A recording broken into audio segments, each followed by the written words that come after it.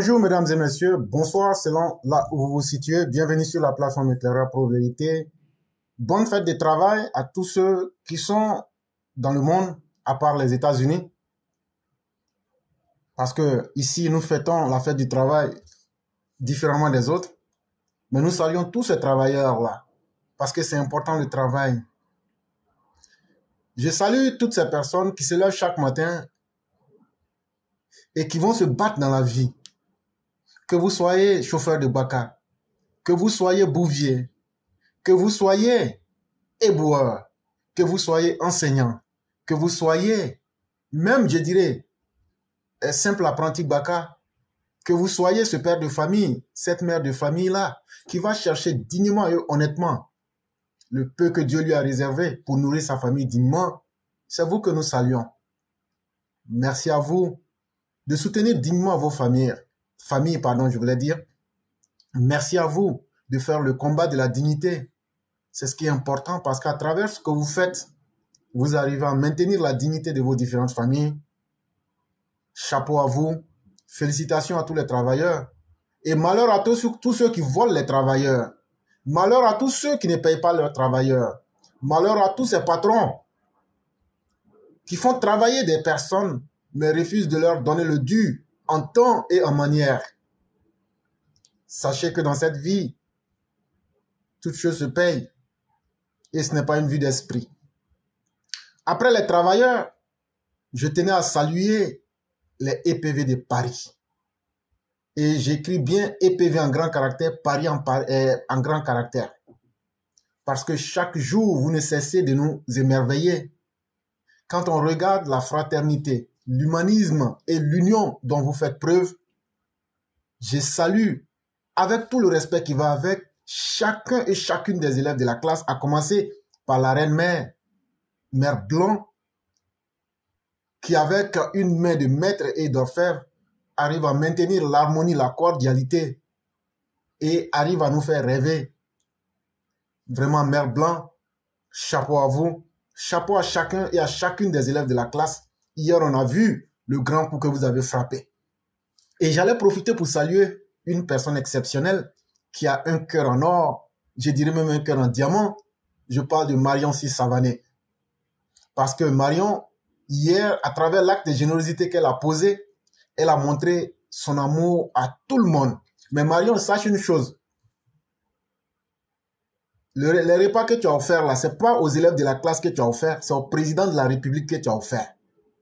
C'est au président Alassane Ouattara que tu as offert.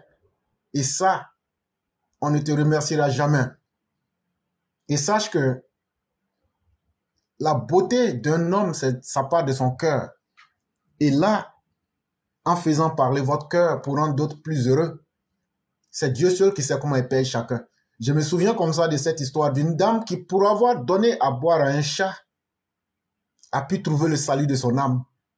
Et j'en suis à me demander, et donc quelqu'un comme toi, Marion, qui a pu donner et faire plaisir à, des personnes en un jour aussi spécial que le 30 avril 2023, sache que ce que les gens peuvent penser de toi ou ce que les gens peuvent penser de vous ne fait pas de vous ce que vous êtes, mais c'est ce que vous êtes qui va plutôt impressionner Dieu et les hommes. Et merci à vous. Et surtout, merci au grand prêtre guide, le président Lassane Ouattara. C'est à cause de lui, c'est grâce à lui que nous arrivons à nous réunir. Et ce n'est pas peu, parce que voir un homme, de par son charisme qui arrive à réunir tout le monde sur les six continents, parce que nous, aux États-Unis, on pense qu'il y a six continents, sinon c'est cinq en réalité. Mais voir que, à travers son nom, son charisme, il arrive à réunir des gens, à nous mettre ensemble, c'est ça la force des grands maîtres. Il est arrivé à créer un égrégore qui aujourd'hui, tous ceux qui sont épris de justice, de sagesse, de bonté humaine, s'y sentent et s'engagent à fond. Je salue ici le grand maître Olivier Amiral. Je salue la reine mère Marguerite Aki. Je salue ici le patriarche Georges Lèche Gras. Je salue ici Diomandé Mohamed. Je salue ici le cyclone Abbé. Je salue ici Doumia Mamadou. Je salue ici encore Mohamedou Bamba. Je salue ici Ousko de Belair. Je salue le grand maître Kaswat. Je salue avec toute la déférence possible le grand maître et le guide Habib Medou Koulibaly. Sans oublier le roi, le vrai roi et le seul roi qui est reconnu, le roi Shaka Zulu, le roi qui a existé vraiment, en vérité, mieux que le roi du printemps, que nous ne connaissons pas d'ailleurs. Et je salue aussi Daouda Sissé, sans oublier notre mère, la guide Tapsoba Awa. Je salue Vamsa Koulibaly, je salue Karas de Watt et je salue tous les élèves de la classe, surtout les vrais. Sans oublier, à travers Maris Koudou, je souhaite, je souhaite une excellente fête de travail à tous ceux qui travaillent véritablement comme Maris Koudou, mais qui vont au-delà du travail pour offrir même leur humanité à tous les travailleurs. C'est de cela qu'il est question. Nous, nous ne reconnaissons qu'un seul roi, et le roi, c'est le roi Chaka Zulu. Le roi du printemps, le roi de la neige, ça c'est pour les nous on ne le connaît pas. c'est le roi. Mesdames et messieurs, cela étant dit, on va aller progressivement vers les différents sujets. Euh, il y a à travers le ministre des Armées du Mali, euh, qui s'appelle Monsieur Sadio Kamara, le ministre de la Défense si vous voulez, le Mali vient d'acquérir des drones, euh, pardon, des, matériels militaires chinois.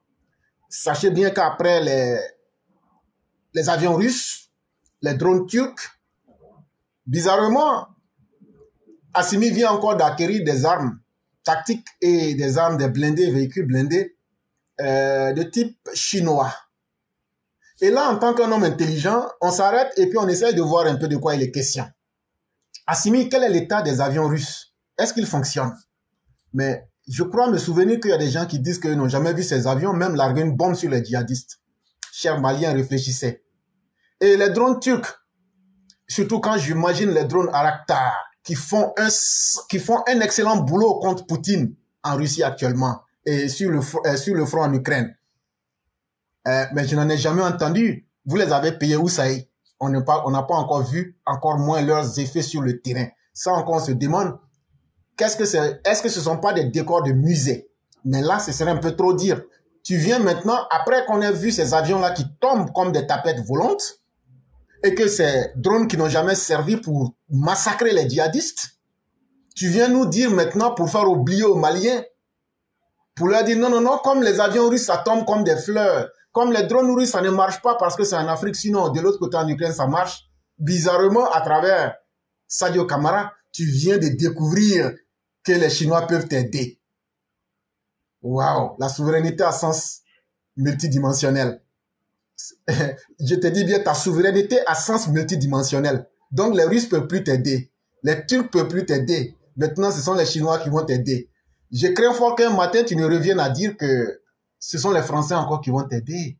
Et ça, déjà, j'entends le bruit. Tu es en train de demander pardon aux Français. Et là, tout ça, ça fait partie de la souveraineté. C'est vraiment très intéressant. On vous regarde là-dedans. Mais Assimi, sache une chose. Je vais te raconter rapidement euh, la scène 3, acte 1 de, Macbeth. C'est un théâtre écrit par Shakespeare. Je sais que le niveau intellectuel n'est pas trop haut. Je vais, casser le niveau pour te faire comprendre. Assimi, tu vois, en tout être humain, là, la possibilité du mal est quelque chose qui existe naturellement. La question n'est pas de savoir pourquoi le mal existe, mais c'est pourquoi nous utilisons notre liberté à pouvoir jouer du mal qui est en nous. Aujourd'hui, là, tu as dit que tu as chassé Ibeka et tu as fait un double coup d'État pour pouvoir corriger et mater les djihadistes. Mais ce que tu oublies, tu n'es pas mieux que Mafbef aujourd'hui. Parce que Mafbef, c'est ce, ce personnage-là qui était un homme qui faisait la guerre pour un roi en Angleterre. Ça, c'est au XIe siècle. Et il n'a jamais rien demandé. Et un jour, en revenant des guerres, il y a trois sorcières qui, qui lui font apparition. Et elles lui disent, tu seras roi, tu seras roi, tu seras roi. Et Macbeth, étonné, rentre chez lui à la maison et se dit, moi qui n'ai jamais rien demandé, comment se fait-il aujourd'hui que les sorcières m'aient dit que je serai roi? Je, contracte très rapidement les choses pour aller. En réalité, les sorcières ne sont pas des personnes extérieures à Macbeth lui-même. C'est lui-même son subconscient et ses désirs les plus cachés. En réalité, ce que je suis en train de dire à, à Simi, c'est que le mal, le mal, c'est un désir profond qui est en chacun de nous.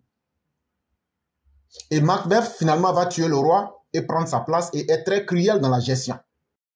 J'ai vraiment raccourci cette œuvre de Shakespeare parce qu'on ne sait pas pour cela qu'on est là. Et là, aujourd'hui, ton désir, ton mal qui était en toi est en train d'avoir raison de toi. Ce n'est pas en torturant les événements que tu vas pouvoir tromper les Maliens. Aujourd'hui, la majorité des Maliens ne peuvent pas parler parce qu'ils ont une dictature sanglante qui est en face, qui va les éliminer.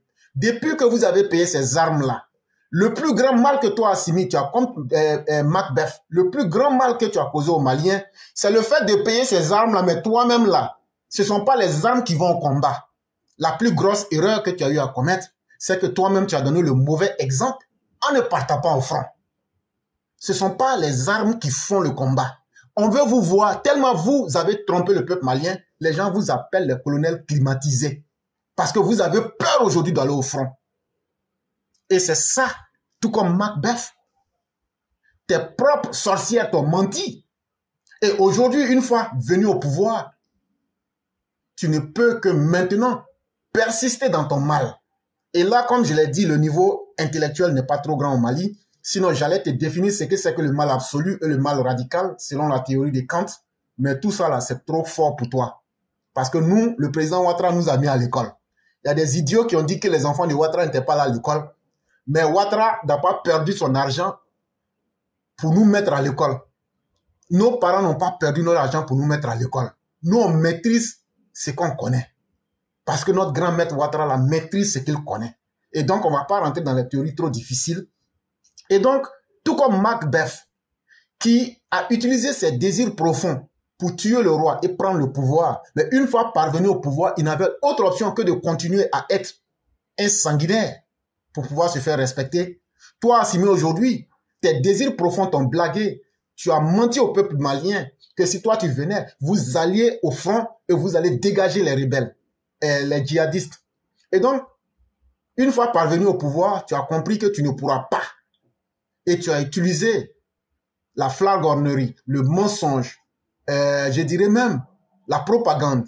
Aujourd'hui que la propagande ne marche plus, tu as été payé des armes qui ne sont en réalité que des pièces de musée, parce que même ces armes chinoises-là, elles ne serviront pas.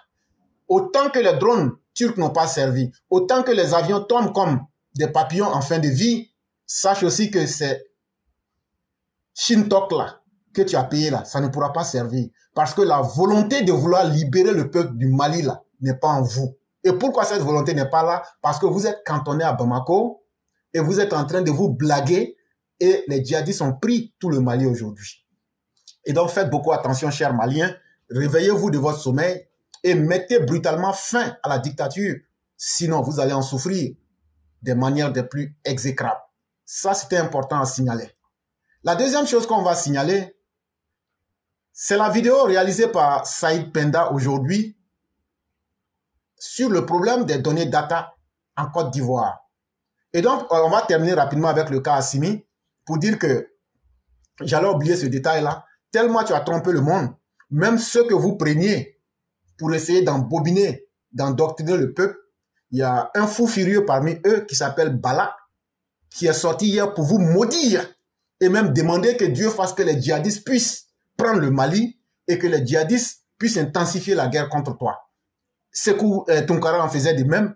Je me demande qu'est-ce qui n'a pas marché. Est-ce que les salaires pour pouvoir blaguer le peuple malien ne tombent plus Vos propres propagandistes sont en train de vous laisser en plein vol. Ça aussi, c'était important. Et on écoute ici ce que ce drogué, cet adepte des drogues du Balaba, comme les gens aiment l'appeler, disait.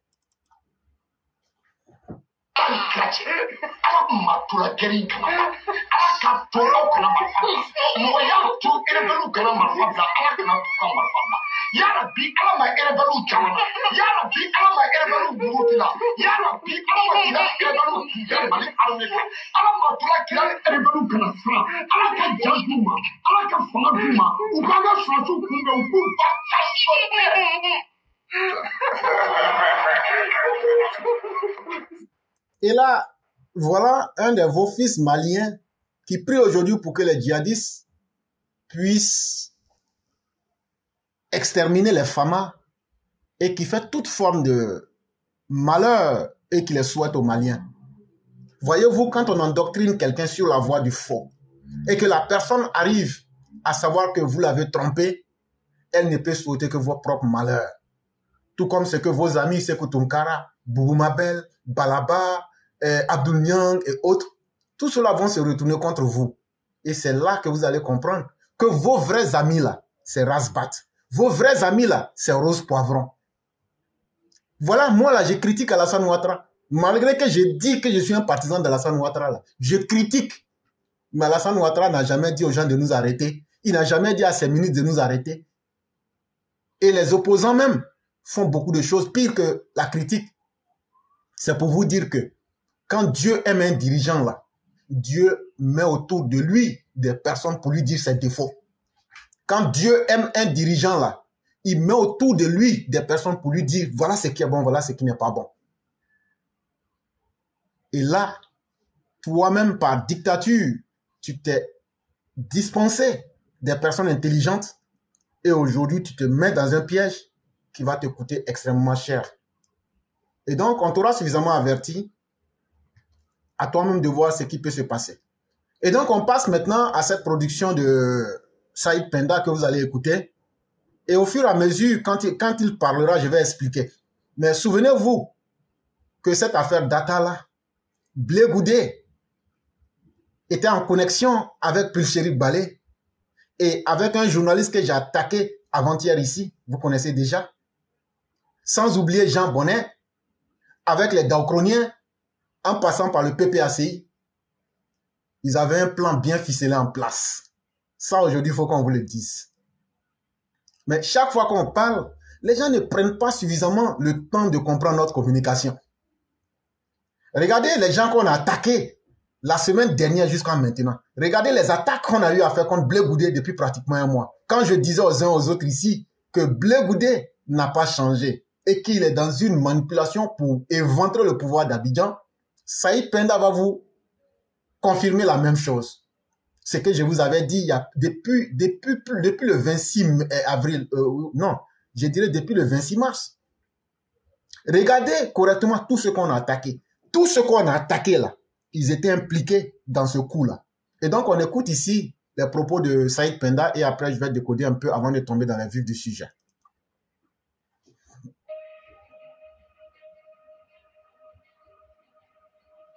Mesdames et messieurs, bonjour. Je vous avais promis une investigation sur euh, cette question de la cherté de l'accès à Internet en Côte d'Ivoire et j'ai commencé à travailler. Je suis même déjà euh, en possession de quelques dossiers inédits. J'ai découvert par exemple qu'il y a une affaire très intéressante entre ces compagnies de téléphonie mobile et l'ARTCI euh, autour d'une somme de 13 milliards 173 millions 812 558 francs CFA, dont 7 milliards 3 971 202 francs pour Orange, 3 milliards 274 millions 358 776 francs CFA pour MTN et enfin 2 milliards 895 482 000 plutôt 2 milliards 895 millions 482 580 francs CFA euh, pour ce qui est de Move Africa. Vous voyez que je suis très précis. En fait, j'ai par ailleurs euh, déjà pu obtenir, grâce à mes sources, euh, deux gros rapports sur la qualité des services qui sont mis à la disposition des consommateurs que nous sommes par les deux compagnies de, téléphonie mobile. L'un des rapports euh, est de 450 pages et il a été rédigé par la compagnie Egatec. Le deuxième rapport fait 250 pages et il est le résultat des, des enquêtes de la même compagnie. En fait, j'ai déjà pu euh, également mettre la main sur plusieurs dizaines de pages de documents euh, qui pourraient venir soutenir euh, mon article, mais malheureusement, je suis au regret de vous annoncer que je ne publierai plus mon article euh, sur cette affaire. Du moins, je ne, la, je ne le publierai plus en ce moment. Et là, on va s'arrêter un peu. Saïd vous a parlé de deux points, ce qu'on a toujours dit. Nous, on a dit ici que c'est vrai, les prix doivent diminuer, comme ce qu'on a vu au, euh, Gabon depuis hier soir. Par exemple, Move Gabon a diminué les prix. Comment ils ont procédé Avant, ils vendaient 7 gigas à 10 000 francs. Maintenant, ils n'ont pas diminué les 10 000, ils ont fait passer ça à 20 gigas sur une période de un mois. Ça, c'est un exemple. Et la qualité aussi. Nous, on a critiqué la qualité de l'Internet ici. La qualité n'est pas bonne.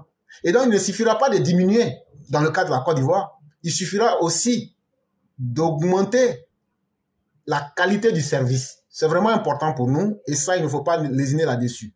Et donc, il ne pourra pas parler sur ce cas-là parce qu'actuellement, un dossier qui est en cours de traitement s'il prenait le risque de venir donner certaines informations, ça pourrait casser certaines dynamiques.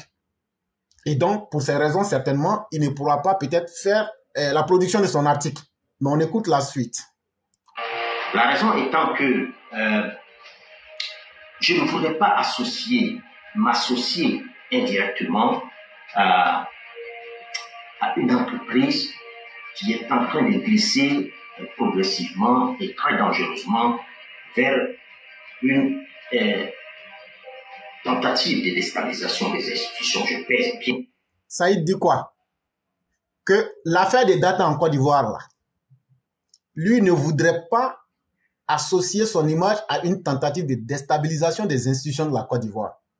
Ça veut dire quoi en français? Simple Ça veut dire les gens comme les gens bonnets, les gens que j'ai cités de suite là, ils avaient voulu profiter de cette histoire-là pour créer un soulèvement populaire, pour faire tomber l'institution qui est incarnée aujourd'hui par Alassane Ouattara. C'est dans ce schéma-là qu'ils étaient. Ils n'étaient pas dans un schéma d'aider les Ivoiriens à ce que le coût de l'Internet et la qualité soient améliorés et que le coût soit revu à la baisse. Eux, avaient un agenda purement de déstabilisation des institutions de la République. Et on y va il va donner, sans le dire directement, les noms des personnes à travers les descriptifs, vous allez comprendre. Parce que le député Antoine Assalé mon confrère, que, euh, euh, puisqu'il est journaliste, c'est pourquoi il est mon confrère, que j'appelle désormais l'unique député que il est nourri des plus bonnes intentions et sa sincérité dans cette affaire ne souffre aucun doute. Cependant, euh, cependant, il est progressivement en train d'être phagocyté euh, par euh, une bande d'opportunistes aux desseins inavoués, dont certains rêvent euh, d'une insurrection populaire euh, à travers cette question de cherté de la vie et qui viendrait donc euh, renverser le régime. Je ne... Il dit donc, Tchemoko là, de ce que lui sache d'Assalé, Assalé n'avait pas une mauvaise intention. Assalé a toujours critiqué, il allait toujours dans le bon sens. Il dit en tout cas, Assalé Tchemoko, il n'a rien vu de mal, ni dans les intentions, ni dans les actes d'Assalé Tchemoko. Mais derrière la bonne action d'Assalé Tchemoko, il y a des gens qui voulaient renverser les institutions de la République. Et donc, on continue. Je peux m'associer à une telle entreprise et donc ceux qui nourrissent cette intention et qui comptaient en partie sur ma modeste contribution euh, doivent savoir qu'ils ne peuvent jamais, jamais compter sur ma collaboration euh, ou ma complicité, ne serait-ce que passive et, surtout pas une quelconque euh, publicité active par la publication d'un article avec des révélations euh, plutôt fracassantes. Et donc, Saïd dit si le fait que lui ne fait pas sortir son article, parce que vous savez, un homme, tu peux poser un acte, mais sans le savoir, indirectement, tu peux contribuer au pourrissement de la situation ou même à dégrader les faits. Il dit donc, au vu du contexte actuel là, il ne fera pas la publication pour ne pas que les ennemis de la République qui veulent un coup d'État ou le renversement des institutions puissent dire, même Saïd même a parlé de ça, même Saïd a dit ça. Indirectement, il se retrouvera comme quelqu'un qui a participé. C'est à cause de ces raisons-là qu'il va d'abord attendre pour ce qu'il nous dit en tout cas. Mais on continue. Conclusion, euh, mon investigation sur ces, ces, sujets et sur ce que j'ai découvert au niveau de la RTCI ne sera euh, publié et qu'en temps opportun euh, une fois que euh, nous sommes sortis de cette turbulence euh, et que ces individus aux, agendas cachés que je ne nomme pas, hein, que je ne nomme pas de façon très claire, mais je peux donner quelques indices. Il y a parmi. Et donc, Saïd dit, ceux qui voulaient faire coup d'État et qui voulaient voir le régime tomber, quand nous vous disions ici qu'ils n'ont pas changé, il dit, il va pas dire leur nom. Parce que cette affaire-là, on va pas laisser. Mais il dit, il va donner des détails. Si toi, tu es sur Internet, là, les détails que Saïd va donner, là, si tu ne connais pas les personnes, là, moi, je vais ajouter quelques petits détails dessus. Là, tu vas connaître. Et donc, on y va. Il dit la première personne. Ces individus, euh, euh, un journaliste de caniveau euh, devenu très très aigri depuis euh, que euh, ses mentors ne sont plus partis de, de, la coalition au pouvoir. Il y avait quel journaliste qui a dit qu'Alassane est devenu, parce qu'il a fait troisième monnaie, il est devenu journaliste, il est devenu banal? Et ce journaliste-là, c'est lui qui se plaît depuis que, je vous ai dit ici avant-hier, que depuis que le RHDP là, son mentor Bédia a quitté là, il est devenu très aigri. Et le roi est sorti ici pour dire que ce journaliste caniveau de poubelle là, lui, il a payé son diplôme là. C'est de lui il est en train de parler. Si tu n'as rien compris là, il faut aller regarder notre page. Tu vas voir le journaliste caniveau. C'est qui on appelle parmi les journalistes de Côte d'Ivoire journaliste caniveau. Et donc, tu sauras. Et donc, il y a quelqu'un qui a mis son nom, on avance. Lui, il était dans le coup. C'est pourquoi avant-hier, je l'ai libéré sévèrement. Et si les garçons, il n'a qu'à sortir. Ce n'est pas pour rien. Quand les gens sont là, éclairer les il est dit, nous on connaît, on sait ce qu'on fait. Quand on attaque quelqu'un là, c'est qu'on a des preuves contre la personne. Il vient de dire que le journaliste caniveau poubelle, il était dedans. Donc ça fait une personne. On continue. Lui qui hier trouvait que tout allait bien et que la Côte d'Ivoire était une sorte de paradis sous Alassane Ouattara, aujourd'hui euh, euh, peint tout en noir. Il y a aussi dans ce, groupe qui, est en train de noyauter euh, malheureusement notre excellent confrère Antoine Assalé Tcheboko, il y a dans ce groupe aussi qui d'opportunistes euh, activiste, c'est comme ça, c'est ainsi qu'elle se nomme elle-même, activiste d'une pseudo-société civile qui a été euh, euh, récemment prise en flagrant délit de collusion avec des entreprises dont l'intention était clairement de déstabiliser nos institutions. Toi qui es toujours sur Internet là, tu sais pas que c'est de Pulchéry Balé en train de parler Est-ce que la semaine passée là, il n'y a pas trois cas, je n'ai pas limé Pulchéry Balé Ce qu'il dit là, c'est pas faux, hein mais il dit pas tout. Parce qu'il y a d'autres choses que moi-même là, je peux pas dire actuellement aussi. Mais on attend, on les regarde. Mais regardez bien les gens que on a attaqué la semaine dernière. Ça a commencé d'abord par Blé Et progressivement, vous allez voir que les mêmes personnes que Saïd a citées, allez sur nos pages, vous allez voir que ce sont ces mêmes personnes-là qu'on a attaquées méthodiquement. Parce qu'on connaissait leur plan. Et donc, après le journaliste Caniveau, que tout le monde connaît, il vient de citer Pulchéry Balé. On continue. À travers cette ténébreuse affaire des 49 militaires euh, ivoiriens détenus au Mali. Il y a enfin dans, ce groupe deux autres individus, l'un étant euh, celui qu'on appellerait le général La Machette, un des anciens commandants des escadrons euh, de la mort de et un autre qu'on appelle le général de la rue, Blé. Où sont ceux qui disent que Blé avait changé?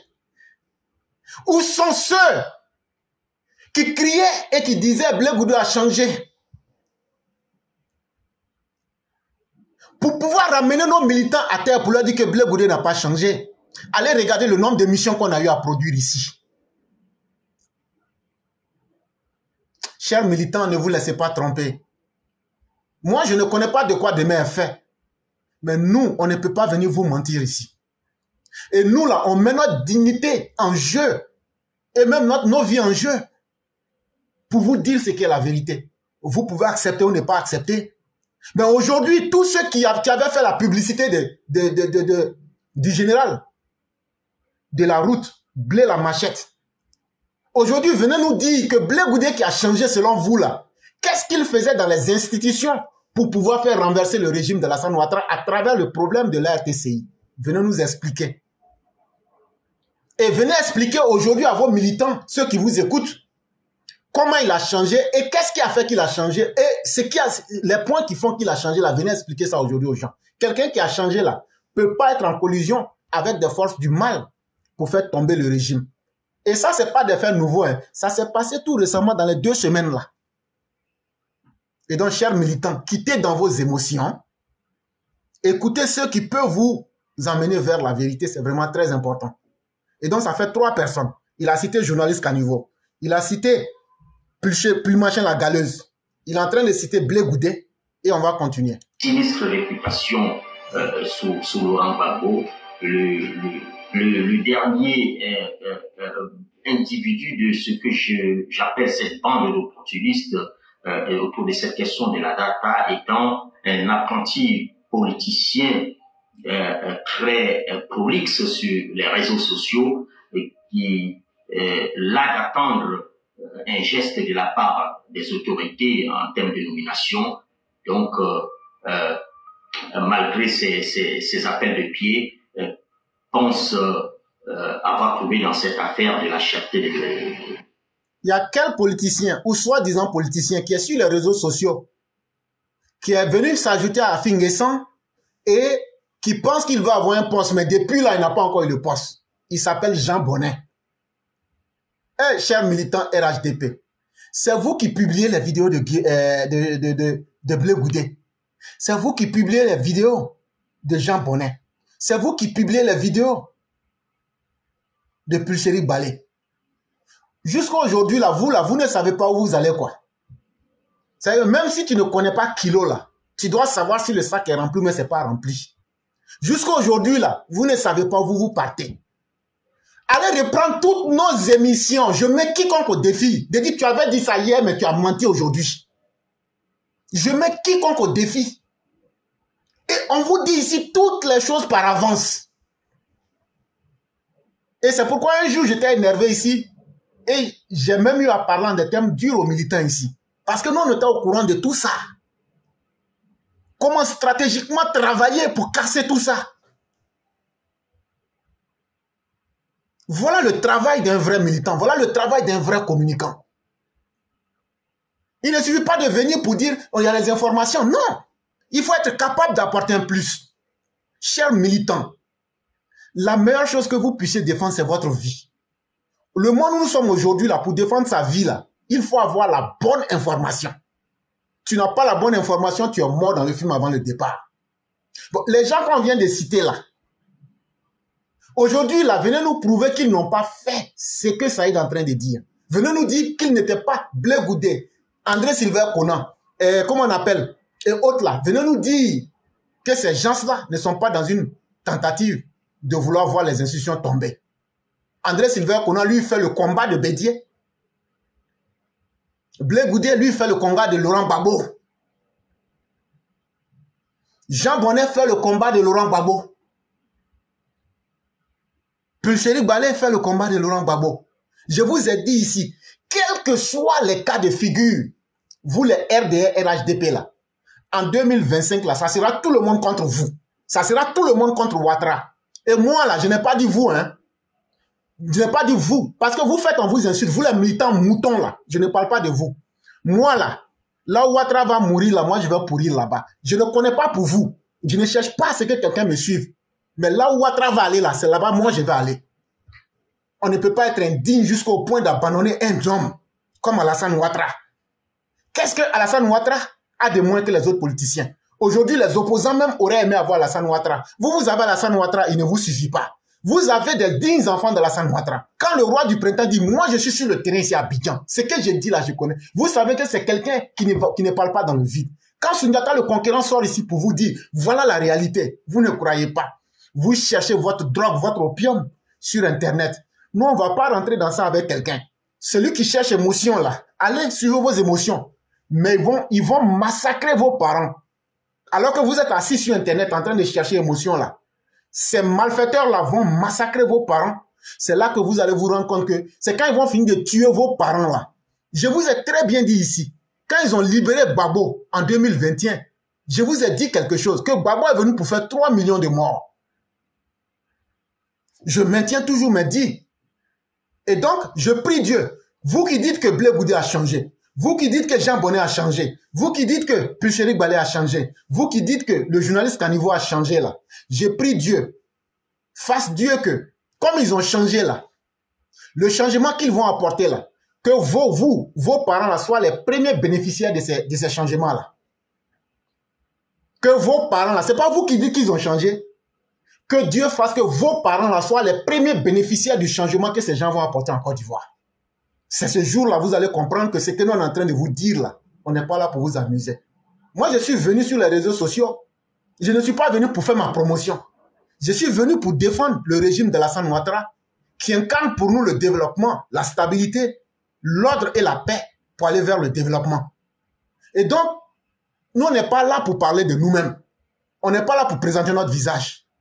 Et c'est pourquoi même je vais demander à nos techniciens si on le peut, on va vouloir maintenant réaliser nos trucs avec les images de la San Ouattara. Je vais discuter avec les techniciens si cela est possible. Mes chers parents, on vous aura suffisamment averti. Ceux qui veulent se sauver là, on vous a tout dit. Et donc nous allons passer véritablement à nos sujets. Le premier sujet a pour titre 1 milliard de francs CFA consacrés à la jeunesse par jour. Le ministre Madou Touré apporte des éclaircissements. 2023 a été lancé comme l'année de la jeunesse par le président de la République, son Excellence Alassane Ouattara depuis le 31 décembre 2022. Face au Parlement réuni en congrès le 25 avril 2023, le chef de l'État a annoncé qu'un milliard de francs CFA serait consacré par jour au projet jeunes durant toute l'année. Face à des jeunes ce week-end à Issia, dans la région du Haut-Sassandra, Mamadou Touré, ministre de la promotion de la jeunesse, de l'insertion professionnelle et du service civique, a expliqué le mode de répartition de ce montant. À entendre le ministre Mamadou Touré, ce sont 99 milliards de francs CFA qui sont distribués aux jeunes au projet d'infrastructure cette année, avec 18 lycées professionnels qui seront construits sur l'ensemble du territoire national. Ceux de Diabo et Botro sont en cours depuis le mois de mars. 16 lycées professionnels seront également réhabilités. Ceux de Yopougon et de Cocody. 10 Agora qui sont les centres sportifs et culturels, seront construits par le ministère en charge des sports. Quand 14 centres nationaux de services civiques seront construits sur l'ensemble du territoire national pour s'ajouter à ceux de Bembresso et de Boaké. Les travaux des CNS d'Azopé et Korogo sont déjà en cours, parmi lesquels celui de Dalois se terminera en septembre prochain. Et de préciser que c'est tout cela qui fait 361 milliards, 361 milliards de francs CFA. Quand on prend ces 361 milliards de francs CFA et qu'on divise par 365, ces investissements représentent à peu près 1 milliard de francs CFA par jour. Ça ne veut pas dire que tous les matins, le président de la République dépose une valise d'un milliard chez le ministre Madou Touré pour distribuer aux jeunes. C'est l'ensemble des projets qui ont commencé à être menés et qui seront menés, qui représentent 361 milliards de francs CFA avec presque un milliard de francs CFA par jour. Et là, on va s'arrêter un peu. Parce que c'est très important d'expliquer là où on est en train d'aller. Les gens de mauvaise foi sont en train de dire déjà que Ouattara dit qu'il va donner un milliard par jour aux jeunes là. Attaque n'a pas eu pour toi. Tu attends quoi ici? Levez-vous, c'est un menteur. Oh. Hier, il y a beaucoup de personnes déjà qui sont en train de mettre ça dans la tête des jeunes. Et donc c'est très important ce que Madou Touré vient de faire pour bien dire l'argent là, quand on dit 361 milliards, 361 milliards par an là, 1 milliard par jour, il a bien défini il y a 16 lycées professionnels qui vont construire ou réhabiliter. Il y a 14 centres nationaux de services civiques qui vont être construits. Et ceux qui existent déjà, on va les réhabiliter. Et donc là, quand on fait le coût de toutes ces activités-là, c'est ce qui représente 361 milliards de francs CFA. Mais c'est très important dès le début d'expliquer comme il l'a fait pour dire aux jeunes gens ne pensez pas que l'argent, là, ça est là-bas. Tu viens, on dit, comme tu es ivoirien, il faut présenter ta carte et puis on prend pour toi, on dit, bon, voilà, pour toi, il faut partir. L'argent, là, c'est pas l'argent frais qui est déposé là. C'est pas comme ça. Et donc, Alassane Ouattara n'a pas valise d'un milliard chaque matin pour vous vous donner ça. Et ça même là, c'est un modèle qui ne marche pas et qui ne marchera pas. Et nous, nous l'avons déjà dit ici aux jeunes gens pour les avertir. Et c'est très important. Et l'argent là, c'est pas Madou seul qui aura ça. Ça sera divisé en fonction des ministères. C'est pourquoi vous verrez le ministère des Sports construire des salles de sport et des salles euh, de récréation pour les jeunes. Et donc tout ça là, il faut bien expliquer pour enlever les cailloux dans les oreilles des uns et des autres. Sinon, un jour là, ils vont tuer Madou tourner quelque part pour dire « Ah, moi, je n'ai pas eu pour moi. » Donc, ne tuez pas le monsieur. En tout cas, ça, c'est pas sa faute. Vrai, vrai, il faut dire la vérité. Euh, n'allez pas le tuer pour ça, pour dire, ah, le président dit chaque matin de donner un milliard. Non, ça ne sera pas comme ça. Vrai, vrai, il faut dire la vérité, ça ne sera pas comme ça. Parce que j'ai déjà vu euh, un cyberactiviste très instable, j'oublie son nom déjà, Kei, Kei, Kei Côte d'Ivoire, dire que non, il faut donner l'argent aux gens. Kei, et les 500 000 francs que l'ASPR t'a donné là, tu as fait quoi avec ça? Moi, je t'ai dit, quand tu as voulu mentir sur l'ASPR, là, je t'ai dit ça. Même votre conversation téléphonique, là, j'ai ça. Il faut dire que c'est faux, que tu n'as pas eu. Je vais balancer ça sur Internet. Il faut dire ça. Eux, là, eux, ça c'est, leur vente, là, c'est comme canari. Il faut mettre l'argent dedans seulement. Des menteurs, des paresseux comme vous. Quand tu as quitté RADP, là, qui t'a dit de revenir? Des gens sans conviction qui sont là, qui voguent au gré du vent. Nous, on n'a même pas besoin de vous-même. Nous, on n'a pas besoin de vous. Je vous répète ça aujourd'hui encore. On n'a même pas besoin de vous. On vous calcule même pas aussi. Tant que nous, on est là à côté d'Alassane Ouattara, ça suffit à Alassane Ouattara. Nous, on va vous dire ça. 17 ministères vont intervenir cette année dans le concept de l'année de la jeunesse. Ah, donc l'argent, ça ne sera pas pour Madou seul. Hein? On dit il y a 17 ministères qui vont intervenir dedans. Ça veut dire les ministères là, quand ils comptent là, les 361 milliards là, ça sera divisé entre 17 ministères. Ce sont 150 000 jeunes qui recevront des financements pour leurs activités génératrices de revenus en 2023. D'ailleurs, le jeudi 4 mai 2023 aura lieu la cérémonie de lancement du financement de 16 000 projets jeunes avec un coût de 8 milliards de francs CFA. Mamadou Touré a néanmoins rappelé les budgets consacrés au financement des projets de la jeunesse par les ministères concernés et qui ont été approuvés par le Parlement.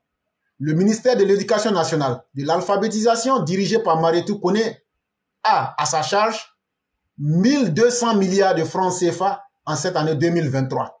Donc, on est en train de vous détailler un à un 170 milliards ont été mis à la disposition du ministère de l'enseignement technique, de la formation professionnelle et de l'apprentissage. 290 milliards de francs CFA pour le ministère de l'enseignement supérieur et de la recherche scientifique. Le ministère en charge de la jeunesse, c'est 42 milliards consacrés et 50 milliards de francs CFA pour le ministère des Sports. Voilà, on a cassé jeton là. Voilà, ça a parti. Donc là, personne ne peut dire qu'il n'a pas entendu ce qu'on vient de dire. Lorsque vous prenez ces sept ministères clés qui s'occupent de la jeunesse, on se retrouve avec près de 1900 milliards de francs CFA de budget que le gouvernement va mobiliser et mettre en œuvre cette année. Quand vous ramenez ça au jour, c'est-à-dire vous divisez 1900 milliards de francs CFA de budget des ressources par 365, c'est près de 5 milliards de francs CFA que le gouvernement investit tous les jours dans la jeunesse à travers tous les ministères sectoriels des différents projets. A-t-il instruit sur son auditoire? A-t-il instruit son auditoire? Mamadou Touré a confié les financements apportés par les organisations internationales et surtout les partenaires clés de la Côte d'Ivoire comme la France. Et donc maintenant, après vous avoir détaillé là où les différentes sommes vont aller là, c'est à chacun là où tu te trouves là d'aller vers ton ministère. N'allez pas faire rang chez, dans les différents coins où Madou travaille pour dire que c'est toi qui as l'argent. C'est très important de dire ça. Sinon, un jour là, le monsieur va se faire lyncher.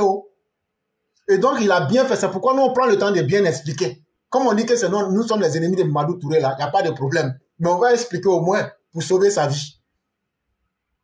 Et donc, on vous a déjà dit, les 365 milliards, où ça va aller là, les 7 ministères là, ce que chacun doit avoir, on vous a tout déjà donné. Mais l'argent même va quitter où? Parce que si Ouattara nous dit que lui il a l'argent, on va lui demander, mais tu as enlevé où? Il faut qu'on explique aux Ivoiriens, l'argent là, ça va quitter où? L'argent là, la majeure partie là, c'est la France qui va nous aider. La France que les gens disent qu'ils n'aiment pas là. Le sous-préfet de la France là. Et puis la France là.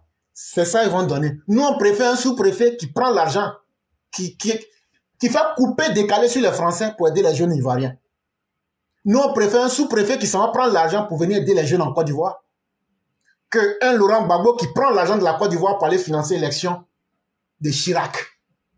Nous on préfère un sous-préfet, Alassane Ouattara, qui va prendre l'argent avec la France, qui va prendre 365 milliards avec la France pour venir donner à vous les jeunes. On préfère ce sous-préfet-là à un Laurent Gbagbo qui a pris l'avion de la Côte d'Ivoire, l'argent de contribuables pour aller libérer des soi-disant otages français quelque part dans le monde pour faire plaisir à la France. Nous, on préfère Alassane Ouattara, le sous-préfet, qui va prendre l'argent de la France pour venir aider les jeunes, plutôt qu'un Laurent Gbagbo et sa bande qui ont bradé la Côte d'Ivoire à la France, qui ont bradé le port d'Abidjan à la France, qui ont bradé l'économie de la Côte d'Ivoire à la France sous leur direction, en cachant cela aux Ivoiriens. Deuxième partenaire qui, qui va financer ces sommes-là, c'est la Banque mondiale. La Banque mondiale a décidé de donner 86 milliards à la Côte d'Ivoire pour vous les jeunes. Après ça, l'Agence française de développement que Assimi a chassé là, eux, là, ils vont nous donner 53 milliards. Comme quoi, l'argent, là, on creuse pas trop pour aller chercher. C'est la crédibilité de la San Ouattara qui fait qu'aujourd'hui, là, il a une multiplicité de partenaires. Donc, l'Agence française de développement, là, eux vont nous donner 53 milliards pour renforcer les projets jeunes. C'est pas tout. Il y a la Banque africaine de développement, la BAD, elle va appuyer la Côte d'Ivoire à hauteur de 47 milliards de francs CFA. C'est très important qu'on vous dise. Sinon, si Alassane Ouattara envoie les 365 milliards, on va lui demander de enlever où C'est que Alassane Ouattara est un brouteur. Et donc, il faut qu'on vous explique tout. Donc, l'argent qu'on va donner là, si Alassane Ouattara allait prendre crédit avec l'AFD, avec la BAD, avec l'aide euh, française au développement, avec la Banque mondiale, avec le gouvernement français, hein, toi à qui on va donner l'argent là, tu vas payer. Est-ce qu'on te parle de ça deux fois? De la manière qu'on t'a donné là, tu vas payer. Ça ne sera pas gratuit. On t'a donné, tu as développé ton petit commerce là. faut pas penser que c'est gratuit. Après toi, il des enfants qui vont naître. Eux seront jeunes. Donc là, il faut que tu payes l'argent pour que eux aussi on puisse aider ceux qui seront jeunes demain. Donc toi à qui on va donner l'argent ne sois pas un jeune inconscient. Tu prends un jeton là et puis tu te mets sur l'eau. Et puis les coxers en Libye vont les prendre là. Frère, tu as fait ça là. On va chercher garantie. Ta coût familial là, on va vendre. Et puis on va enlever les 200 000 qu'on t'a donné là et puis vous remettre le reste. Amusez-vous. Si vous pensez que ces sommes là va vous donner et puis vous allez, vous allez faire n'importe quoi avec ça, vous vous mentez. Si tu n'es pas prêt là, faut même pas aller là-bas. Si toi tu as esprit d'amusement ou même esprit de boucantier là, faut éviter l'argent là. Parce que caution que tu vas déposer là, ou même la personne morale qui va se mettre là comme ta garantie là, jeton là, ça va sortir. Et donc c'est très important. Et donc ceux qui viennent faire croire aux jeunes qu'il y a de l'argent disponible et chaque jeune doit venir prendre sa part, ce n'est pas ainsi qu'on gère un État. On ne gère pas un État en distribuant l'argent aux populations. On gère un pays en investissant. Même si le ministre vous donne à chacun un million aujourd'hui, vous finirez par dépenser ce million. Le meilleur investissement, c'est ce que fait aujourd'hui le président de la République, son Excellence Alassane Ouattara. Il vous permet de vous former dans les meilleures conditions. Investir dans l'éducation, c'est investir dans l'avenir. C'est le meilleur investissement. Il permet d'améliorer l'employabilité de nos jeunes. Quand vous êtes bien formé, vous êtes en mesure d'avoir du travail. Pour ceux qui ne veulent pas un emploi salarié, la formation permet d'avoir accès à des financements pour réaliser vos propres projets, a-t-il martelé. Cet article a été tiré de l'avenir.ci. Je ne fais que commenter de façon brève. Et donc, je crois que c'est très clair.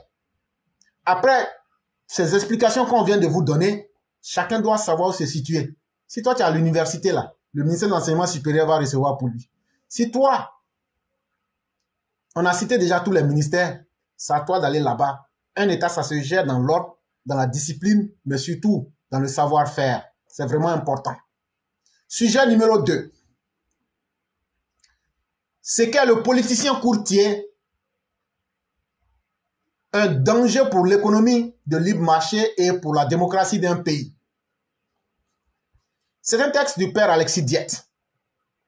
Le père Alexis Diet nous dit qu'il y a des politiciens. Mais non seulement ils sont des politiciens, mais ils sont des courtiers. C'est pourquoi ils les appellent politiciens courtiers.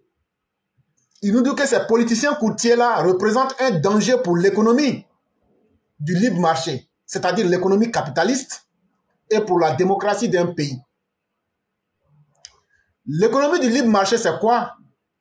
C'est le marché du capitalisme, c'est-à-dire le choix de pouvoir librement faire des échanges et vous n'êtes pas forcément tenu d'être contrôlé par l'État comme dans un État communiste. Et la démocratie, déjà, chacun peut donner la définition qu'il veut, mais c'est la capacité des individus de vivre dans une variété de pensées idéologiques, politiques, sociales, intellectuelles, etc. et exprimer leur choix sans que ce choix-là ne soit un danger pour les autres. Prenons ça comme ça. Mais ce qu'on n'a pas expliqué, c'est le mot courtier. Un courtier, c'est qui? Un courtier, c'est un individu ou une personne, si vraiment il est dans le bon sens, qui analyse la situation financière de son client et lui fait des propositions d'offres adaptées à ses besoins. Ça veut dire quoi? Ça veut dire un courtier, c'est quelqu'un qui a une bonne connaissance économique. Et il peut venir, par exemple, te dire, bon, là, là, si tu investis dans tel coin, ça peut marcher pour toi. Là, là, il faut éviter d'investir ici. Euh, d'une certaine façon, on pourrait dire que c'est un dévin économique. Mais en réalité, ce n'est pas de la magie, c'est une connaissance des marchés. Vous voulez des exemples? En tout cas, dans ces temps-là, depuis les dix dernières années, les courtiers, là, leur nom, là, c'est pas bon. Quand je prends Eric Courrière, qui a trompé les gens en France, quand je prends Bernie Madoff, qui a trompé les gens aux États-Unis, qui a ruiné des vies, c'est pas bon. Et donc, ici, dans le contexte particulier, quand le père Alexis Diet dit politicien courtier, il veut dire ceux qui viennent, les Kofi Gombo politiques. Voilà. On va aller en français terre à terre. Kofi Gombo. C'est-à-dire, eux là, ils viennent dans la politique. Quand ils viennent là, ils viennent même pour prendre l'économie en otage, pour mettre ça sous leur coupole, et puis leur famille, et puis leur groupe, comme les Bédiers et puis les Jean-Louis Bion là. Et puis maintenant, ils détruisent la démocratie. C'est de ceux-là qu'il est en train de parler. Il dit un politicien courtier est un élu de la nation ou un politicien local qui se transforme en lobbyiste des groupes économiques ou en agent d'influence d'États étrangers. Il dit la première caractéristique de ces politiciens courtiers-là, c'est qu'ils n'ont aucune ambition pour leur peuple. Ils se font élire et une fois élus, quelle que soit leur position, ils deviennent des lobbyistes des groupes économistes. C'est-à-dire maintenant, la confiance que vous leur avez accordée en les mettant à la tête de la nation ou à un poste, eux, ils utilisent cette position-là maintenant pour essayer maintenant de faire des combats pour les groupes économiques. Comme ce que Jean-Louis Bion fait là. Il se bat pour sa compagnie en augmentant les prix et en tuant les Ivoiriens. Et demain encore, c'est lui qui sort pour dire pourquoi les produits ont augmenté. Jean-Louis Bion, est-ce que toi, tu n'es pas l'un des actionnaires euh, majeurs d'Orange? Mais il faut sortir pour demander, comme toi, tu es actionnaire majeur là, il faut, faut, faut dire, bon, diminuer les prix. Mais ils vont jamais faire ça. C'est eux qui augmentent le prix du lait, du sucre, de toutes les denrées de première nécessité. Mais en même temps, c'est eux qui disent que la vie est devenue chère. Mais ils sont jamais prêts à diminuer le prix pour vous. C'est eux là, les bédiers et autres là, qu'on appelle avec les Jean-Luc Bion là. C'est eux on appelle politiciens courtiers. Tellement le monsieur est méchant, Jean-Luc Bion. Il y a sept femmes, elles sont allées, elles ont pris quelques graines dans son champ. Hein. Elles ont ramassé, c'était tombé. Jean-Luc Bion les a attrapées, les a mis en prison. C'était le mois passé. Quelqu'un qui n'a pas pitié de nos pauvres mères dans les champs, celui-là peut avoir pitié des Ivoiriens. Et donc là, ils sont derrière les groupes d'intérêt. Ils ont des grands groupes financiers qui les soutiennent. Et eux, ils utilisent leur position. Je suis député, je suis politicien pour lutter contre l'État. Et c'est pourquoi ils disent ici, ou en agent d'influence d'État étranger.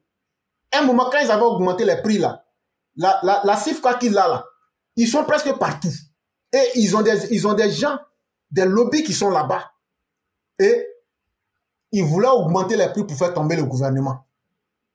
La conséquence de cette corruption politique est de faire prédominer dans la société politique et dans l'état des intérêts particuliers des lobbies au détriment de l'intérêt général et de brader la souveraineté nationale à des puissances étrangères. Il dit, une fois que vous avez affaire à ces politiciens-là, comme les Jean-Louis Bion, Laurent Gbagbo et autres, parce que Laurent Gbagbo, c'est lui qui a vendu, c'est lui qui a fait rentrer euh, MTN en Côte d'Ivoire. Quand il y avait la guerre en Côte d'Ivoire, là, je ne sais pas si c'est Tabé Mbeki c'est lui son mangement que Laurent Gbagbo lui a donné. Il dit, quand tu es là, là, il faut être du côté de moi, tu me donnes des armes, et puis maintenant, là, moi, je laisse, tu viens faire installer MTN en Côte d'Ivoire. Voilà comment MTN est venu en Côte d'Ivoire. Bon, un homme comme ça, là, il fait du lobbying, parce que les Ivoiriens ont fait l'erreur de lui faire confiance. Il devient un chef de corruption. Parce que les Ivoiriens ont fait l'erreur de lui confier un poste politique. Il devient un chef corrompu. Et là, il va travailler avec d'autres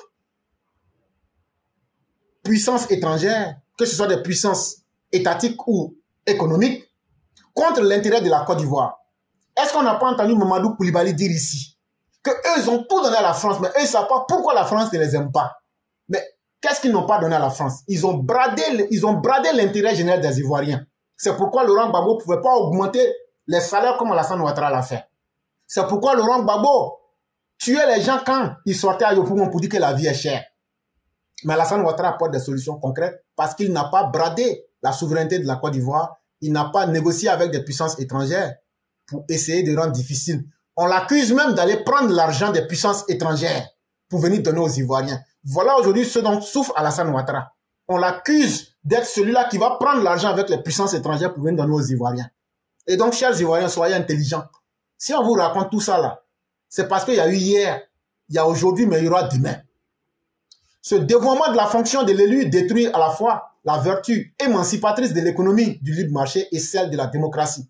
Il dit donc avec de tels gens, et comme Laurent Gbagbo, comme Bédier, comme Jean-Louis Bion, avec les comportements que je viens de vous citer là, il dit ces gens-là détruisent l'émancipation même de l'économie euh, capitaliste et l'émancipation de la démocratie dans nos pays.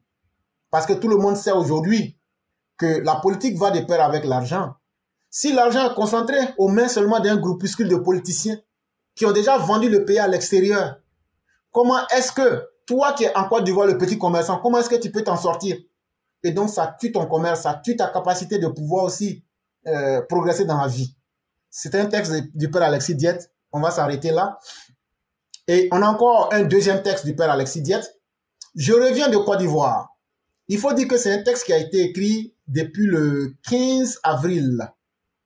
Non, le 14 avril 2023. Donc, ce n'est pas un texte qui est aussi nouveau. Ne pensez pas qu'il est venu de la Côte d'Ivoire hier.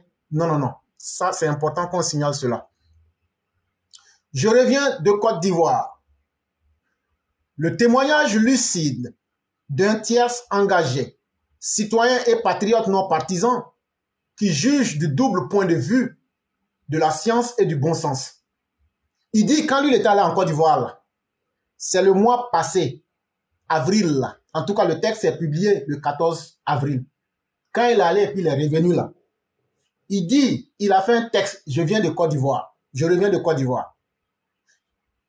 Dans le premier paragraphe, il dit, les témoignages que lui va évoqués là, ce sont des témoignages basés sur la lucidité. Il parle en tant qu'un citoyen lucide, un citoyen qui aime son pays, mais qui n'est pas là pour supporter Alassane Ouattara, mais qui est là plutôt pour baser son jugement sur la science et sur le bon sens. Parce que de formation, lui, il est philosophe. Mais toi et moi, nous ne sommes pas philosophes. Mais toi et moi, on a le bon sens comme lui. Il dit donc là, ce que lui, il a appris qu'il connaît là, c'est sur ça, lui, il va se baser. Et puis le bon sens que Dieu a donné à chacun de nous là, il dit c'est sur ça que lui va se baser pour dire, quand lui, il est en Côte d'Ivoire, ce qu'il a vu là, il va te dire. Donc toi, c'est quand on te demande, il faut bien écouter. Il dit, ni apologie flagorneuse, ni culte turiféraire d'un dénurge au pouvoir surnaturel, mais une interprétation objective fondée sur une approche conceptuelle des transformations d'un pays dans le mouvement de son histoire.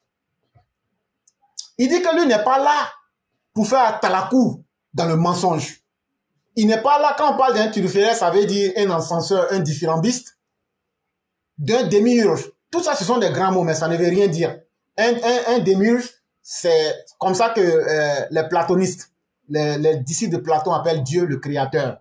Il dit n'est pas quelqu'un qui est là pour faire l'apologie d'un pouvoir surnaturel, mais il est là pour faire une interprétation objective. C'est-à-dire quoi? Ce que j'ai vu, je vais maintenant dire de façon concrète, sans état d'âme, pour dire que le pays où je suis parti, la Côte d'Ivoire, les transformations que j'ai vues là, ce sont des transformations dans le mouvement de son histoire. Ça mérite qu'on en parle les changements que lui a vus là, ce sont des changements qui aident aujourd'hui le pays à aller de l'avant dans son histoire.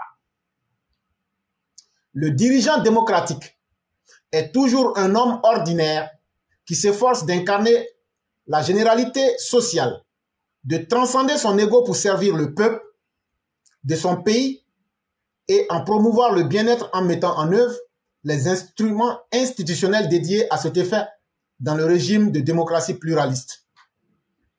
Il dit, lorsqu'on dit qu'on est un dirigeant, lorsqu'on n'a pas été là parce que c'est le Seigneur des armées qui vous a mis là, lorsqu'on n'est pas le faux Dieu en verre terre de Gore qui s'appelle Laurent Gbagbo là, il dit, un vrai dirigeant comme Alassane Ouattara là, c'est un homme ordinaire d'abord. C'est un homme qui a les pieds sur terre. C'est un homme qui sait que lui là, ce n'est pas Dieu qui l'a mis là, ce sont les Ivoiriens qui l'ont mis là. C'est vrai, c'est Dieu qui décide de tout, mais c'est Dieu qui permet que le peuple puisse mettre un homme ordinaire. Il dit donc là, le vrai dirigeant là, quand lui se quand il, quand il sait comment il est venu au pouvoir là, il incarne la généralité sociale. Ça veut dire quoi? Il tient compte de ceux qui l'ont mis là. C'est ce qu'il appelle ici généralité sociale. Et qu'est-ce qu'il fait? Il transcende son ego pour servir son peuple. Ça veut dire lui-même, sa personne là, il va au-delà. Il ne se regarde pas pour dire, comme moi je suis là, là, donc c'est à partir de moi que tout le monde doit se mesurer. Non, lui il tombe en bas, il descend même pour dire, comment les plus pauvres souffrent? Pourquoi ne pas donner? 12 000 francs aux familles les plus pauvres Et donc, il va même plus bas pour essayer de connaître les conditions de ses concitoyens et essayer de leur servir ces, ces, ces personnes-là pour que la promotion du bien-être des uns et des autres soit une effectivité. Et c'est ça aussi, quand on aide les plus démunis, les plus faibles parmi nous, ça redonne confiance, mais ça permet aussi à nos institutions d'être plus fortes. Et c'est ça aussi qui peut aider la démocratie pluraliste, parce que ça permet à chacun de se sentir concerné et de pouvoir apporter ce qu'il peut apporter de meilleur. Il faut se rappeler que lors de sa rencontre avec les Elders en mai 2011, le défi lancé par M. Laurent Gbagbo au nouveau président élu Alassane Ouattara fut que ce dernier réussisse à reconstruire les infrastructures économiques et les équipements publics du pays, le support matériel de toute existence humaine décente dans un État moderne et à restaurer l'ordre civil et politique. Lorsque Laurent Gbagbo quitte le pouvoir en avril 2011, la Côte d'Ivoire était dans quel état? Dans un sale état économique. Pays pauvre très endetté, pays qui vient de sortir de plus de 10 ans de guerre, avec un dirigeant macabre, scabreux, lugubre, loufoque comme Laurent Babon, même les fils de courant, ils ont tout détruit. Et donc, c'était le premier défi d'Alassane Ouattara. Comment faire sortir le pays de ce marasme économique? Comment reconstruire les équipements public du pays? Comment remettre le pays à pied afin de pouvoir restaurer l'ordre civil, mais aussi politique, c'est-à-dire les institutions de l'État, pour que la Côte d'Ivoire ait au moins un visage décent, c'est-à-dire un pays moderne. Mais de façon miraculeuse, tout le monde connaît le résultat. Une décennie après ce défi, l'expert convoquant les arcanes de la science et le citoyen ordinaire lambda, convoquant son sens commun, décernerait à la gouvernance Ouattara un satisfait en ces matières. Il dit donc après pratiquement 10 ans de gestion, c'est-à-dire de 2011 à 2023, il dit pour tous ceux qui sont des experts économiques, des experts politiques, des experts dans n'importe quel domaine, allez leur demander qu'est-ce qu'ils pensent de la Côte d'Ivoire. Je n'ai pas dit les gores, hein. Parce que eux sont experts dans la mauvaise foi. Mais vous pouvez aussi leur demander pour prendre leur parti. Là, comme ça, vous allez comparer. À part les experts en mauvaise foi, demandez tous les autres, tous les autres experts dans n'importe quel domaine comment vous jugez la Côte d'Ivoire aujourd'hui. Ils vous diront vraiment, on est plus que satisfait de la gestion de Ouattara. On laisse les experts, ça c'est difficile. Il dit, tu prends les hommes ordinaires qu'il a appelés ici, les citoyens ordinaires lambda. Ça, c'est nous là, notre groupe là. Ceux qui ne sont pas là à l'école, les plus pauvres là, c'est nous. Il dit, tu nous prends là. Tu mets les experts à côté. Qu'est-ce que vous pensez du 11 avril 2011 jusqu'à aujourd'hui en 2023 là? Gouvernance Ouattara là, qu'est-ce que vous en pensez? Eux là, eux ne connaissent pas, eux n'ont pas d'expertise, n'ont pas de science. Nous, là, c'est notre sens ordinaire, c'est-à-dire notre bon sens là qu'on va utiliser pour dire, ah, vraiment, quand on regarde là, hier là, aujourd'hui est mieux que hier. C'est ça qu'on appelle le bon sens. Parce que dans mon village aujourd'hui, il n'y avait pas maternité depuis 1960, il y a maternité maintenant. Il n'y avait pas route, il y a route maintenant. Il n'y avait pas château, il y a château maintenant. Il n'y avait pas école, il y a école maintenant. Dans la région même là, on est en train de construire une université. Ah, et puis ils ont mis courant aussi. Ça, il faut que je te dise ça aussi. Et puis, voilà. Et puis maintenant, il y a un réseau là-bas aussi au village. Mhm. Donc quand je regarde tout ça en moins de 10 ans, c'est qu'on n'a pas eu de 1960 jusqu'en 2011 là. Alassane Ouattara a fait ça en moins de 10 ans. Donc, moi, le citoyen lambda du village où je me trouve là, vraiment, même si je ne connais pas Kilo là, je sais que ça qui est rempli, mais ça qui est vide là, je connais. Donc là, vraiment, le monsieur, là, il a travaillé. Ce sont là les effets concrets d'une politique décennale de construction nationale et de développement dont le premier acte consista à briser dans les années 1990 le contrôle politique de l'économie, la condition politique initiatrice de la démocratie pluraliste en un pays et à casser l'assujettissement subséquent de la société par l'État. Il dit, mais tout ce que vous voyez là, ce sont les effets concrets d'une politique. Parce que dans les années 90, là, Alassane était où? Il était au contrôle en tant que Premier ministre. Des années 90 jusqu'à 93. Je vous avais dit ici que tous les ponts que vous voyez aujourd'hui, les routes que vous voyez aujourd'hui là, je vous ai bel et bien dit que tout ce que vous voyez aujourd'hui là, selon le plan qu'Alassane Ouattara avait tracé là, en 1998, toutes ces infrastructures devraient être réalisées. C'est la même chose qu'il est en train de dire ici. Il dit donc, pour ceux qui sont surpris, qui sont étonnés là, c'est que vous êtes les enfants de 2000 là, on peut comprendre. Nos parents qui sont pas là à l'école, eux, on peut comprendre. Mais pour nous qui savons les choses là, ce que Ouattara est en train de faire, ça ne nous impressionne pas. Parce qu'il avait déjà travaillé, il avait déjà tous ces plans là. Il dit donc, comment Ouattara a fait pour que tout ça soit possible?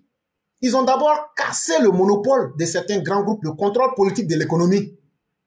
Et ça, je vous ai expliqué certains cas ici où il y avait des barons du PDCI. C'est eux qui étaient assis là. On dit non, les étrangers qui viennent en Côte d'Ivoire pour travailler là, ils avaient des, ils avaient des, caisses noires où les gens payaient de l'argent là-bas. C'est pourquoi les gens n'aiment pas Ouattara. Il est venu la gâter leur mangement.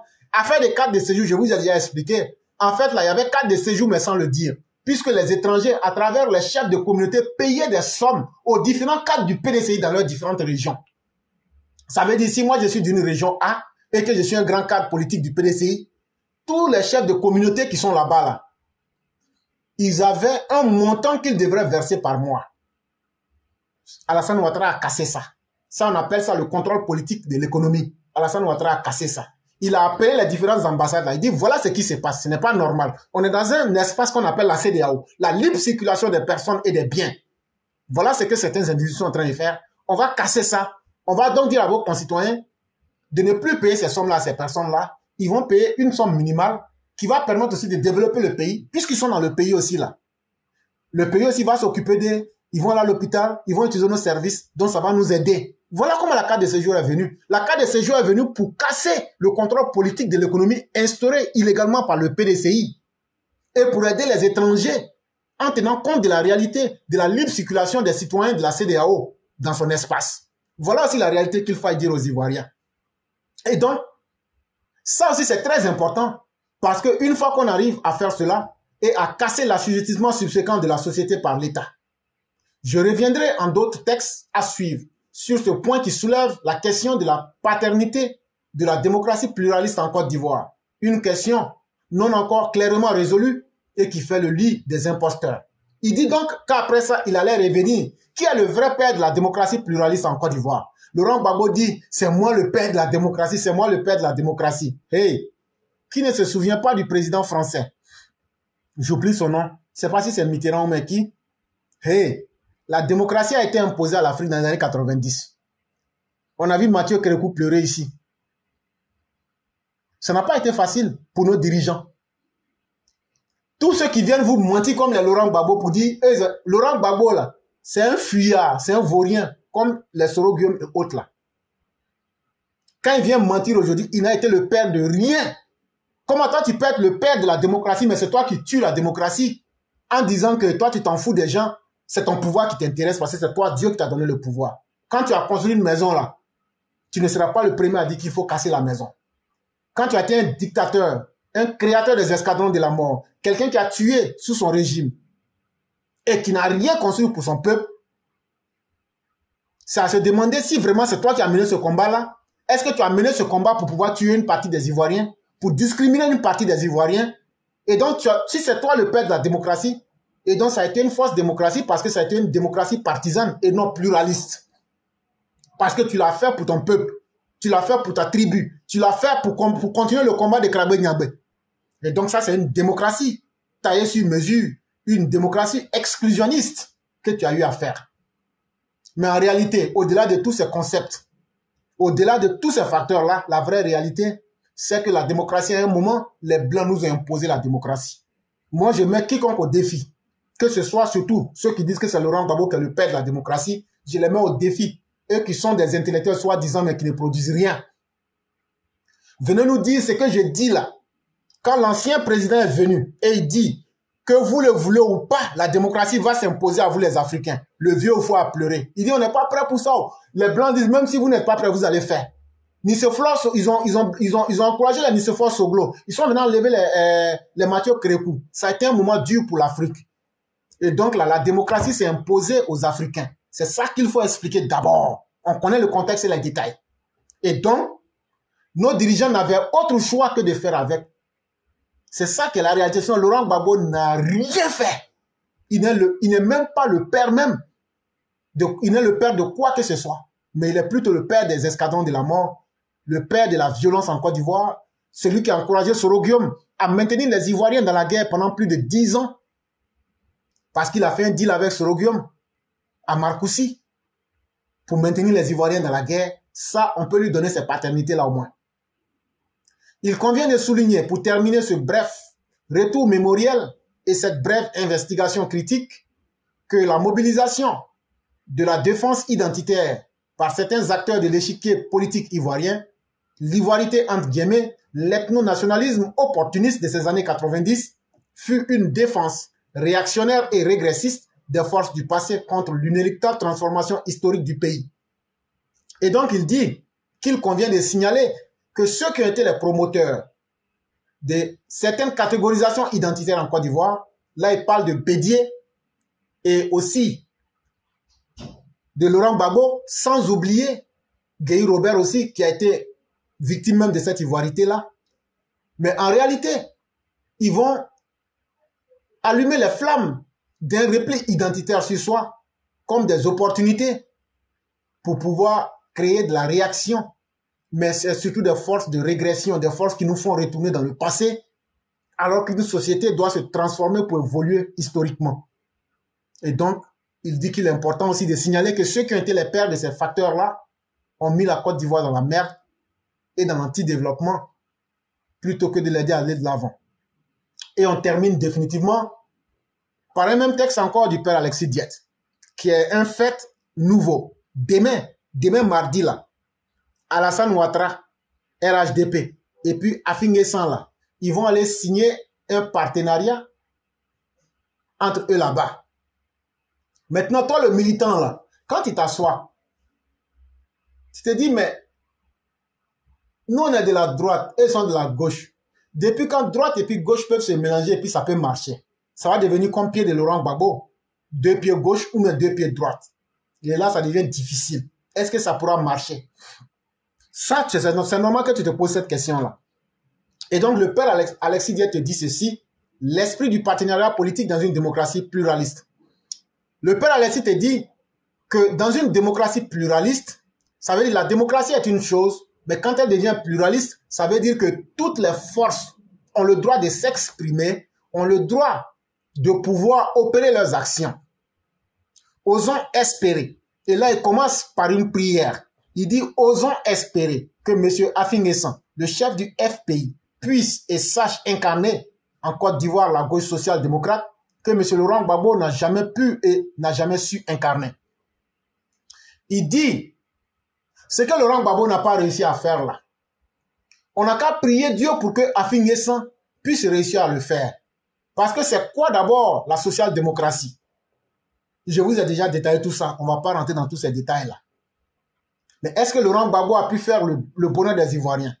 Est-ce qu'il a pu vraiment se mettre au service du social en faisant de la politique en faveur des Ivoiriens? Non.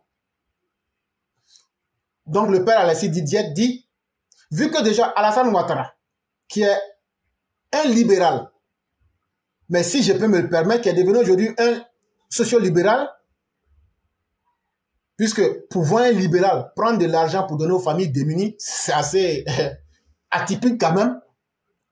Et donc, il a adapté quand même le libéralisme à la réalité de son terrain. Il dit aujourd'hui, là, on peut espérer que si Afin est doté de bonne volonté et qu'il veut apprendre là, il va se rapprocher d'Alassane Ouattara pour se corriger et surtout pour démontrer à Laurent Gbagbo que là où tu n'as pas réussi là, moi à Fingessan là, je vais réussir là-bas. Parce que toi, Laurent Gbagbo, tu n'as jamais pu incarner cette social-démocratie et tu ne peux pas aussi l'incarner parce que tu n'as pas le savoir qui va avec. Si Afi est malin là, à travers cette alliance-là, c'est ce qu'il va enseigner à Gbagbo. C'est la condition que son partenariat avec le RHDP, libéral centriste, aura un sens autre que étroitement électoraliste. Il dit, c'est l'avantage que pourra tirer Afingessan si, dans ce partenariat-là, Afi va au-delà du fait qu'il veut simplement se faire élire. Si Afi va au-delà, là, voilà les bénéfices qu'il va gagner dedans.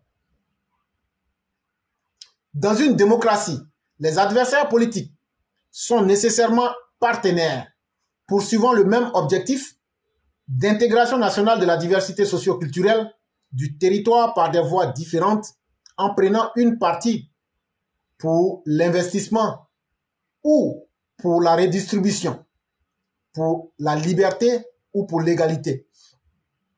Il dit en réalité, le but de la politique là, que quelqu'un vous dise je suis social-démocrate, je suis socialiste, je suis républicain, je suis libéral, il dit en réalité là, à la fin de la journée là, vous n'êtes pas des ennemis, puisque tous les politiciens ou même toutes les stratégies politiques viennent à deux choses.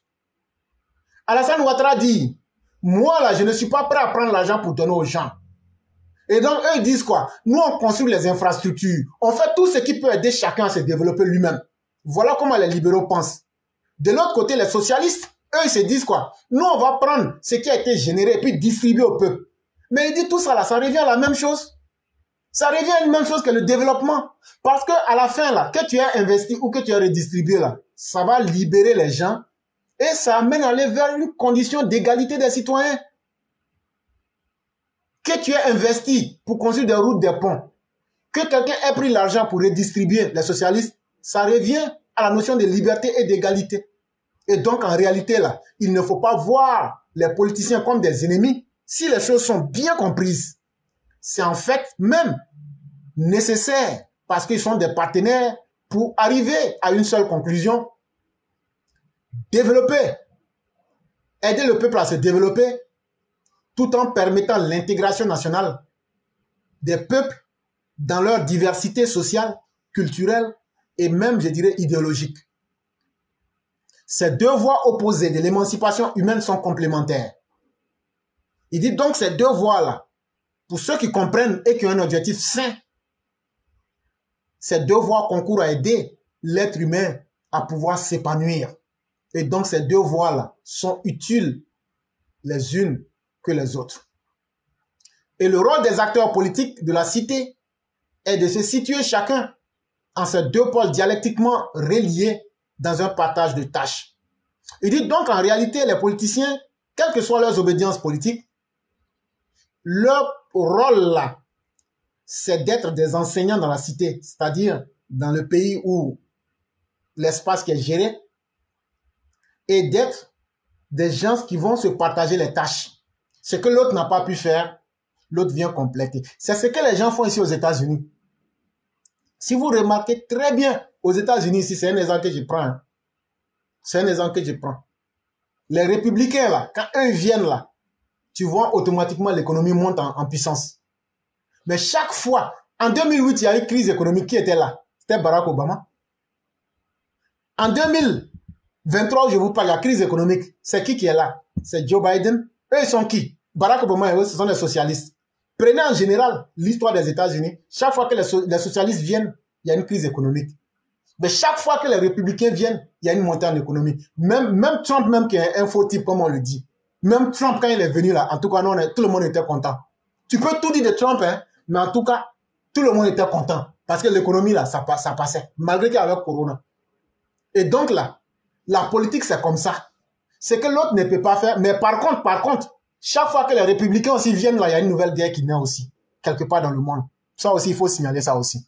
Voilà. Et donc, tu vois que ce sont aussi les socialistes qui viennent mettre aussi fin qu'on appelle ici les démocratiques, les démocrates, c'est eux aussi qui viennent mettre fin à ces guerres-là. Parce qu'en réalité, chers parents, il faut qu'on vous dise une vérité. Si les politiciens règlent tous les problèmes du monde, eux-mêmes, ils n'auront plus de raison d'être là. Ça, ne dites pas à quelqu'un, ça, c'est un secret de famille entre nous. Et donc, là, le monde, là, ceux qui gèrent, là, ils font toujours, ils donnent toujours des raisons pour qu'ils soient là. Ça aussi, c'est comme ça que ce monde-là fonctionne. Et donc, ils sont dans un esprit de partenariat. Et donc, si la même chose doit se faire en Côte d'Ivoire, entre l'opposition et le gouvernement, ça sera aussi une bonne chose. Mais vous allez me dire, mais tu as dit que Poafil en a vu déjà son, son avantage, mais pour le gouvernement. C'est là que je vais vous dire aussi la vérité. Et là, je vous convoque maintenant Sun Tzu, l'art de la guerre. Pour gagner une guerre, là, tant que tu peux multiplier ceux qui peuvent s'ajouter à toi, même si tu dois perdre la guerre, là, les plus faibles qui s'ajoutent à toi, là, c'est eux que tu livres en premier pour garder tes troupes. C'est que le RHDP gagne. C'est que le fait qu'on aura peut-être affirmé, même s'il est faible politiquement, ce sera au moins un allié qu'on peut utiliser médiatiquement ou bien même diplomatiquement. Parce que ça sera tout le monde contre vous. Et donc, il est aussi mieux que vous essayez de capter aussi d'autres pour dire non, non, non, on n'était pas aussi seul. Hein. Il y avait tel, tel, tel, tel, tel, tel qui était là aussi. Parce que le plan que le FPI est en train de faire avec euh, Bédier là, en réalité, il n'y a que deux partis. Le FPI de Laurent Gbagbo et les Daocroniens du PDCI. C'est deux partis, il n'y a rien d'autre après. Tout ce que tu vois après, COGEP, MGC, euh, GPS, euh, Daocro Frélaté, Daocro 1, 2, 3, 4, tout ça là, quand ils mettent sur papier, tu dis, tiens, ils sont beaucoup. 40 personnes contre toi sur le. Donc, en réalité, ils sont dans un jeu pour tromper les gens. Demain, là, quand ils vont créer les troupes que je vous ai déjà, j'ai déjà eu à vous dire là, ils vont dire devant tout le monde, mais regardez, comment lui seul avec son RHDP là, comment lui seul il peut dire qu'il peut gagner une élection quand il y a 40 autres partis qui sont là? Et donc, pour le RHDP là, c'est mieux de chercher aussi des partenaires pour dire non, non, non, on n'est pas seul. Regardez, quand vous entendez RHDP là, Mabri là, lui c'est IDPCI. Euh, là, c'est une partie des opposants là. Les Patrick cachés là, c'est une partie des PDCI. En fait, là, tout ce groupe que vous voyez là, nous aussi, on a les mêmes qui sont représentés parmi nous ici. Donc, ce qu'ils vous disent là, c'est du flactus voxis. C'est de la flagonnerie, c'est du mensonge, c'est de la manipulation de bas étage. Et ça, c'est un avantage que le RHDP peut tirer, en tout cas pour ce moment. Et donc, on continue. En poursuivant, en conscience cet objectif commun de la cité, les adversaires politiques ne sauraient se définir comme des ennemis s'affrontant dans une guerre d'anéantissement sans compromis possible. Et donc, il dit qu'en politique, en réalité, une fois qu'on a compris qu'on peut créer le partenariat, la complémentarité, on devient donc les uns utiles aux autres, de sorte que l'adversité ou bien l'opposition ne se définit plus comme étant des ennemis qui doivent s'affronter pour s'anéantir. Et vous savez que le père Alexis Diet, euh, quand il parle ici de l'anéantissement, comme quoi pour faire disparaître une partie. Si Alassane Ouattara même l'a fait disparaître tous les partis, il devient automatiquement un autocrate. Il devient potentat, un dictateur. Ça ne lui fera pas gloire. Comme aussi Laurent Gbagbo a essayé, il va faire disparaître tous les gens du RDR, n'a pas pu. Il a fait chaner jusqu'à fatiguer. Mais malgré ça, il n'a pas réussi. Et donc, ce qu'il faut là, ce n'est pas l'anéantissement sans le compromis pour dire, voilà ce que moi j'ai dit, tu es là et puis après on va voir si on peut décider et puis donner quelques miettes aux, aux, Mais tu as essayé, on a, on a, on a coupé ta queue. Laurent Gbagbo, on a coupé ta queue comme les sénoufos font là. Quand il tue les cynocéphales là, il coupe, il, et puis il casse la queue en deux là. Et puis il attache ça et puis il met ça au cou du singe là. C'est comme ça on t'a fait. Quand les là vont tuer les, singes là, c'est euh, leurs queues sont longues. Donc il, il casse, il casse la queue du, singe là en deux et puis la tâche, il fait un nœud, et puis maintenant, il met la tête du singe là dans, euh, dans la queue là, et puis maintenant, il accroche ça sur son dos là. C'est ce qu'on t'a fait. Où tu criais, ne me tuez pas, ne me tuez pas là. C'est comme ça qu'on t'a fait. Parce que la violence là, toi qui commences la violence, tu crois à la violence là, faut te dire aussi que chacun a une capacité de violence. Et donc, vous qui rêvez que le 6 va devenir 9 là, dès que vous allez tracer 6 là, nous on va faire en même temps 7, 8, 9 pour vous donner. Ça, on préfère vous dire ça en même temps. Et on sait de quoi on est capable. Et on sait sur quoi on vous attend aussi. Et donc là, que vous soyez d'obédience politique différente là, ce n'est pas en anéantissant l'autre que tu deviens plus fort. Parce que chez l'autre aussi, il y a du bon. Chez l'autre aussi, il y a du mauvais. Mais c'est en sachant prendre ce qui est positif chez l'autre, comme chez toi, là, qu'on peut évoluer. Et donc par complémentarité. La politique démocratique est par définition antinomique à la guerre. Il dit donc si on fait une politique en se basant sur les fondements de la démocratie, si on fait une vraie démocratie, cela nous oppose à toute idée de guerre. On ne peut pas être dans une vraie démocratie et puis faire la guerre. Il dit ça ne passe même pas. C'est une confrontation d'arguments. Il dit dans une vraie démocratie là, éclaireur dit quelque chose. Vous sortez pour dire voilà les limites de ce que l'éclaireur a dit.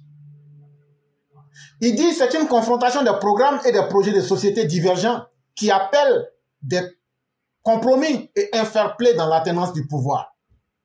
Il dit lorsqu'on confronte les arguments à travers les débats, lorsque chaque parti politique envoie son programme, c'est que le PDCI, c'est que le FPI est incapable de faire, on en arrive donc, les populations même s'asseyent et puis elles regardent vraiment, c'est pour lui là qui est bon.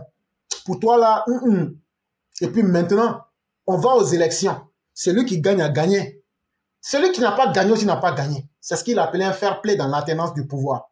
Moi, je n'ai pas gagné l'élection. Moi, je sais que toi, Laurent Gbagbo, tu n'as pas gagné l'élection. Mais toi, parce que tu veux faire la guerre, tu veux être violent, tu veux t'imposer à moi, je coupe ta queue. Vous dites de ne pas utiliser le mot là, mais je vais utiliser ça mille fois. On va couper vos queues.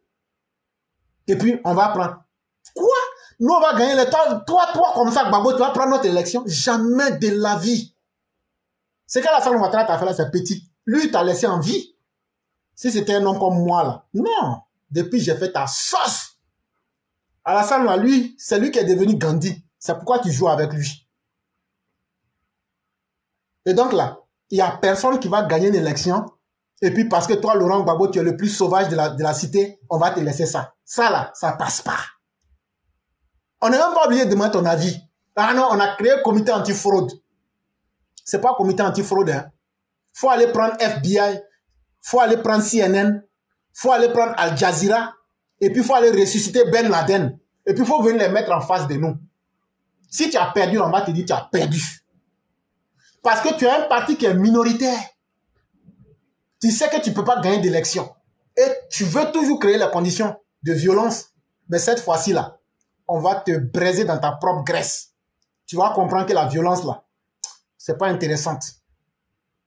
Inspiré probablement de la démocratie du Front populaire et du Front républicain, du socialiste français Léon Blum, qui fut un front de lutte politique sociale pour la défense des intérêts et des droits des classes populaires en France, le Front populaire ivoirien n'avait pas vocation à être un front de guerre de libération contre des ennemis intérieurs à anéantir et des classes sociales à exclure dans la logique d'homogénéisation des communautés et de la cité. Il dit donc, lorsqu'on prend l'exemple, le Front populaire républicain du socialisme en France, qui était dirigé par Léon Blum là, eux quand ils étaient là-bas, allez dans les livres, vous allez voir, ils ont lutté pour les Français. Ils ont lutté pour les classes populaires, les masses, pour qu'on aille vers une certaine justice sociale. Il dit, si le Front populaire ivoirien se comportait comme le parti du Front populaire républicain socialiste de Laurent Blum, le Front populaire ivoirien là, ne devrait pas être un front de guerre de libération. Parce que pour Laurent Gbagbo, là, lui, dans sa tête, là, lui, se voit trop guerrier. Hein. Laurent Gbagbo même pense que lui, il est, il est, il est sur position avancée. Ceux qui sont dans là, ceux qui ont fait les fronts, là, ils savent de quoi je parle. Quand on dit que tu es position avancée, là, toi-même, tu sais que tu n'as pas de temps. Laurent Gbagbo, lui, pense qu'il est sur un front de guerre. Ça veut dire, pour lui, politique, là. Lui, il est sur, sur ligne de front, position avancée, il est toujours là, c'est sa calage qu'il a. Et puis maintenant, il est prêt à dégainer et puis à gâter le coin. Et donc, qu'est-ce qu'il faut? Il faut que lui, il ait toujours des ennemis en face de lui. Les ennemis, c'est ceux qui sont venus voler vos terres. Les ennemis, c'est ceux qui ont vendu Abidjan. Quand je vais revenir, moi, je vais, je vais prendre Abidjan pour vous remettre à vous les ébrier. Ah non, non, vous les gens de l'Ouest, là, ce sont... En réalité, ils ne parlent pas des Maliens, des Guinéens. Ils parlent des gens du nord de la Côte d'Ivoire. Il y a quoi dans la vérité Non, on ne va pas vous dire. Parce que eux là, eux ne veulent même pas qu'on dise que les gens du nord de la Côte d'Ivoire sont des Ivoiriens. Donc ils tournent, tournent là. Tellement il n'est pas courageux là. Il dit pas que vous les gens du nord, vous n'êtes pas Ivoiriens. C'est ce qu'il était en train de dire comme ça. Sinon, c'est pas les Burkinabés et autres. C'est vous les gens du nord là, c'est de vous il parle. Parce qu'il faut que lui là, il ait un ennemi sur qui il va tirer. Parce que lui, il est sur position avancée. Et donc là, C'est lui qui a toujours des ennemis à l'intérieur comme à l'extérieur. Mais tout ça dans une logique de catégoriser la population par communauté afin de pouvoir les opposer les unes aux autres. Voilà la seule politique de Laurent Gbagbo. Comment mettre les différentes communautés en face? Et lui, il devient maintenant le courtier. Il ment aux gens comme euh, l'autre, comment il s'appelle déjà là? J'oublie son nom. Casanova, voilà. Comme Casanova qui avait menti à une vieille aristocrate en lui disant qu'il peut la faire renaître à nouveau à condition qu'elle lègue ses biens parce qu'elle va renaître dans un nouveau corps d'enfant. Donc, comme un enfant ne peut jamais décider des richesses, il faut que la vieille dame-là signe pour léguer ses biens à quelqu'un. Et c'est quelqu'un dont il parle là, c'est lui-même. Hein. Et puis maintenant, comme elle va renaître dans un nouveau corps d'enfant, lui va gérer les biens jusqu'à ce qu'elle ait 21 ans pour que lui puisse transférer les biens là. La vieille même dit, mais toi-même aussi, tu m'en C'est que j'ai vu, c'est une histoire réelle. Hein. Et donc, c'est comme ça que Laurent Gbagbo est. Il va dire à une communauté là-bas, là, vous, vous, voyez, non? Les gens du Nord, là, ils veulent vous tuer. Hein? Les gens du Nord veulent tuer les gens de l'Ouest, mais ils ne veulent pas tuer les bêtés. Ah, Laurent Les gens du Nord, là, veulent tuer les guerriers, les Wobé. Mais les gens du Nord ne veulent pas tuer les bêtés de maman. Et puis toi, guerrier, Wobé, toi, tu crois à ça. Et tu te lèves là, Laurent Gbagbo prend à midi, bon, allez lutter contre eux. Quand vous allez les vaincre là, moi maintenant là, je vais venir maintenant pour faire votre salut. quand tu allais les combattre là, qu'est-ce qui s'est passé? Ce qui est dedans là, tu connais. Alors qu'il n'a pas dit au BT d'aller combattre. De la même manière que Casanova avait voulu blaguer la vieille dame, la vieille aristocrate, pour, pour voler son argent. Mais comme il sait qu'il ne peut pas lui dire, je vais voler ton argent. Là. Laurent Gbagbo vient vers vous pour voler vos vies, mais il permet à ses parents BT de vivre. Continuez à lui vendre vos vies. Osons espérer que M. Pascal Afinguesson saura et pourra redorer le blason sali de la gauche ivoirienne afin d'incarner en Côte d'Ivoire une opposition crédible.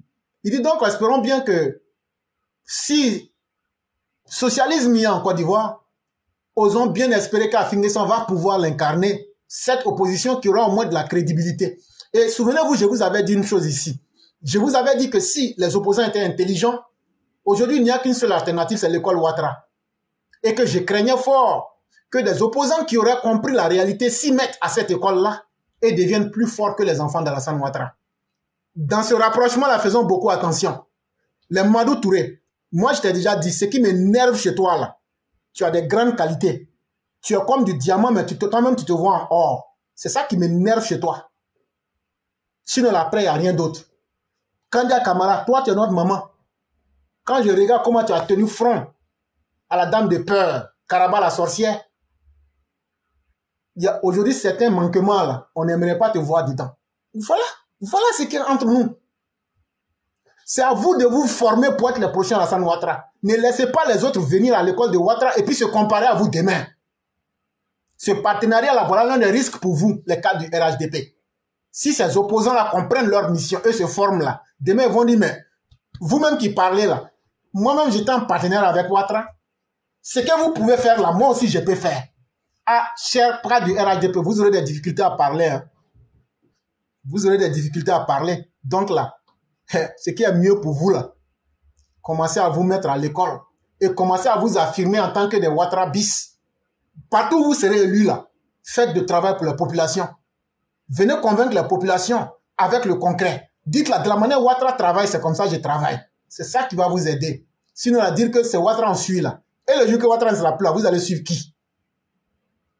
Et donc là, il est temps que vous suiviez vous-même votre chemin. Je l'ai dit ici, la plus grande fierté de Ouattara, ce sera quand il aura vu 3, 4, 5, 6 Ouattara et que lui-même peut se dire maintenant je peux me reposer. Parce qu'en réalité, le vieux on l'aime beaucoup, on veut qu'il reste, mais on est en train d'abuser de, de lui aussi. On est en train d'abuser de lui aussi. Ça, n'oublions pas ce facteur-là aussi. C'est vraiment important. Et donc, comme la parole n'est pas intéressante dans une seule bouche, on va s'arrêter là. Il y a beaucoup de choses qu'on a eu à dire. On espère que ça aura été utile pour les uns et les autres. On va d'abord passer à Mère Blanc. Et lorsque Mère Blanc aura fini, je ne sais pas si le roi veut avoir un débat en direct avec moi Mais en tout cas, moi, je suis prêt aujourd'hui. Et je vous le dis, le faux roi des Sénoufos aura un débat avec moi aujourd'hui. Et je vais lui démontrer pourquoi Zulu est le vrai roi et l'unique roi. Mais en temps, on va d'abord prendre Mère Blanc qui va nous surprendre et nous éblouir. Et donc, on va écouter Mère Blanc et après, on va prendre le roi du printemps.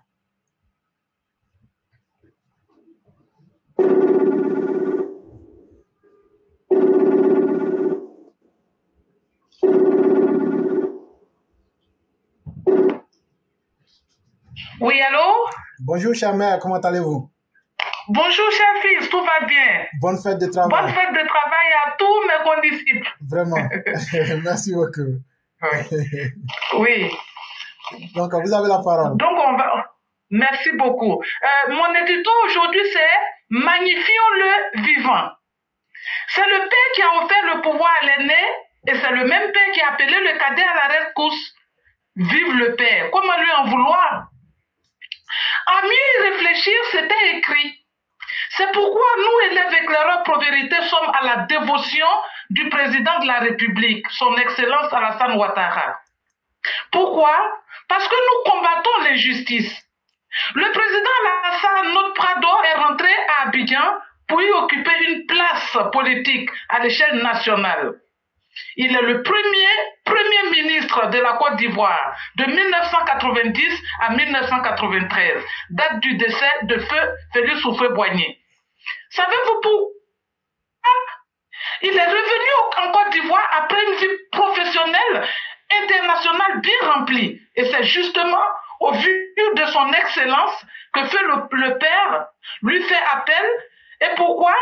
Pour élever une économie exsangue une économie sous perfusion, une économie à l'agonie. Où étaient donc tous les grands économistes, euh, économistes ivoiriens, dont Henri Conan Bédier? C'est que d'avoir fait appel aux fonctionnaires internationaux à la, à la rescousse constituera un désaveu cinglant qu'Oufoué inflige aux économistes théoriciens. Une fois le décès du père acté, les rangs se resserrent pour former un étau en vue de l'évincer. Tous les moyens sont bons. C'est la chasse aux sorcières. Pour le dissuader de rester en Côte d'Ivoire, de guerre lasse, Alassane Draman Ouattara cède à leur désir en rentrant en France. Il va affûter ses armes en vue d'un retour triomphal. Et c'est ce que les anciens tenants du pouvoir n'ont pas réussi à faire. Nous, EPV, vous l'avions dit, quand un homme, un vrai, comme Alassane Draman Ouattara, se trouve être confronté à des adversités de toutes sortes, il recule pour mieux sauter. Cela, Alassane l'a réussi. Et depuis lors, il ne cesse de faire des bons magnifiques. Il fait un bond à gauche, un hôpital pousse. Il fait un bond à droite, une route apparaît.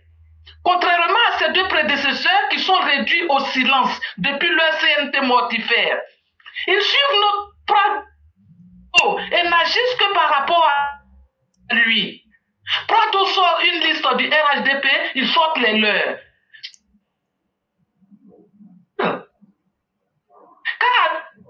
À l'époque, ils, ont été présidents que par erreur à soit dit, c'était de Bédier et de Bagbo, deux individus rois de l'improvisation, deux apprentis baka de la politique ivoirienne, n'ayant aucun talent, ni économique, ni politique, ils ruminent leur vengeance contre les hommes. Chers Ivoiriens, ne vous trompez pas. Ils sont dans leur logique de la violence. Et leurs assassins sont sur le terrain.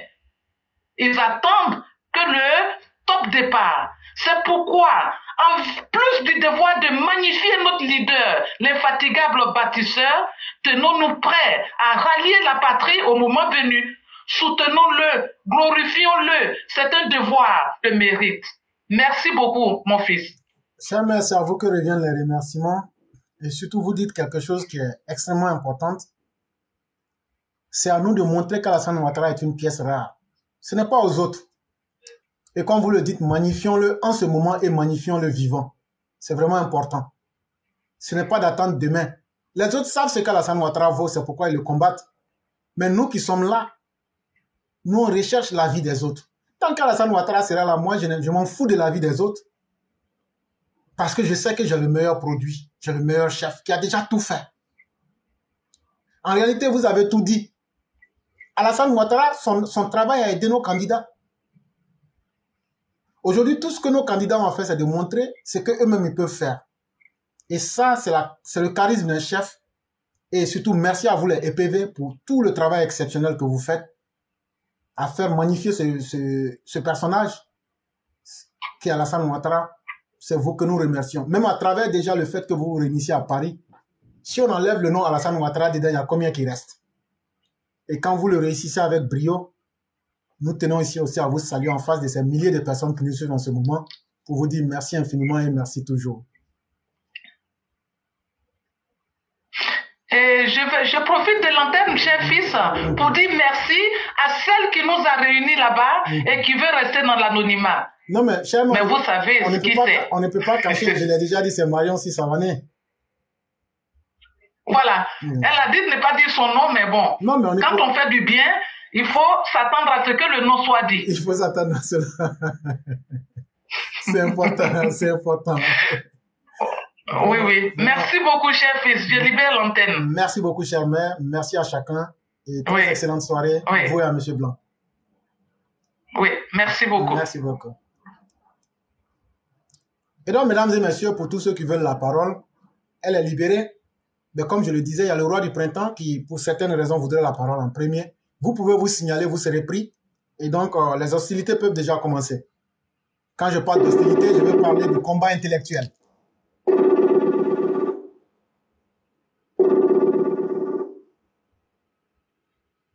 Allô? Allô? Allô? Oui, bonsoir le roi du printemps.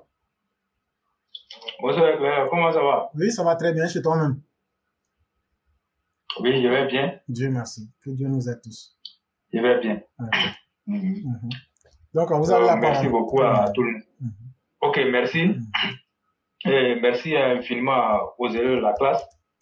Et je m'ajoute à, à Mère Blanc et vous pour dire sincèrement du fond du cœur merci beaucoup à Marianne Savané. Mhm.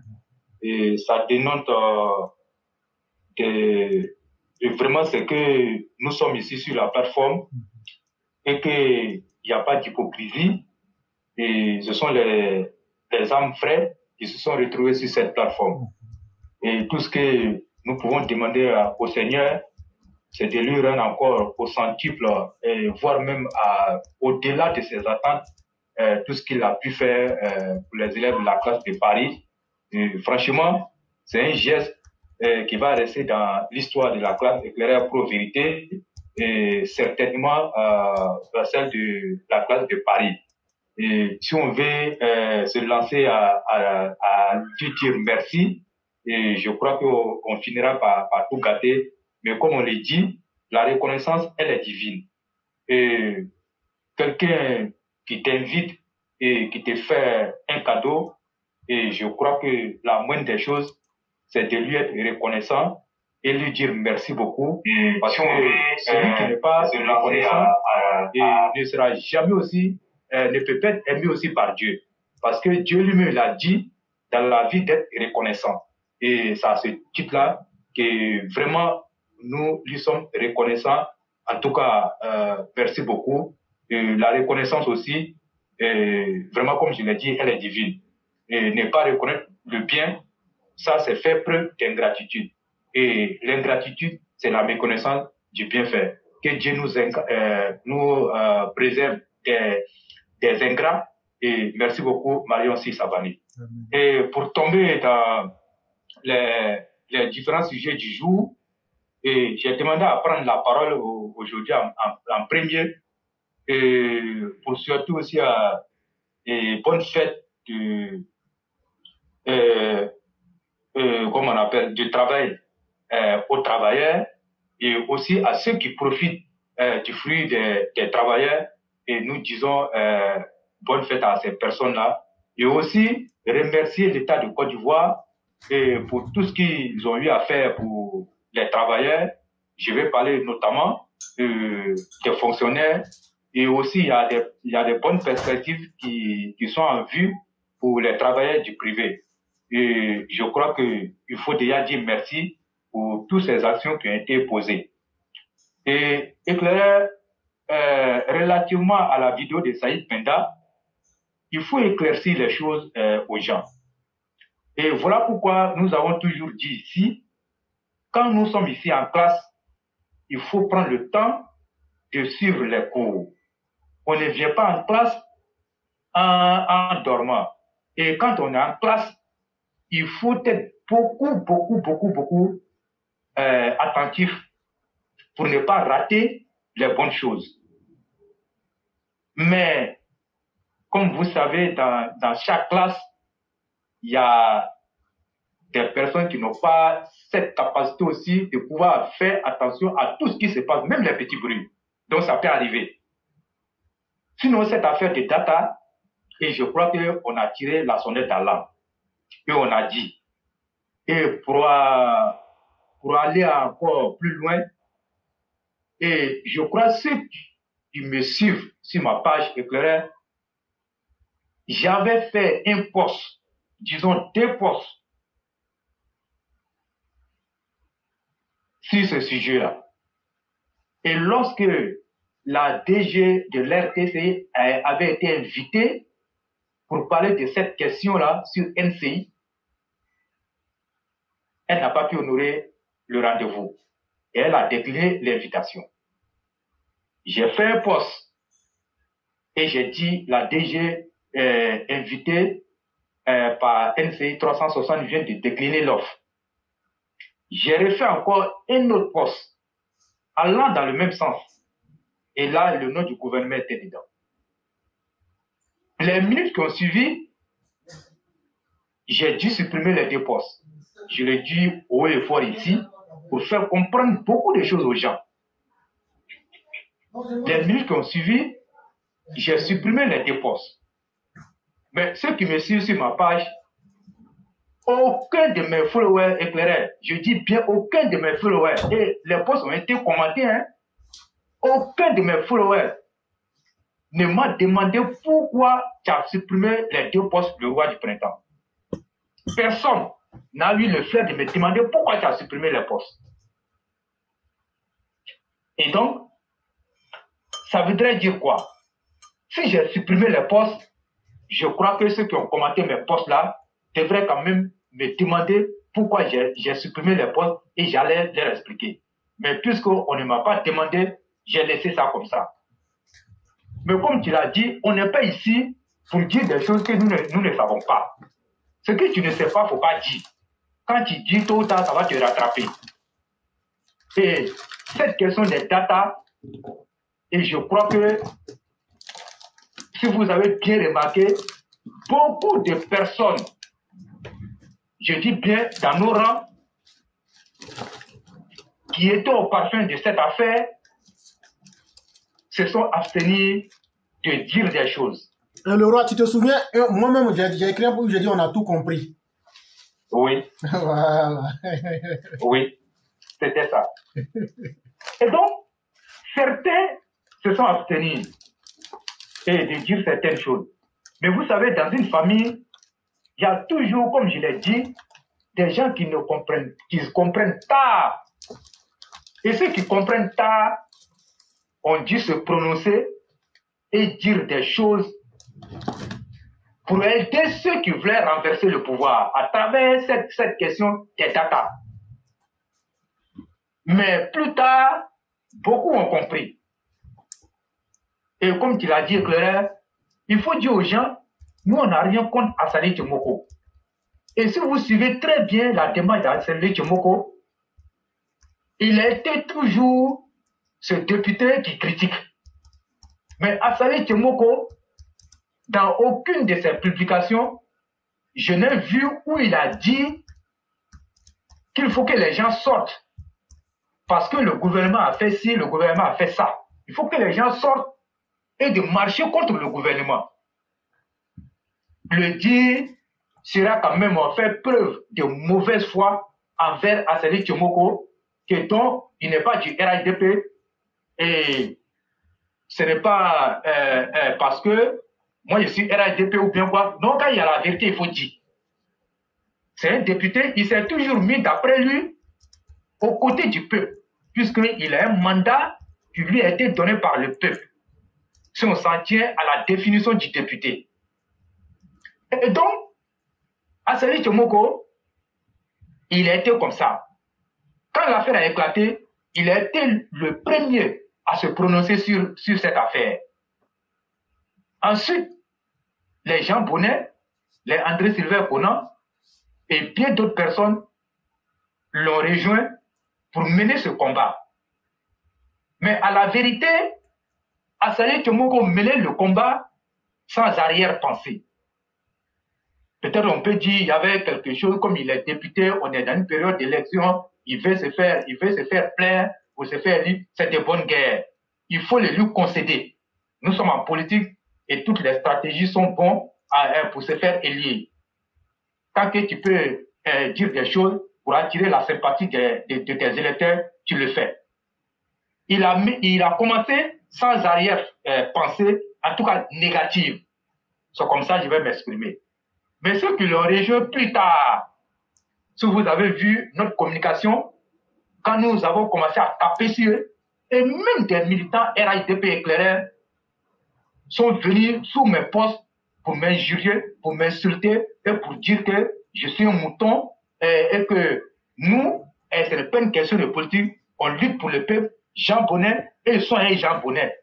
J'ai certains militants du RIDP éclairé, je pèse bien mes mots. Ils sont avec les André Sylvain Conan, que moi, ils s'en foutent de moi. Moi, je suis un mouton bête, je suis un mouton qui ne réfléchit pas. On m'a dit ça. J'ai dit, il n'y a pas de problème. Mais vous savez, éclairer, il faut dire aux gens que nous sommes en politique. Mais tout ce qu'on fait est sans. Et la politique, quand on est sur le terrain politique, ça ne pardonne pas. Ça ne pardonne pas. Mais pourquoi ils se sont accaparés de ce mouvement-là pour en faire un instrument politique afin de pouvoir euh, atteindre leur objectif C'est parce qu'ils savent à un moment donné qu'avec ce pouvoir-là, finit les coups d'État. Qu'est-ce qu'il faut faire? Il faut passer par deux stratégies. Lesquelles stratégies qui, quand vous regardez un peu la question d'Internet qui est devenue un élément vital, on sait que tout le monde, même ceux qui ne sont pas allés à l'école, utilisent l'Internet par le WhatsApp. Quand tu envoies un vocal à quelqu'un, c'est par l'Internet. Et donc, il faut toucher ces, points-là pour pouvoir soulever la population contre le gouvernement du président Hassan Ouattara.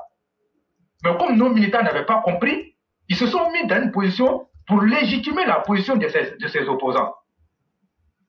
Mais nous, qui étions au parfait de la chose, nous, notre rôle, c'était de dire que non, ce, n'est pas ça. Le combat, il est, il est notre, si on s'en tient, euh, comme on appelle, à la position d'Assali Tchomoko. Mais les autres sont venus pour récupérer ça et faire chanter le gouvernement. Et puis Céline Galé aussi était dedans. Comme Saïd Penda a, éclaté l'affaire, on va parler. Donc, vous avez vu un peu. Aujourd'hui, si euh, on, veut, on, veut parler, mais ces militants qui étaient en train de, de comment on appelle, de défendre on euh, euh, comment on appelle, Jean Bonnet. Mais qu'est-ce qu'ils vont dire? Et je l'ai toujours dit, tout ce qui touche au pouvoir du président Hassan Ouattara, en tout cas, moi, je serai là pour défendre ce pouvoir-là. Et on ne va jamais accepter, pour quelque raison que ce soit, que, que notre lutte-là, ce pouvoir que nous avons acquis de haute lutte, que des gens viennent, en tout cas, perturber ce pouvoir-là, essayer de déstabiliser ce pouvoir, et ça, on ne va jamais accepter ça. Ce que vous voulez aider aujourd'hui à déstabiliser à travers, euh, comme on appelle, euh, euh, l'Internet. Mais quand ils étaient au pouvoir, qu'est-ce qu'ils ont pu faire? Qu'est-ce qu'ils ont apporté de positif à la Côte d'Ivoire? Qu'est-ce qu'ils ont pu faire? Ils n'ont rien fait. Et moi, je ne peux pas soutenir ça. Je ne soutiendrai jamais ça. Jean Bonnet qui a créé, euh, comme on appelle, un mouvement qu'il a appelé Fier. Depuis combien d'années, depuis combien de temps il a créé euh, son mouvement Et les Ivoiriens ne savent même pas qu'il a créé un mouvement. Il veut profiter de cette situation, se faire un nom, et il va chercher des avocats français, plus des avocats euh, ivoiriens, pour dire qu'ils vont poser plainte, je ne sais même pas, contre les différentes téléphonies de, euh, mobiles ou bien, je ne sais même pas. Mais pourquoi Jean Bonnet court tant dans, tous les sens? Mais quel objectif Jean Bonnet veut atteindre? Je crois que tu as, expliqué. Donc, à un moment donné, la communication que nous faisons, il faut que les gens fassent attention à la communication que, que, que, nous faisons sur, sur la toile des opposants aujourd'hui qu'on sait très nuisibles à la Côte d'Ivoire, qui ne veulent même pas le développement du pays et qui pensent que les intérêts de la Côte d'Ivoire doivent tourner autour de leurs intérêts personnels. Mais nous disons non. Et nous, on a dit éclaireur. Et, ça, ça, et, cette question de bleu goudé, moi je passe sous le contrôle de tous les FPV ici. Mais est-ce que ça ne nous a pas mis en confrontation avec euh, l'Adi Moi, j'ai dit, et je vais citer le nom. Est-ce que ça ne nous a pas mis en confrontation avec l'Adi et même euh, euh, d'autres personnes? Mais est-ce que nous avions eu tort? Quand on a dit, est-ce que nous avions eu tort parce que nous, on avait les preuves? Mais quand on regarde l'attitude de Blégoudé, pour, ceux qui connaissent très bien les points macabres et ce que Bleu était dans ce pays, mais ne peut pas venir nous dire subitement que ce même Bleu a changé. Au nom de quoi? Il a changé comment? Il faut qu'on nous explique clairement et on nous donne l'exemple qu'il a posé qui peut permettre à quelqu'un de savoir qu'il a changé. Ce n'est pas ces quelques actes-là. Et vous savez, et je vais même dire aux gens éclaireurs, quand Bleu quittait la haie, quand il a été acquitté, il n'a qu'à prendre son premier discours où il a rassemblé les gens. C'est parce qu'il a été freiné dans son élan qu'il est venu se rabaisser avec des paroles douces. Sinon, tel qu'il rentrait au pays, c'était un air de vengeance.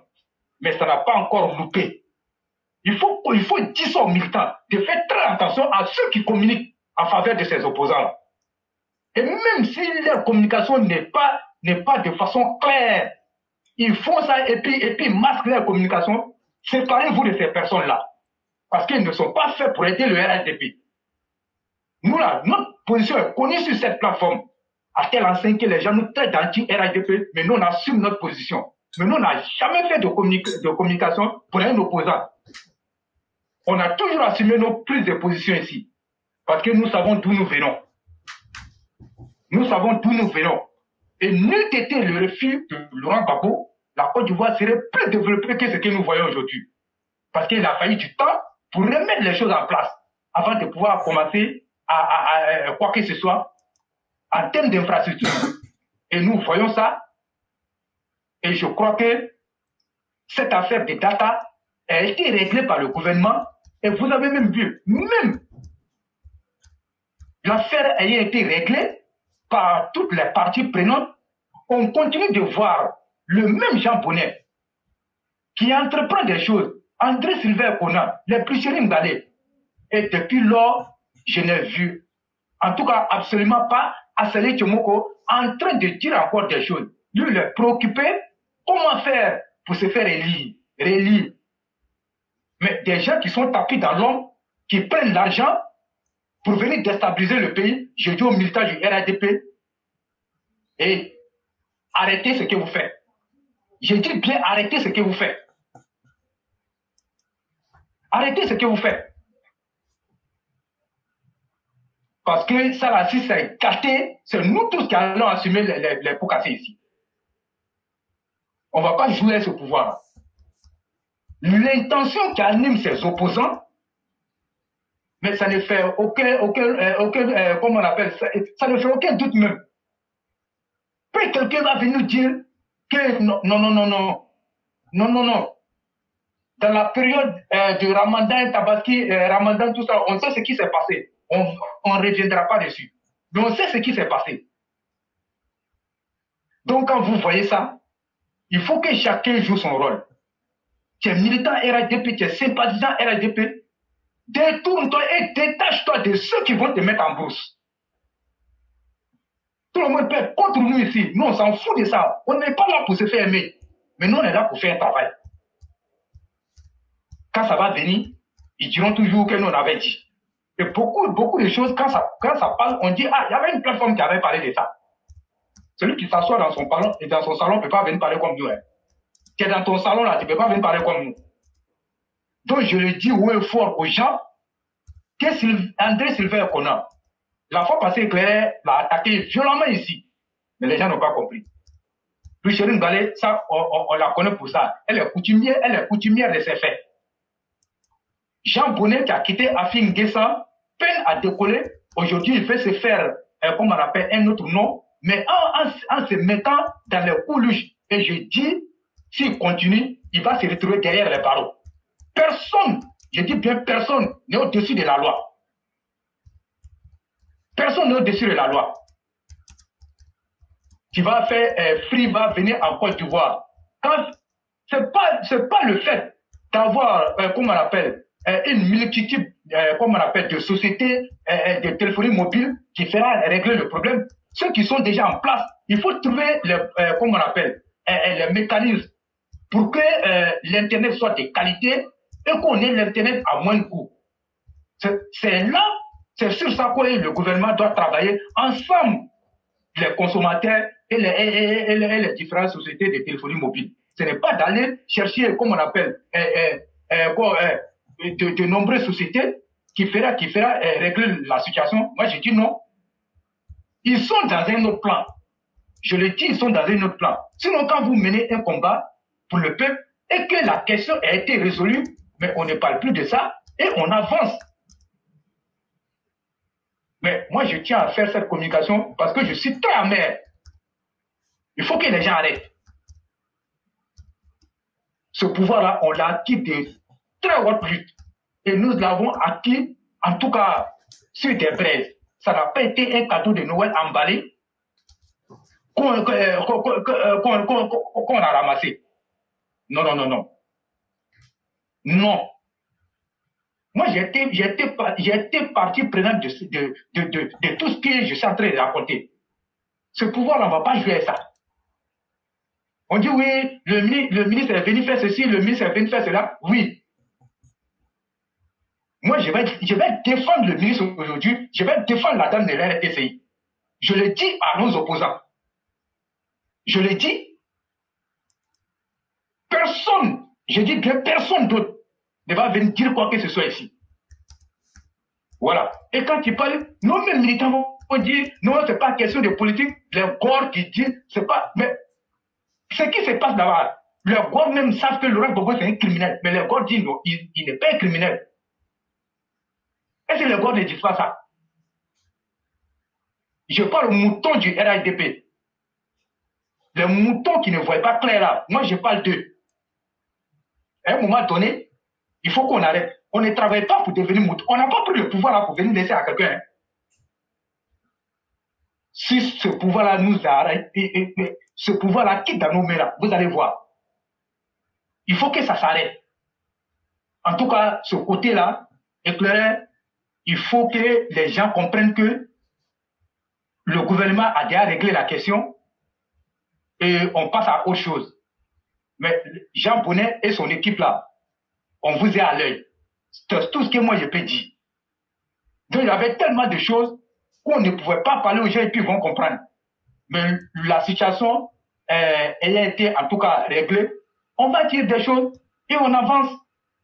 C'est dans le même plan de l'opposition dont nous avons parlé là, c'est ça même. Et c'est ça. Il faut que ça soit clair. Donc, Claire, voilà ce que je pourrais dire sur cette question. Si tu as quelque chose à ajouter, et puis je vais attaquer le paragraphe de Touré Mamadou. Merci beaucoup. En fait, il n'y a pas grand chose à ajouter. C'est de dire à nos militants, souvent on dit beaucoup de choses ici. Et même de suite là, pour ceux qui étaient en ligne, j'ai posé une question de suite et puis après j'ai effacé la question. En réalité, il y a plusieurs manières de communiquer. On ne dit pas tout. Il y a une manière aussi de dire les choses et il y a un temps aussi de dire les choses. Cher frère, si tu donnes un cours d'université à un enfant de 7 ans, tu es en train de perdre ton temps. Si tu dis, par exemple, à un enfant de CP1 qu'il y a le nombre négatif, alors qu'il y a le nombre entier naturel, jusqu'à ce que tu arrives au collège, pendant 6 ans de ta vie, tu as l'impression qu'on t'a menti. Le jour que tu vas en sixième, on va te dire qu'il y a le nombre négatif. Tu dis, mais mon maître m'a dit que tous les nombres sont des nombres naturels positifs. C'est ça. En réalité, là, on ne peut pas venir tout vous dire. Mais il y a une manière aussi de vous dire et il y a un temps pour vous dire certaines choses. Sur cette plateforme-là, ceux qui suivent correctement, ce qu'on ne dit pas là, mais qu'on dit d'une autre manière là, est plus grande que ce qu'on dit. Quand je sors aujourd'hui pour vous parler des courtiers politiques, des politiciens qui vont pour vendre leur pays à des multinationales, à des lobbies, pour pouvoir faire tomber le gouvernement. C'est vrai que je vous ai lu le texte dans un contexte. C'est une manière de dire à ces gens-là qu'on connaît déjà tout votre mode opératoire. Mais le temps venu et selon le contexte, on sait comment communiquer. C'est très important. La communication, c'est une arme très, très, très efficace, mais à la fois très dangereuse. La plus grosse erreur des militants RHDP, ils sont dans le sensationnel. Ils veulent qu'on leur dise les choses comme si on était au bord de la route. Non. Si on veut aider Alassane Ouattara, sachez que les opposants ne sont pas assis, les, les, bras croisés. Eux, ils veulent prendre le pouvoir que nous, on a. Voilà la réalité, chers militants. Mais posez-vous la question, si nous, on perd le pouvoir, là, il y a quoi derrière ça? Quand tu te poses cette question-là, aujourd'hui, tout le monde doit être capable de comprendre ceux qui communiquent pour le RHDP, là, dans quel sens ils communiquent et pour atteindre quel objectif, c'est vraiment très important. Mais nous, on va rester lucides, les pieds sur terre. On va informer les gens intelligents. Mais nos militants ne posent jamais de questions. Ça, c'est une grosse erreur. Tu dis des choses, toi-même, tu sais que tu n'as pas tout dit. Mais eux, ils sont là, ils disent, ah, il a dit ça, et puis ils prennent la moitié, ils s'en vont. Et donc, nos militants sont toujours surpris. Mais faisons beaucoup attention. C'est ce que le roi est en train de dire. Et malheureusement, on a les militants qui aiment s'attaquer à leurs propres communicants. Toi, tu es un ennemi, tu veux faire... Moi, on m'a accusé de faire coup d'état contre Ouattara. Moi, là, je préfère que moi, là, on me fusille publiquement. Moi, je préfère, là. Ce que Ouattara a fait pour moi, là. Aujourd'hui, là, nos parents sont en paix, là. En Côte d'Ivoire, là. Moi, je ne suis pas mieux que mes parents. Si moi, je dois mourir pour que Ouattara reste au pouvoir, pour que la Côte d'Ivoire soit en paix, là, moi, je suis prêt aujourd'hui. Moi, je vais dire à Dieu, là, il faut faire transfert de vie. Parce que moi, là, je ne peux pas diriger Côte d'Ivoire. Le, roi, moi, je n'étais pas là, je ne peux pas diriger Côte d'Ivoire. Donc, si je fais un coup d'État, là, je vais diriger ça comment? Mais ce sont les militants RHDP qui sont venus ici dire que moi, j'ai dit, je vais, je vais faire un coup d'État contre Ouattara. Ça m'a fait mal. Non, ça m'a fait extrêmement mal. Et puis, je vais faire coup d'État avec quoi? Avec le salaire de misère que j'ai gagné aux États-Unis ici. Je vais mobiliser qui? Qui me connaît? Je connais quoi? Mais en réalité, tout ça là, c'est parce que nos militants même, ils veulent entendre des choses. Et une fois que tu ne leur dis pas ce qu'ils veulent entendre, ils font du refoulement. Toi, tu ne dis pas ce qu'on a envie d'entendre. Mais nous, on va pas vous dire ce que vous avez envie d'entendre. Parce que ça, ça ne colle pas avec la réalité. Vous voulez qu'on vous blague. Nous, on va pas vous blaguer. En tout cas, vous ne serez pas les gens par qui vous allez venir nous dire ici, vous nous avez menti, c'est pourquoi on est là. Nous, on va préférer que vous partiez dire ce que vous, ça ne nous plaît pas. Mais demain, là, vous allez dire que c'est la vérité. Nous, c'est ce chemin-là qu'on a choisi. Et il y a la dignité qui compte. Moi, je le dis ici. Je ne dois à personne. Et je n'ai jamais intentionnellement fait de quoi de mal à qui que ce soit. Et mes propos, là, allez les reprendre et puis venez dire ici, voilà, là, tu avais menti, tu avais trompé les gens. Je le dis. Et donc, pour nous, là, la dignité, elle est très importante. Mais si quelqu'un dit que lui tient à sa dignité, là, ce qu'il dit là, il ne peut pas venir mentir. Est-ce que non, à la vérité, moi je ne peux pas dire ça. Mais est-ce que ce qu'on dit là, ça ne se vérifie pas au jour au jour? C'est ça. Et donc, c'est là que vous allez savoir qui vaut quoi, qui fait quoi. au-delà des propos. Mes chers frères, que les gens te disent que tu es mouton, que les gens disent que tu es agneau, que les gens disent même que tu es embryon d'agneau là. Toi, ta conscience, tu as déjà fait ton travail. Tu as su communiquer intelligemment. Quand un éclaireur sort pour vous dire, le poste est là hein, pour dire on a tout compris. Mais tu as compris quoi par rapport à qui et par rapport à quoi? Il n'y a aucun militant qui demande. C'est Binet seul qui a demandé. Et donc, vous voyez, nos militants ont beaucoup à prendre. Mais ce n'est pas un fait qu'il y a nouveau euh, chef frère, ça je vais te dire. Parce que nos militants sont venus en politique par contrainte. C'est les événements qui ont contraint nos militants à s'intéresser à la politique. Et donc, nos militants pensent que faire de la politique, là, il faut toujours être dans l'action immédiate. Alors qu'il faut être dans la stratégie et dans l'anticipation. Il faut être dans la tactique, dans la stratégie. C'est très important. Et pour en arriver à cela, il faut avoir un minimum de formation politique. Ça aussi, il faut signaler ça à nos militants. Il y a l'information, mais il y a la formation. C'est vraiment très important. Et donc, c'est vraiment extrêmement important qu'il fallait signaler ça. Ceux qui insultent, c'est ce qu'ils savent faire. Qu'ils continuent d'insulter. Mais chaque fois que tu insultes quelqu'un, alors que cette personne a une intention saine et noble pour t'aider, tu es en train de démontrer que tes parents n'ont pas été capables de te donner une éducation assez sage. Et donc que tes parents même n'étaient pas sages. Ça, c'est le premier reflet que les gens intelligents voient. Et quand tu insultes quelqu'un qui ne t'a jamais insulté, finalement, toi-même, quand tu vas te regarder là, tu ressembles à quoi? Voilà aussi la question qu'il faut se poser, alors qu'une simple question aurait su- euh, suffi. C'est vraiment très important. Mais continuons à faire ce qu'on peut faire. C'est ce qu'on peut faire qu'on fait. Ce qu'on ne peut pas, nous, on ne peut pas vendre la joie. On ne peut pas vendre des idées fausses aux gens. Ça, nous, on va jamais faire ça. Et donc, notre communication peut déplaire, mais elle aura l'efficacité dans le temps et dans l'espace. C'est ça qui est important. Et donc, continuons à faire ce qu'on a à faire. C'est ça. Mhm. Vraiment, merci beaucoup pour, pour les explications. Mhm. Et vraiment, ça fait, ça fait tellement mal. Par moment, quand tu t'assois et puis tu vois la réaction de certains militants même là, souvent tu te demandes, mais pourquoi, pourquoi ils se comportent comme ça? Et moi, j'ai dit Dieu merci. En tout cas, nous, on a été quand même à une école où euh, vraiment, ce n'est pas de la théorie, mais plutôt de la pratique. Aujourd'hui, ton arrivée depuis 2020, et je l'ai dit ici, la première fois que j'ai écouté l'émission avec, euh, j'étais le frère, le frère Dempsey, mais automatiquement, moi, je me suis retrouvé là-dedans. Je me suis retrouvé là-dedans. C'est comme ça, j'ai invité le frère Sundiata et je lui ai dit, mais il y a quelqu'un, j'ai suivi une émission là, je suis tombé sur une émission, mais je t'assure, si tu as suivi ça avec, euh, comme on l'appelle Sundiata, mais c'est là que tu vas comprendre que tout ce que nous, nous, nous recherchons, nous, en tant que des hommes, euh, euh, comme on appelle, un politique qui savent un peu des choses, mais tu vas trouver que c'est ce dont nous, nous avons besoin. Mais aujourd'hui, de 2020 jusqu'à à ce jour, mais regarde le boulot que tu as abattu. Mais les gens, les gens ne peuvent, euh, les gens peuvent dire ce qu'ils ont envie de dire, mais la réalité est là. La réalité est là. Et c'est ce qui est intéressant dans cette affaire-là. Quand tu dis quelque chose là, il ne faut pas s'attendre que tout le monde, tout le monde puisse s'accorder à dire ce que tu as dit, c'est vrai.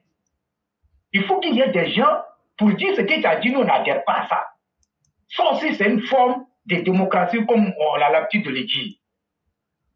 Mais je crois que le travail là, tu as commencé de 2020 jusqu'à ce jour, moi, pour moi, je dis ce travail-là, c'est un objectif, en tout cas, il est largement atteint. Il est largement atteint. Et même des détracteurs, quand ils s'asseyent dans leur salon, ils disent que ce monsieur-là, nous, on n'est pas d'accord on le déteste, mais il faut reconnaître que c'est la vérité. Comme euh, ce que les opposants font quand ils vont s'asseoir dans leur maison, ils disent que nous, on déteste, euh, comme on appelle le, le président Hassan Ouattara, mais il faut reconnaître qu'il travaille bien. C'est comme ça aussi. Tes collègues, euh, comme on appelle communicants là, quand ils s'asseyent là, et puis ils regardent là, ils disent que ce monsieur-là, il est vrai. Il est vrai. Et toi, tu l'as toujours dit, tu n'es pas ici parce que tu veux parler pour qu'on te donne de l'argent. Tu as toujours dit ça. Et les faits sont là. Depuis 2020, et nous avons même dit, s'il y a un cadre quelqu'un qui dit qu'il a donné de l'argent est éclairé, la personne n'a qu'à venir appeler sur le direct pour dire je lui ai donné l'argent pour lui dire de faire ça pour moi. Mais depuis on dit là, il n'y a pas quelqu'un qui va venir dire il a fait ça. Parce que par moment, souvent, il y a des gens qui disent qu'on a donné l'argent à telle personne, même s'il n'a pas dit ça sur un direct, mais quand même dans les coulisses, on entend.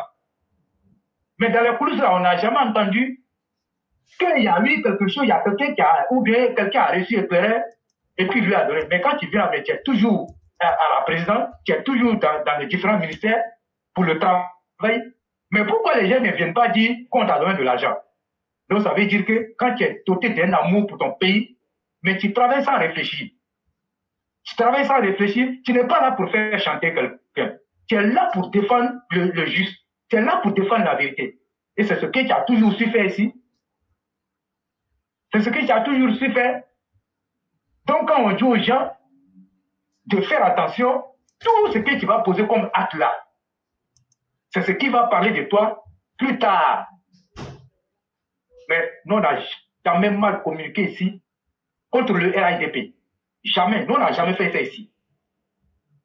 Mais nos critiques peuvent être dures. Et je comprends les uns et les autres qui n'ont pas ce courage-là et qui n'ont pas cette culture-là de critiquer et même dans leur camp. Mais quand ils viennent voir ça, ils trouvent ça comme effet nouveau. On ne devrait pas critiquer, on devrait plutôt dire que tout est beau dans le pays. Alors qu'en réalité, en disant tout est beau dans le pays, nous sommes en train euh, de contribuer à gâter tout. Mais ce qui n'est pas bon, nous on préfère le dire et donner des solutions aux gouvernants pour, pour, pour, pour remédier à cette situation. Regardez, regardez comment les autres pouvoirs ont chuté. Regardez comment les autres pouvoirs ont chuté. Mais c'est parce qu'il n'y a pas eu, euh, comment on appelle, cette communication-là, qui était là pour dire la vérité, qui était là pour interpeller. Ils ont toujours euh, fait, fait croire à ces différents présidents que tout était bon et qu'ils tenaient le bon bout. Un pouvoir n'est jamais parfait, mais il faut qu'il y ait des hommes pour dire certaines choses. Mais quand on dit ça, ça ne voudrait pas dire que nous sommes des anti-RADP. Au contraire. Bien au contraire. Mais notre prise de position doit quand même amener les gens à réfléchir. Moi qui vous parle là, je suis président du comité de base. Je suis le secrétaire à l'administration de ma section. Et j'occupe encore deux postes. Mais comment que moi je peux venir m'asseoir, euh, comme on appelle, en bas de l'arbre qui m'a donné l'ombre, qui m'a donné des fruits à manger, et chercher à, abattre, euh, comme on appelle l'arbre. Moi, je ne peux pas le faire, mais ce que je dois faire, c'est de faire en sorte que l'arbre qui m'a donné tous ces fruits-là, qui m'a donné l'ombre, puisse continuer de, de, vivre et de grandir. Et je dois arroser, euh, comme on appelle, ce table-là. Et c'est ce que nous faisons ici sur la plateforme. Quitte aux autres de ne pas comprendre notre ligne de communication si notre ligne de communication était si mauvaise, comme vous le pensez, on nous aurait dit d'arrêter vos émissions. Mais on ne fait que recevoir des encouragements. On ne fait que recevoir des encouragements. Mais est-ce qu'il y a un cadeau qui est plus beau que ça? Il n'y a pas de cadeau qui est plus beau que ça. Dire que vraiment les frères, les soeurs, ce que vous faites là, c'est dur, mais ça nous aide. Aucune plateforme ne peut tenir ce que nous faisons ici. De 2020 jusqu'à, on appelle, à, 2023, aucune plateforme ne peut s'inscrire dans notre logique et tenir. Parce que la tentation va finir par avoir raison sur cette plateforme. Mais comme on le dit dans la vie, il n'y a pas de hasard. Et Dieu sait pourquoi il nous a réunis ici. C'est parce qu'on a les mêmes âmes et nous réfléchissons de la même manière. Et nous voyons les choses de la même manière. Et d'autres même qui ne voient pas les choses de cette manière, Dieu a touché leur cœur, ils sont arrivés ici, mais aujourd'hui, ils comprennent beaucoup de choses dans le fonctionnement euh, d'une société. Et même, hors même de la politique. Parce que ne résumons pas tout à la politique. Ne résumons pas tout à la politique. Quand on résume tout à la politique, c'est qu'on n'a rien compris dans la vie. Après la politique, il y a une autre vie. Pourquoi souvent on dit un ancien président? Pourquoi on dit un ancien directeur de, euh, de, on appelle, de société d'État Pourquoi on dit ancien, ancien, ancien? C'est parce que tu ne peux pas finir ta vie là-bas. Quand tu finis, tu vas venir reprendre la vie que tu avais laissée, euh, euh, euh, comment on appelle, avant d'aller dans ta politique. Donc nous, je dis aux gens de rester sereins et de ne même de n'écouter personne. Restons focus sur l'objectif nous réunir ici, la paix dans la Côte d'Ivoire, le, travail que le président Hassan Ouattara fait et aider le, le RIDP à réussir sa mission parce que c'est ce que Félix Houphouët a voulu. Mais le président Hassan Ouattara est véritablement celui-là même qui est en train de marcher dans les sillons de Félix Houphouët en rassemblant toute la Côte d'Ivoire, du nord à l'ouest du centre au sud, en passant en tout cas à l'est. Mais on n'a jamais vu un gouvernement comme ça formé sous la couleur nationale où on va retrouver toutes les trentaines de régions de la Côte d'Ivoire. Ça, même sous Félix Houphouët, ça n'a jamais été le cas. Je l'ai dit, ça n'a jamais été le cas. Mais tout cela est fait à dessein pour qu'on ait la paix dans le pays, pour ne pas léser une région. Tout est en train de se faire. Mais il faut qu'on soit quand même des gens qui vont communiquer dans l'intention de ramener ceux qui n'ont pas encore compris. Et non communiquer pour des opposants. Il ne faut pas communiquer pour ces opposants-là. Moi, quand moi je te vois déjà comme ça, moi je te casse. Parce que c'était très difficile pour nous ici au pays. On a vécu des périodes terribles à cause de ces personnes-là. Des cadres qui nous suivent ici ont fait la prison le président Hassan Ouattara dans les années 90 et jusqu'à venir euh, dans les années, euh, comme on appelle, euh, dans les années, en tout cas des braises. Ils sont ici sur la plateforme. Ils sont là. Donc nous, là, on ne va jamais s'inscrire dans cette logique-là. Il faut que ça soit clair. Et tout ce qui va contribuer à déstabiliser ce pouvoir-là, moi, je serai contre ça. Je serai contre ça. Vous pensez que c'est de, façon fortuite, quand des gens viennent s'asseoir pour dire, par le passé, on a combattu le président Hassan Ouattara, mais avec le temps, on a compris que les gens nous ont trompés. Mais quand vous voyez ça, ça veut dire que le temps, il est notre nom, il est notre nom de Dieu. Mais quand le temps de la vérité sonne, plus rien ne peut arrêter cette vérité-là. Éclairer ces danseurs, on est sur la plateforme-là. Ils n'ont qu'à venir nous attaquer de partout. Mais ils finiront par s'asseoir et par venir dire ici, oui, vous avez eu raison. Restons zen. Je vais reprendre les mots euh, de feu le premier Amadou Gon Kulbali. Restons zen.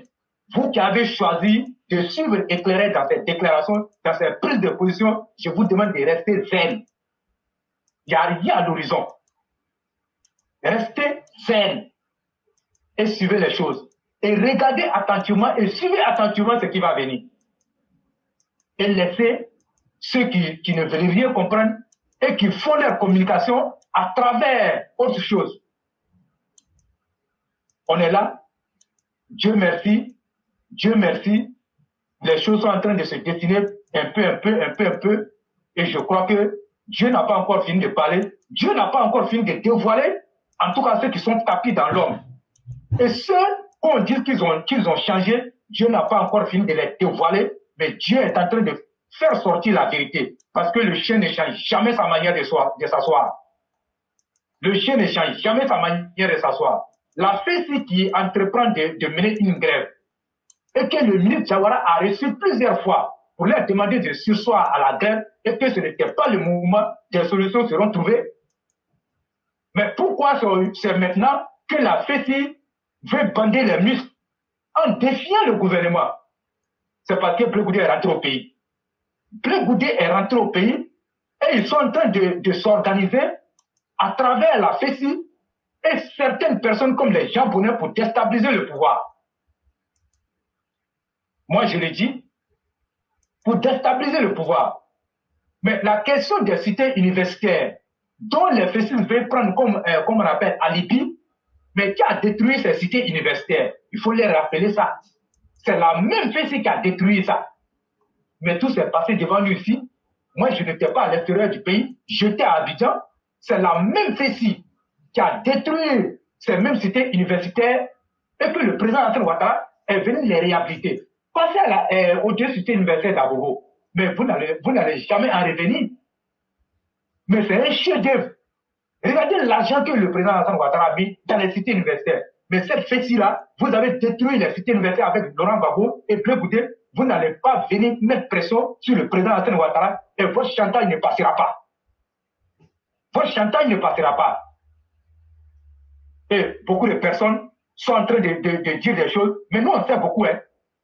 Mais au fur et à mesure, on va parler. On sait beaucoup, mais on ne parle pas parce qu'on doit parler.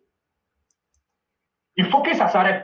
Le président Hassan Ouattara, pour quelque raison que ce soit, on n'acceptera jamais parce qu'on était ici dans ce pays. On a vu ce qui a été dans euh, ce pays. On a vu ce qu'on promis, et comme on appelle, construire des universités pour les étudiants. Quand ils sont arrivés au pouvoir, même une brique, ils n'ont pas posé.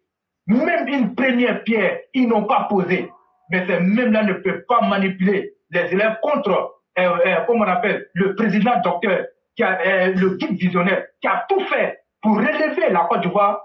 On ne peut pas accepter ça. Jamais on va accepter. Jamais. Mais si les cités universitaires n'étaient pas réhabilitées, c'est quelle force vous allez avoir pour parler? C'est parce qu'il y a eu réhabilitation que vous avez aujourd'hui le kilo de parler. Vous avez le kilo de parler. Mais on a vu ici, Zoran Babou qui a défié tous les fonctionnaires, qui a dit devant les caméras du monde entier, lorsqu'il s'était s'agit d'augmenter les salaires et de faire en sorte que les fonctionnaires puissent vivre dans des conditions décentes. Il a dit quoi? Il n'a aucun souci le salaire de quiconque et que euh, les gens peuvent se mettre à gréver. Mais celui qui se met à gréver, certainement, le, le, le salaire qu'il va récolter dans cette grève-là, c'est qu'il n'aura pas son salaire? Est-ce qu'il n'a pas dit ça? Mais est-ce que les gens ont continué? Mais c'est parce qu'on a devant nous un homme qui se soucie, en tout cas de la paix en Côte d'Ivoire, qui veut travailler, qui veut réussir sa mission, et toute personne se permettent euh, de faire n'importe quoi et penser que on va, on va continuer à accepter ça. À un moment donné, il faut que la récréation, qu'on finisse avec la récréation. Moi, je le dis, aujourd'hui, là, Aujourd'hui, moi, je sors, ce n'est pas pour, pour être avec quelqu'un. Même s'il y a quelqu'un sur la plateforme qui dit des choses, je vais, je vais le recadrer. Il faut que ça s'arrête. On n'est plus à l'amusement. Là où le pays s'en va là. On pense que le pays est solide. C'est vrai, on a eu une accalmie. Mais le pays n'est pas encore aussi solide comme nous le pensons. Mais pourquoi on veut aider ces opposants-là à gâter le beau travail du président? Sinon, on ne peut pas aider le président à continuer son développement, alors notre rôle là, on n'a qu'à laisser et puis on n'a qu'à quitter. On n'a qu'à quitter. Voilà des actions qui sont, qui sont, comme on appelle, euh, qui sont coordonnées par ce groupe de malfaiteurs, par ce groupe de criminels. Jean Bonnet fait partie. Jean Bonnet fait partie. Il veut, il veut, il veut, comme on appelle, attirer, euh, comme on appelle, euh, la sympathie des gens à travers cette lutte de data-là, et nous disons non, cette crise-là est désormais derrière nous. Mais le gouvernement n'entend pas s'arrêter là. Il va encore négocier avec les gens pour, pour, pour baisser encore les prix. Mais nous voulons quoi? Nous voulons quoi? Je suis en train de parler à, nos, militants du RIDP qui sont en train d'aider l'opposition à, à, nous combattre. C'est d'eux que moi je parle. C'est d'eux que moi je parle. Donc la question de Bleu là, c'est clair. Bleu Goudé là, amusez-vous à dire qu'il a changé. Vous serez très surpris, mais nous là, ici là, nous on ne sera pas surpris. Nous, vous êtes des idiots. On ne sera jamais surpris ici. Il faut que ça s'arrête. À la question de Touré Mamadou, et hier, il était l'invité de NCI 360. Moi, je vais me prononcer euh, principalement sur le cas des 760, euh, des, des 700 millions l'affaire qui a fait grand bruit. Il faut préciser aux gens, on a eu à le dire ici. Mais on va jamais finir de le dire. Le ministre Touré Mamadou, que d'ailleurs que nous avons attaqué à plusieurs reprises sur notre plateforme ici. Le ministre Touré Mamadou a bel et bien hérité de cette situation des 700 millions. Touré Mamadou, à l'époque, était le secrétaire d'État chargé de la jeunesse. Il a été conseiller lorsque fait le premier Amadou Kon était, euh, comme on appelle, le secrétaire général de la présidence. Après, il est passé, euh, comme on appelle, au poste de secrétaire d'État, chargé de la jeunesse. Fidi Touré, je dis bien Tchemoko Sidi Touré, qui est présentement le ministre de, euh, on appelle, des ressources animales et halieutiques, était à l'époque le ministre de la jeunesse. Et lorsque le jeune est venu, le projet, euh, qui, devait, euh, qui devait être euh, financé à hauteur de 700 millions, il est venu avec un projet de, de on d'installation de, 50, de, 50 voitures de salon. Mais le président Hassan Ouattara, dans le souci de trouver de l'emploi pour la jeunesse, on dit, bon, voilà quelqu'un qui est venu avec un projet. Il est venu avec un projet, mais si on finance ce projet, ça peut permettre au moins à employer environ 1000 jeunes. Si on prend deux, salons, euh, deux personnes par, par, comment on appelle, par salon de coiffure, au moins 1000 jeunes. On va financer ça. Et si du Touré va, va euh, euh, faire tout, ils vont financer. Malheureusement, de trouver de l'emploi, le projet, ça n'a pas été ce que les gens ont souhaité. Et si du Touré n'étant plus le euh, comment on appelle, euh, de la jeunesse, Maintenant que c'est Touré Mamadou euh, qui lui succède, naturellement, on nous dit que l'administration est une continuité. C'est vrai. L'administration est une continuité. Je suis d'accord avec. Mais quand tout le monde sait que ce n'est pas Touré Mamadou, aujourd'hui, il est, là. Mais quand il a commencé, quand il est venu, mais l'affaire là, comment vous avez su ça? C'est le même Touré Mamadou qui a fait éclater l'affaire ce n'est pas Sidi Touré. Mais pourquoi Touré Momodou est sorti avec l'affaire Parce que s'il n'avait pas fait sortir l'affaire, tout ou tard, quand l'affaire allait sortir, ils allaient dire que c'est Touré Momodou qui a donné l'argent. Mais dans sa bonne foi, il a dit, il a fait sortir, et c'est là les gens ont su qu'il y avait eu un financement de 700 millions. Mais moi, je peux dire que c'est une bonne foi. Pour lui, il faut qu'on on trouve comment l'argent a été dépensé et, euh, en tout cas tout. Mais depuis lors, il ne cesse de parler de ça. Et chaque fois qu'on l'invite, il parle de ça. Mais beaucoup de personnes pensent que c'est tout le Momandou qui a donné l'argent. Tout le Momandou n'est pour rien dans cette affaire. Mais je pense que c'est sa bonne foi qui a fait qu'on a su ça. Ça, il faut le lui reconnaître. Mhm. Il faut le lui reconnaître. Je ne suis pas un défenseur de tout le Momandou. Tout le monde nous ici. Mais comme nous on dit là, nous on va toujours dire la vérité quand il s'agit de dire la vérité. Et tout le monde l'attaque de, de, de toutes parts. L'affaire de Dougouti, nous on sait que c'est lui qui a donné les 24 millions. Et il a expliqué. Il a dit que Dougouti n'a jamais reçu l'argent main en main. Que c'est la ferme qui a été, qui a été financée, mais c'est la gestion qui n'a pas été bonne. Et qu'aujourd'hui, cette ferme-là est devenue une ferme d'expérimentation, une ferme école. Donc, dans le cas des 700 millions, épargner le ministre Touré Mamadou dans cette affaire. Et si l'affaire est allée devant la justice, je peux même dire que c'est lui. Et donc hier, il a profité de l'invitation pour dire que le jeune a été jugé condamné et qu'il se retrouve aujourd'hui à la MACA et qu'il est, il est condamné à rembourser la totalité des sommes. Et les gens disent que Touré Mamadou et les autres ils se sont partagés l'argent. Moi, quand on n'a pas les preuves, on ne parle pas. Quand on n'a pas les preuves, on ne parle pas. Moi, je vais préciser qu'il n'était pas ministre à, l'époque. Donc, chacun peut faire son commentaire, mais la vérité est là. C'est sa bonne foi qui a fait aujourd'hui que nous on a su ça. Aujourd'hui, les jeunes, en tout cas, euh, nous disons merci, qu'ils se soient, euh, qu'ils qu soient, euh, soient retrouvés euh, à la marque. Aucun individu, je dis bien aucun Ivoirien, de quelque bord que ce soit, ne doit prendre l'argent public comme son bien privé, et pour lui, c'est un droit. Oui, tu as le droit d'être financé, mais l'argent public, on ne doit pas s'amuser avec ça. Il faut que cette cette parenthèse-là, honteuse-là, soit fermée. Éclairez si vous avez quelque chose à ajouter.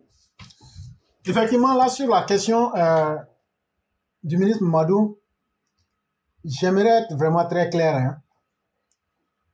Parce que pour quiconque nous connaît, nous, on n'a pas d'affinité et on ne cherche pas à avoir d'affinité avec qui que ce soit.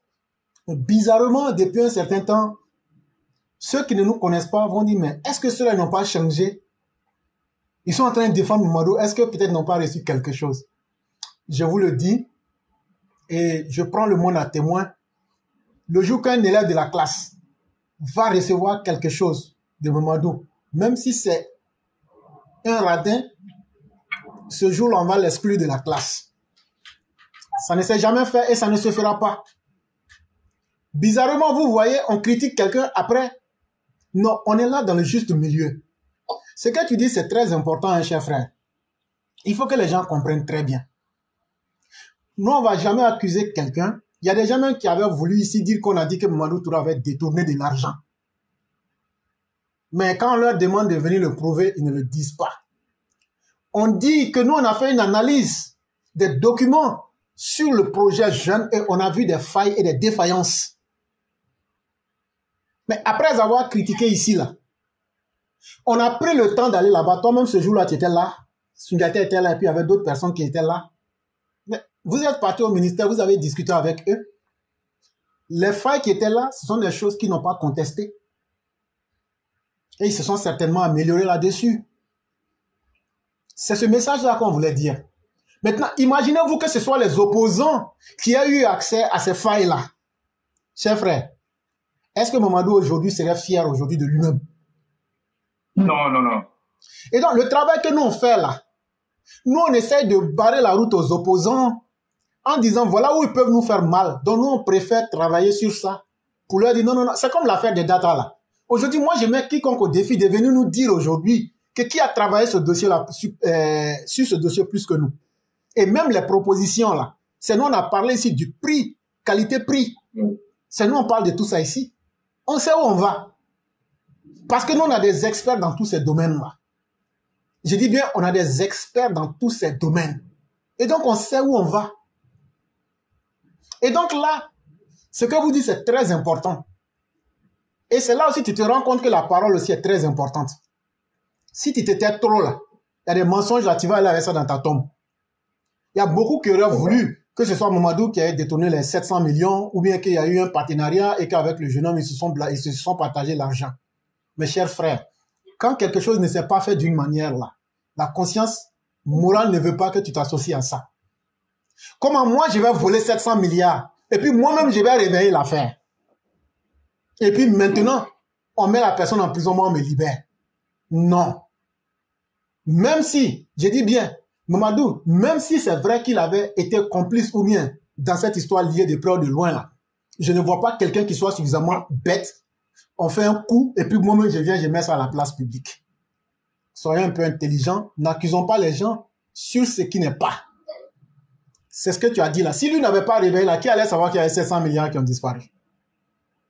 Au moins, au moins là, accordons-lui ce mérite-là en nous disant que vraiment, peut-être qu'il est en train de faire un effort pour assainir aussi ce côté de la gestion. Je dis bien, accordons-lui ce mérite-là. La deuxième chose qui fait que on a un peu arrêté avec les critiques, je dis bien qu'on a arrêté, c'est euh, euh, à cause des campagnes. C'est à cause des campagnes là. Parce qu'on va en période euh, de campagne. Il faut savoir qu'il y a la pré-campagne. Nous, on ne peut pas venir ici affaiblir nos candidats et puis après dire, bon, allez les voter. Non. On n'est pas dans un monde parfait. Jusqu'à ce que les campagnes finissent. En tout cas, nous ne serons pas ceux par qui nos candidats seront défavorisés à travers la communication. Mais après ça, là, on va reprendre hein, et on va continuer. On va pas arrêter. Si maintenant il y, a des, il y a des situations extrêmement graves qu'on voit, qui nécessitent urgence, on va les interpeller. Et c'est très important. C'est pourquoi je dis que dans la communication, il faut avoir de la stratégie pour pouvoir mieux la faire. C'est vraiment très important. Il faut que les uns et les autres comprennent cela. Et nous autres, vraiment, la paix qu'Alassane Ouattara nous donne, la dignité aujourd'hui que l'Ivoirien a retrouvée, et le fait que nous, moi, moi, moi, dans ma vie, là, je n'ai jamais pensé que nous, on allait pouvoir voter Alassane Ouattara et puis il va être président. Quand on demande miracle, là, moi, je crois que Alassane, devenu président en Côte d'Ivoire, là, grâce à nous, nos votes, là, c'est un miracle. Quand moi, je regarde ça aujourd'hui, nous, on va dire à nos enfants, à nos arrière-petits-enfants, regardez, c'est nous, on a voté ce monsieur-là. Donc, ça veut dire, c'est nous, on a fait ça. C'est nous, on a fait qu'Alassane Ouattara a pu faire les ponts, les routes, là. C'est nous. Parce que ceux qui ont voté les ennemis du peuple, les escadrons de la mort, les Laurent Gbagbo et autres, on sait ce qu'ils ont donné à la Côte d'Ivoire. Donc, pour nous autres, là, ça, ça nous suffit. Tout le monde ne peut pas être directeur de société. Tout le monde ne peut pas être ministre. Tout le monde ne peut pas être cadre.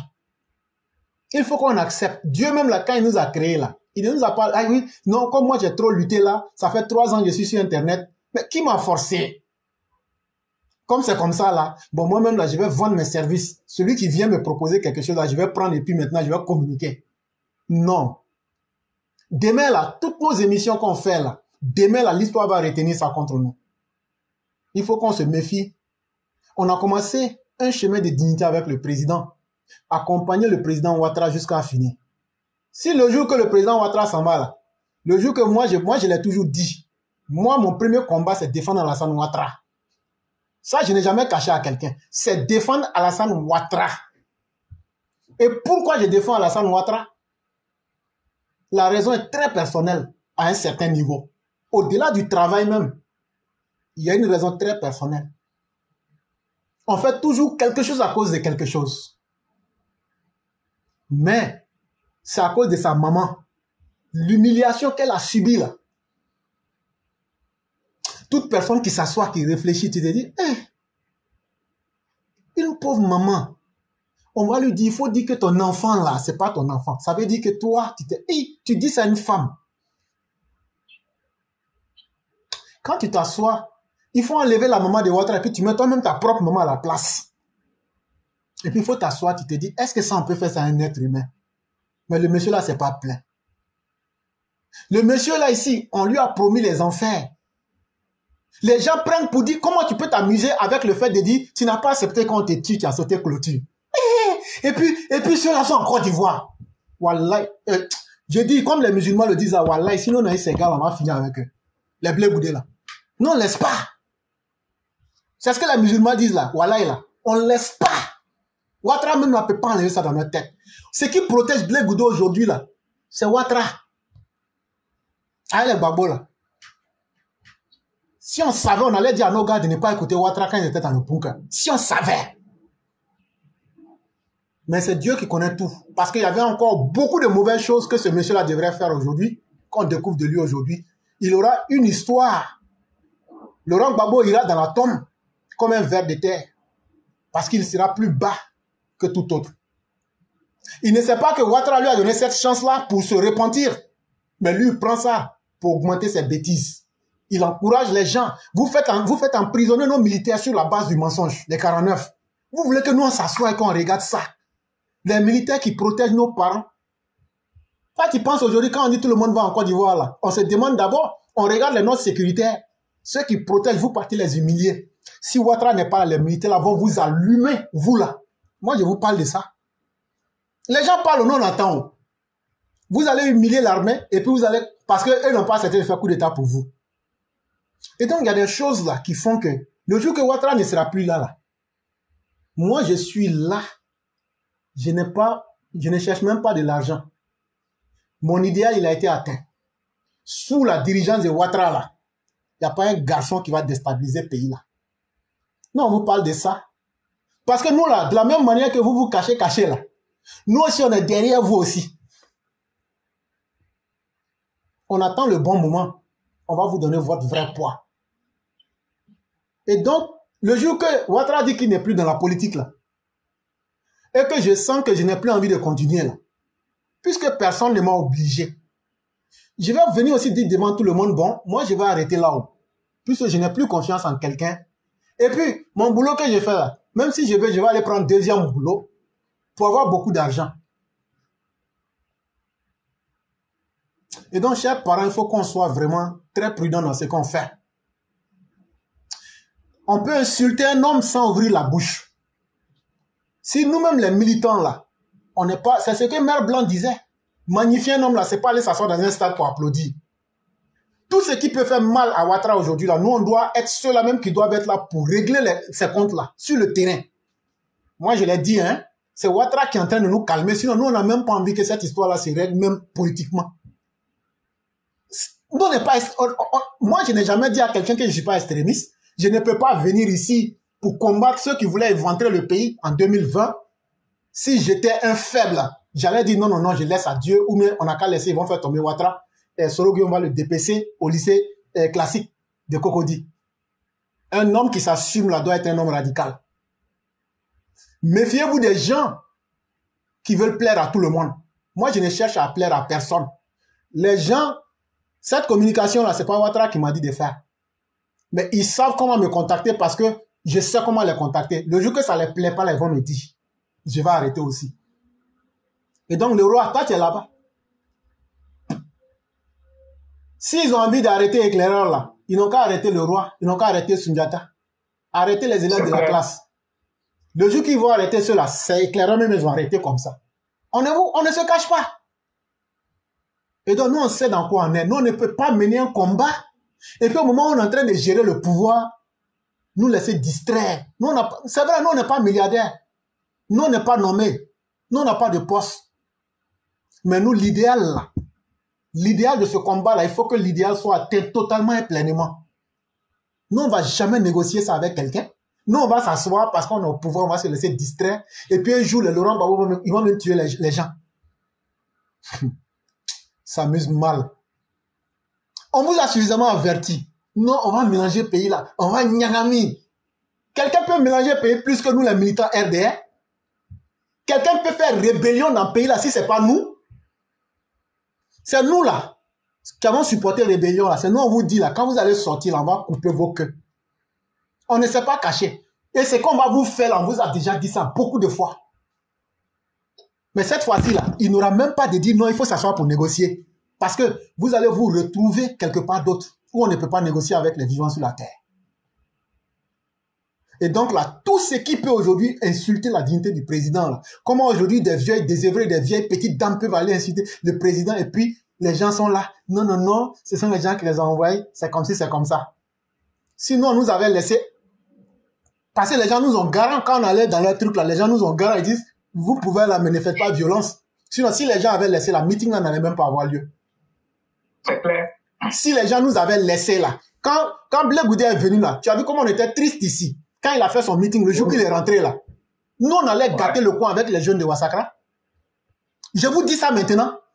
Avec les gars de Wasakra, nos gars de Wasakra, on était prêts à vous dégommer. Mais la gendarmerie avec nos autorités nous ont garant. Et même, ils sont là. C'est à cause de nous, ils sont allés pour encadrer. Un jour avant, c'est à cause de nous. Nous, on vous dit ça. Parce que le jour qu'on va vous avoir, c'est là vous allez comprendre qu'il y a des démons qui sont parmi les gens sur la terre ici. Si vous pensez que les Ivoiriens vous aiment et que les gens oublié le, les, mauvaises choses que vous leur avez fait attendez. Chacune des personnes qui ont perdu des parents là, on va les faire sourire. Ramenez les gens que vous avez tués à la vie, ou bien vous partez devant la justice, vous reconnaissez les faits. C'est la seule option pour vous. Sinon, dire qu'on a changé, on n'a pas changé, ou on, fait, on fait semblant de jouer avec son destin, là, nous, ça ne nous intéresse pas. On va se, on va se, on va s'attraper un jour. Le roi, c'est là que je vais m'arrêter. Ok, vraiment, merci beaucoup. On a assez parlé. En même temps, il faut dire à nos militants que les candidats qui ont été choisis, comme tu l'as dit, euh, les gens vont dire non, c'est là, ils ont changé. nous, on communique seulement. Suivez seulement, vous allez voir. Et on, a, mené le combat ici pour que les meilleurs candidats soient retenus. D'autres ont été euh, retenus et par contre, d'autres n'ont pas été retenus. Et on s'en tient à la liste euh, que le directoire nous, a produit. Mais ce qui convient de noter, il faut que tous les militants sympathisants, ceux qui, ont, qui aiment le RIDP, puissent aller voter nos candidats. Et éclairé la fois passée aussi, j'ai parlé, et toi-même tu le sais. Le FPI, le PPACI, qui est dans une logique de contestation des résultats, comme 2010, est en train de, en tout cas, est rentré, comme on appelle, dans, dans les plans machiavéliques. C'est Benjamin qu'ils ont choisi pour expérimenter le coin, euh, ce qu'ils vont faire avec d'autres villes. Et partout où ils ont présenté des candidats, et au soir du 2 septembre, ils vont contester les résultats. Mais la contestation arrive comment? C'est quand ils vont dire à leurs représentants dans les bureaux de vote de sortir et de refuser de signer les PV. C'est là qu'il y a contestation. Le roi, Et ça, sans oublier que le comité anti, le comité anti, Ouais, anti-fraude. anti-fraude, à partir de 18h30 exactement, les zones Oui. où ils savent qu'ils vont perdre, ils vont cibler ces zones-là, sachant qu'entre 19h30 et 20h, ils vont donc saccager Oui. les urnes aussi. oui, oui, Voilà. Après avoir refusé de signer les PV. c'est ça. Donc, ça, on, on est préparé à ça. On est préparé et on les attend. Et moi, j'ai dit, ça va les dégoûter. Ça seulement, ça va les dégoûter. Et donc, on tient à expliquer ça aux gens et dire aux militants que ceux qui sont en face de nous là, ce ne sont pas des personnes avec qui il faut être tendre. Ce ne sont pas des personnes qu'il faut caresser dans le sens du poil. Il faut être, il faut être dur avec eux. S'il y a un mot qu'on peut employer là, on va employer ce mot-là. Il ne doit même pas avoir, il ne serait qu'un petit espace même pour parler. S'ils ont laissé une petite, euh, euh, comment on appelle, maille de manœuvre, vous allez voir. Sinon, quand vous regardez là, Stéphane Kipré face à Touré Mamadou, il peut gagner l'élection. Stéphane Kipré peut gagner l'élection. Et donc, c'est fait à dessein. Où ils ont choisi les candidats c'est fait à dessein. C'est un fait, ils ont fait exprès. Pour contester les résultats. Ça encore, ils vont venir dire que euh, euh, la classe euh, éclairée pour vérité est, est une classe anti-RIDP. Ils vont venir nous dire ça. Donc Stéphane Kipré qui est là, il est parti à Dalou, il a tapé poteau. Mais regardez ce que Touré Mamadou fait. Mais Regardez même, ce que même- tout le même fait. entre eux-mêmes là-bas, même entre eux-mêmes, là, Oui. sa candidature est contestée. Oui, ça c'est contesté. Et hier même là, quand Touré Mamadou a été invité sur FICI, c'était depuis Galois. Donc il a fait l'émission en direct parce qu'il a quelque chose à dire, euh, comme on appelle, aux populations euh, de la région du Haut-Sassandra. Et donc il est rentré en pré-campagne. Et il fait, mais pendant que Stéphane Kipré, quand vous regardez, est-ce que ce qu'ils font là, ils, vont, ils vont dans, dans, comment on appelle, euh, euh, ils organisent des meetings pour pas. Mais ils comptent quoi? Ils comptent la fraude, ils comptent la contestation. Parce que leur slogan, on gagne ou on gagne. C'est ce qu'ils avaient dit en 2010. Et le bureau de vote où moi j'étais à quoi? Et ils ont dit à leurs représentants de ne pas signer les PV, de ne pas signer les PV. Pendant que les autres étaient d'accord avec eux, mais le FPI seul avait refusé de signer les PV. Parce que quand tu signes le PV, ça veut dire que tu es d'accord avec le résultat. Mais quand tu es d'accord avec le résultat, il n'y a plus lieu de contestation. Tu ne peux plus contester. Quand tu contestes, tu vas contre la loi. Et la loi, tu seras sous le coup de la loi. Mais en refusant de signer les PV, ça leur donne une marge de contester et de pouvoir attirer un peu, euh, euh, comme on appelle, euh, euh, euh, euh, comme on appelle, l'attention des uns et des autres. Mais ça là, c'est fini. C'est nous là, nous, on est pouvoir. Donc il faut que ça s'arrête. Parce que aussi les autres ne vont pas s'arrêter. Celui qui va créer des trous, il faut qu'il se retrouve devant la justice. La Côte d'Ivoire ne peut perdre ce pays-là où à chaque période d'élec- euh, d'élection, les populations vont aller voter avec la peur au ventre. Le roi, c'est toi qui parles Ils vont de, attendre les résultats avec la peur au ventre. c'est toi qui parles de justice. La dernière fois, quand je suis sorti, ici même pour donner les numéros de téléphone et autres, des gens avec qui Pulchéry était là. Les gens même doivent s'asseoir pour se demander pourquoi on a fait ça. Il n'y a pas de problème. C'est toi qui es en train de parler de justice. On n'a qu'à attendre seulement, ça n'a qu'à arriver. On va voir ceux qui seront devant la justice. C'est clair. Voilà. Donc la Côte d'Ivoire ne doit pas constituer euh, ce pays-là où à, chaque période euh, d'élection, on va venir euh, aller voter avec la peur au ventre, revenir attendre les élections avec la peur au ventre, quand on encore les résultats, non, non, non, il faut que ça s'arrête. Donc, il veut expérimenter 2025. Mais comme nous tous, on, le sait, Laurent Gbagbo ne sera pas candidat en 2025. Ça, c'est même pas un secret même pour personne. On ne va même pas cacher ça. Il ne sera pas candidat aux élections présidentielles de 2025. Ça, il faut que ça soit clair. Le président du Conseil constitutionnel qui va prendre le risque de valider la candidature de Laurent Gbagbo, sachant très bien qu'il n'est pas éligible, qu'il a une condamnation de 20 ans, sera le responsable de tout ce qui va arriver, euh, comme on appelle, euh, en 2025. Il va endosser la responsabilité des morts qu'on va engendrer en 2025. Parce qu'il voit ces élections pour récidiver, pour reprendre ce qui s'est passé. Donc, nous, on a averti, les autorités sont averties, et ceux qui sont chargés de faire l'arbitrage sur les candidatures sont, sont, sont avertis. Nous, on dort tranquille. Laurent Gbagbo ne sera pas candidat en 2025. Bonne soirée à chacun. Bonne soirée, le roi.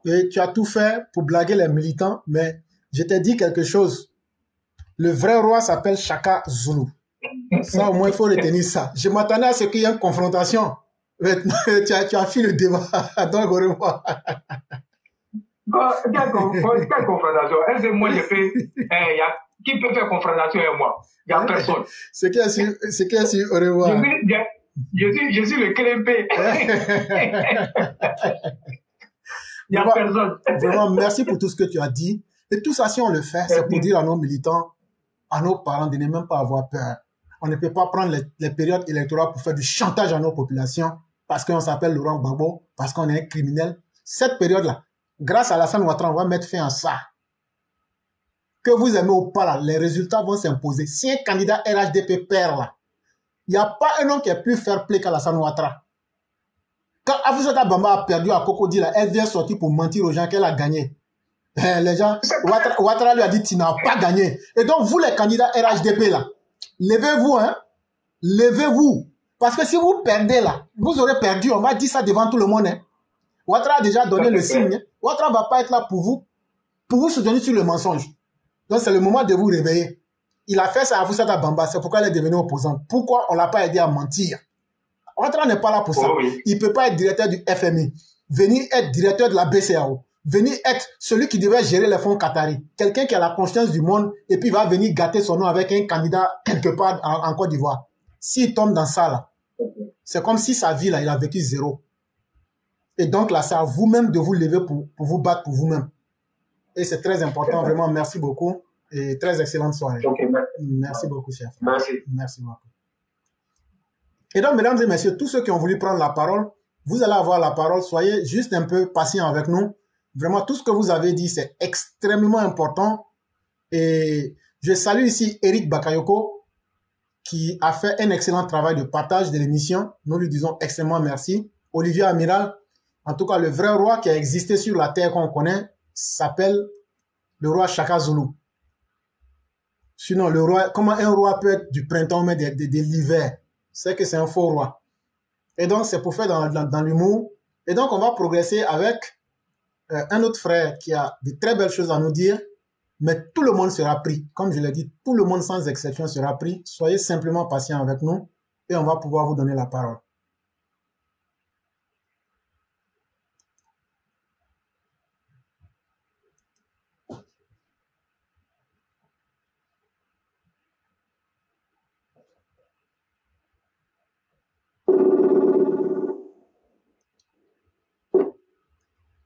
Allô? Allô? Oui, bonsoir, cher frère. Bonsoir, cher frère, comment ça va? Oui, ça va très bien. Vous-même? Ça va, bien, je Ah, Dieu merci. Vous êtes un peu loin de votre téléphone? Non, non. Ah, ok. Vous avez du mal à m'entendre? Oui, oui, c'est un peu, le son est un peu distant. Attendez, j'essaie d'augmenter le volume. Ok.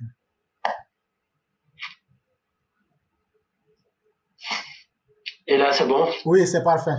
C'est parfait. Ok. Alors, Dieu merci. Et donc, comment ça va? Ok, donc, oui, ça va, bien. Dieu merci. Et le long week-end, ça se passe bien? Ouais, on se repose et on profite avec la famille. C'est ça, c'est le plus important. Vraiment, merci beaucoup. Exactement. Mhm. Mhm. Donc, vous avez la parole.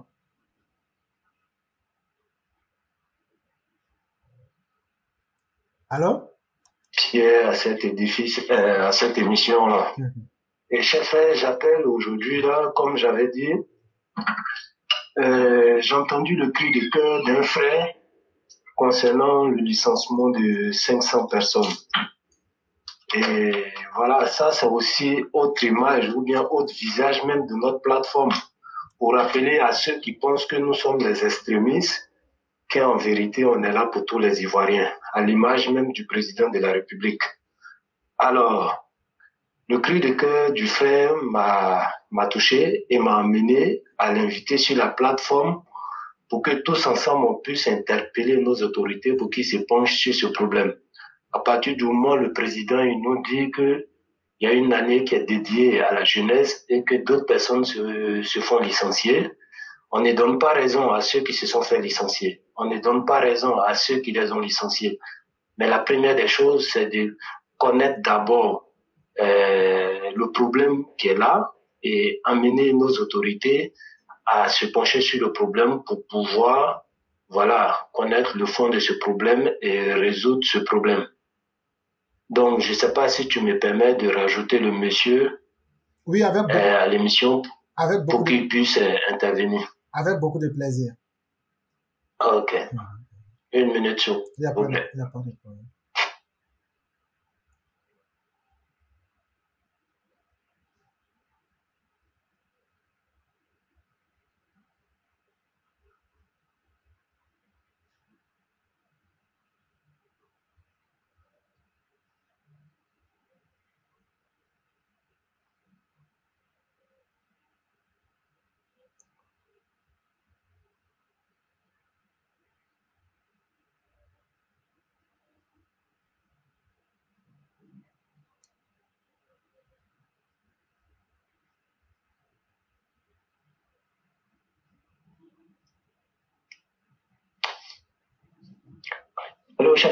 Oui, allô? Oui. Euh, Excuse-moi, je pense qu'il t'a envoyé un message. Moi, j'arrive pas, vu que c'est toi qui m'as appelé. Le nom, c'est Mohamed Keita. Ok. Je sais pas si tu peux le rajouter. Non, mais moi, je ne pense pas l'avoir ajouté ici comme ami. S'il peut t'envoyer un profil que tu peux m'envoyer, là, je peux voir à partir de ce profil parce que il y a beaucoup de Mohamed Keita, je ne Mm. saurais jamais c'est qui. Hmm, D'accord. Mhm. D'accord. Donc, je te reviens tout à l'heure et je laisse la place à, à d'autres personnes Ok, il n'y a pas de problème. ne pas, Il n'y a, ne pas- pas perdre de temps. il y a pas de problème. Il n'y a pas de problème. Ok. Ok. Donc, on s'attrape à d'ici peu. Ok.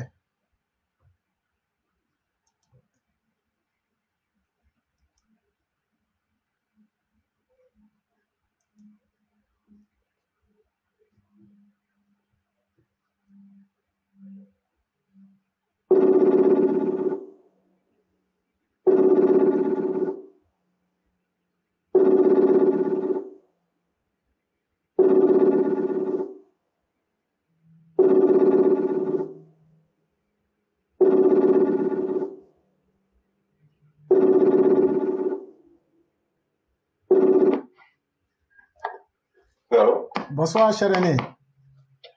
Bonsoir, mon frère, euh, comment ça va? Ça va extrêmement bien. Et je tenais de... Aïe. Aïe. Oui Euh, si le frère Mété te fait nous entend, vous aviez demandé de prendre quelqu'un et que vous reviendrez. Et nous sommes en ce moment avec euh, le B52. Dès qu'on a fini avec le B52, on va vous prendre sans problème. Et donc, cher année, je tenais d'abord à vous présenter mes excuses. Euh. Pour le fait que je n'ai pas eu le temps de vous souhaiter euh, bonne fête de Tabaski, bonne fête de euh, Pâques, et puis en même temps aussi profiter pour vous dire aussi bonne fête de May 1st. Even though, Yeah. euh, même si on ne célèbre pas ça ici, mais en tout cas, Mhm, mhm. euh, c'était pour vous présenter d'abord toutes ces excuses-là. Oui, mon frère.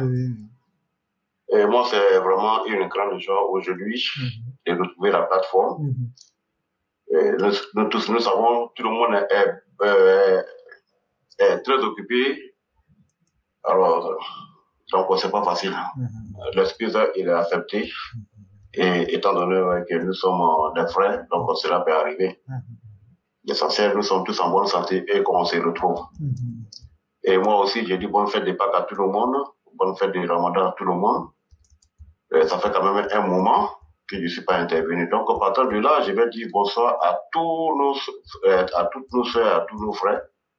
Et je vais citer la grande sœur Massiata Blanc, Fiona Kora, Binette Sylvie, Masala Galon, que je vois, Sali Kone, euh, que- Sanogo. Est-ce qu'elles sont les préparées ou pas?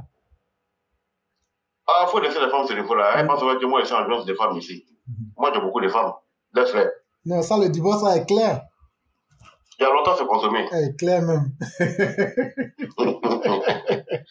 Même si la grande sœur Mafiata Blanc intervient là, ça, c'est fini. Non, Ça. il n'y aura aucune négociation. Non, non, la négociation actuellement n'est pas plus possible. Parce qu'au moment qu'on devait les voir, on les a pas vus. Mon frère Tom, il faut voir les 30 jours là. Est-ce que ça, c'est facile? C'est pas facile, hein? Ah, ok. Là où tu dois voir ta femme, si tu la vois pas. C'est fini. Ah, ok. Mais, bon, comme femme, c'est nouveau, c'est moins cher là. Et si on te donnait une trentaine, ça y est, chaque jour à tel, on te donne une, tu fais 30 en même temps. Ah, là, maintenant, avec l'intervention de la grande Blanc, je peux accepter ça. Oh, tu vas les mettre des champs de coton. Non, mais je connais les projets. Parce qu'actuellement, là, le coton, le coton, c'est devenu l'or blanc. Ah, comment t'as fait, mon frère?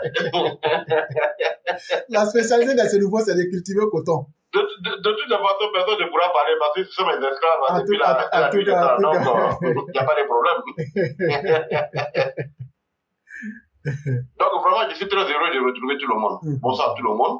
Et je suis très heureux aujourd'hui de, de prendre la parole. Oui. Et bien, vous, vous voyez, euh, moi, je ne suis pas lâche. Et la vidéo que je t'ai envoyée sur le Messenger, je sais pourquoi je te l'ai envoyée. Et je dis bonsoir vraiment à toute la classe. Vous voulez que, Vous voyez, vous voulez qu'on en parle ou bien c'est une vidéo Oui, de Johnny Pacheco oui, la vidéo, dans, Johnny Pacheco, dans laquelle, dans laquelle, dans laquelle euh, ça s'intitule Ado Abei, c'est le commandant Abei qui parle. Il dit Ado Oui, a oui. sauvé ma vie des mains de Gore en m'arrêtant au Ghana. Et- Exactement. Ok. Donc, je vais faire le développement. Ok, il n'y a pas de Et problème. quand on va arriver à, la euh, à ce stade-là, Mhm, euh, vous allez jouer la vidéo. Parce que pourquoi? Parce que, vous voyez, j'ai toujours dit, moi, je ne, je ne suis, vous- moi, je ne suis pas hypocrite. mhm, Et excusez-moi, je ne suis pas en train de faire ou remuer le couteau de la plaie. mhm, Que tout le monde m'excuse. mhm, Et tous ceux qui sont sur ce live, qui vont sur le live, euh, qui, qui, qui étaient hier, tels que Souris Sanogo, et tous ceux qui étaient hier sur le live de Ladi, partagez cette vidéo, envoyez la vidéo à Ladi parce que moi je ne suis pas un lâche. Et comme je ne suis pas un lâche, hier j'étais sur le live parce que j'avais arrêté d'intervenir sur le live. mhm. Pourquoi? Pas juste, euh, euh, euh, pour juste le respect de Ladi. Mhm. Parce que quand vous êtes dans le même combat et que vous n'avez plus la même vision, chacun comprend la- les choses de sa à, à sa manière. Mais au lieu qu'on va se disputer pour euh, on va se, on va se, on va avoir des altercations pour, sur un criminel, de surcroît qui n'est pas de notre euh, euh, notre bord politique, moi je préfère me retirer en observant. Et j'ai toujours dit, pour tous ceux même qui m'ont appelé pour ce moment de silence-là, sur le live de Ladi Shérif, je leur ai dit que non, mon temps non seulement ne me permettait pas, mais je ne pouvais pas associer mes interventions en polissant l'image de ce, de ce vaurien, de ce criminel, de Charles Blé. Lui et moi avons déjà eu une altercation concernant Charles Blé et il m'avait demandé d'envoyer la preuve. Mais ce jour-là, à l'allure où le débat partait entre lui et moi, concernant Charles Blé j'ai préféré me taire et puis c'est passé. Donc, j'ai continué mon intervention. Et pendant ce temps, les gens qui avaient observé, regardé le comportement de Zadi concernant Blé Goudé, certains disaient qu'il était en train de blanchir Charles Blé Goudé. Et à chaque fois, il retorquait qu'il ne défend pas Charles Blé Goudé, que Charles Blé Goudé n'est pas du RADP et que lui, il s'en tient aux déclarations du ministre à paix à son âme, Ahmed Bakayoko, concernant le coup d'État que Charles Blé Goudé, ABI, Damara Pikasa, Kone Katina, organisé aux frontières, euh, organisé au Ghana, et là encore, il y avait eu des soldats qui tombaient. j'ai eu à lui signifier ça et il a dit ouais, que c'est faux. Et quand il a dit que c'est faux, moi je n'ai plus continué parce que je l'ai même signifié hier que dire à quelqu'un ouais, que c'est faux, c'est une manière polie de lui dire que tu mens. Et lui, lorsqu'il y a eu cette altercation de divergence de vue entre lui et puis certains intervenants sur le live de Terreur pour vérité, moi j'étais à l'écart. Parce que quand le débat devient personnel et qu'il y a deux personnes qui sont du même bord politique se, se, disputent, mais pourquoi même nous devons le faire? Chaque côtés, tout le monde saura que c'est un criminel. Il a été criminel et il, continue il a continué à être criminel lorsqu'il était au Ghana. La raison pour laquelle j'ai envoyé cette vidéo d'API et j'ai même précisé à l'AIG quand je lui ai envoyé la vidéo. Joue cette vidéo de 0 à 15 minutes, tu attendras l'intervention de API. Vous voulez qu'on la joue? lui-même. Vous voulez qu'on la joue? Oui, mais Oh, je- je- oui, oui, je vais préciser cette... Parce que hier, j'étais sur ce live, c'était pour laver mon honneur. Et il m'a raccroché au nez. Voilà pourquoi je t'ai envoyé la vidéo. Je lui ai dit, Daddy, je t'ai envoyé la vidéo. Comme tu me demandes des preuves, moi, je sais de quoi je parle. Je connais les tenants et les aboutissants de ce que j'étais en train d'avancer. Donc, juste cette vidéo, à partir de 0 à 15 minutes, et Clara, si tu veux jouer même pour ne pas prendre trop de temps, va à partir de la dixième minute et tu vas attendre Abeyi dire que ceux qui l'avaient mandaté hier pour venir déstabiliser le pouvoir du président Hassan Ouattara ont complété contre lui, ont failli l'assassiner. Voilà pourquoi il remercie le président Hassan Ouattara de l'avoir arrêté au Ghana. Je pense qu'il n'y a pas plus preuve que ça. Abeyi n'est pas mort. Johnny Pacheco n'est pas mort. C'est Abeyi qui appelle Johnny Pacheco. Le frère, s'il te plaît, il faut enregistrer mon intervention, mon témoignage de ce qui s'est passé lorsque Stéphane Kipré m'avait contacté avec l'accord d'un Israélien. Ils m'ont financé à hauteur de 3 millions de dollars. Et dans les 3 millions de dollars, je n'ai reçu que 250 millions de francs CFA. Johnny Pacheco n'a pas enregistré à payer à son dessus. C'est à la demande, et Johnny Pacheco même dit dans la vidéo, au début de la vidéo, que c'est à la demande du commandant Jean-Noël Abeyi qui me demande de l'enregistrer. Parce que si les gens attendaient à sa vie, là, la, la vérité ne, ne- ne- ne serait pas sûre. Ok. Et donc, je vais faire, jou- veux, je vais faire jouer la vidéo à la- de la dixième minute à la quinzième comme vous avez demandé. ok. Et après, peut-être que vous pourrez donner vos commentaires. Mais j'ai aussi pris le soin de mettre le lien pour que les gens puissent vérifier aussi. Parce que par malhonnêteté, Les je gens peux... vérifier. Voilà. Donc, je vais jouer Oui, les les gens vérifier. Ouais. et partager à tous ceux éclairés, partager à tous ceux qui sont sur le live. Il y a le frère Sori Sanogo qui est là, qui était hier sur le live de la Sherifa. Et moi, je ne vais pas, je pas partir avec le deux de la cuillère. Moi, je ne suis pas un hypocrite, hein. je ne suis pas un bâtard, et je ne vomis pas, je ne mange, je ne ravale pas ce que j'ai vomi. S'il te plaît, joue la vidéo. Ok. Dis ça, écoute. de l'avoir arrêté au Ghana. Parce qu'au Ghana, là, il craignait.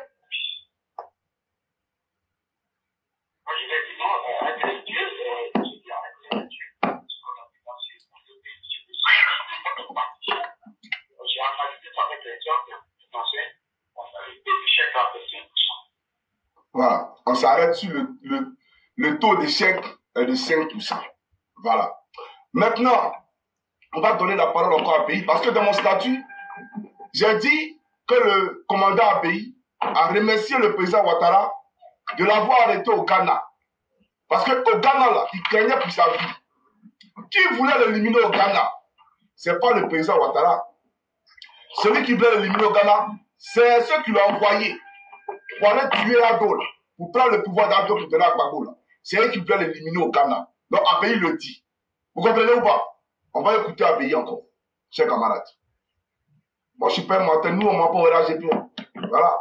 Suivez la vidéo. Je comprends. Mais mon commandant, mais pourquoi, mais pourquoi, quand vous êtes sorti de là, bon, vous témoignez dans ces pays-là, pourquoi ils ont essayé de vous salir, son parti politique, l'UMG là, ils ont essayé de vous salir.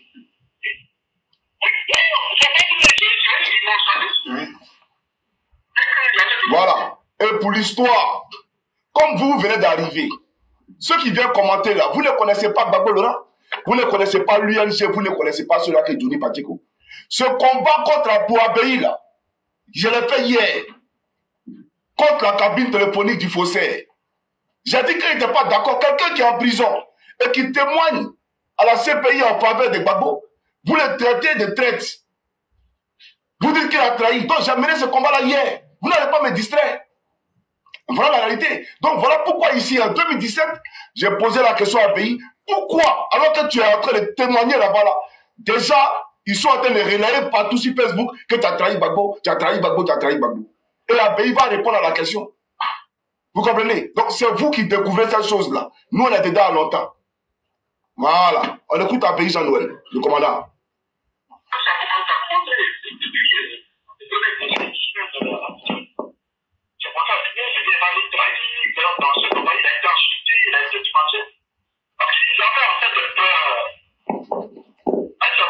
Oui, oui, je comprends. On comprend. Voilà. C'était ça ma tête peur. Et quand je vais partir là, et que je commençais, je commençais sur les questions de, de ce qui s'est passé, donc tu vois que je commençais à donner un certain nombre de vérités à être exact. Au Canada, là Ah oui. Mais voilà, donner un certain nombre de vérités. On dit que moi, je suis assez machin, de là, je commence à dire, et je suis dans tel temps, j'ai un camarade de Tobaïna.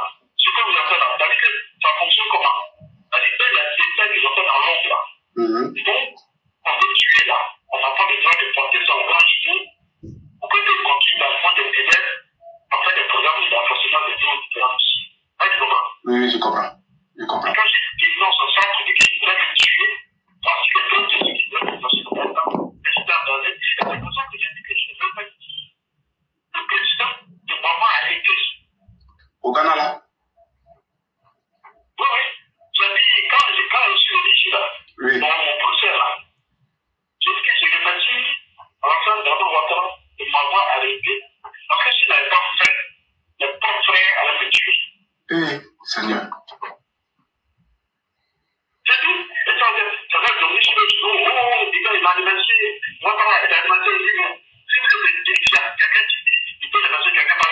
Ouais, ouais, sérieux.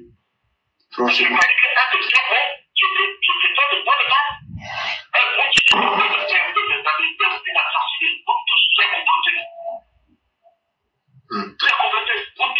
on peut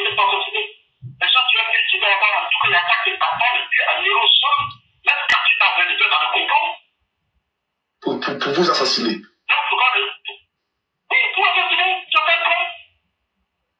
C'est pas possible. Tu fais quoi? Les 200 rebelles, tout ça va laisser au courant. Même, même, c'est là-bas, oui, au courant. Et maintenant Picasso.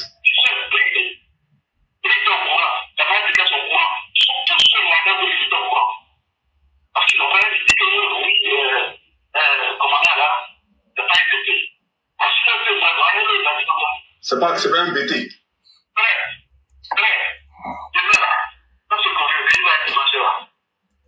Et ce que le commandant dit, ça ne nous étonne pas. Parce qu'aujourd'hui, on m'attaque, on dit, moi, il a trahi Babou parce que je suis BT. Rachel Crasso a trahi Babou parce qu'elle est, elle est BT. Zasso Dagrou en, global a trahi parce qu'il est BT. Bleu a trahi parce qu'il est BT. Bon, plein, plein de noms. Plein, plein de noms. Donc, ça ne nous étonne pas. Vous avez vu un peu, ils ont créé un nom, on dit non, nous on est au restaurant. Imagine if you can make 2K. Et donc, Lenny, on, a- on vient de jouer euh, la partie que vous aviez demandé. Est-ce que vous avez, est-ce que tout le monde a attendu le témoignage d'Abbaye où il disait que Blé Goudé était présent, Mhm. que tout le monde était au courant, il avait cité le nom d'un certain Dosso, et il y a un autre qui était avec eux, de- qui n'était pas pour ce, son assassinat. Est-ce que les gens ont bien compris la partie? J'espère bien que ceux qui ont voulu écouter ont écouté, mais il y a le lien qui est là aussi. Ils peuvent, ils peuvent aussi suivre. D'accord. Donc, je tenais à préciser cela. Mm. Hier, je- je- je- je- quand je n'intervenais pas, parce que quand le débat était chaud entre lui et vous, et je remercie même euh, Kokura, qui est venu à son secours le jour-là. Parce que, quoi qu'on dise, quand il y a un débat, on se ment. On- n'est pas la même chose. On ne peut pas être la même chose. Même chez Dieu, on n'est pas la même chose. Mais quand tu as eu la chance d'être encadré par des personnes, il faut avoir du respect pour ces personnes-là. Moi, là, je ne peux pas me traiter aujourd'hui de lâche et d'hypocrite parce que tout simplement, lorsque il y a eu cette altercation entre lui et moi concernant Bleu Goudé, tout simplement parce que j'ai dit que tout ce qui s'est passé au Ghana, le coup d'État qui s'est passé au Ghana, Goudé était bel et bien présent. Et je suis allé même plus loin. pays a été arrêté en 2012. Et tous les conglomérats de Pougis qui étaient au Ghana.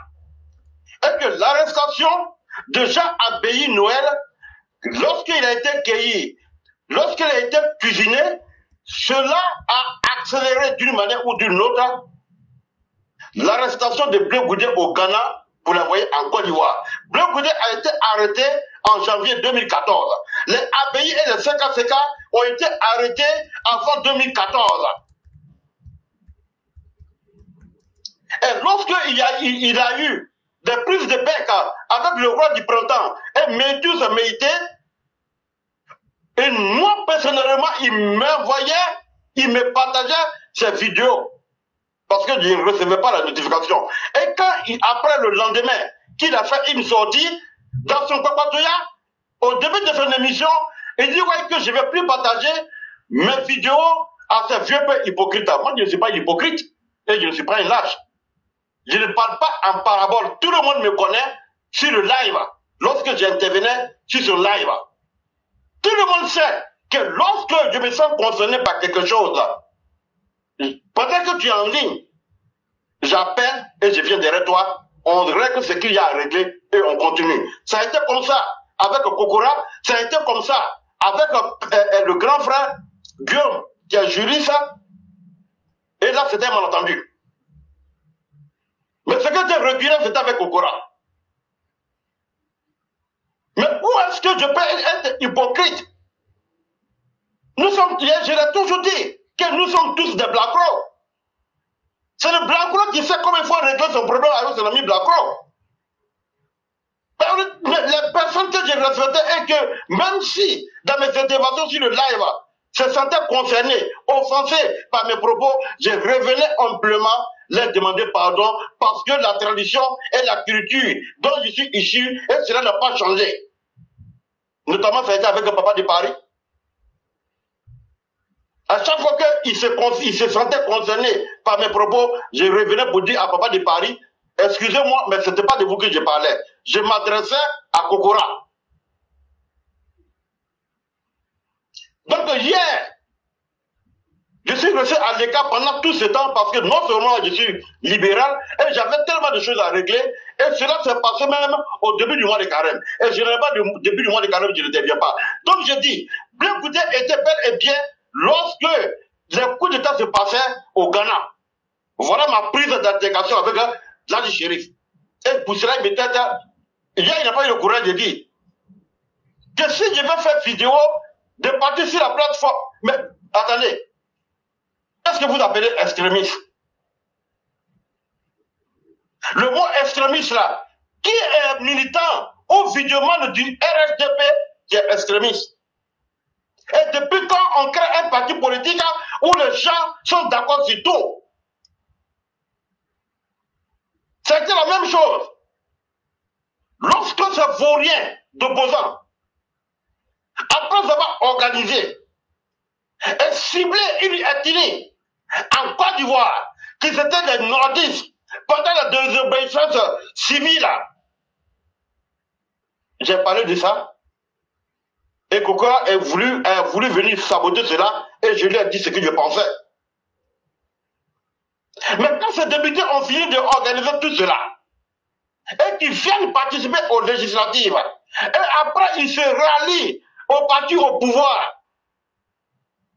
Pour être un à l'Assemblée nationale, je, suis ressorti pour dire que ceux-là, c'est des criminels, c'est des fourriens, et ceux-là, à partir de l'instant où ils se sont ralliés aux, députés du pouvoir en place pour l'élection du président de l'Assemblée nationale, et tous devaient être jugés et les jetés en prison, et que je suis allé même plus loin, que c'était dangereux pour la démocratie en Côte d'Ivoire. Et là, le peuple entier venait se faire bâillonner.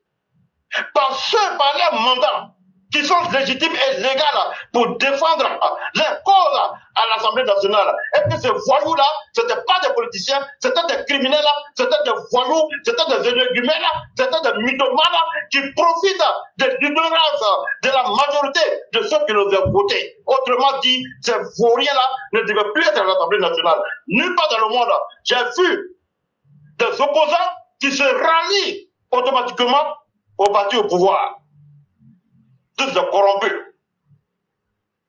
J'avais signifié cela. Et comme d'habitude, ils se sont levés encore pour dire que non, que cela est bien, que même si on pouvait partir au parti unique. Et j'ai dit non. Former un parti unique à cet instant en Côte d'Ivoire, cela va nous ramener au parti unique du président Félix Fouboyi. Ceux qui ont décimé la Côte d'Ivoire hier, qui ont détruit la Côte d'Ivoire hier, qui sont sans morale. Si ceux-là, ils doivent se rallier au parti au pouvoir, le peuple est cuit et on n'aura plus encore de démocratie en Côte d'Ivoire. Est-ce que pour autant, quand on est dans le même parti politique, est-ce qu'on doit se marcher là-dessus pour quelqu'un où sa criminalité a été établie? Et qui continue de clamer haut et fort qu'il n'a pas été coupable. Quel pardon vous voulez demander en Côte d'Ivoire? Et je suis allé plus loin pour dire que si Bleu Goudé, comme il le disait, il était en train de faire du vigilant, que ses camarades d'hier qui étaient avec lui au Ghana, qui organisaient le coup d'État avec lui, qu'il aura beaucoup de choses à dire, j'ai dit que si Bleu s'amuse à faire aux zouaves, à jouer au camp, et tous se retournent en prison? Parce qu'ils étaient tous ensemble hier pour organiser des coups d'État et il y a des soldats qui sont tombés. Tellement que les attaques étaient récurrentes. À la frontière du Ghana, le président Hassan Ouattara était obligé, dans le courant de 2013, de, de fermer la frontière avec le Ghana jusqu'à ce qu'il y ait une issue de cette histoire des attaques répétées. Dites à Allah que je ne parle jamais de quelque chose que je ne maîtrise pas, donc je ne parle des, tenants et les aboutissants. Et je vais dire aux frères, Doumia Bill Fakoli qui intervient sur le live. Hier, après mon intervention, il est intervenu. Dites à Doumia, je, n'encourage pas la violence à Côte d'Ivoire. Mais partout où je peux détruire ceux qui ont mené la violence hier, qui veulent se faire passer aujourd'hui pour des personnes sérieuses, pour des personnes qui veulent la paix, les gens comme Bleu Boudé, je fais les combattre jusqu'à mon dernier souffle. Bifakoli, Doumia, tu interviens sur le live. Hier, après ma prise de parole, tu es intervenu. Quand je parle, et je t'ai donné des témoignages hier, le frère éclaireur est de Boaké, je crois.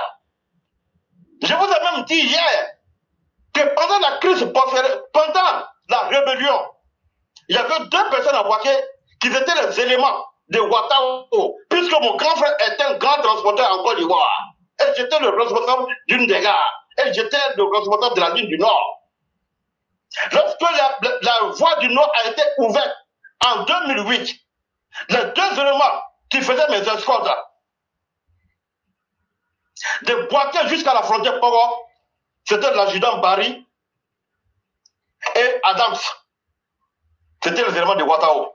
Et toi-même, Bill Fakoli, tu as confirmé ça hier. Et même si tu appelles Barry aujourd'hui et Adam ça, pour dire que si c'est CTM, ils vont te dire oui qu'on le connaît. Et quand je dormais à Boaké, le frère éclairé connaît bien Boaké, je dormais à l'hôtel dans un cinéma qui était en dissidence, que j'ai fait même à Bobo du Lasso. L'hôtel de Daouda Konaté. Il a même construit une mosquée en partant vers le corridor nord, le quartier qui est juste en bas. J'ai dit tout ça hier. Donc je ne suis pas un novice. Personne ne va me raconter l'histoire de la rébellion. Et je suis le plus loin, les frères. En disant à Zaghi, la seule, le seul argument que tu as, ça ne tient pas. Quand tu dis que le président Alassane Ouattara a délégué Claude Saï pour aller donner le passeport de Blé Goudé. Mais pourquoi vous êtes dans, dans, dans, dans, les, dans, les, dans, les, dans les trucs sélectifs? Mais avec Claude Saï, ne pas remettre le passeport de Blé Goudé, le rencontrer parce que le, le passeport était déjà avec lui, à l'ambassade de la Hollande, Claude Saïd va le rencontrer parce que Blé Goudé, ces éléments, et les éléments de ce regroupement, j'étais parti manifester devant le, bureau de l'Union européenne à Bruxelles pour réclamer son passeport. Et j'ai dit à Ladi que c'était un acte politique. C'était une réponse politique à Blé Goudé. Qui avait dit devant le monde entier, devant l'Union européenne, que tu as été acquitté à la CPI et que le gouvernement ivoirien ne veut pas te remettre ton passeport? Et trois semaines après, on va te remettre ton passeport. Est-ce qu'on a besoin d'être à l'université pour comprendre ce acte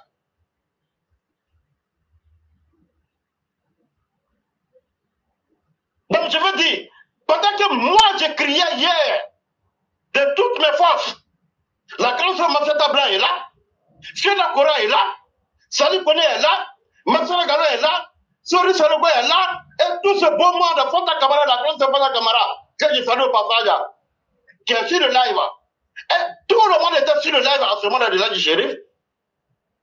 Mais pendant que nous on criait pour faire ce combat-là, lorsque ce même Blé Boudé et le Sero Guillaume, Pédier, Babo Laurent, et tous ces même Afinguesa, étaient en train de se battre pour renverser le président Alassane Ouattara. Nous, non seulement, j'ai fait le meeting ici, devant l'ambassadeur de, de- de la Côte d'Ivoire des États-Unis, le, le grand le, le, le sénateur, euh, euh, Enda Kamara, et tous les membres du bureau de l'ambassade des États-Unis à New York, ils étaient là à Philadelphie.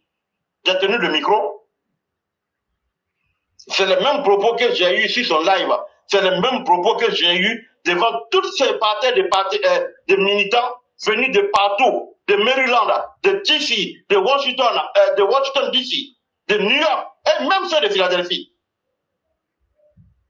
Pourquoi ce moment-là, il ne m'a pas dit qu'il est extrémiste si vous voyez que je suis resté pendant longtemps et que je ne voulais pas intervenir directement ici, je partais d'abord lui dire, et il ne m'a pas laissé hier terminer mon intervention. Il m'a rapproché au nez. Et je vous ai envoyé cette vidéo pour que tout le monde sache que quand il me traite de menteur, que c'est faux ce que j'ai dit concernant Charles Blé Goudé, et que je lui ai envoyé la preuve, là où Charles Blé Goudé était cité dans la- les, coups d'État organisés par leur groupe au Ghana. Voilà la vi- vidéo que je lui ai envoyée. Il n'a pas joué la vidéo. Là, du monde, je ne suis pas un lâche. Et je ne vais jamais être un lâche. Mais quand nous, on criait hier, en 2020, pour le combat du président Alassane Ouattara, qui était extrémiste à ce moment-là Blé Goudé était, avec euh, les partisans de Blé Goudé. Ce n'était pas eux qui étaient en train d'encourager. L'assassinat et la, et, la, et la du pouvoir Ouattara. Et j'ai toujours dit qu'entre lui et moi, il n'y a pas d'intimité. Depuis que je suis sur son live, il y a plus presque 4 ans, il n'y a jamais eu d'intimité, il n'y a jamais eu de confidence. C'était les discours politiques, les interventions sur le live, point barre.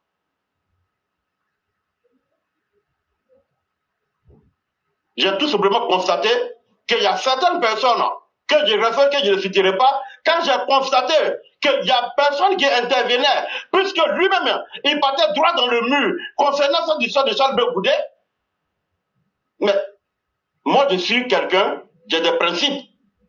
Quand j'interviens et quand je dis que je ne suis pas dans quelque chose, je me retire. Peut-être que je me suis dit qu'il avait, avait d'autres informations que moi je n'ai- pas concernant cette histoire de Blé. Mais de là à venir me traiter que je suis lâche, que je suis un hypocrite. Je pense ouais, qu'il est une femme française. Elle n'a qu'à lui demander le mot lâche, la signification et le mot hypocrite. Moi, je ne fais pas le semblant. Et ce que je dis devant toi, ce que je dis derrière toi, c'est ce que je dirai devant toi. Et je suis allé plus loin. en disant qu'aujourd'hui, tout ça, il n'y a plus de politique en Côte d'Ivoire. Le président Alassane Ouattara a déjà fait toute la politique. Il n'y a pas d'opposant en Côte d'Ivoire. Bleu Goudé est rentré. Qu'est-ce que Bleu Goudé aurait pu faire dans cette situation actuelle si jamais il ne se rallie pas? Et moi je dis, comme il, a dit hier, que si on fait une diffamation, qu'on va te convoquer, j'ai dit, mon nom à l'état civil, c'est Sekou. Envoyez ça aux éléments de Bleu Goudé.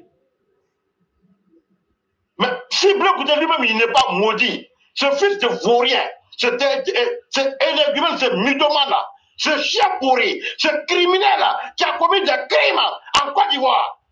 Mais il faut te saigner pour pouvoir le saigner même à, à, l'image de ce énergumène. Et moi je le dis, là il n'a rien perdu en Côte d'Ivoire.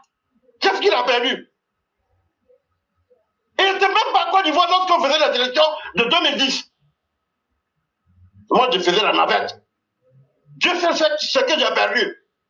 Et quand on parle, non seulement j'ai perdu en cash, non seulement j'ai perdu, mais si aujourd'hui même, on disait ouais, que bon, entre l'argent et des parents qui sont morts là, choisis, j'aurais dit, l'argent là, je peux cela, mais ramener en vie mes parents qui sont décédés. Et comme il y a des personnes aujourd'hui qui n'ont pas le sens de la famille, qui n'aiment pas même leurs propres parents, c'est ces personnes-là qui courent derrière des miettes.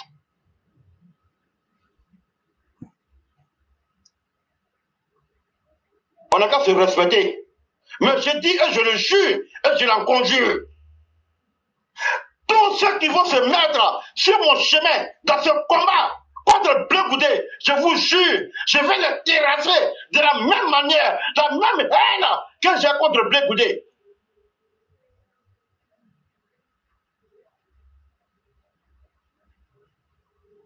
Dieu sait ce que j'ai perdu.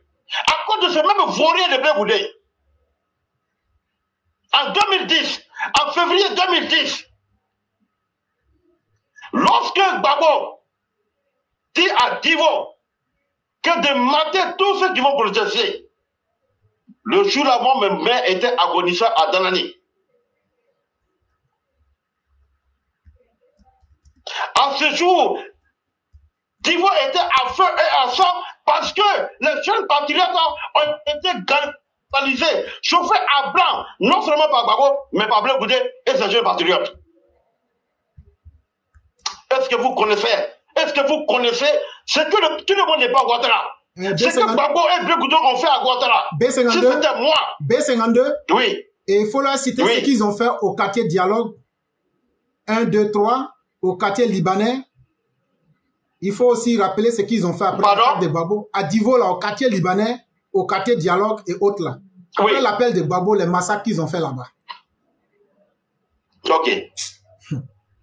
si vous connaissez l'amour maternel, si vous connaissez l'amour maternel, et je ne le regrette pas aujourd'hui parce que Dieu sait, les bénédictions que j'ai eues de ma mère, le frère éclairé, je vous jure, à partir de cet instant, tous ceux qui vont se mettre à travers mon chemin, je vais les anéantir de la manière que je vais anéantir Bleu Boulé. Et ma mère est décédée à 8 heures. Je n'ai pas pu voir le corps de ma mère. Il à 16 heures. Moi, je suis rentré à 21 heures. Quand vous ne connaissez pas les choses, je vous dis, on n'est pas, pas moment là. Quand on est humble là, Là, dis toi et moi, on n'est pas sur le même pied d'égal. Au moment que j'étais entre les deux avions, tu te cherchais comme toi-même tu le dis, tu vendais les lotus devant un, un immeuble au plateau. Il ne faut pas me manquer de respect. C'est mal élevé, c'est impoli de raccrocher quelqu'un au téléphone lorsque vous êtes dans un débat de contradiction. Ça, je ne vais jamais te tolérer ça. Depuis quand tu es rentré dans la politique? On le fait Depuis quand tu connais bien Koulé Depuis quand on l'a dit Chéri, tu connais bien Koulé Et puis tu me raccroches au nez? Après tout ce que le combat que nous avons fait, là, tu es dangereux. Tu es très dangereux. Mais vous avez fait, même les ministres qui vous recevaient, ne vous, reçoivent plus. Parce que vous êtes tous des hypocrites, vous êtes tous des irresponsables. Et je vais te le dire. Lorsque toi, là, dit, tu avais eu des discussions verbales très violentes avec les assauts, quand j'ai pris la parole, j'ai dit quoi? On est tous du même bord.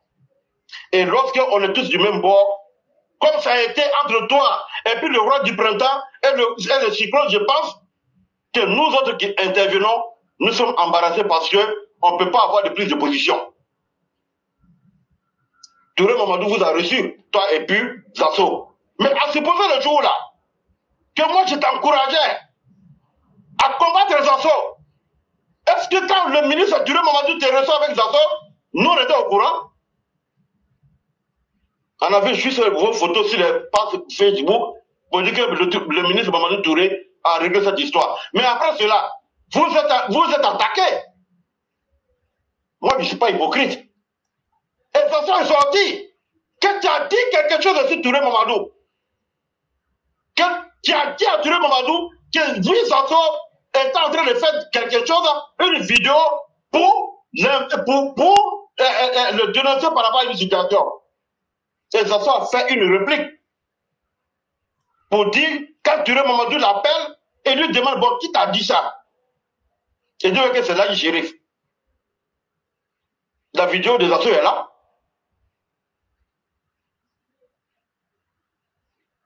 On se connaît où? On n'est pas ensemble, hein, on est en groupe. Parce que nous sommes dans une situation politique. Parce que hier, à ceux que le président Ouattara faisait confiance, c'était Daniel Kabadunka. Mais Ouattara n'aurait jamais imaginé que Daniel, Daniel Kabila Duncan pouvait compléter avec Soro Guillaume, quelqu'un qui l'a vu net, lui, Daniel Kabila Duncan, pendant qu'il était à la BCAO dans les années 75, avec le président Ouattara, que Daniel, Kabila Duncan pouvait compléter avec quelqu'un qui l'avait à l'école comme Guillaume pour lui l'assassiner. C'est pour cela, lorsque Dieu paie à son âme, Amadou Gon décède. Mais à cause de la honte, tellement que Daniel Kabila a été pris la main dans le sac, il n'a même pas pu être non seulement à l'accueil de l'arrivée du corps d'Amadou Gon Koulibaly, et il n'a même, pu- il même pu, être à l'enterrement à Korogo. Il a même déposé sa démission avant l'enterrement du ministre Amadou Gon, alors que lui et Amadou Gon étaient devenus des collaborateurs. Il avait plus de 5 ans de cela. Lui étant vice-président, Amadou Gon Koulibaly étant le premier ministre, étant du même parti politique. Depuis quand vous avez vu, sur la scène mondiale, d'un parti politique là, où le premier ministre décède là, et que le vice-président est absent? C'est toujours que Ouattara a dit. Ouattara a dit, vous-même vous dites quoi? Nous-mêmes on dit quoi? C'est pas le même Blanc Goudé pendant sa conférence de presse qui a sorti de sa gare qui était libéré. Bruno de Wablé, Seka Seka, qui ont été culpables, qui, qui ont été condamnés parce que oh, ils ont assassiné leur général là, qui était devenu chef d'état de transition, le général Robert Gueye. Blé n'a pas dit ça.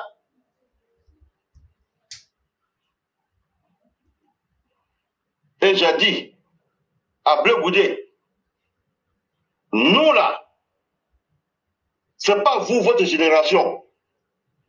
Même pas la génération qui viendra après vous.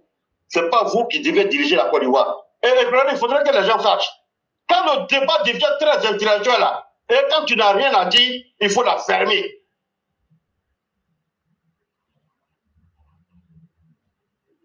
Le football là, c'est un jeu.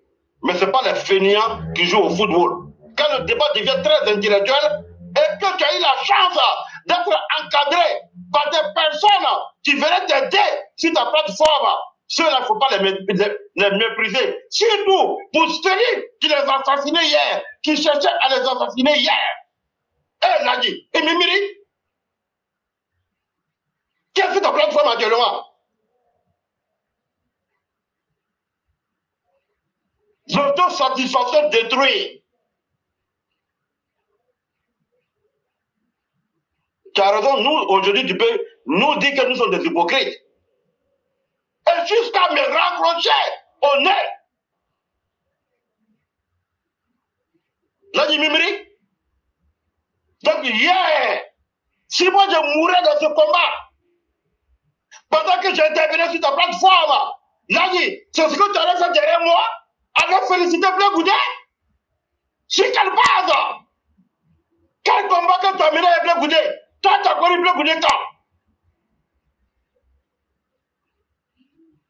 Pour ta gouverne. Le dernier voyage que Bleu Goudet a fait entre Paris et Abidjan, c'était en décembre 2003. J'étais au bord du même vol que Bleu Goudet. Il était avec Saïd Kati. Et à notre arrivée à Abidjan, c'est ce vaurien, Tapé Kourou, qui est venu l'accueillir à l'aéroport. Et après cela, Bleu Goudet n'est plus jamais retourné en France parce qu'après, il y a eu des événements du, de mars. Dis ça, c'est qu'on l'arrête. Je vais parler avec beaucoup de réserve parce que je suis encore un opérateur économique. C'est parce que j'ai- tout perdu. Je suis venu pour me refaire aux États-Unis. Le frère Ebrahim, mon premier voyage aux États- aux États-Unis. J'ai fait que un jour de séjour. Et je vous explique. Je quitte Abidjan, à bord de Royal Maroc. À 1h du matin, j'arrive à Casablanca. Je prends le vol de Casablanca, j'arrive à New York à 13h.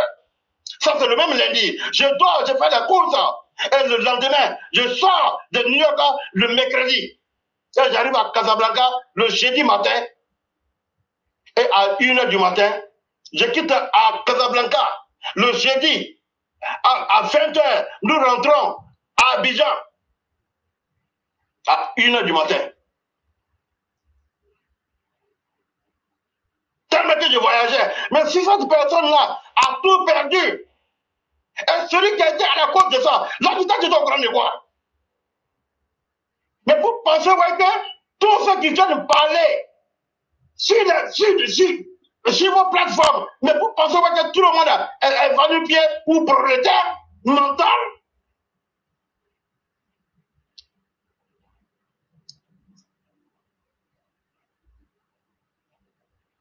Alors qu'à se respecter.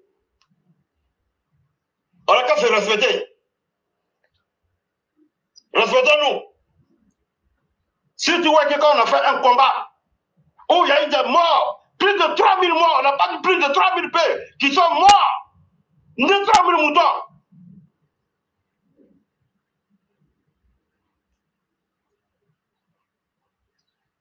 Et à chaque fois que je vais intervenir, il y a plusieurs plateformes RSDP. Mais nous avons pensé à un moment qu'on ne pouvait pas être dispersé. Et ne pense pas que c'est parce que toi tu aurais appelé les gens à sortir, si jamais c'est un argument aujourd'hui, qu'il faut le semblant d'aller à, à une paix, que toi tu vas t'asseoir derrière ta caméra, depuis ton trou à- au, au, Père de Calais, au village là-bas, que les gens vont sortir. J'ai dit hier, et je m'adresse à, à nos militants, personne n'a fait le combat pour Alassane Ouattara. Le président Alassane Ouattara là, c'est pas pour lui nous avons fait le combat. On a fait d'abord le combat pour nous-mêmes. Parce que pour faire la politique, il faut exister. Mais avant que le président Ouattara n'arrive, il y avait certains cadres du Nord qui nous ont trahis. Je parle d'Adama Champion, Donald Fologo, Mamadou Ben Koumaro, et tous les conglomérats de faux. C'est Ouattara qui est venu prendre ce leadership. Donc, quand les gens vous diront que vous avez fait le combat de Ouattara et qu'aujourd'hui il est président et ne fait rien pour vous, demandez-les. Les 20 dernières années, vous étiez traités comment? Vous, les jeunes du Nord, là. Aujourd'hui, vous partagez la vidéo de Jean Bonnet. Vous partagez la vidéo de Saleh Tchemoko. Voilà une raison pour laquelle j'avais dit que lorsque tous les députés de l'opposition se rallient au parti au pouvoir, que c'était très dangereux pour la démocratie. Et ce même Bleu Goudé donne une participation de 150 000 francs. Jean Bonnet, tu es un maudit. Jean Bonnet, tu es un énergumène, tu es un lâche, tu es un prolétaire, tu es un sanguinaire, fils de vaurien. C'est pas Jean Bonnet qui était en train d'encourager la désobéissance civile avec Pascal la vie que ça, fils de merde. Vous les militants, RHGP, je m'adresse à vous.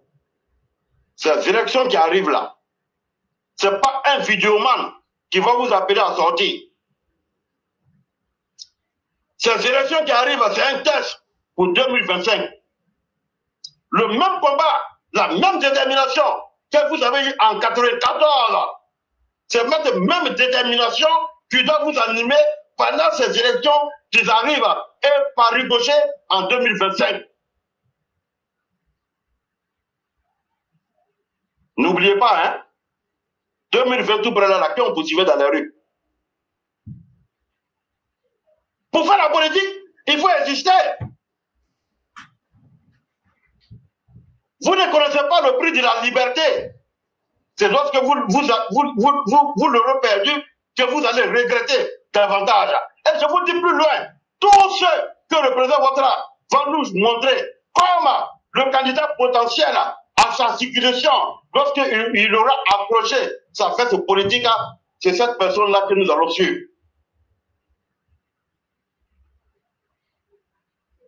Là, j'ai constaté tout simplement que tu étais en train de policer l'image de Bleu.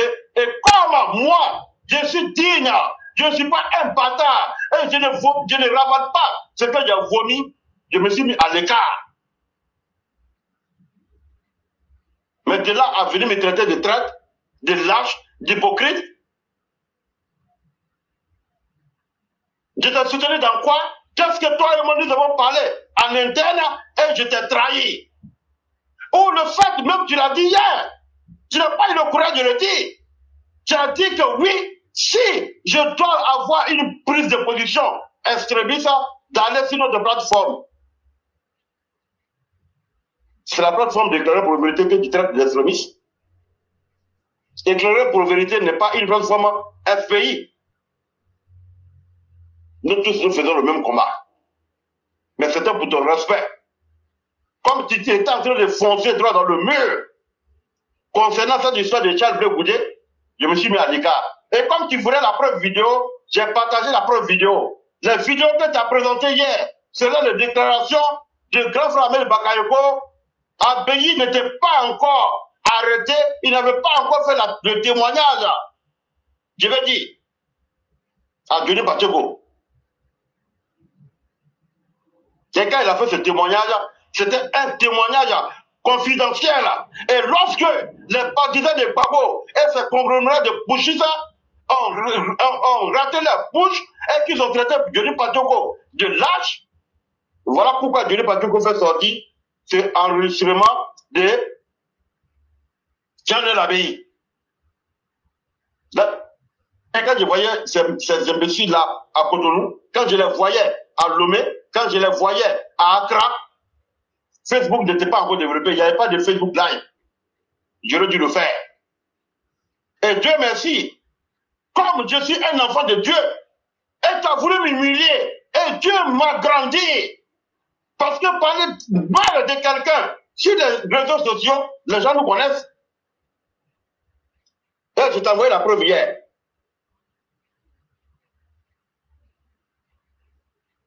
Vos frères éclaireurs, je pense que je, je vais m'arrêter là pour le moment si vous avez quelque chose à ajouter.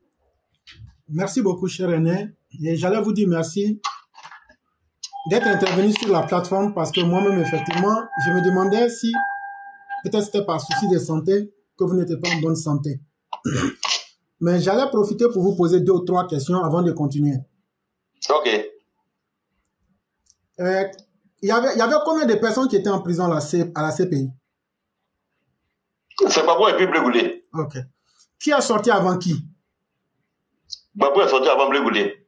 Quand Gbagbo, Non. par- non, Gbagbo est sorti avant Blé Goudé. Mhm. Oui. Quand est- quand Gbagbo partait à la il allait avec un passeport. Ce n'est pas passé avec un passeport.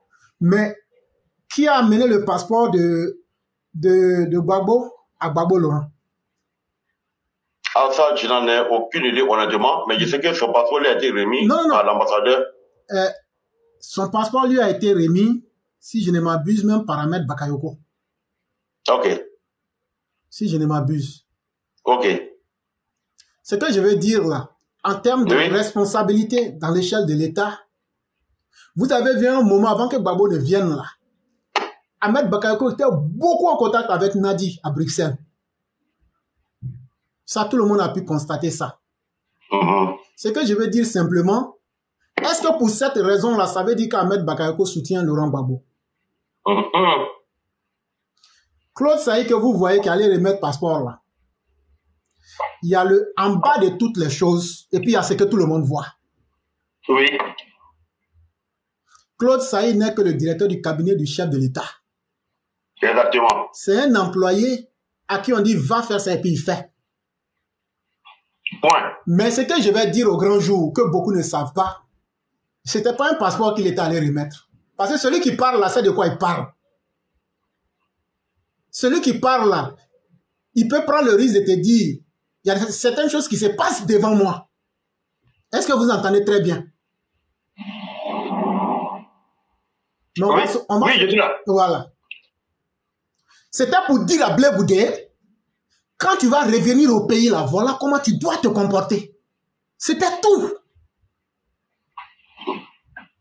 Sinon, il aurait pu recevoir son passeport à l'ambassade ou bien quelque part, et puis les choses passaient.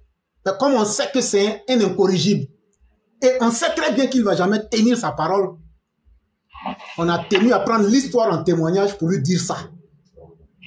Parce que c'est des gens, tout comme son maître Laurent Gbagbo, tu as beau leur parler. Mais aujourd'hui, si Laurent Gbagbo viole les principes qu'il a signés avec le greffe de la CPI, Mhm. que Blé Goudé vient aujourd'hui à violer les principes de ce que lui et Claude Saïd, à travers le gouvernement ivoirien, on lui a dit de faire. Quand Blé Goudé vient soutenir aujourd'hui des gens, on nous parle de 150 000, mais c'est faux. C'est plus que ça. Et en termes de stratégie, c'est plus que ça. Ils sont en train de violer leur propre serment. Est-ce que quelqu'un qui viole un accord est quelqu'un qui a changé? Non. Mais il faut convoquer l'histoire pour qu'on on rappelle un peu qui est qui dans- en Côte d'Ivoire dans ce pays-là. Cher frère, vous êtes, euh, pardon, je dis cher père, vous êtes plus âgé que moi. Je vais me tromper, mais je convoque l'histoire. Et rappelez-moi sèchement à la réalité. Je ne suis pas xénophobe. Quand on fait prendre le pays, la Côte d'Ivoire était un pays où tout était à refaire. Eh ben, oui, oui. Les femmes ivoiriennes partaient se prostituer au Ghana. Les rares intellectuels qu'on a eu comme les Oufoué là, ils sont partis à l'école de William Ponty où sortaient médecins, médecins, médecins africains. À part soigner, mettre mercurochrome pour soigner plein là, il n'y a rien d'autre dans, dans le diplôme là. Voilà les premiers intellectuels de la Côte d'Ivoire qui étaient là. Le premier Oui, palais que vous voyez qui est construit là, même ciment, point, tout est quitté en France. Il n'y avait même pas une seule série en Côte d'Ivoire, à plus fort de nos cimenteries. Oui, oui. Et c'est à partir de quelle année? De 1960, c'est jusqu'à dans les années 70 là qu'on va commencer à faire ces travaux-là. Tellement la Côte d'Ivoire n'était rien. Les enseignants Oui. qui venaient enseigner, c'était les Béninois, on les appelait les Dahoméens. Voilà comment la Côte d'Ivoire a commencé. Les Burkinabés, pour construire le canal de Vridi, là, on a signé un accord avec le Moro Naba pour faire venir les Mossi, là. Ils sont morts comme ça dans Vridi, là. Ce qu'on ne vous dit pas aussi, le deal qu'on a signé avec les Mossi, là, on n'a jamais payé l'argent, là. Ça aussi, il faut qu'on vous dise ça. Mais les enfants de ces gens-là, la rame que vous voyez au plateau, là, les travaux durs que les Ivoiriens ne pouvaient pas faire, là, c'est les Burkinabés et les Mossi, là, qu'on a pris, qui ont fait ça. Il faut que les Ivoiriens ouvrent bien leur oreille, on va leur dire certaines vérités. Entre-temps, on avait les populations de la Côte d'Ivoire qui sont là. Mais ceux qui sont venus pour aider la Côte d'Ivoire, là, est-ce qu'ils sont venus d'eux-mêmes ou bien est-ce qu'on les a invités à venir? Quelqu'un que tu as invité à venir, là, tu ne le traites pas comme un étranger. Tu le traites avec respect. Et Pendant tout ce temps, les Ivoiriens ont bien vécu ensemble. Mais il y a le fond de toute chose et il y a la forme de toute chose.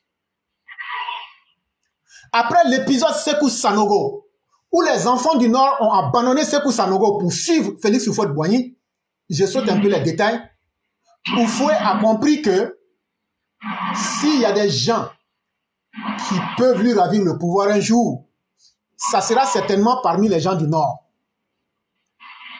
Et donc, qu'est-ce qu'il fallait faire? Ce que je dis là, si c'est faux, s'il vous plaît, convoquez-moi pour me dire c'est faux. Il y aura un complot contre les gens du Nord pour qu'ils n'accèdent jamais au pouvoir. Et comment est-ce que ça sera fait?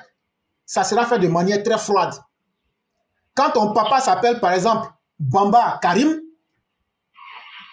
et que toi l'enfant, tu nais, toi l'enfant, on met ton prénom à la place de ton nom et on met ton nom à la place de ton prénom. Techniquement parlant, ça pose un problème. Et ça fera que donc ton père n'est plus ton père. Parce que chez vous, les gens du Nord, quand on dit Bamba Yakuba ou Yakuba Bamba, pour vous, c'est la même chose. Alors que Mhm. devant les Blancs, c'est pas la même chose. C'est pas la même chose. Et donc là, montrez-moi une seule ethnie en Côte d'Ivoire qui faisait acte d'individualité si c'est pas les gens du Nord de la Côte d'Ivoire. Je convoque l'histoire et la mémoire collective. S'il y a une autre ethnie en Côte d'Ivoire qui a eu un jour un seul individu parmi eux qui ont fait acte d'individualité, à part les gens du Nord, venez me dire. Il n'y en a pas. Si on ne renverse pas le nom du père, on renverse le nom de la mère. C'est uniquement les gens du Nord qui avaient ce problème-là, mais c'était fait intentionnellement. Et on les a encouragés à aller vers le fait de ne pas aller dans les écoles. Il faut favoriser le commerce. Il leur a favorisé la vie dans les, dans les métiers du secteur libéral. Et ce peuple-là s'est oublié dans la facilité. Mais ça va les rattraper. Dans l'administration, quand ils vont pour chercher un travail, ça devient difficile. Dans la vie courante, ils sont limités à un niveau. Ça, c'est le mal que Félix Houphouët-Boigny a fait. Mais quand Félix Houphouët-Boigny va mourir, Bédier, sachant les conditions dans dans lesquelles il a humilié Alassane Ouattara, pour pouvoir prendre le pouvoir, ce même Bédier-là s'est dit, il faut qu'on combatte encore ces gens du Nord. Et qu'est-ce que Bédier fait? Bédier fait carrément ce que Houphouët-Boigny faisait de manière froide, lui il le fait maintenant de manière radicale. Il vient avec le concept de l'ivoirité, qui est une promotion des valeurs ivoiriennes pour faire la promotion de tout ce qui est ivoirien. Mais quand tu fais la promotion d'un produit là, est-ce que cela t'oblige de facto à exclure d'autres produits? Non. Mais parmi les enfants de la Côte d'Ivoire, qui viennent du Nord, qui sont des Ivoiriens, eux, on les assimile aux étrangers et on voit chaque du vendredi, comme vous les musulmans, vous aimez aller à la mosquée les vendredis. Si c'est faux, est-ce qu'on ne voyait pas les musulmans, on les attrape des vieillards, on les attache les uns aux autres avec leur boubou Oui. Est-ce qu'on n'a pas vu des gens du journal Le Patriote et le journal Tassouma en train d'être éliminés Et tous ceux qui ont été tués, ce sont les enfants du Nord. Est-ce qu'on n'a pas vu ici nos cadres que vous voyez aujourd'hui là? Il y a beaucoup qui ont perdu leur boulot parce qu'ils étaient des soutiens à Alassane Ouattara. Et quand vous prenez tout ça, vous voyez, ce sont les gens du Nord. Jenny Komina lui-même, quand ils vont voir ces frustrations-là, vous les gens du Nord, ce qui a fait que le RDA a été créé là. Quand vous partez aux réunions du PDCI là, parce que le là, ça vient du PDCI. On dit, ah, vous la quittez dedans, on n'a pas besoin de vous. Et là, les, les, les Jenny Komina et autres se sont frustrés. Quand ils ont quitté là, ils ont dit que Johnny Komina aussi est ghanéen. Voilà Oui. comment le RDR est né. Le RDR est né, si je vais me limiter là, parce qu'on avait voulu prendre tout un peuple en entier, animaliser les gens du Nord, et puis leur dire, bon voilà, c'est nous, on va vous dire la place où vous devez rester. Ça, c'est à son animal de compagnie qu'on fait ça. Cher René, est-ce que vous me comprenez bien Oui, oui. C'est à son animal de compagnie qu'on fait ça. On ne traite pas un être humain comme ça. Et vous pensez que des gens vont subir ça et puis ils vont devenir des faibles, ils ne seront pas des radicaux? Vous pensez qu'on peut traiter des gens comme ça, les humilier pendant plus de 20 ans et eux, ils vont devenir des gens doux? Mais dans tout ça, ça, ça peut faire mal, mais ça ne se limite pas là. Il y a un certain Laurent Gbagbo qui vient. Il manipule Gay, qui dit être venu pour balayer la maison et qui reconnaît les effets néfastes et pervers des actes de Bédier. Mais Laurent Gbagbo va le manipuler. Laurent Gbagbo sort ici pour dire la constitution qu'ils ont écrite, c'est contre Alassane Ouattara. Et que lui va dire la vérité. Et encore, il va, même le corps d'Oufoué, il va attaquer le corps d'Oufoué. La vidéo est là. Ça est sur notre page. Tellement sa haine est grande, il va humilier le corps d'Oufoué. Que parce qu'Oufoué était devenu vieux et donc il ne pouvait plus servir. Mais que la constitution a été votée contre Ouattara. Et là, ceux qui disent que nous sommes des radicaux, allez leur demander les jeunes militaires que Gay a tués là. Ils les ont tués comment? Et pourquoi on les a tués? Le coup d'état du cheval blanc, le coup d'état de la Mercedes noire, le coup d'état de la cabine, le coup d'état de tant, tant, tant, le coup d'état de, je, rêve, le coup d'état de mon, de, de mon je ne sais quoi? C'était exclusivement les gens du Nord qui étaient tués, les militaires.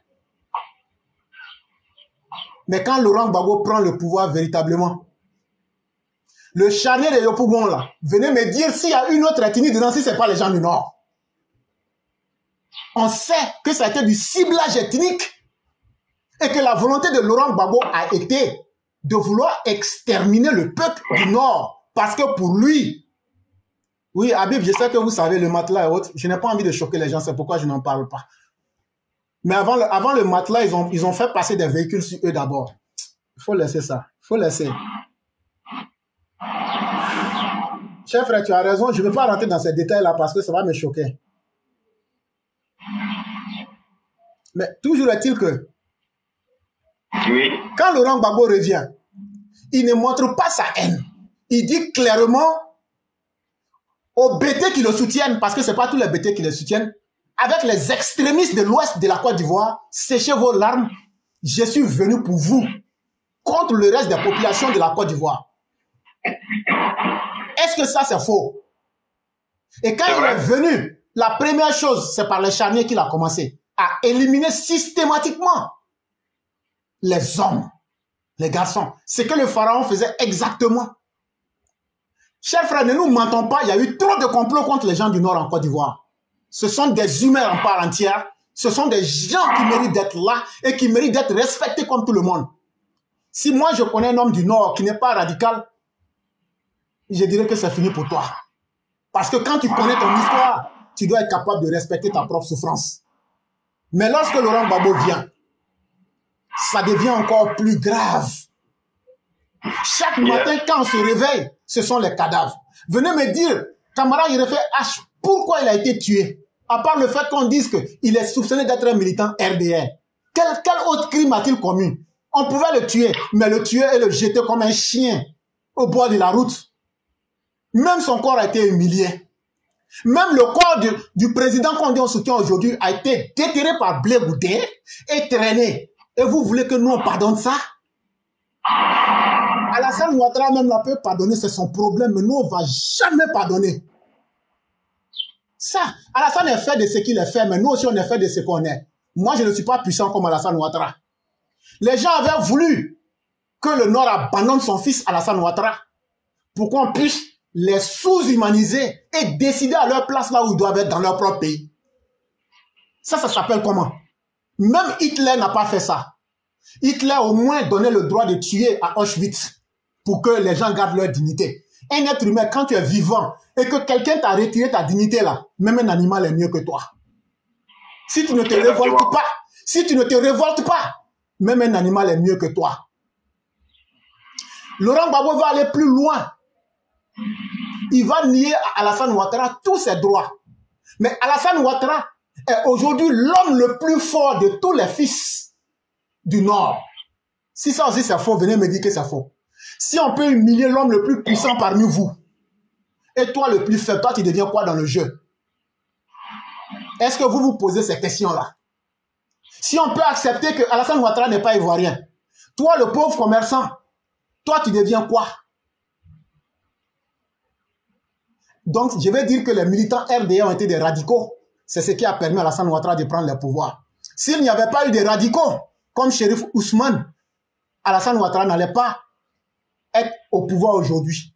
S'il n'y avait pas eu des radicaux comme connaît Zakaria, Alassane Ouattara n'allait pas être au pouvoir aujourd'hui. S'il n'y avait pas eu des radicaux comme Koulibaly Adam, Alassane Ouattara ne serait pas au pouvoir. S'il n'y avait pas eu des radicaux comme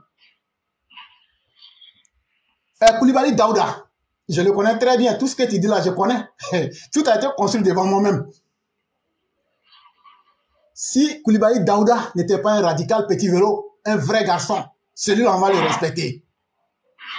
Cyclone sait de quoi je parle? Lundi noir le soir, ce que Konaté a fait à lundi soir, tout le monde connaît. Si elle n'avait pas été des radicaux là, Alassane Ouattara là, Laurent Gbagbo là, il n'allait pas prendre sa tronche pour signer l'accord de Pretoria. C'est pas des gaietés de cœur qu'il a signé. C'est parce qu'il a eu des radicaux en face qui ont dit Alassane ou rien. Et ces radicaux comme Zakaria qui ont dit nous sommes venus pour combattre Laurent Gbagbo. C'est de ça qu'il est question. Et qui a accepté qu'on l'emprisonne injustement au Burkina. Oui, on est fiers d'être des radicaux. Et même s'il y avait un mot encore plus grand que radicaux, même c'est ce qu'on est. Et nous, on assume. Et donc, Laurent Gbagbo n'a pas changé aujourd'hui. Modibo Drabo, alias Mobio.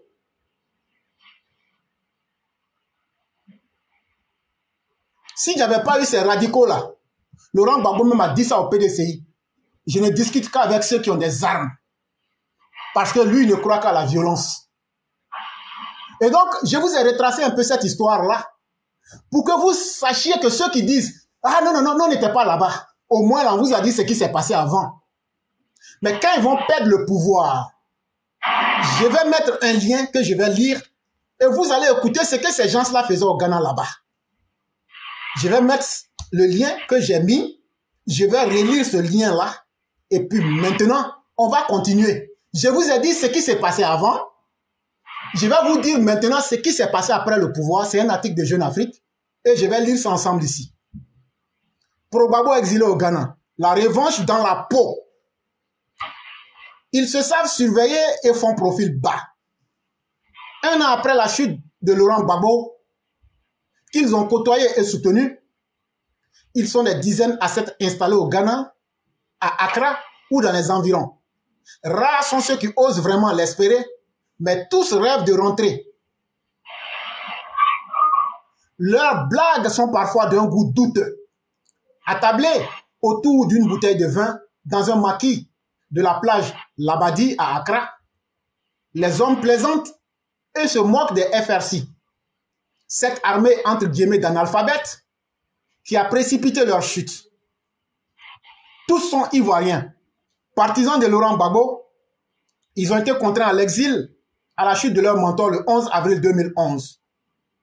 La revanche, ils y pensent tous les jours, en parlent entre eux, mais refusent d'être cités. On dit, tous ceux qui étaient au Ghana là, ils préparaient leur revanche. On va citer les noms, hein. Mais tout le monde ne peut pas avoir le même mode opératoire. Mais on va les citer ici. Mais eux tous, selon ce que l'article dit, la revanche, ils la ruminent, mais refusent d'être cités. Aucun n'a digéré l'arrivée d'Alassane Ouattara au pouvoir. Mais ils savent qu'ils n'ont rien à gagner à attirer l'attention des autorités ghanéennes. Autour de la table, les plans s'échafaudent. On se prend à espérer que la défaite de Nicolas Sarkozy au second tour des élections présidentielles françaises sonnera la fin du soutien international à Ouattara. Et l'on commente les dernières rumeurs de coups de force. L'argent, ce n'est pas un problème, assure l'un des convives. Nos avoirs gelés au pays, c'est de l'argent frais, une épargne en attendant que l'on rentre. Le restaurant tout neuf dans lequel ils aiment se retrouver a été sobrement baptisé Ghana Côte d'Ivoire et appartient à Benoît Komena Brown, président de l'Association des réfugiés ivoiriens de la diaspora, en abrégé ARID. Autrefois homme d'affaires prospère, il gérait la célèbre baie des milliardaires de l'île Boulay à Abidjan. Et ami personnel de Laurent Gbagbo, Brown a lui aussi posé ses valises au Ghana où il vit avec sa femme et enfants. Ce jour-là, Wacha Kejebo, ancien directeur de campagne de Laurent Gbagbo à Boaké, ne s'est pas joint à eux. Il préfère aller manger un atiéké dans un restaurant de Tessano, un quartier populaire de la capitale. En Côte d'Ivoire, Ouachar Kedabo s'était fait remarquer en créant le Comité national de libération de Boaké, après la rébellion de 2002. Après un an d'exil à Accra, il dit avoir abandonné la voie des armes, mais pas le combat pour faire libérer son ancien président détenu dans une cellule à la Cour pénale internationale dans la banlieue de la Haye. Un combat qu'il mène aux côtés de Damana Adia Pikas, qui dirige lui la coordination des patriotes ivoiriens en exil. Copie. Damana Pikas n'est pas non plus un inconnu. En novembre 2010, il est le représentant du Front populaire ivoirien au sein de la commission électorale indépendante. Le 30, c'est lui qui, d'un geste rageur, devant les caméras de télévision, arrache les résultats des élections présidentielles qui donnent la victoire à Alassane Ouattara. À Accra, Damana Pika s'est imposé comme le leader des patriotes ivoiriens, tandis que Charles Blé préfère se faire discret depuis que la justice ivoirienne a émis un mandat d'arrêt contre lui. Ancien ministre de la Jeunesse, dans le dernier gouvernement de Laurent Gbagbo et chef emblématique des jeunes patriotes, Blé Goudé a fui Abidjan par la lagune quelques jours seulement avant que le bunker où s'était retranché le coup présidentiel ne soit bombardé. Une défection qui lui vaut aujourd'hui encore des rancœurs de son propre camp. Désormais, il vit retranché dans sa résidence de Théma, dans la banlieue d'Accra, et se garde bien de se mêler ouvertement de politique. L'homme se méfie.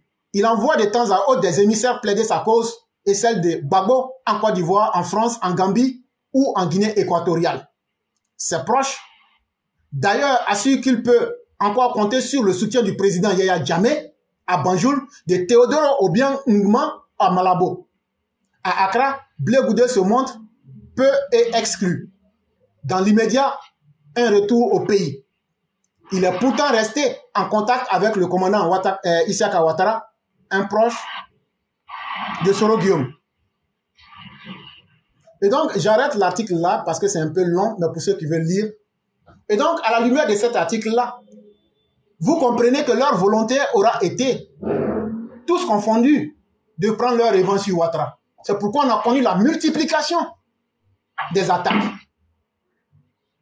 Mais ce qui est le plus intéressant, on me dira, mais l'article que tu as écrit là, c'est un vieux article. Ça, il faut que je donne la date aussi pour ceux qui veulent vérifier. J'ai mis le lien. C'est un article qui a été écrit le 8 mai 2012.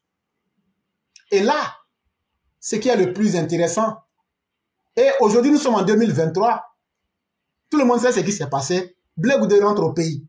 Mais quelle est sa stratégie aujourd'hui? Si moi je dis que je la connais, ce serait mentir.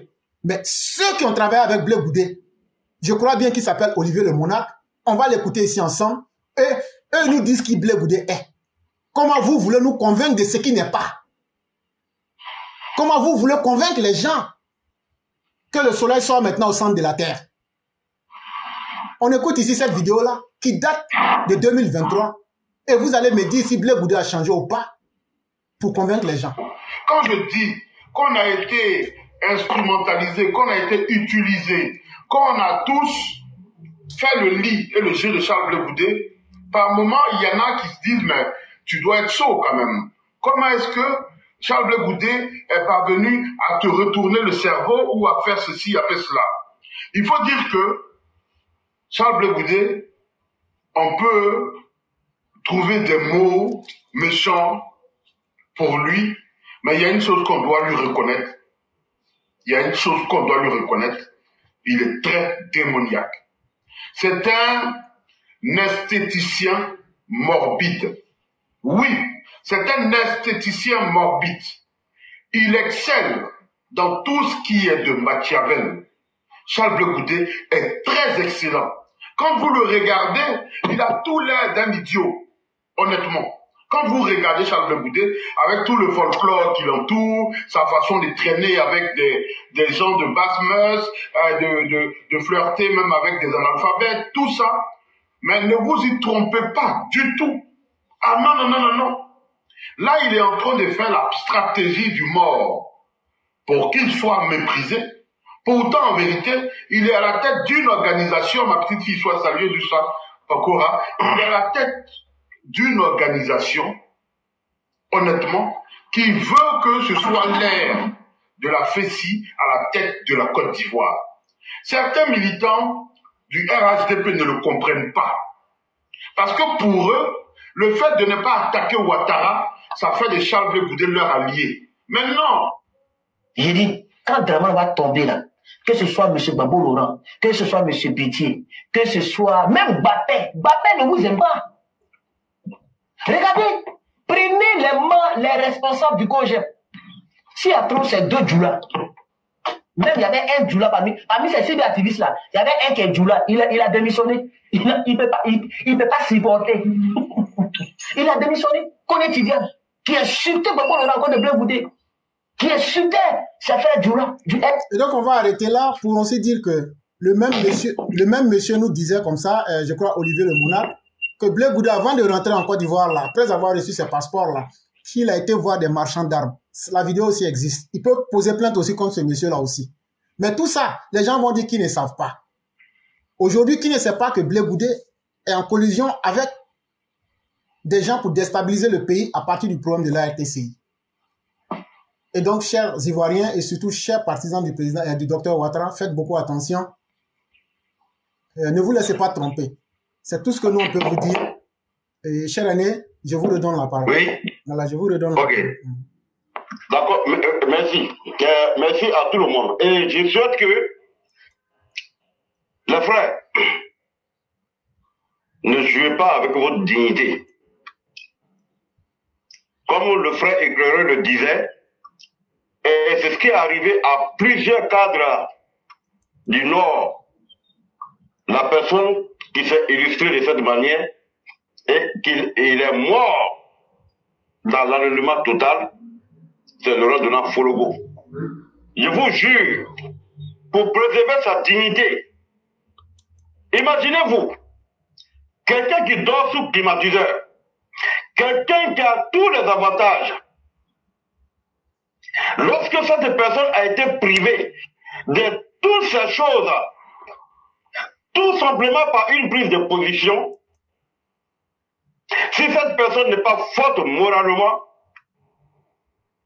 tu perdras ta dignité à cause du matériel. Ça a été le cas des Fologos et autres. Je peux vous jurer que je suis dans cette situation aujourd'hui et j'ai préservé ma dignité. Voilà pourquoi je suis aux États-Unis, recoller encore les 1 dollar, 2 dollars, 3 dollars pour pouvoir me refaire. Tout simplement parce que j'ai voulu préserver ma dignité.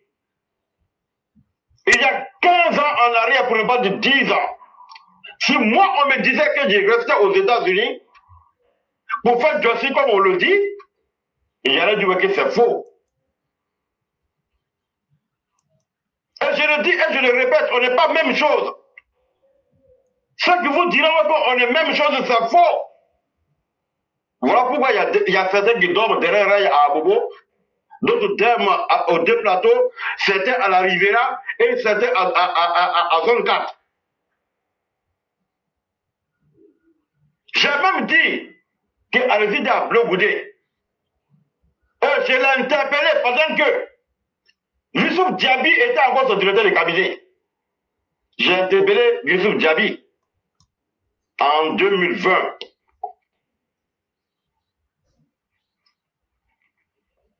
J'ai interpellé Youssouf Diaby.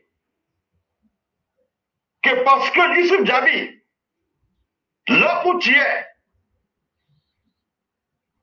ce n'est pas ta place. Bleu a présenté Youssouf Diaby lorsque il a fait une vidéoconférence avec ses partisans à Nouno. Il a dit ceci, et c'est à partir de là que j'ai interpellé Youssou Diaby. Quand il a dit que les gens disent ouais, que je n'aime pas les musulmans, et le jour là, et Kone Tidjane l'avait dit, que lorsque les ressortissants du Nord, qui sont avec lui, Blé Goudé, que le jour qu'ils viendront le voir, que le cas portait Boubou. Et le jour là, je sais qu'il a exigé à Youssouf Djabi de venir en boubou blanc et il a présenté Youssouf Djabi pendant qu'il était encore à la haie comme son musulman. Il a dit, oh, Youssouf Djabi, si toi, Blé doit te présenter comme son musulman, si peut-être qu'on dit qu'il n'aime pas les musulmans, et que toi, tu es un musulman, tu es sorti le cabinet, et que tu as train de faire fausse route. Et Youssouf Djabi était à ce moment-là l'une des personnes très virulentes à l'encontre du pouvoir du président Alassane Ouattara, qui le traitait de tous les noms. Oh, bien écouter ce détail de Youssouf Djabi, que tout simplement, Lassine Djabi, qui est son grand frère, qui était en campagne pour sa réélection en tant que député, que pourquoi Youssouf Djabi est allé soutenir Lassine Djabi. Voilà pourquoi il se détache de Youssouf Djabi. Le frère, comme tu le dis encore, je veux dire, l'a dit, la personne que j'ai côtoyée pendant la, pendant la crise, pendant la rébellion, ce n'était pas les moindres. Et je suis allé plus loin pour dire, la dernière campagne en 2007, au Burkina, à Bobo Dirasso, J'étais au Burkina. Celui que, le grand frère, qu'on appelle historien, qui intervient souvent sur le live de Ladi, Traoré, l'historien, comme il l'appelle, pour voir, si vous l'envoyez la vidéo, il pourra me contredire si oui ou non. Parce que quand tu es un homme d'affaires, il faut avoir beaucoup de retenue. Mais comme Ladi m'a traité de menteur, je vais lui dire ceci. J'ai rencontré Dieu posé à Bobo Jurasso. Et le monsieur à ce moment-là, qui faisait la sous-traitance de la RAN, puisque la voie du Nord était fermée, il s'appelle Amadou Samba Bokoum. Il vient de Kaya. Et son collaborateur direct, après des bisbis entre eux, c'est lui qui est aujourd'hui le président de la filière Pétaïa en Côte d'Ivoire, qu'on appelle Isiaka Sawadogo. Jusqu'à présent, il a envie, il a Abidjan. Moi, on ne me traite pas de menteur. Mais j'ai beaucoup de retenue parce que ces personnes sont en vie et j'ai vu beaucoup de choses. Étant à Bobo Dirasso, j'ai vu Dieu Fosier. Dieu Fosier avait une 4-4. Et j'ai vu Mourou Ouattara entre Pamfora et Bobo Dirasso. Et il s'est arrêté puisque j'étais avec Amadou Samba. Toutes ces personnes-là traitaient forcément avec la rébellion parce qu'il fallait traverser les zones. C'était des collaborateurs. Moi, je ne côtoyais pas des vagabonds. Et tout ce que je côtoyais, j'étais en, en, étroite collaboration avec le pouvoir de Blaise Compaoré et avec le pouvoir de Babo Laurent.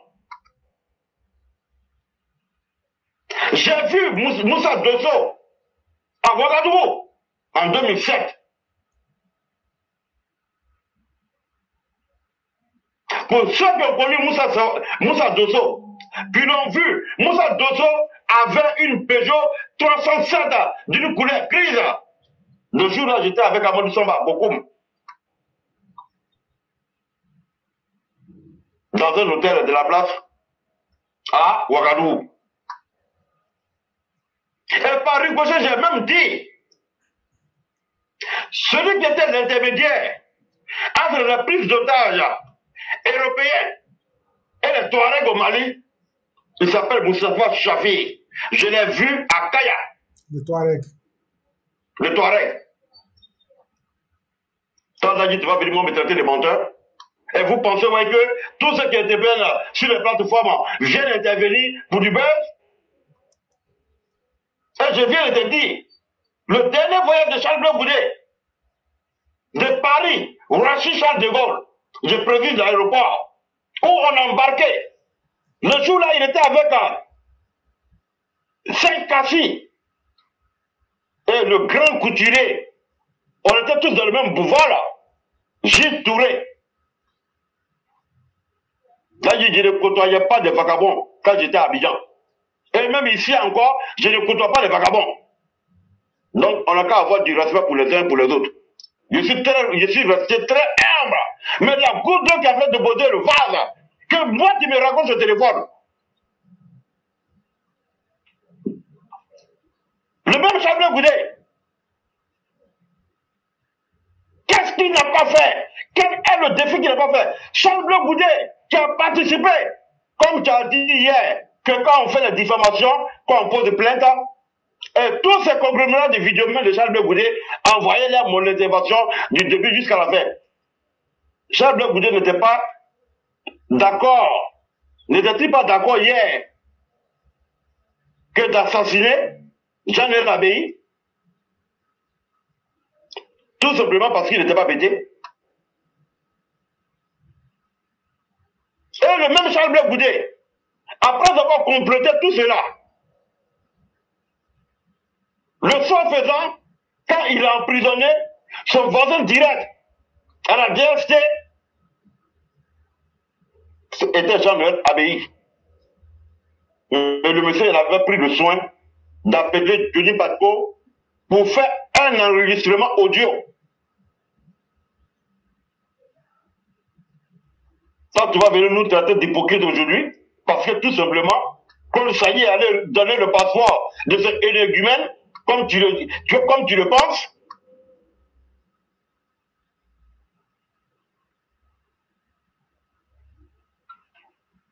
Waouh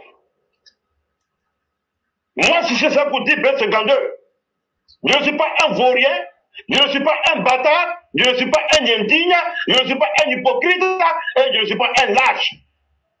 Et j'ai dit que Dieu merci, moi je ne suis même pas des années 69 pour dire ouais que j'ai dit que le blé boudé, et vous tous qui êtes assis aujourd'hui en train de euh, policier libanais de blé on est tous de la même génération. Dieu merci. Si Bleu n'est pas vieux, c'est que moi aussi, je ne serai pas vieux. Je demande tout simplement à Dieu la bonne santé.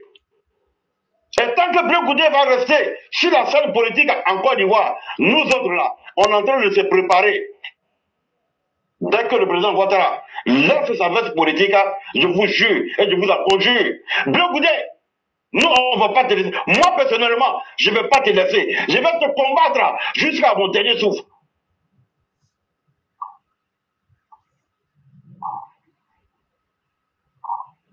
Vous ne connaissez pas la douleur de la perte de ceux avec lesquels tu riais hier. Qu'est-ce qui est plus cher à un être humain cette terre, plus que sa mère? Moi, je n'ai pas vu le poids de ma mère à cause de Bleu Goudé et des jeunes patriotes. Quand les gens sont en train de se défouler, quand les gens sont en train de se dégager, ne les traitez pas d'extrémistes. Toi, là, tu n'as pas perdu un membre de ta famille. Jusqu'au point que tu me raccroches au nez à cause de Bleu Goudé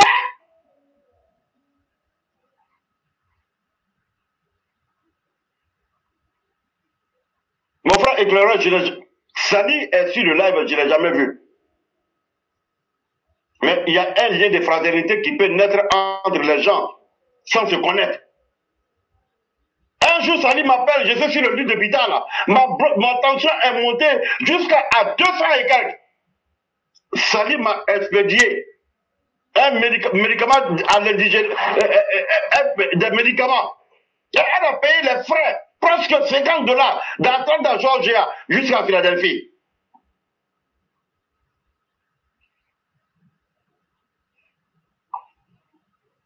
Je criais tellement au téléphone.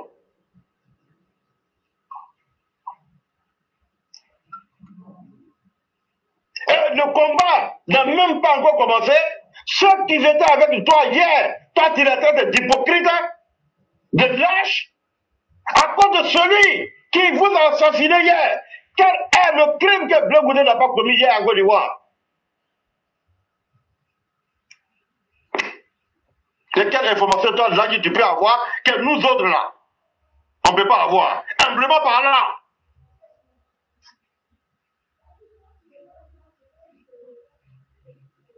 là. Du pour ta gouverne. Va regarder dans les archives de la CPI. Il y a un magistrat là-bas actuellement qu'on appelle Cissé Loceni, qui était au, deux, au deuxième cabinet d'instruction à Abidjan. Ça, c'est quelle information tu vas avoir que nous, moi, si je ne peux pas avoir. Tu vérifies. Le juge Cissé Loceni, il était au deuxième cabinet d'instruction au plateau, au tribunal du plateau. Actuellement, il est dans ce pays. Il est l'un des magistrats de ce pays.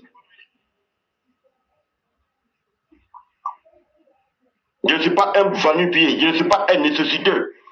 Et je ne suis pas venu sur les plateformes sociaux pour parler, pour faire du buzz. Je ne parle jamais de quelque chose si je ne maîtrise pas. Je te parlais du Burkina Faso. Avec ceux que j'étais là. C'était le collaborateur direct de Djibril Bassolé, qui était à ce moment le ministre de la Sécurité intérieure du Burkina Faso. L'un des hommes sûrs, bureaucrate de Blaise Compaoré.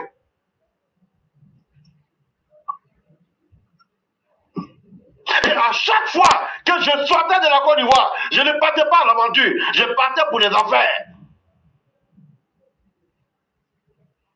C'est-à-dire quand j'étais en Guinée équatoriale, c'est le consul honoraire, le grand frère Koïta Raymond, qui m'hébergeait à ce moment qui était le consul honoraire sur Laurent Gbagbo. Quand j'étais en Guinée équatoriale. Ne traitez pas les gens avec du mépris. Si des cas vous ne les connaissez pas, toi et moi, ça fait presque 4 ans qu'on se connaît. Tu m'as jamais vu de visage. On, parlait. J'intervenais sur la plateforme. Et c'est sur cette plateforme hier qu'on a fait un combat âpre, noble. Donc, était-il un membre du RADP ou du RDR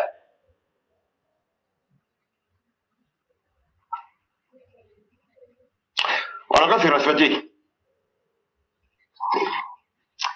Mon frère éclaireur, merci de m'avoir donné la parole aujourd'hui. Ce jour, 1er mai, sera un jour mémorable, mémorial pour moi, Cissé. Parce que vous m'avez donné l'opportunité de me défouler. Vous m'avez donné l'opportunité de dire ce que je pense. Vous m'avez donné l'opportunité de publier cette vidéo, cette déclaration de Jean-Noël Abbaye. En pays malais, on dit Kotimi Bola Manoda, Kora Suma. Quand là, tu me demandes une preuve, est-ce qu'il y a plus preuve que la déclaration de Jean-Noël Abbaye sur une plateforme? Je ne pas dire qu'on n'est pas un inconnu. Donc, si moi, j'ai fait la diffamation, si moi, et puis j'étais un témoin oculaire, c'est c'est imbécile, c'est criminel. Quand je partais à Accra, je ne partais, je ne partais pas à l'aventure. Je t'ai même dit, et tous ceux qui connaissent Accra, tous ceux qui vont à Accra, il y a une compagnie ghanéenne qui charge à Trashville. À la zone 3. La compagnie, c'est FTC, qui fait Abidjan Accra, Lomé, Cotonou. Ceux-là, je les voyais à Cotonou, je les voyais à Accra, je les voyais à Lomé.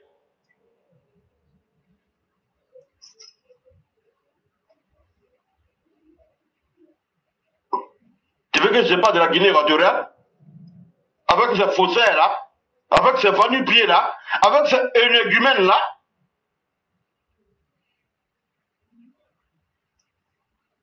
Ne parlez pas mal aux gens, hein. Ne manquez pas de respect aux gens tant que vous ne les connaissez pas. Parce que vous pensez ouais, que l'amitié, la camaraderie là, c'est pas l'amitié. L'amitié là, c'est à partir de quelque chose.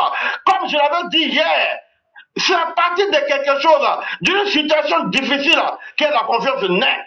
Toi, Zadi et moi, là, quelle, est la situation qui s'est passée entre toi et moi et il y a eu une confiance. C'est pris le cas hier d'Adama Tunkara.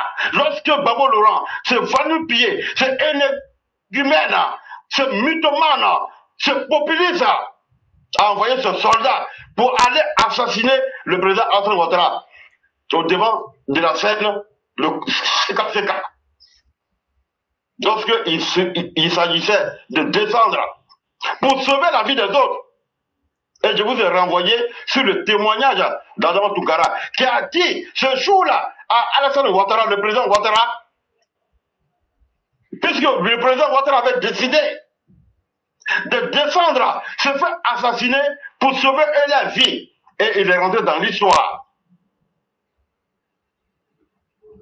Adama Toukara, le ministre de l'énergie, que si le président Ouattara doit descendre pour se faire assassiner, pour, sauver la vie, c'est que eux, dans le pays mandinga, les chefs, les guerriers, les soldats d'abord, se sont fait massacrer, aller combattre pour la cause, pour sauver le leadership de leur maître. Dans ce cas, lui, Adama Tungara, si le président Ouattara décide de descendre, ils descendront ensemble. On peut parler de la politique des bagages intellectuels. Mais en toute chose, la confiance prime d'abord. Et je vais vous donner une citation, le frère éclairé. Le feu, l'eau. Il va dire le feu, l'eau, euh, oh, j'ai oublié le, le, le troisième fameux me venait en tête. Le feu, l'eau, la terre et l'air. Le feu, le vent, Mhm. le feu, le vent et puis l'eau. Qui devait aller en balade. Dans la forêt. Mais avant de rentrer dans la forêt, pour la balade, l'eau dit que si jamais que je me perdais dans la forêt, que chercher l'humidité, que partout où il y a l'humidité, qu'il y a l'eau. Le vent dit que si jamais, le feu dit pardon, que si jamais je me perdais dans la forêt, que chercher la fumée, que partout où il y a la fumée, il y a le feu. Et le troisième, c'était la confiance, pardon. Et c'est la confiance qui dit que lorsque je te donne ma confiance, qu'il faut la garder d'une manière saine. Prends soin de la garder. Que parce que si je, tu perds ma confiance, et que même si on devait reprendre une relation, que ça ne serait plus comme avant. Parce que, que si tu perds ma confiance, je ne te ferai plus jamais confiance. Lorsque nous allons reprendre encore une autre relation, et je, je tiendrai compte de ce qui s'est passé auparavant. Pour dire à ceux qui me traitent aujourd'hui d'hypocrite, de lâche, même si demain je devais marcher avec eux, ça ne pourra plus jamais être un contre moi. Et puis, éclaireur, j'ai été victime tellement, mon grand défaut, de faire très vite confiance aux gens, mais j'ai arrivé à me retenir. Mais si là, du moi, me traite de traite d'hypocrite, et y avait eu des paroles où j'appelais pour le critiquer sur après le live, certaines personnes qui intervenaient avec nous, qui étaient capables de m'exposer. Et Dieu merci, je sais comment il faut me retenir. Et je le dis devant tout le monde. Il n'y a pas eu, et il n'y a jamais eu, et il n'y aura jamais de secret entre lui et moi. Il n'y a jamais eu. Je n'ai jamais appelé pour parler de telle personne ou de telle personne. Et pour votre gouverne, la grande sœur Maceta Blanc est sur le live.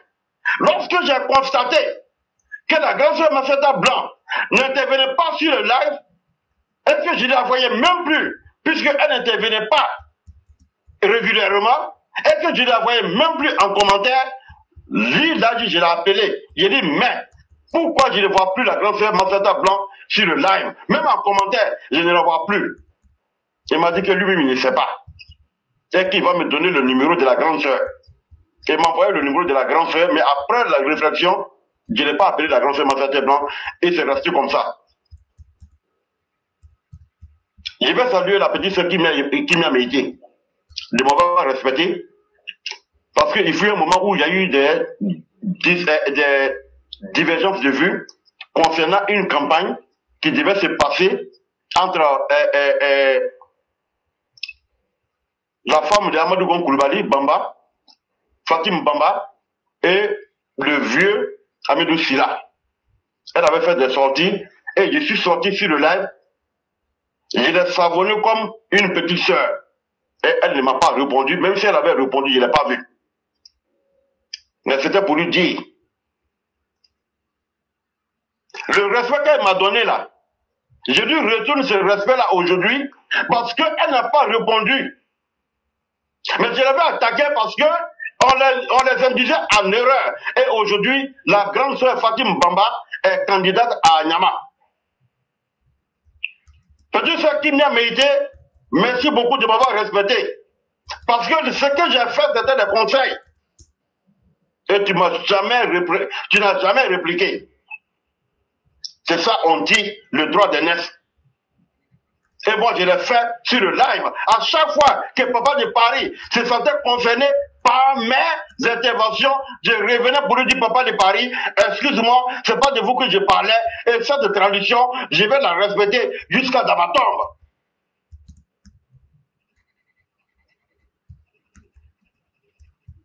Éclaireur, Oui. je vous remercie beaucoup. Mhm. Je remercie tous ceux qui sont sur le live. Que ceux qui pensent ouais, qu'on est même chose, nous ne sommes pas même chose. C'est Dieu même qui a voulu ça. C'est Dieu même qui a créé ça. Et je vais dire aux militants, écoutez très bien. Ce qu'Ekrame venait de dire.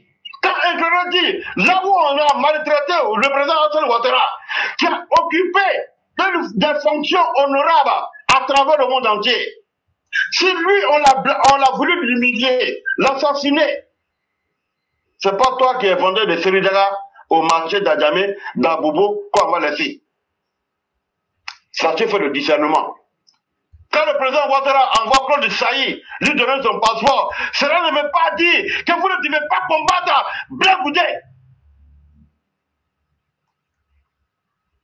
Et le frère a très bien signifié. Soyez fiers d'être des, des extrémistes. Parce que celui qui, qui sort le mot extrémiste, il ne sait pas qu'est-ce qu'on appelle être extrémiste. Et qu'il nous dise, depuis la prise du pouvoir du président Alassane Ouattara, quels sont les actes extrêmes que les militants du RADB ont commis Personne n'a défié de l'opposition jusqu'à aujourd'hui le président Alassane Ouattara. Mais cela ne veut pas dire que vous ne devez pas vous défendre en tout temps, en tout lieu et en toutes circonstances. Ouattara n'a jamais dit ça.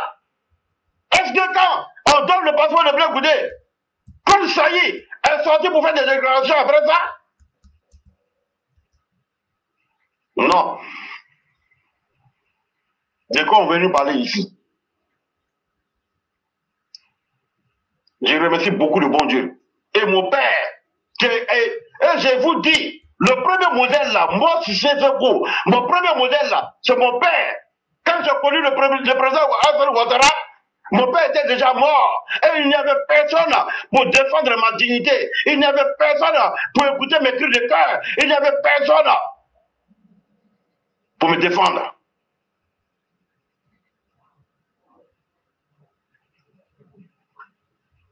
C'est Ouattara, le président Ouattara qui est venu prendre ce, com- ce combat, ce leadership.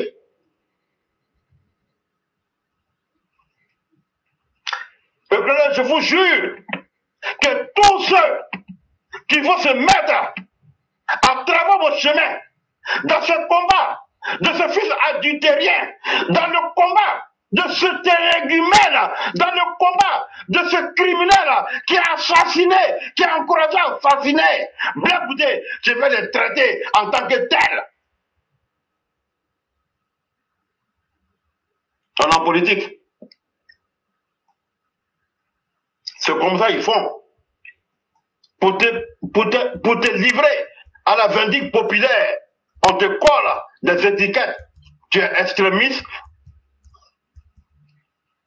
Donc, entre moi et Public qui est extrémiste, qui a tué, qui a encouragé à tuer, et après même être chassé du pouvoir, est-ce que Bleu quand il quittait le palais pour se rendre au Ghana, les jeunes patriotes qui l'avaient chauffé à blanc, comme des chiens, comme des, des, lions, affamé contre les militants du RSDB, à l'époque de RDR. Quand il traversait la frontière, est-ce qu'il a appelé au calme? Est-ce qu'il a dit à ces jeunes-là de cesser de baisser les armes C'est pas ce même Bloc Boudet. Le major général Philippe Mangou, lorsque je faisais des escortes, des camions de bétail, Mangou était le théâtre à Yamsoukro. Et c'est après les bombardements de novembre 2004 que Mangou a été nommé comme le général de Babo Laurent, le chef d'état-major des armées. Mais est-ce que Bleu Goudé, est-ce que Babo Laurent n'ont pas complété contre Philippe Mangou pour pouvoir l'assassiner? Je vous amène à aller écouter le témoignage du 7 octobre 2017, le témoignage à la CPI du général Philippe Mangou, où il a dit, quand le président Babo l'appelle au palais présidentiel, lui fait savoir que le président sud-africain et le président angolais l'ont lâché quand on lui, demande de démissionner.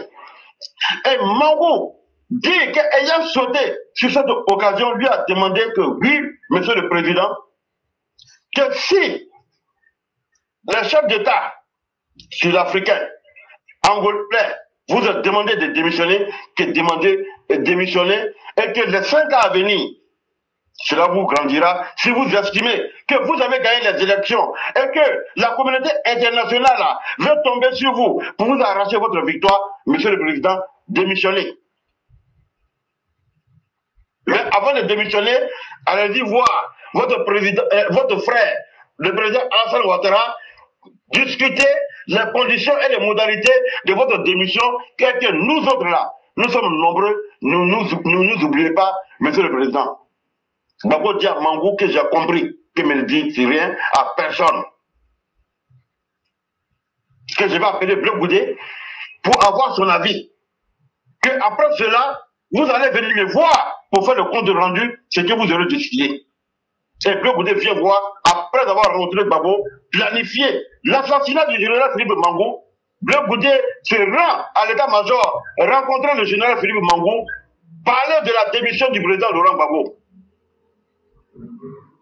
Et de dit à la CPI, pendant ce témoignage, que Bleu Goudé était venu lui donner le baiser de la mort.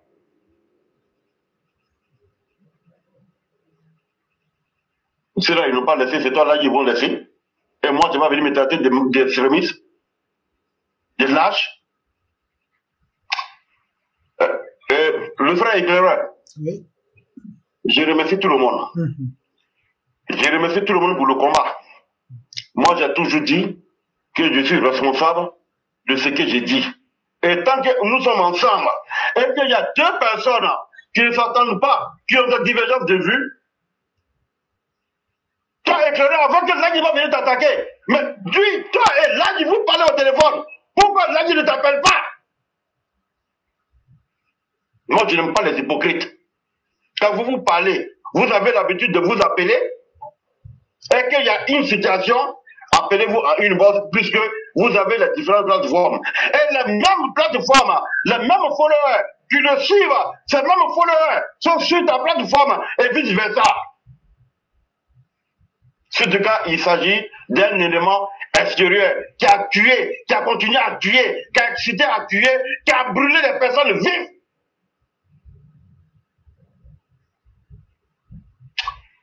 Suffit, mais je vais revenir encore. Je ne suis pas un lâche. Et je vais continuer à parler. Et je vais continuer à chaque fois, même si sur la plateforme, le cas n'est pas, le sujet n'est pas blé goudé, moi je viendrai parler toujours de blé goudé pour éveiller la conscience de nos militants. Et toi, Jean Bonnet, fils de pute, ça peut entrer au que toi on te laisse. Ils nous montaient. C'est pas toi qui as encouragé hier la désobéissance civile Bande de lâches. Que Bleu Goudé a donné 150 000.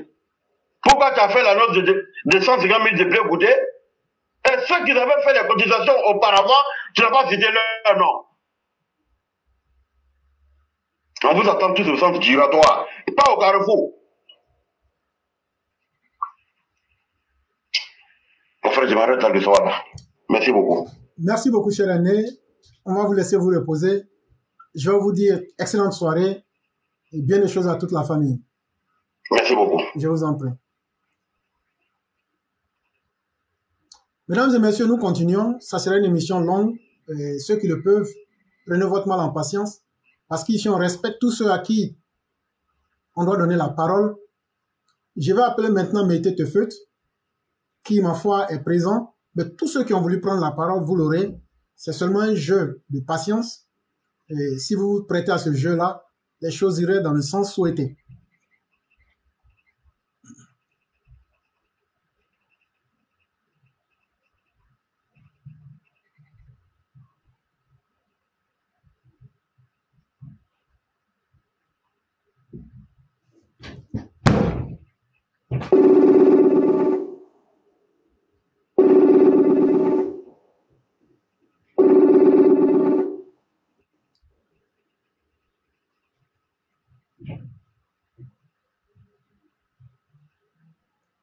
Allô Oui, bonsoir, cher Oui, frère.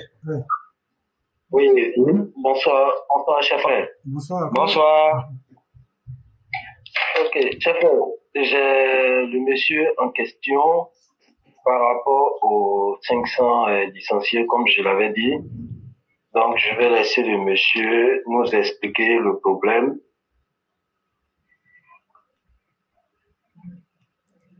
Oui, il n'y a pas de problème. oui. On est déjà sur la plateforme. Oui, on peut procéder. Ok. Ok, donc euh, je peux commencer. Oui, oui. Ok, bonsoir à tous. Bonsoir, cher frère. Comment allez-vous? Bonsoir. Oui, ça va. Bon, voilà, ça,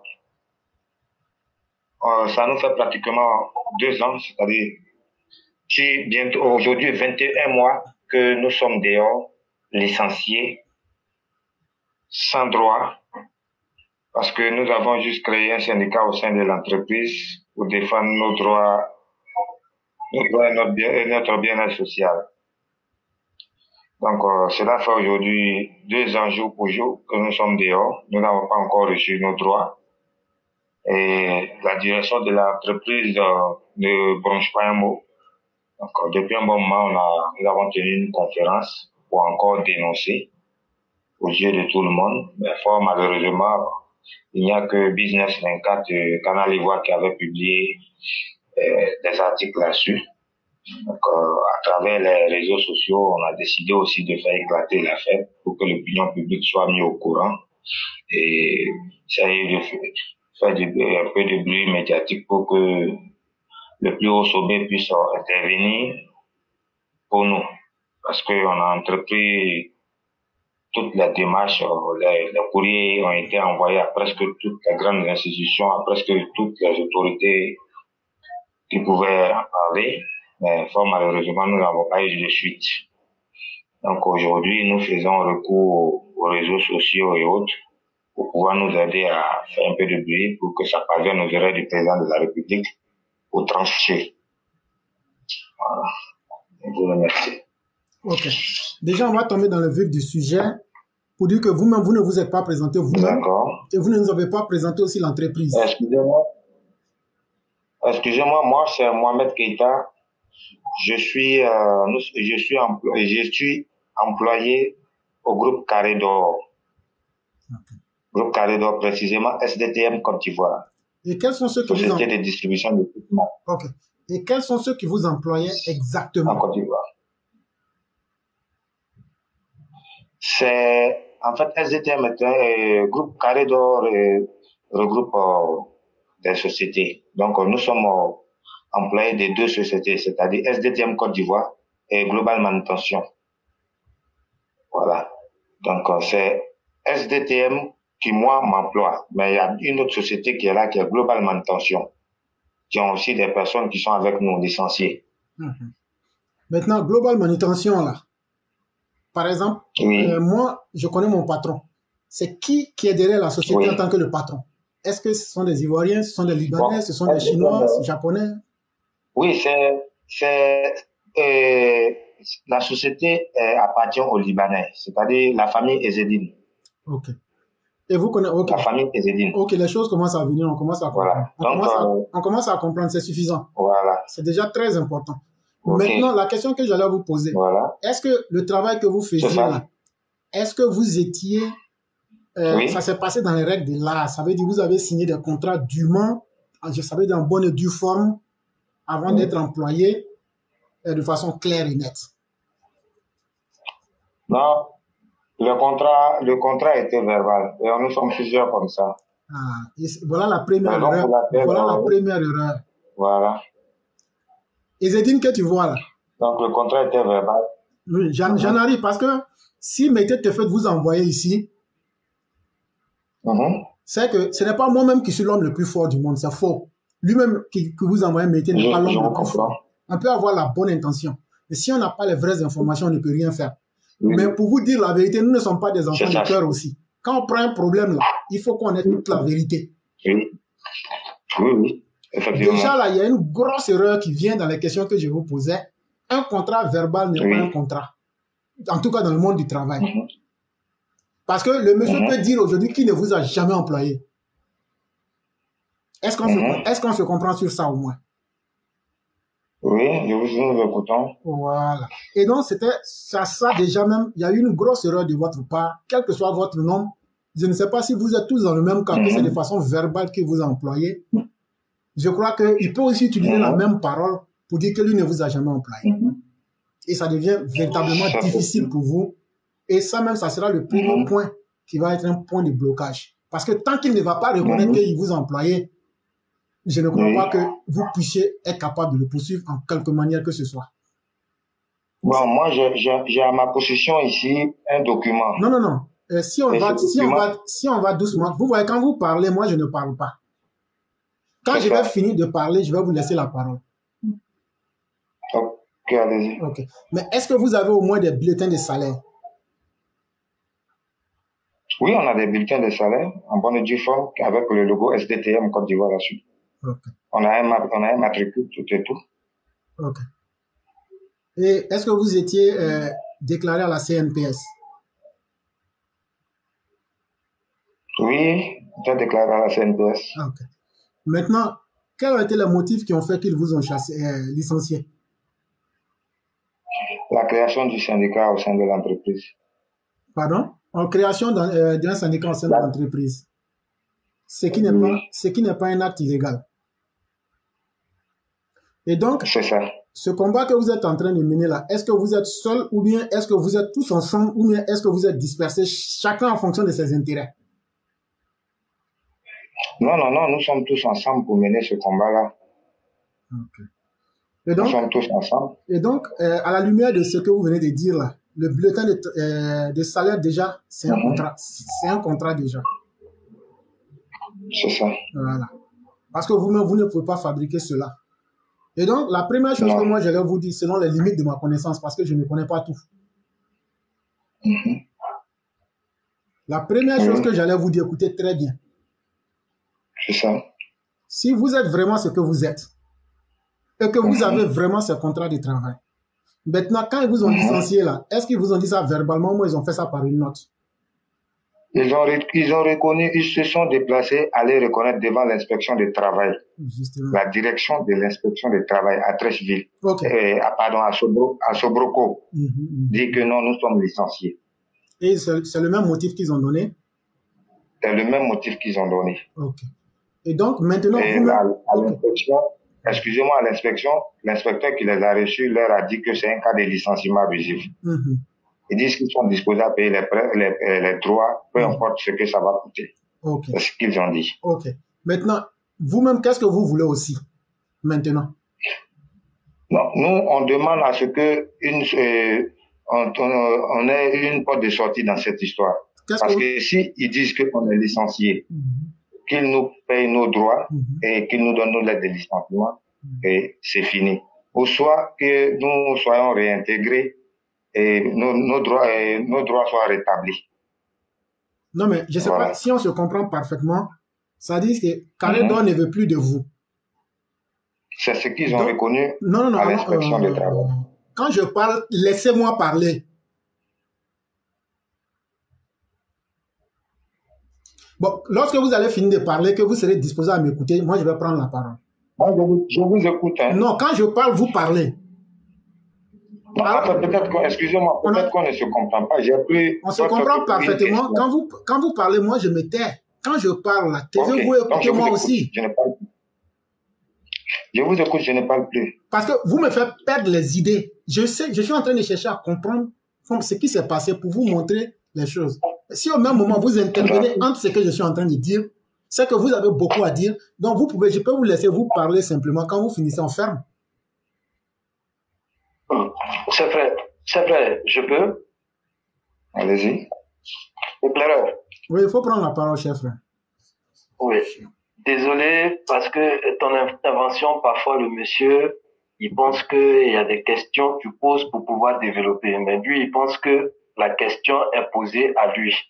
Voilà pourquoi, dans la prise de parole, il essaie de répondre, mais en vérité, c'était pas une question qui était posée à lui. Donc, euh, désolé s'il y a eu incompréhension.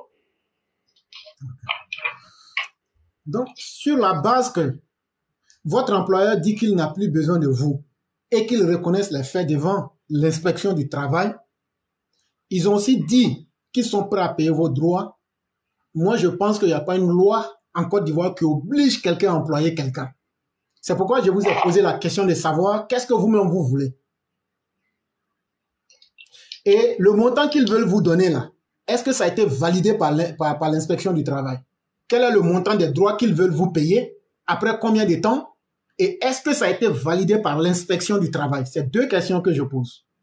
Si vous avez bien compris, est-ce que vous pouvez nous dire quelque chose sur ça? Bon, à cet effet, il y a eu déjà un premier calcul de droit que la société a fait. On leur a demandé, lorsqu'ils sont venus au niveau de l'inspection, ils leur ont retourné pour leur dire de faire un rajout parce que pour un cas de licenciement abusif, c'est pas des sommes à payer. Ben, je peux pas dire, je peux pas donner la somme exacte puisque moi j'étais pas là-bas, c'est notre secrétaire général qui était présent. Donc, au côté de là, nous n'avons pas eu de suite jusqu'à ce que on contacte quelqu'un qui nous a envoyé vers le premier ministre. Le premier ministre qui a commis quelqu'un encore pour gérer ce problème.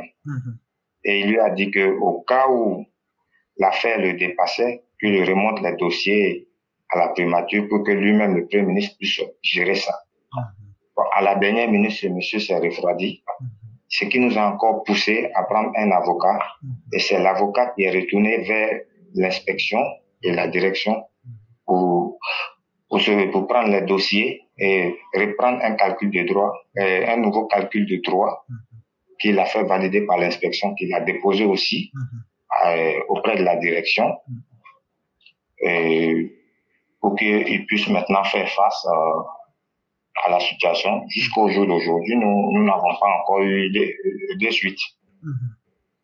Donc, euh, les calculs ont été faits, validés par l'inspection et déposés maintenant au niveau de la direction. Jusqu'aujourd'hui, la direction n'a pas encore donné signe de vie.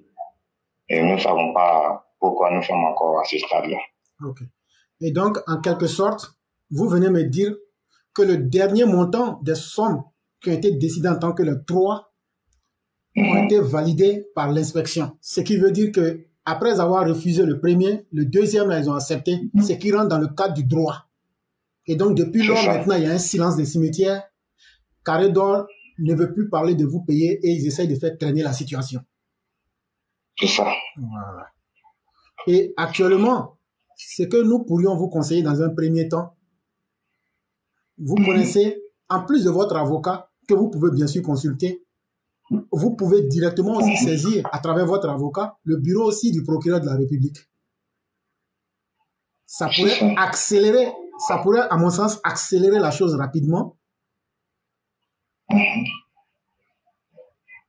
Ça pourrait accélérer rapidement les choses, en ce sens que ça va vous permettre de pouvoir euh, aller plus vite, parce que lui peut s'auto-saisir de l'affaire pour appeler les différents protagonistes avec l'inspection du travail pour que les choses s'accélèrent le plus vite. Voilà, c'est ce que je voulais dire pour l'instant, sauf si peut-être Mété a quelque chose à ajouter là-dessus. Oui, chef, j'ai quelque chose à rajouter. Bon, je pense que M. Mohamed, il est responsable, mais il n'a pas l'habitude d'intervenir peut-être sur les panels. C'est que tu as posé des questions au fait à, au fait à M. Mohamed. Il y a eu, euh, voilà, un contrat qui n'a pas été signé. Mais on pense que il y a un contrat moral qui existe entre deux personnes pour une prestation. Et du moment où les fiches de paye, je pense qu'il y a déjà un contrat moral qui se met en place. Non, c'est un contrat, ça vaut déjà. Euh, les, fiches de paie valent déjà le contrat. Ils n'ont qu'à simplement donner euh, la dernière décision qu'ils ont eue avec l'inspection du travail qui a validé les droits de licenciement. Ils n'ont qu'à prendre cet accusé de réception là, et puis le remettre au procureur. Lui, il va les inviter. Parce que quand il a parlé des les Edines, on sait dans quelles conditions il est décédé.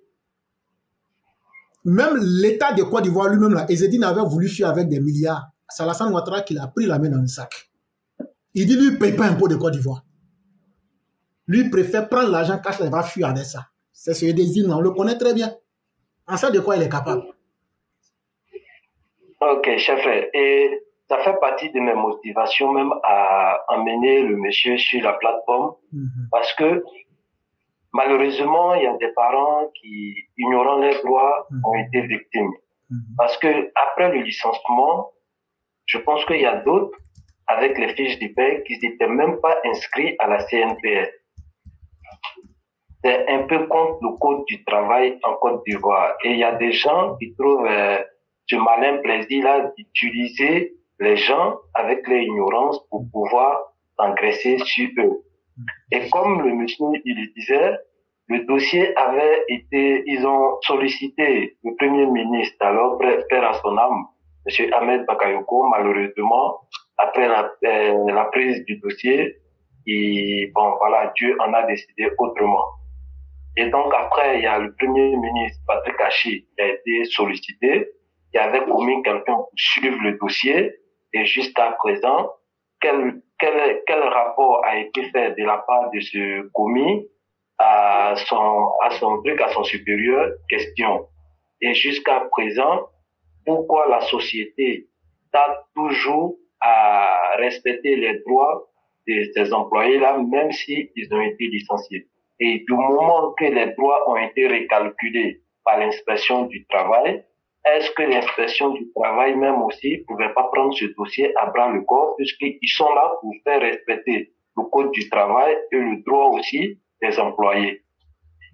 Et moi, je peux pas me taire et voir ça, peut-être donner cette occasion-là à des opposants qui cherchent de quoi attaquer le pouvoir.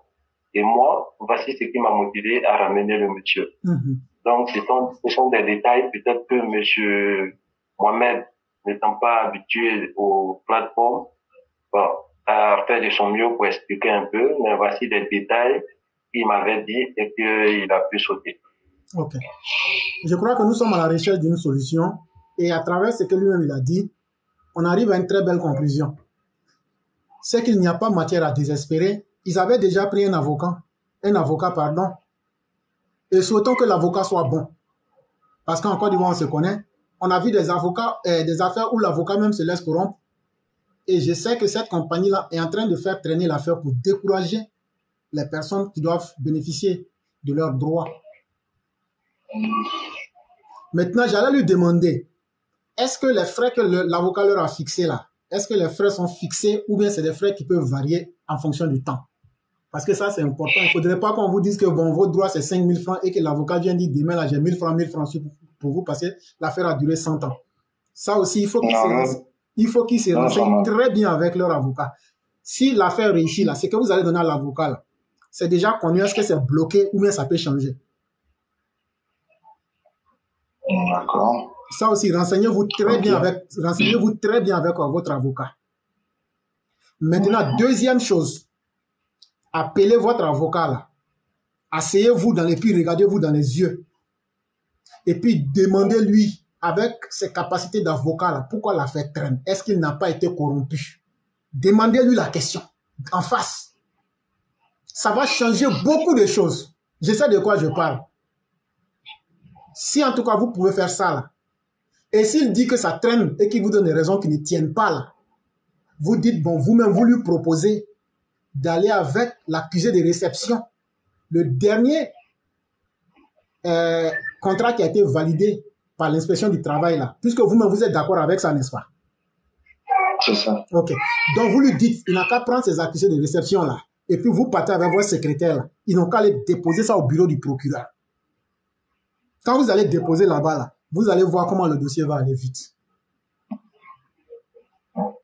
Et, et si l'avocat n'est pas corrompu, on saura ou pas. Parce que quand, vous, quand il va dire que l'affaire tourne parce que le soleil sort maintenant au nord, là, ou bien que la mer, la mer s'est retrouvée à Bamako, là, vous dites qu'il n'y a pas de problème.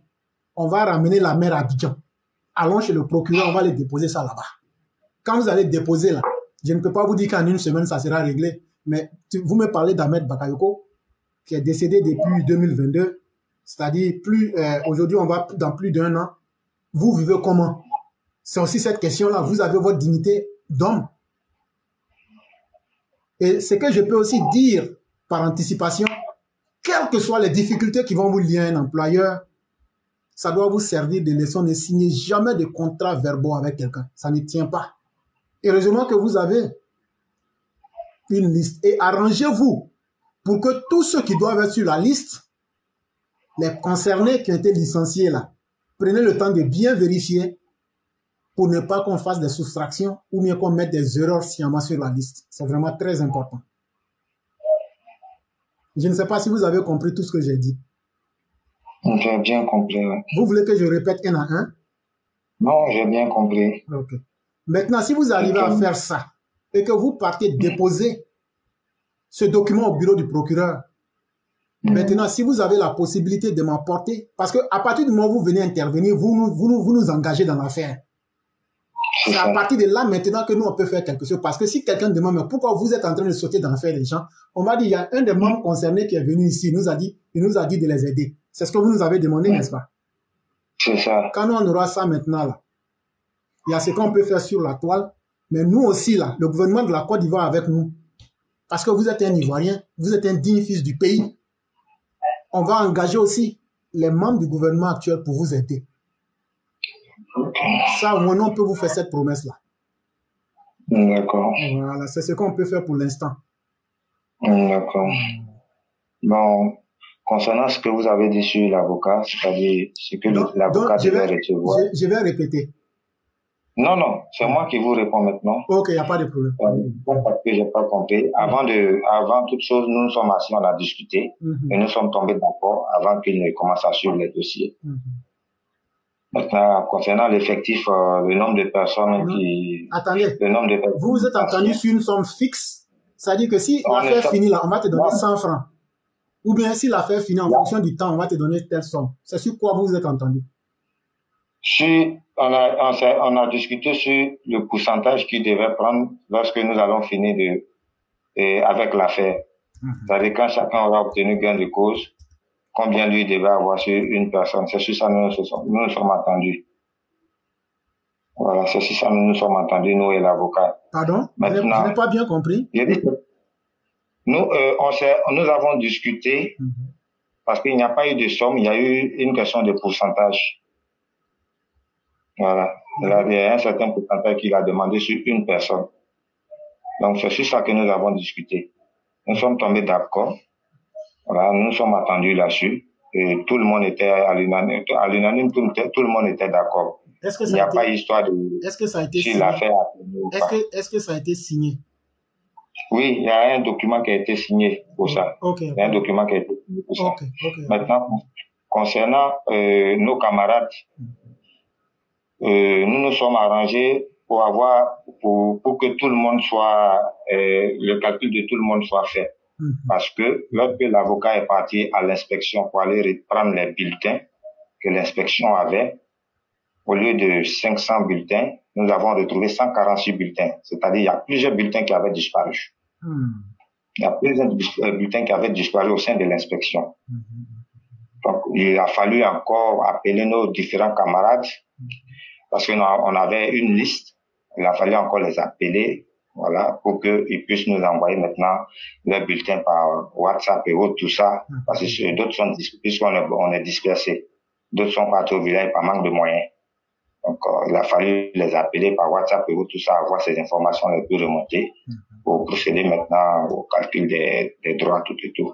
Donc, ce côté-là, il n'y a pas de problème. Tout le monde, euh, là-bas, tout est OK. Là, il n'y a pas de problème. Ça. Maintenant, concernant le côté de l'avocat, vous avez parlé, euh, vous avez parlé de sa crédibilité. Lui-même, euh, on a eu à discuter, on a eu une réunion le samedi, raison pour laquelle euh, Mété même m'avait appelé, j'étais pas disponible parce que j'étais en circulation, je rentrais. Il m'a dit ça. Donc, euh, oui, et j'ai, j'ai, j'ai un ami, j'ai un ami qui m'a appelé, avec, que Mété connaît très bien, à qui, avec qui même j'ai mis l'avocat en contact, et il a reconnu devant mon ami, il dit que non, il y a eu une tentative de corruption, mais lui, il n'a pas accepté. Nous-mêmes, il nous a dit ça. Ils ont tenté de l'approcher pour le corrompre.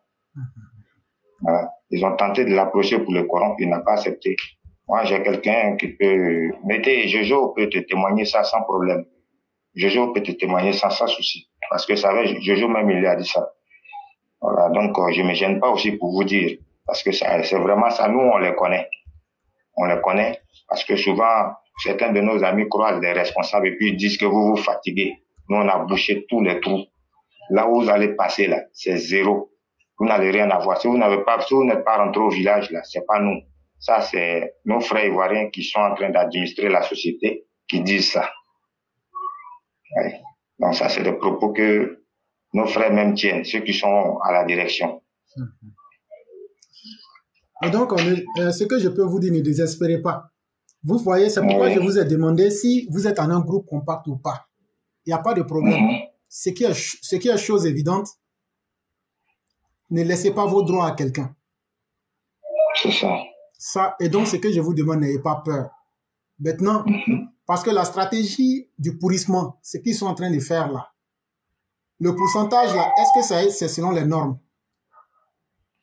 Oui, nous sommes tombés d'accord. Nous sommes tombés d'accord là-dessus. Voilà, nous sommes euh, tombés d'accord. Donc, euh, je pense que sur ce côté-là, il n'y a pas de problème. Ok. Et donc, ce que j'allais vous demander, ce serait simplement une répétition. Donc, vous suivez cette voie-là. Oui. Et lorsque vous allez déposer le dossier au bureau du procureur, si on peut avoir une copie, moi aussi, je vais me charger de déposer ça aussi auprès du commissaire du gouvernement, M. Abdullah Ben Meïté. Ok. On va déposer ça là-bas. D'accord. Et c'est le premier point que je vous dis, mais on va déposer partout où on peut. Pour que ça. vous puissiez rentrer dans vos droits. Mais ce qu'on vous demande, s'il Oui. vous plaît, ne nous mentez pas. Parce que nous, on n'est pas au je pays. ne peux pas venir faire Non, ça non, non. ici. Non, par expérience, je sais pourquoi j'ai dit ça. Et s'il vous plaît, quand cette histoire va finir là, Mhm. ne nous appelez même pas pour nous dire merci. Ça, il faut qu'on s'entende sur ça devant tout le monde. Ok, j'ai compris. Ne nous appelez même pas pour nous dire merci. D'accord. Et donc, si c'est Alassane Ouattara qui est le président de la Côte d'Ivoire, cette histoire, on va régler ça. Ok. Et vous allez rentrer dans vos droits. Mais profitez des expériences, quelles que soient vos difficultés. C'est vrai, c'est pas facile. On est- on- nous, c'est parce qu'on ne gagne pas de travail en Côte d'Ivoire, on a fui pour venir ici. On sait que c'est difficile. Mais ne signez jamais un contrat verbal parce que la personne peut vous utiliser. Si vous n'aviez pas les bulletins là, 500 personnes, c'est beaucoup d'argent. Et l'affaire déjà, si tu as vu que j'ai insisté pour que tu nous dises qui vous emploie, la personne qui est derrière, je connais leur mentalité. Et ça, il faut que ça cesse. Les Libanais abusent extrêmement de nos parents. Et ça, il faut qu'ensemble, on essaye de mettre fin à cela. C'est vraiment très important. Et moi, j'allais remercier quelqu'un ici, euh, le frère Mété Tefet, qui s'est soucié de ce cas-là. N'ayez pas peur. Chers frères, c'est ce que je dis aux Ivoiriens. Alassane Ouattara, là, il est venu pour ouvrir les mentalités des Ivoiriens. Ce qu'on n'obtient pas avec lui aujourd'hui, c'est pas demain on aura. Et donc, n'ayez même pas peur. Foncez et faites ce qu'on vous a dit. Nous, notre part, on va jouer ça après aussi. Et puis, on va voir ce qui va se passer. C'est en tout cas ce qu'on peut vous dire pour l'instant. D'accord, je vous remercie. Hmm. Peut-être qu'à travers ça même là, même après ça là, votre cas, on va prendre ça. Si tu as vu que je vous ai parlé du maître Ben Meïté Abdoulaye, ce n'est pas pour rien, parce qu'il est aussi le président de la commission des affaires générales et institutionnelles à l'Assemblée nationale ivoirienne. On va essayer de pousser l'affaire pour aller jusqu'à ce que les Libanais là, ils arrêtent de maltraiter nos frères. Les Libanais traitent nos frères comme des chiens. À un moment, ça fait mal. Et nous, on va se lever et on va faire, on va faire ce palabre là pour nous-mêmes. Ceux qui disent qu'ils sont opposants là, voilà un vrai cas de la société civile. Et vous pouvez compter sur nous. Parce que la plateforme que vous écoutez là n'est pas seulement sur Internet. On a une plateforme en Côte d'Ivoire là-bas. Et on va faire ce qu'on peut. Mais on ne pourra pas le faire sans vous. Et on ne pourra pas le faire aussi si vous n'êtes pas honnête avec nous. C'est pourquoi on vous a posé toutes ces questions-là, pas pour vous mettre mal à l'aise, mais pour ne pas que demain nous, on ait honte. Maintenant, ce que je vous ai dit là, si ça ne vous satisfait pas et que vous avez des questions, vous pouvez poser.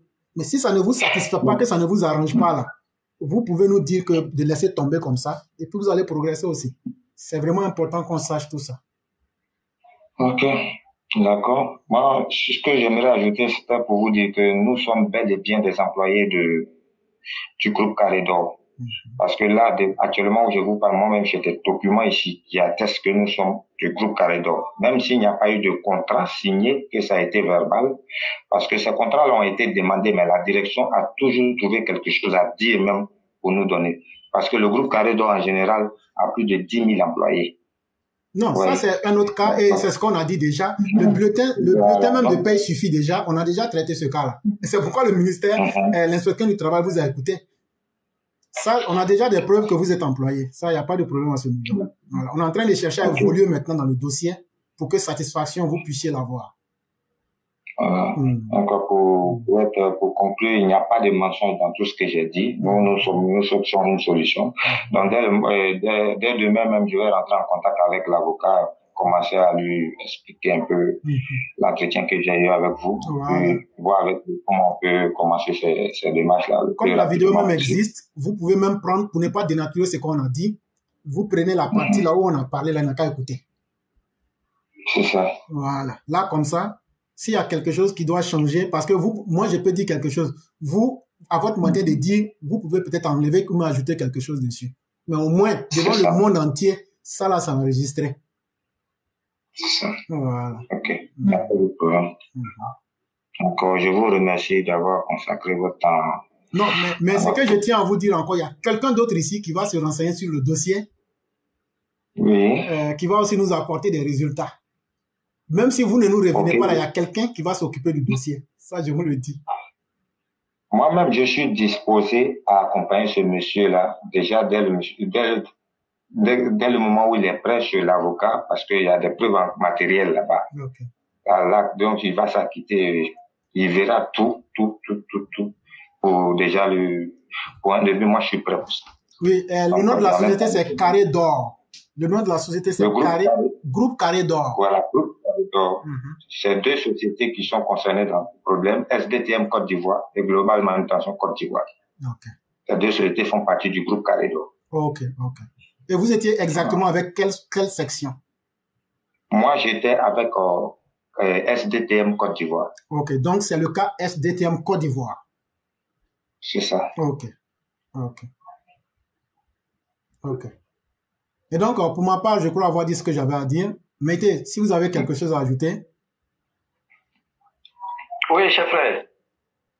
Euh, comme je dis toujours, hein, le remerciement te revient, toi qui donnes euh, voilà, vie à, cette plateforme-là pour te préoccuper un temps soit peu du bien-être euh, des Ivoiriens à travers la promesse même que le président a fait aux Ivoiriens. Et nous sommes déterminés à réaliser ce projet-là avec les Ivoiriens, avec le président et se mettre contre tous ceux qui vont vouloir salir cette gouvernance-là et voire même mettre les bâtons dans les roues de cette promesse que le président a fait à la population ivoirienne. Et loin de nous, de, voilà, de choisir un parti pour le bien-être des Ivoiriens. Donc, cette plateforme-là, On ne regarde pas des bords politiques, on ne regarde pas d'ethnie. On défend juste le bien-être des Ivoiriens. Et je dis merci à tous ceux qui partagent et qui like sur la plateforme pour pouvoir sécuriser ce live-là, de telle sorte qu'on puisse étudier les Ivoiriens pour les amener à comprendre que la Côte d'Ivoire, on doit la construire tous ensemble. Donc, je dis merci à tous les Chao et les Mao. Ok. Et je dis merci même aux, aux avatars qui nous écoutent. non, mais ça, ça a tout nos grands plaisirs. Hein. Et puis, euh, il ne quitte pas, et il ne quitte pas, parce que nous, on est très concret ici sur la plateforme. Je lui demande de rester. Parce qu'il y a quelqu'un que je vais ajouter. Et tu sais, on aime aller vite avec les choses. Hein. Et donc, il y a quelqu'un que je vais ajouter qui peut encore apporter plus. Donc, euh, qu'il reste.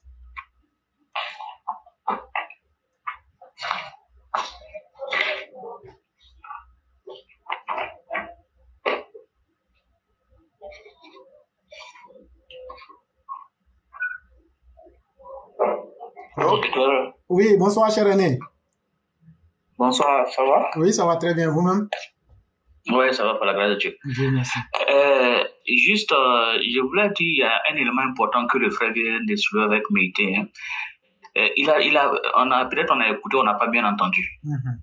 Tu sais, le Libanais en lui-même n'est pas le problème. Mhm. Il faut que nos, nos, nos frères ivoiriens qui travaillent avec les Libanais, là, il faut qu'on les dénonce de la même manière, ce que tu as été trahi par ses propres gardes d'école, là. ce sont nos mêmes gars là. Et tu vas te rendre compte que ce sont nos propres frères qui vont donner ces conseils-là à Ezetine et à ces bâtards de Libanais là. Fais comme ça, fais comme ça, on va faire, on va, on, on va, on va gérer. Est-ce que tu as entendu ce que le frère a dit? Et qui est très grave. C'est que, euh, ce sont nos frères qui travaillent avec eux qui disent que vous allez retourner au village comme des vanupiers. Non, ce qui c'est pas le Libanais qui est mauvais. Et ces gens d'attitude-là, des cadres d'entreprise, ces gens-là, il faut qu'on les dénonce publiquement pour qu'ils arrêtent ce comportement-là. Ce sont eux qui rendent ces, ces Libanais-là, ces autres nationalités qui viennent faire leur- leur- leur- leurs activités dans, dans notre pays, à nous manquer de respect. Ce sont ces gens-là. Et ce sont ces gens-là qui sont des traites à la nation qu'il faut mettre à la presse devant tout le monde. Il se dit cadre d'entreprise, mais c'est pas un cadre d'entreprise. C'est un négrier qui est en train de travailler là-bas. Le côté pécuniaire, on va le, ça, ça va, ça va- je suis convaincu qu'on va trouver une solution. Non, ça va se régler. Mais ces gens qui sont dans ces en- dans- d'entreprise-là, quelle que soit la multinationale dans laquelle ils sont, il faut que nos, nos frères-là qui écoutent l'émission, même s'ils doivent prendre le nom de la- du cadre en question, il faut le dénoncer publiquement.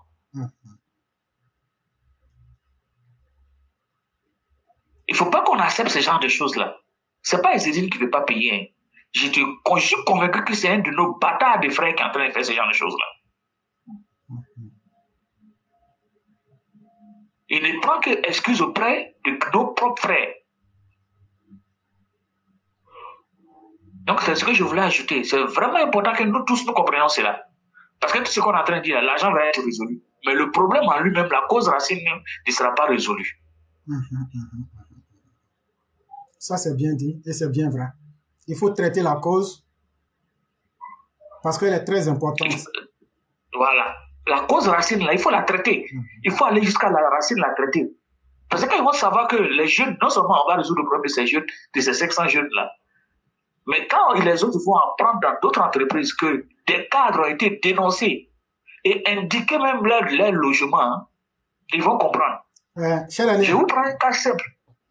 Oui. j'allais réexpliquer ce que vous êtes en train de dire peut-être au monsieur. Oui. Euh, cher monsieur, euh, c'est que Lenny est en train de vous expliquer là. Ceux, ceux qui font que votre problème a duré, c'est devenu difficile là. Qui disent que vous allez retourner sans tapette au village là. Si vous pouvez prendre leurs informations, les enregistrer vocalement, faites-le et signalez-les. Comme ça là. Eux aussi, ne savent pas que demain ils peuvent être dans cette position là. C'est que eux ils disent aujourd'hui aux Libanais de vous faire là. Demain, eux peuvent être dans ça. Et il est en train de dire que vous pouvez aussi les enregistrer puis les signaler. Eux sont pires même que les négriers. C'est-à-dire ceux qui venaient acheter nos parents en Afrique pour venir les vendre aux États-Unis. Parce que c'est eux qui donnent du poids à ces étrangers-là de venir pour chier dans nos bouches en Côte d'Ivoire. C'est ce que l'aîné est en train de vous dire. Cher aîné, avec votre permission, vous avez la parole. Merci. Je voulais juste partager avec eux et que vous allez au Sénégal, vous allez au Mali. Ce sont des pays qu'on on, on, se moque d'eux. hein. Vous allez au Burkina. Un Libanais ne peut jamais s'amuser à se comporter comme ça là-bas. Je vais vous prendre le dernier cas. Moi, j'étais au Congo. Il y a une société, vous connaissez au Congo, la, la plus grande euh, euh, population euh, immigrée de là-bas, ce sont des Indiens qui sont arrivés là avant les indépendances. Et ce sont les gens qui détiennent l'économie. Il y avait nos frères qui étaient avec eux. Ce sont ces frères-là qui faisaient ces conneries-là avec ces, ces Indiens-là. Mais ce qu'on a fait, et je pense que ça doit servir de leçon à nos frères ivoiriens, on les a dénoncés, on a pris leur nom, on les a mis dans le journal. Et je vous garantis qu'il y a beaucoup qui ont déménagé de Kinshasa. Vous comprenez ce que je veux dire?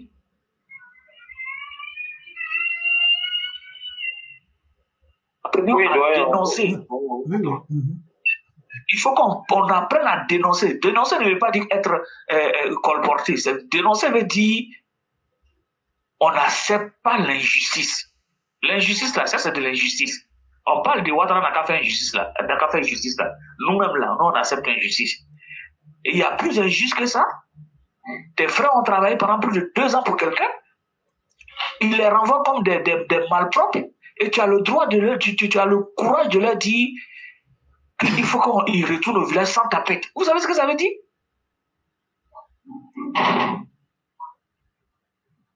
Chers Ivoiriens, apprenons à réveiller. Dénonçons ce qui est inacceptable. Parce que si on, accepte l'inacceptable, on n'a plus de dignité. On ne vaut que par notre dignité. C'est de ça que nous parlons aujourd'hui. Et que c'est ce que je voulais ajouter parce que vraiment, quand j'écoutais sa situation là, ça, ça, ça me révolte. Je suis tellement révolté que j'avais la poule. Je dis, bon, il faut que j'appelle. Mhm. Et donc, il y a le roi du printemps aussi qui est avec nous. Le roi, vous aurez peut-être deux minutes, puisqu'il y a beaucoup de personnes en ligne. Donc, on va vous accorder rapidement deux à trois minutes pour que vous vous exprimiez. Ok, ok, merci, merci beaucoup. Et vraiment, je dis sincèrement merci à, à l'aîné parce que euh, il sait de quoi il parle Mhm. et euh, on va pas dire tout ici, mais s'il s'est prononcé, c'est un sachant, il ne s'est pas trompé, il sait de quoi il parle. Et moi, je voudrais lui dire encore merci euh, pour ce qu'il a dit. Euh, et puis aussi, je vais dire au frère Mohamed euh, qu'il ne désespère pas, comme tu l'as dit. Et j'ai travaillé dans une société, une société de construction. Et vous avez vu aujourd'hui, tout le monde parle de Cosmos, de Cosmos. C'est l'entreprise je jetais. C'est cette entreprise qui a monté Cosmos. Et moi, je faisais partie de ceux, euh, de ces travailleurs-là. J'étais euh, un chef de groupe. Et lorsque le contrat est fini, on devait euh, nous payer les droits. Parce que quand c'est comme ça, et par moment, il y a, on essaie de diminuer un peu l'effectif. Et moi-même, j'avais d'autres choses à faire. Et quand ils ont commencé à, vouloir diminuer l'effectif, et moi-même, j'ai demandé qu'on me mette dedans. Puisque j'avais, j'avais d'autres choses à, faire qui étaient plus importantes que ce qu'ils euh, ce qu'ils faisaient. Et comme ça, euh, quand on finit comme ça, on vous donne et on vous calcule tout ce qui est comme droit, ce que vous devez percevoir. Et on a signé le document et tout était là. Et après, pour nous payer les droits, mais je vous assure que c'était un véritable combat. Et si on ne s'était pas levé, jusqu'à présent, je vous parle, je parle d'une affaire de 2019. 2000, 2000, oui, 2018, ah, fin 2018, 2019. Et on finit ça, et à chaque fois qu'on va à la direction de l'entreprise, on nous chante autre chose. Chaque fois qu'on va, on nous chante autre chose. Et après, nous, on entend que euh, ceux qui étaient, euh, qui avaient des, des protégés au niveau de la direction ont reçu euh, leurs droits. Pendant que nous autres, qui nous sommes battus, qui sont allés déposer nos dossiers, nous ont pris par nos compétences, nous n'avions pas d'affinité dans la société, nous, on n'a pas été payés. Et j'étais avec un certain nombre de camarades, nous étions 14, et j'ai demandé aux gens que tous les bulletins auxquels nous avons eu droit, de conserver tous ces bulletins et le contrat que nous avons signé. Et il y avait un contrat signé. Je dis bien, ce n'était pas un contrat verbal. Et on a rassemblé tout.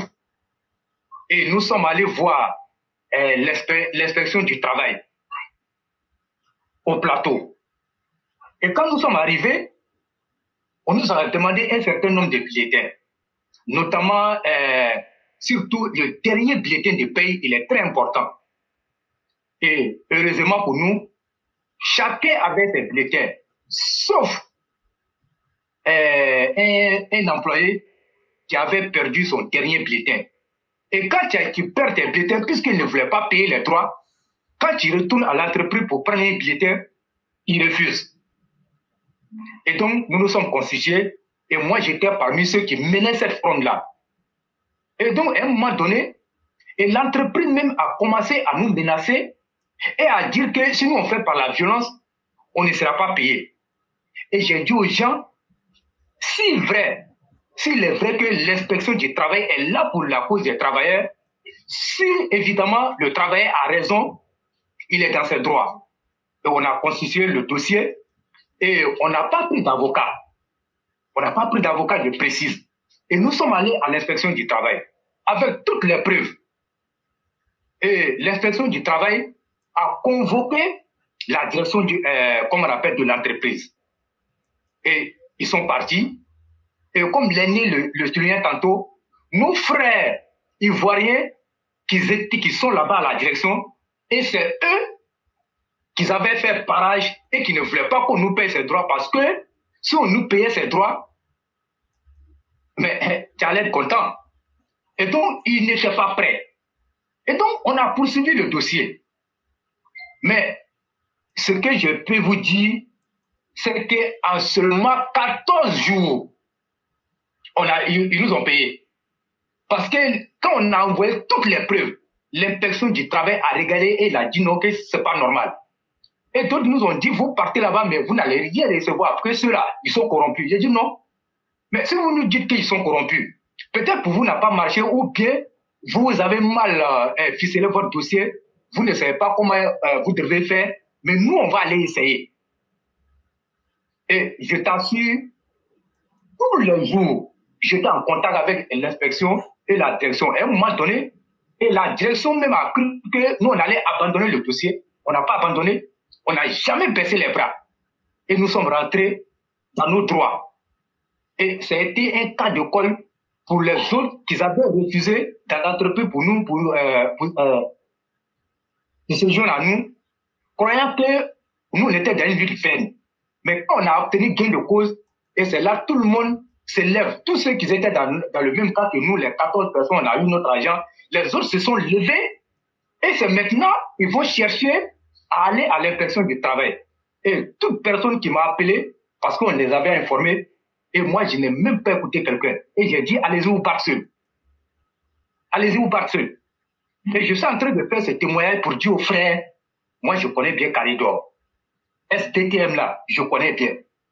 Je connais un auditeur à Caridor. Et donc, moi, je lui dis de ne jamais perdre espoir, de persévérer et tôt ou tard, cette situation trouvera en tout cas une solution.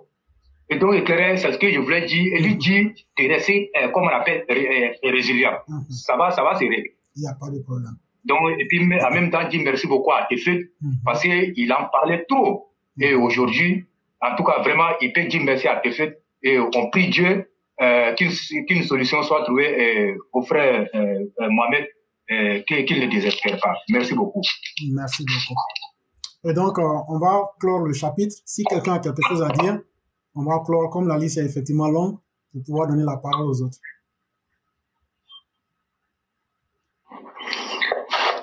Bon, moi, je n'ai rien à ajouter. Hein. C'était juste dire merci à, à Tefé d'avoir envoyé le cas. Et euh, on, on reste à l'écoute pour la suite. Il n'y a pas de problème. Ah, merci et bonne écoute à tout le monde. Merci beaucoup.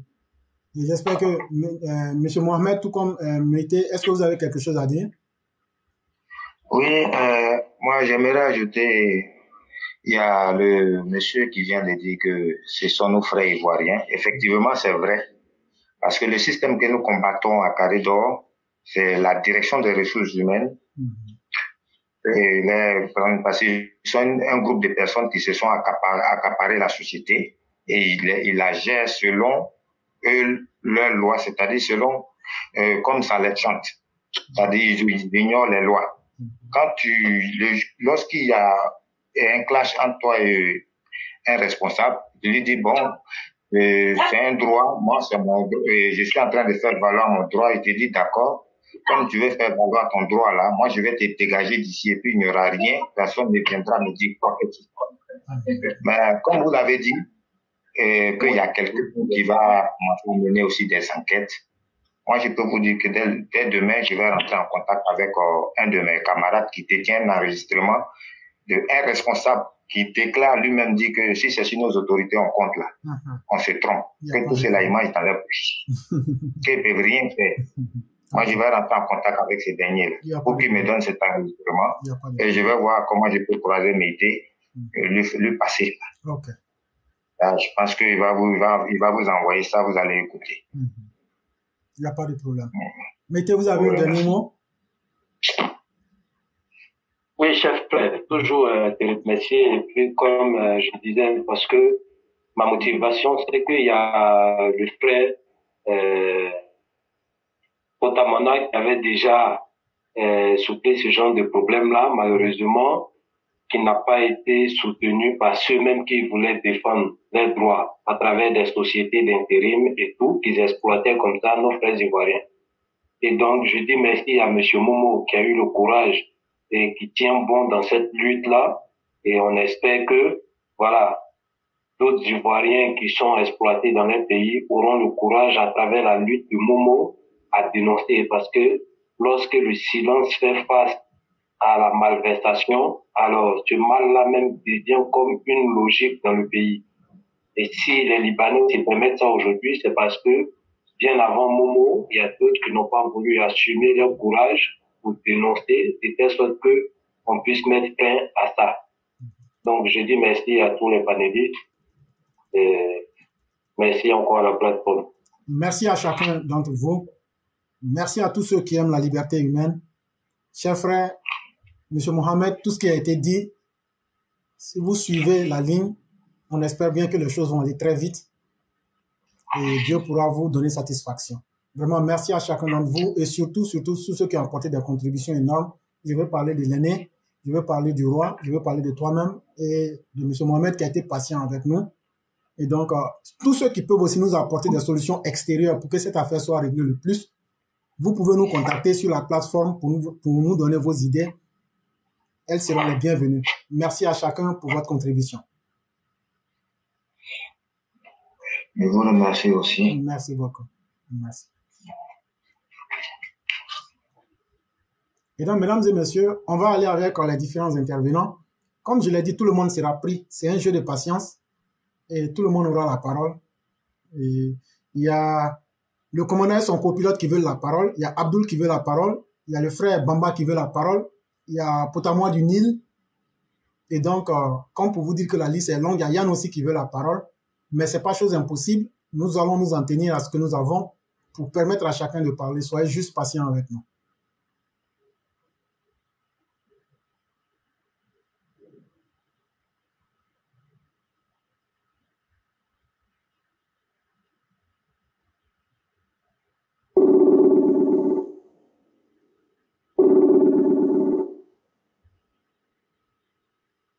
Allô? Allô? Bonsoir. Oui, bonsoir, cher frère Clara. Comment allez-vous? Com- Oui, je vais très bien, c'est vous. Dieu merci, tout va extrêmement bien. Dieu merci. Et le repos en Côte d'Ivoire La soirée se passe bien, j'espère. Ça va, grâce à Dieu, tout va très bien. Tout va très bien. Ah, Dieu merci. Et de votre côté? Oui, ça va par la grâce. Ok. Donc, euh, vous avez la parole. Oui, je vous remercie de me donner la parole. L'émission a été certainement longue. Je croyais qu'elle était terminée puisque moi, j'ai un souci de réseau là. Il n'y a pas de problème. Donc, j'ai dû me déplacer. Il n'y a pas de problème. Alors, aujourd'hui, euh, comme vous savez, il est de coutume, nous allons parler un peu de la fête euh, du travail. Alors, le 1er mai, c'est une journée où tous les travailleurs du monde célèbrent la fête du travail. Alors, vous pouvez déjà remarquer que euh, en Côte d'Ivoire ici, la fête euh, a été célébrée avec les différentes allocutions des uns et des autres. Et nous remercions les différents acteurs. Comme vous le savez également, il est question aussi de faire euh, un peu le bilan de tout ce qui s'est passé. Vous avez certainement vu ces douze dernières années, il y a eu des avancées notables. Et les résultats qui ont été obtenus, c'est grâce, euh, on va dire, euh, aux différentes négociations.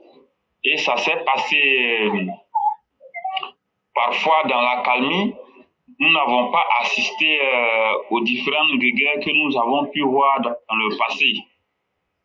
Et cela est très important. Déjà de 2017 jusqu'à 2022, il y a eu une première trêve sociale. Et tout ce qui était mis en avant, c'est vraiment le dialogue, la concertation pour arriver à trouver les différentes solutions aux problèmes des uns et des autres. Et il faut déjà remarquer que, je l'ai déjà dit, en 12 ans, il y a eu des avancées. Il faut vraiment constater que, en ce qui concerne les travailleurs de l'État, les fonctionnaires et agents de l'État, y compris les forces euh, de sécurité et de défense, il y a eu des résultats significatifs. Il faut vraiment remercier le gouvernement, il faut féliciter euh, le président de la République pour l'excellent résultat qui a été obtenu ces 12 dernières années. Puisque à plusieurs reprises, je l'ai déjà dit ici, tous ceux qui sont fonctionnaires et qui ont pu prendre service avant le 1er janvier 2022, la majorité de ces travailleurs, fonctionnaires et agents de l'État ont eu une augmentation de revenus.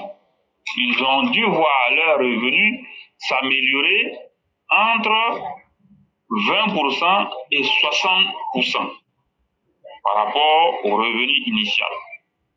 Quand je parle de revenus, on peut prendre en compte les salaires, parfois on peut prendre en compte également les primes. Voilà. Donc ça, c'est un bon résultat qu'il faut saluer. Donc aujourd'hui, quand on parle de fête de travail, il faut vraiment reconnaître ce qui a déjà été fait. À l'issue de tous ces résultats, le chef de l'État, dans sa volonté d'améliorer le revenu des travailleurs, il a dit, au-delà de la trêve sociale qui a été signée maintenant, c'est la négociation et le dialogue qui seront mis en avant pour permettre aux uns et aux autres d'obtenir des résultats. Et pour ce faire, il a instruit le gouvernement d'instaurer le comité sectoriel de dialogue social, en abrégé CSDS, comité sectoriel de dialogue social, au sein des ministères, qui vont prendre en compte, euh, au-delà des syndicats qui sont dans les ministères, les syndicats aussi de certaines structures d'État qui sont sous tutelle de ces ministères. Et ceci pourquoi? Pour être le porte-voix des travailleurs qui sont dans les ministères et qui sont dans les structures sous tutelle des ministères. Et certains ministères ont déjà mis en place leur comité sectoriel de dialogue social. Nous voulons donc aujourd'hui, à l'occasion de la fête du travail, en appeler à la prise, prise de conscience collective de tous. Certains ministères l'ont fait, mais pour l'heure, je ne sais pas si certains ministères sont toujours en marche. S'il se trouve qu'il y a des ministères qui traînent les pas, nous leur demandons avec insistance de le faire. Nous demandons avec insistance, au cas où, je dis bien au cas où, des ministères n'ont pas encore mis en place leur comité social de dialogue, leur comité sectoriel de dialogue social, de le faire incessamment parce que c'est une recommandation euh, du président de la République et c'est aussi une recommandation de la trêve sociale qui a été signée. La Côte d'Ivoire est un État responsable. Il faut que les gens avancent en appliquant les décisions qui ont été prises. Donc, dans ce sens-là, il faut que les, lignes bougent. On n'a pas besoin après que des syndicats viennent se manifester ou bien viennent euh, s'illustrer dans la presse ou bien devant l'opinion publique avant de pouvoir agir. Il faut agir en toute responsabilité. Et je le dis toujours, on n'a pas toujours besoin les directeurs généraux des entreprises d'État pour qu'ils fassent leur travail. Il faut que chacun fasse son travail en âme et conscience. C'est très important. Donc, les comités sectoriels de dialogue social seront instaurés et il faudra que les travailleurs, les établissements publics euh, nationaux, les ministères discutent en synergie pour trouver des solutions efficaces sur le long terme aux problèmes des travailleurs. Il le faut, c'est très important. Au-delà de cela, il y a le secteur privé. Vous savez, malheureusement, le secteur privé, moi, je peux dire que là-bas, les libertés syndicales ne sont pas respectées. Parfois, on peut croire que c'est l'État qui est dur avec les syndicalistes, mais non, c'est pas le cas. L'État n'est pas dur avec les syndicalistes comme le secteur privé. Le secteur privé, dès lors que vous êtes un responsable syndical, à la moindre heure, vous êtes viré et parfois même sans droit. Les gens, ils ont toujours des astuces pour euh, mettre les gens à la porte. Et ceci, ça s'explique par le fait que les patrons dans le privé ont parfois euh, trop de pouvoir et ils en abusent. Donc aujourd'hui, à l'occasion de la fête du travail, nous voulons en appeler au conseil d'administration de ces entreprises privées-là, surtout les actionnaires. Il faut que les gens... Mais croyez-moi, dans le privé, dans le privé, il y a les injustices les plus graves dans le monde de l'emploi, il y a les inégalités, il y a les abus. Oui, c'est une réalité. Ces dernières années, nous avons vu, ces 20 dernières années, nous l'avons vu. C'est une réalité. Donc, du coup, Aujourd'hui, si on parle des fêtes de travail, euh, c'est pour essayer de voir, dans un premier temps, comment les entreprises euh, peuvent continuer d'exister, comment elles peuvent continuer de fonctionner correctement, euh, comment aussi euh, le travail peut être euh, maintenu et garanti dans, dans le privé. Parce que vous le savez, sans le travail, il n'y a rien. Le travail, on le dit, même s'il n'est rend pas immensément riche l'homme, il garantit au moins la dignité de l'homme. Voilà. Donc, du coup, ces dernières années, nous voyons des abus dans le privé. Quand vous arrivez dans beaucoup de privés aujourd'hui, qu'est-ce qui se passe? C'est le patron et puis ses, proches, c'est eux qui sont très bien traités et les autres, ils font le travail, ils n'ont pas droit à se plaindre, ils n'ont pas droit à parler, s'ils s'amusent euh, à dénoncer certains faits, du jour au lendemain, on peut te mettre dehors. Ou bien on peut te dire, mon frère, ici, chez nous, ici, c'est comme ça. Hein. Si tu n'es pas d'accord, tu peux partir. Voilà. Ces langages-là, nous les voyons au privé. J'ai un ami qui travaille dans une usine. Bon, là-bas, c'est une entreprise familiale. On te dit, mon frère, chez nous, ici, c'est comme ça c'est les neveux, c'est les cousins bon, qui, qui, travaillent majoritairement dans l'entreprise. Donc même le neveu, le cousin qui est là-bas, bon, même s'il n'est pas content de, de, son traitement, il n'a pas droit à se plaindre. Voilà, parce que c'est la famille, ce sont les affinités. Si tu n'es pas d'accord, tu vas voir ailleurs. Il y a beaucoup de privés qui fonctionnent comme ça. Si des privés n'ont pas de bonne santé financière, on peut parfois comprendre, mais il y a des privés dont la santé financière ne doute, ne, souffre d'aucun doute, mais malheureusement, vous allez voir que les mêmes inégalités sont là-bas. Il n'y a pas de syndicalisme. Si vous voulez vous lever pour revendiquer quelque chose, tout de suite, on va vous euh, mettre à la porte et puis c'est fini. Voilà, partez vous débrouiller où vous voulez. Mais dans le droit du travail, la liberté syndicale, elle est garantie. Donc aujourd'hui, si on parle des fêtes de travail, nous pensons qu'il faut regarder attentivement tous ces aspects-là. Ces aspects-là, il faut regarder de près. Les inégalités, les injustices et les abus que nous voyons dans le privé. Parfois, nous avons dénoncé ici le problème des cabinets de recrutement qui plaçaient les travailleurs et qui gagnaient une grande cote part sur eux pour ne donner que des menus frétins aux travailleurs, alors que c'est le travailleur lui-même qui se débat jour et nuit pour pouvoir faire son travail. Donc, il y a ces aspects-là. Donc, malheureusement, nous sommes en Afrique où on continue de voir ces genres d'abus. À l'occasion de la fête du travail, qu'est-ce qui peut être fait pour mettre fin à ces genres d'abus? C'est en cela que nous en appelons aux inspecteurs de travail. Tu es inspecteur de travail, il faut que tu fasses ton travail correct. Nous en appelons au ministre de l'Emploi et de l'Action sociale il faut qu'il regarde de très près ces différents abus qui sont dans le privé. Qu'est-ce qui peut être fait? Vous avez vu récemment, le SMIC est passé à 75 000 francs CFA. C'est une bonne nouvelle. Encore qu'il faut vérifier sur le terrain que le SMIC est appliqué. Nous encourageons les entreprises à l'appliquer. Donc des discussions sont en cours entre le patronat et les responsables euh, syndicaux pour voir dans quelle mesure des avantages peuvent être accordés aux travailleurs du privé. Nous souhaitons vivement que les discussions se passent bien et que des résultats satisfaisants tombent. Nous l'espérons vivement.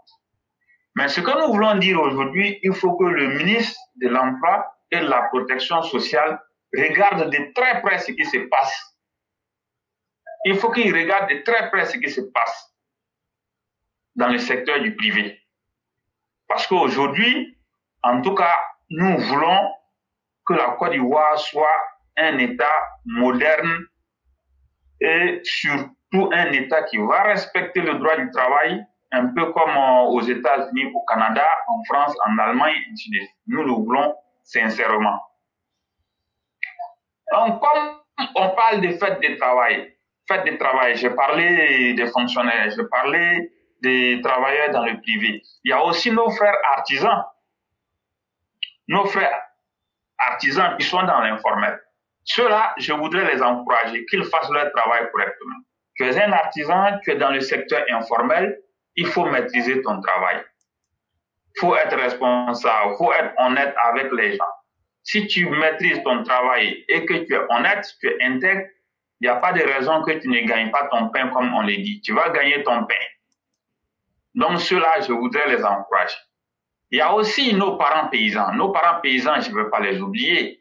Il y a les paysans, les agriculteurs de café cacao, les agriculteurs de coton, d'anacarde, les agriculteurs de, d'EVA, les agriculteurs de palmiers à huile et le vivrier, le, le, le, riz, le maïs, ainsi de suite. Ceux-là, je ne veux pas les oublier. Vous savez, la Côte d'Ivoire, pour garantir un meilleur avenir aux travailleurs de l'agriculture, ne pas dire les paysans et les agriculteurs, vous allez voir que chaque fois qu'il y a une traite agricole qui approche, le gouvernement, le café cacao fixe des prix borchants.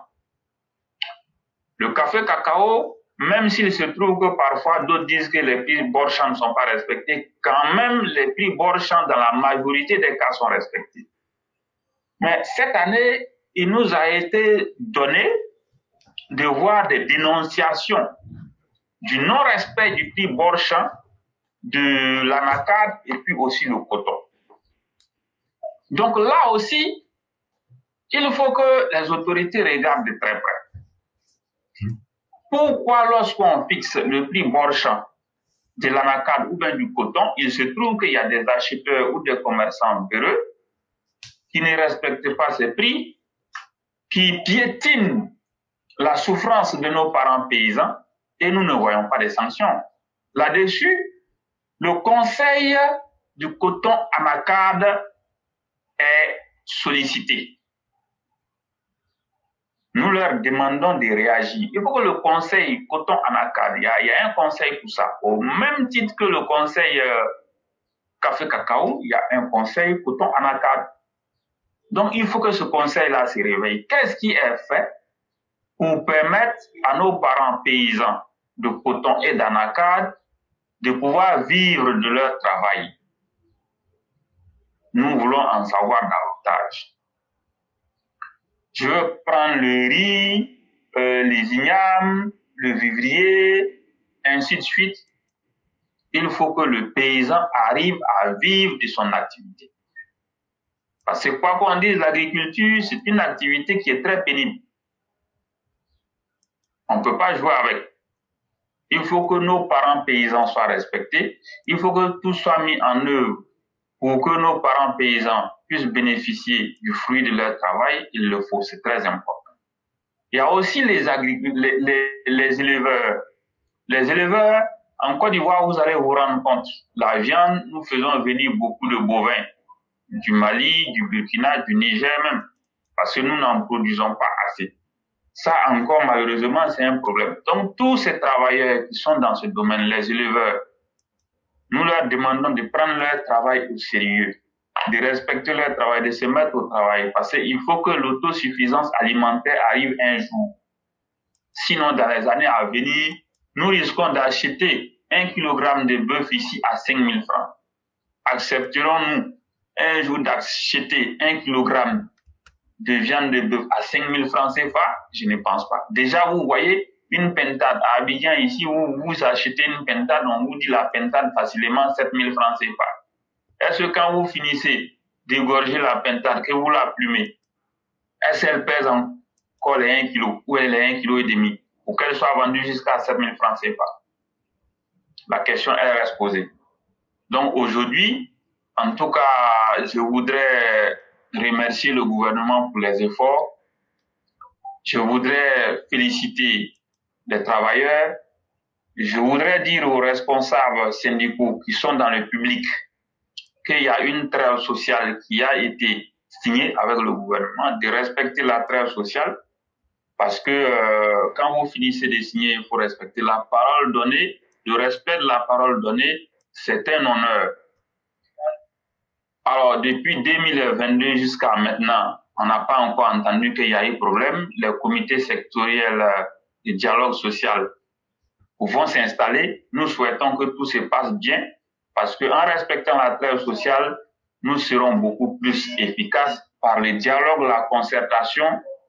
Beaucoup de résultats vont arriver et le pays ira de l'avant. Parce que, comme on l'a dit, rien ne peut se faire s'il n'y a pas le travail sans travail, on a vu ici, de 2010 jusqu'à 2000, euh, non, de 2000 jusqu'à 2010, on a vu des gens qui sont arrivés au pouvoir, ils ont passé tout leur temps à, à faire la fête. Le résultat, on l'a vu après 10 ans, il y avait Mais vous avez vu aujourd'hui, en 12 ans, grâce au travail, vous avez vu le résultat spectaculaire. Le budget ivoirien est passé de plus de 2600 milliards de nos francs CFA à aujourd'hui un peu plus de 11 000 milliards de nos francs CFA, ce qui fait une augmentation de plus de 350% en seulement 12 ans. Ça, c'est spectaculaire, c'est inédit, c'est du jamais vu. Et cela a été possible grâce au travail bien fait.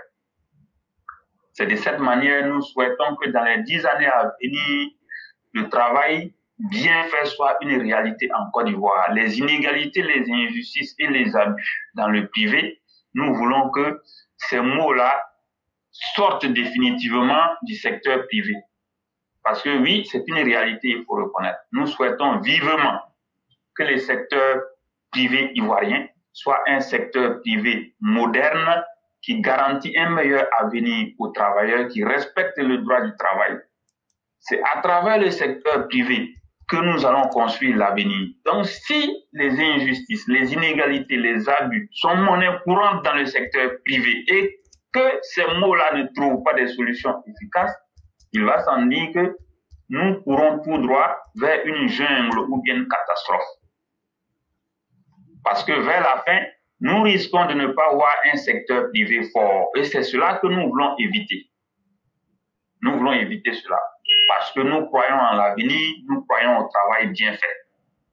Donc nous souhaitons que le respect de la liberté syndicale soit une réalité en Côte d'Ivoire. Le travail bien fait soit une réalité en Côte d'Ivoire. Les travailleurs soient protégés en Côte d'Ivoire. Et que aussi les travailleurs en fin de carrière puissent se réaliser. Parce que ceci est également très important. On ne peut pas travailler 30 ans, 35 ans et au final se retrouver misérable.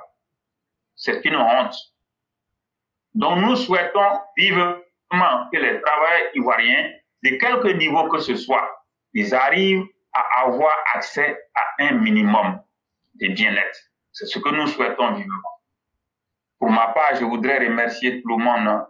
Et si vous avez quelque chose à ajouter, je vous écoute.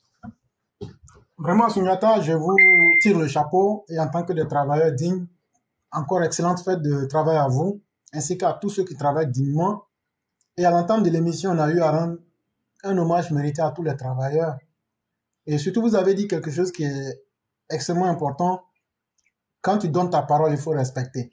Si on veut payer des désordres il n'y a pas quelqu'un qui aime des autres plus que nous. 15% d'augmentation. Si vous voulez crier parce que Blé Goudemé, Babo, Simon sont en train de vous blaguer là. Ah frère, on va gâter votre, on va mettre ça dans votre attiqué. Donc ce qui est mieux pour vous là, respectez votre parole, on va aller doucement. On n'est pas dans un gouvernement d'amusement mais de, de flonflon pour que chacun fasse ce qu'il veut. Et ça, il faudrait que les uns et les autres retiennent ça. On peut tout obtenir si on a la bonne manière. Et vous avez toujours été anticipateur en ce qui concerne même le monde du travail.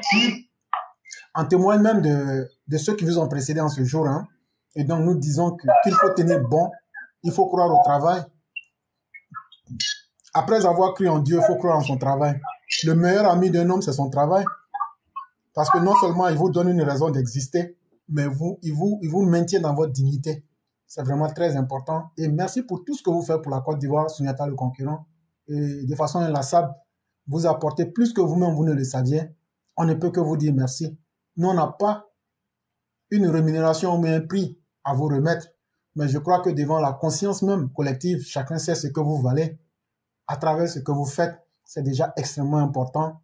Et Dieu seul sait comment il paiera chacun, mais je suis sûr que votre rétribution sera à la hauteur des sacrifices consentis. C'est ce que je puis dire. Vraiment, merci beaucoup. Mhm. Merci beaucoup. Euh, alors, portez-vous bien et on va dire euh, excellente émission à tout le monde. Merci infiniment et vous passez une excellente soirée et une très bonne fête de, du 1er mai. Merci bien. Je vous en prie.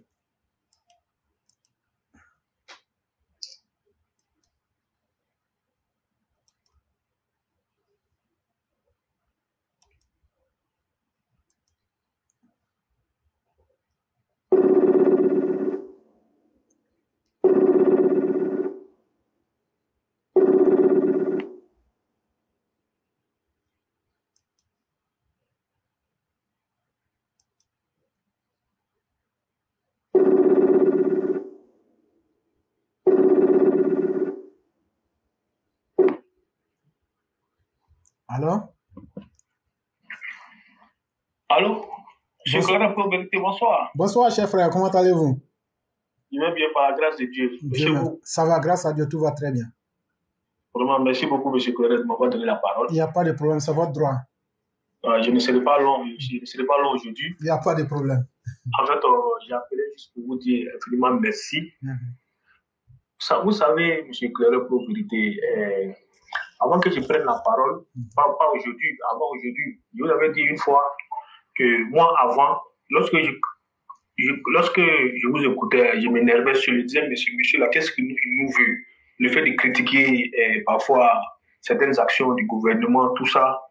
Mais après, j'ai commencé à comprendre quand j'ai vu que B52, une fois B52 a appelé, parce que c'est un monsieur que j'écoutais beaucoup sur la plateforme de, de, de l'autre monsieur. Donc, je- c'est avec beaucoup d'attention maintenant j'ai commencé à vous suivre de près et avec le temps, j'ai commencé à analyser. J'ai dit, ah, vraiment, le monsieur là, éclairé pour vérité là, c'est quelqu'un qu'on doit suivre. Vous voyez, en toute chose, il faut être vrai. En toute chose, il faut être vrai. Parce que tout ce qui commence par la vérité se termine par la vérité. Vous voyez, vous m'excusez, c'est une parenthèse que j'ouvre. La, dernière fois, lorsque l'autre a tenté de vous salir, de mentir, c'est rentré ici, c'est sorti ici, vous avez fait diversion. Mais vous savez, le mensonge là prend l'ascenseur. La vérité prend les escaliers. Mais au finish, c'est la vérité qui triomphe. Nous tous, nous avons vu la dernière, le dernier poste de Saïd Penda, M. Saïd Penda, et dont vous avez fait une très belle analyse. Et aujourd'hui encore, le B52 est venu, il a, beaucoup parlé. Donc aujourd'hui, beaucoup de personnes ont commencé à comprendre. Beaucoup de personnes savent aujourd'hui qui est éclaireur. C'est un monsieur qui est dans la vérité et qui est dans une vision d'anticipation et d'éducation des masses. Nous disons infiniment merci.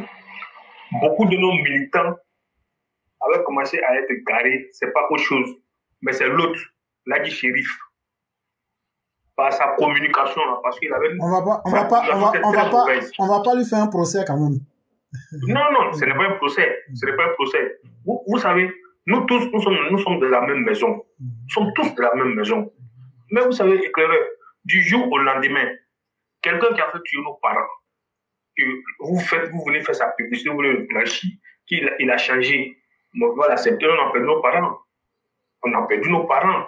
Au début, on se disait non, peut-être par rapport à la réconciliation, machin, tout ça. Mais après, quand on a vu chaque jour, tu parles du monsieur, chaque jour, ça n'en finit point. Jusqu'à il a, il, a, il, a, même fait, lui et puis, et puis ça a chauffé sur sa plateforme. Donc, lorsque tu vois ce genre de choses-là, ça, ça, nous, nous déjà, on était déjà un peu éclairés. Et avec ça, là, beaucoup d'hommes ont été éclairés, plus. Et vous êtes encore plus suivis aujourd'hui. Parce que vous êtes dans la vérité, vous êtes dans la sincérité. Nous, on, vous dit infiniment merci. Infiniment merci. Vous savez, il y a, deux grains de Korogo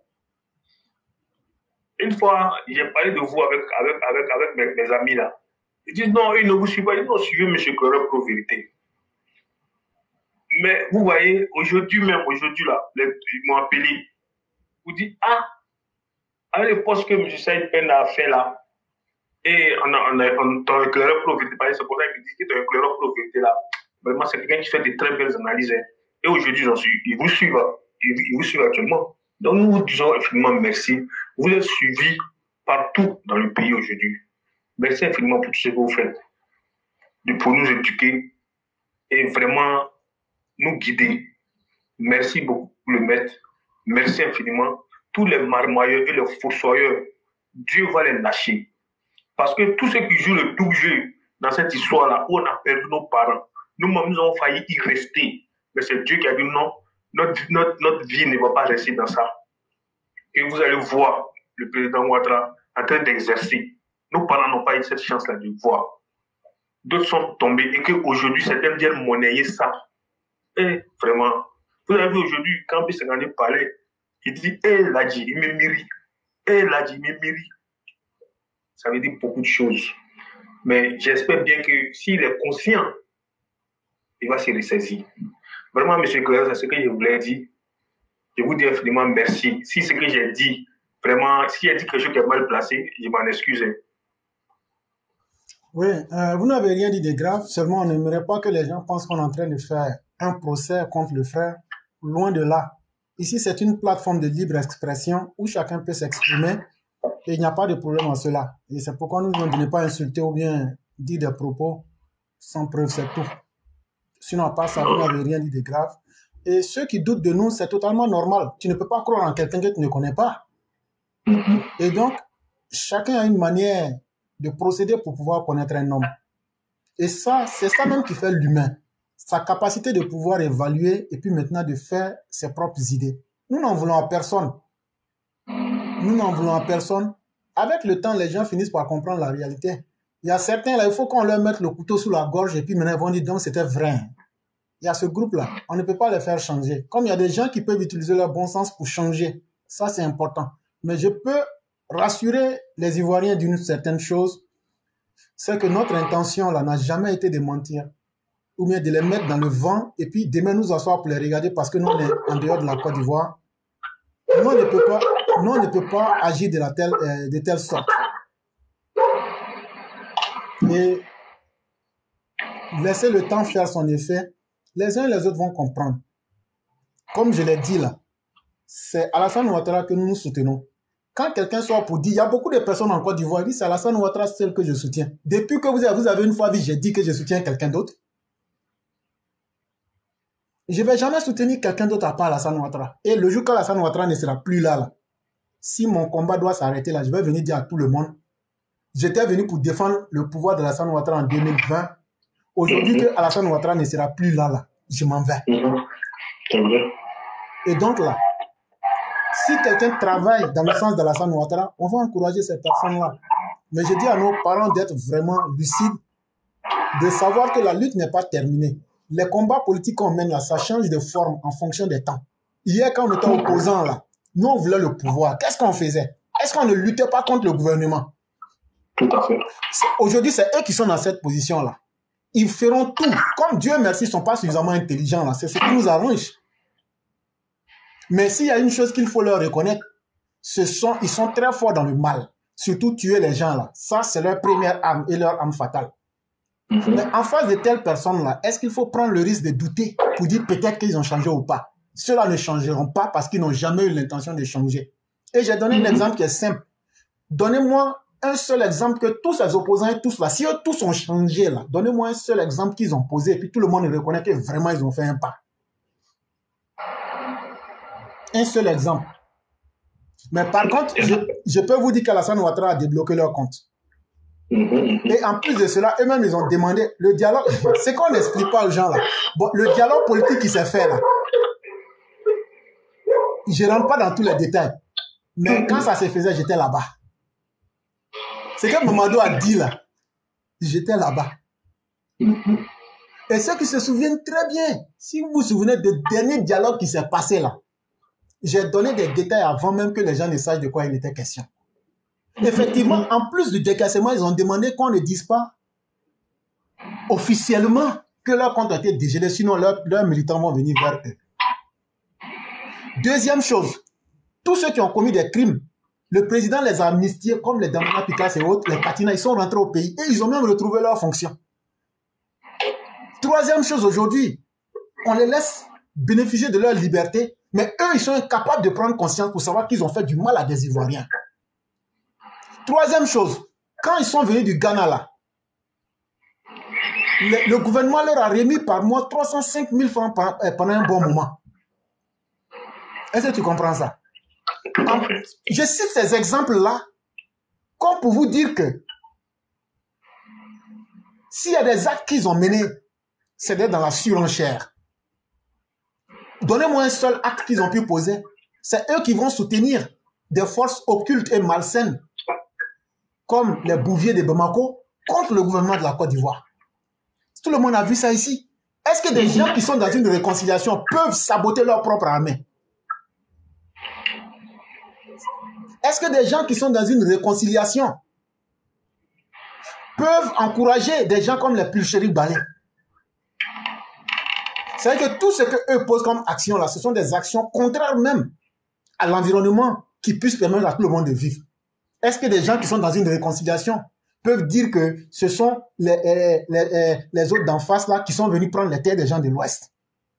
Est-ce que quelqu'un qui veut une réconciliation peut accepter qu'on fasse une stèle pour dire que ce sont les rebelles avec les Français qui ont tué les gens? Comme si ceux-mêmes qui ont fait là, les gens sont venus comme ça tomber sur eux pour les tuer. C'est-à-dire qu'on catégorise une population, on les cible comme étant les, les- les bourreaux, et eux maintenant, les vrais bourreaux deviennent les victimes. Quelqu'un qui veut une réconciliation là, tu vas chercher à calmer les deux parties. Et donc, si tu remarques très bien, depuis qu'ils sont rentrés là, que ce soit dans leur propre camp, que ce soit au niveau même du pays là, même une seule parole pour dire que voilà ce qu'on peut apporter de positif, ils n'ont pas fait. Et quand vous les voyez, ils sont dans un jeu. Laurent Gbagbo continue le même euh, stratagème, la même technique d'être un négationniste, un néfaste, un nuisible. Dans le même temps, Blé Goudé, lui joue les intéressants en venant dire j'ai même ma main sur ma cœur et mon cœur et pardonnez-moi. Tout ça, c'est de la blague. Et ce qui est intéressant, avec le temps, on a même mis des discours ici. où tout le monde a écouté. Et donc, nous, on va toujours donner les vraies preuves et attendre que ces preuves-là soient démontées. Et c'est ce qu'on a dit à tout le monde. Si Blé Goudé a vraiment changé, il y a deux choses. Soit vous faites une vidéo pour montrer ce qui fait qu'il a changé vraiment là. Vous montrez ça. Et surtout, vous montrez pour dire que, avec des preuves à l'appui, que voilà, qu'il a changé. Ou bien, vous faites une vidéo pour montrer que vous n'êtes pas avec lui. Voilà simplement ce qu'on a demandé. Parce qu'on ne peut pas fonctionner avec deux idéologies opposées. Et donc, chers frères, on va toujours continuer ce combat-là. C'est à vous aussi qu'on dit merci. Et que Dieu nous préserve de tout ce qui est négatif. Et qu'il nous permette de comprendre les choses positivement. C'est vraiment très important. Merci infiniment, grand éclaireur pour vérité. Merci infiniment pour vos, pour vos belles analyses. Merci infiniment et bonne soirée à vous. On dit bien des choses à Maman Blanc et à tout le monde sur la page. Merci infiniment et que Dieu nous préserve tous et qu'il nous maintienne dans ses grâces. Merci beaucoup. Bonne soirée, monsieur. Je vous en prie. Merci beaucoup, cher frère.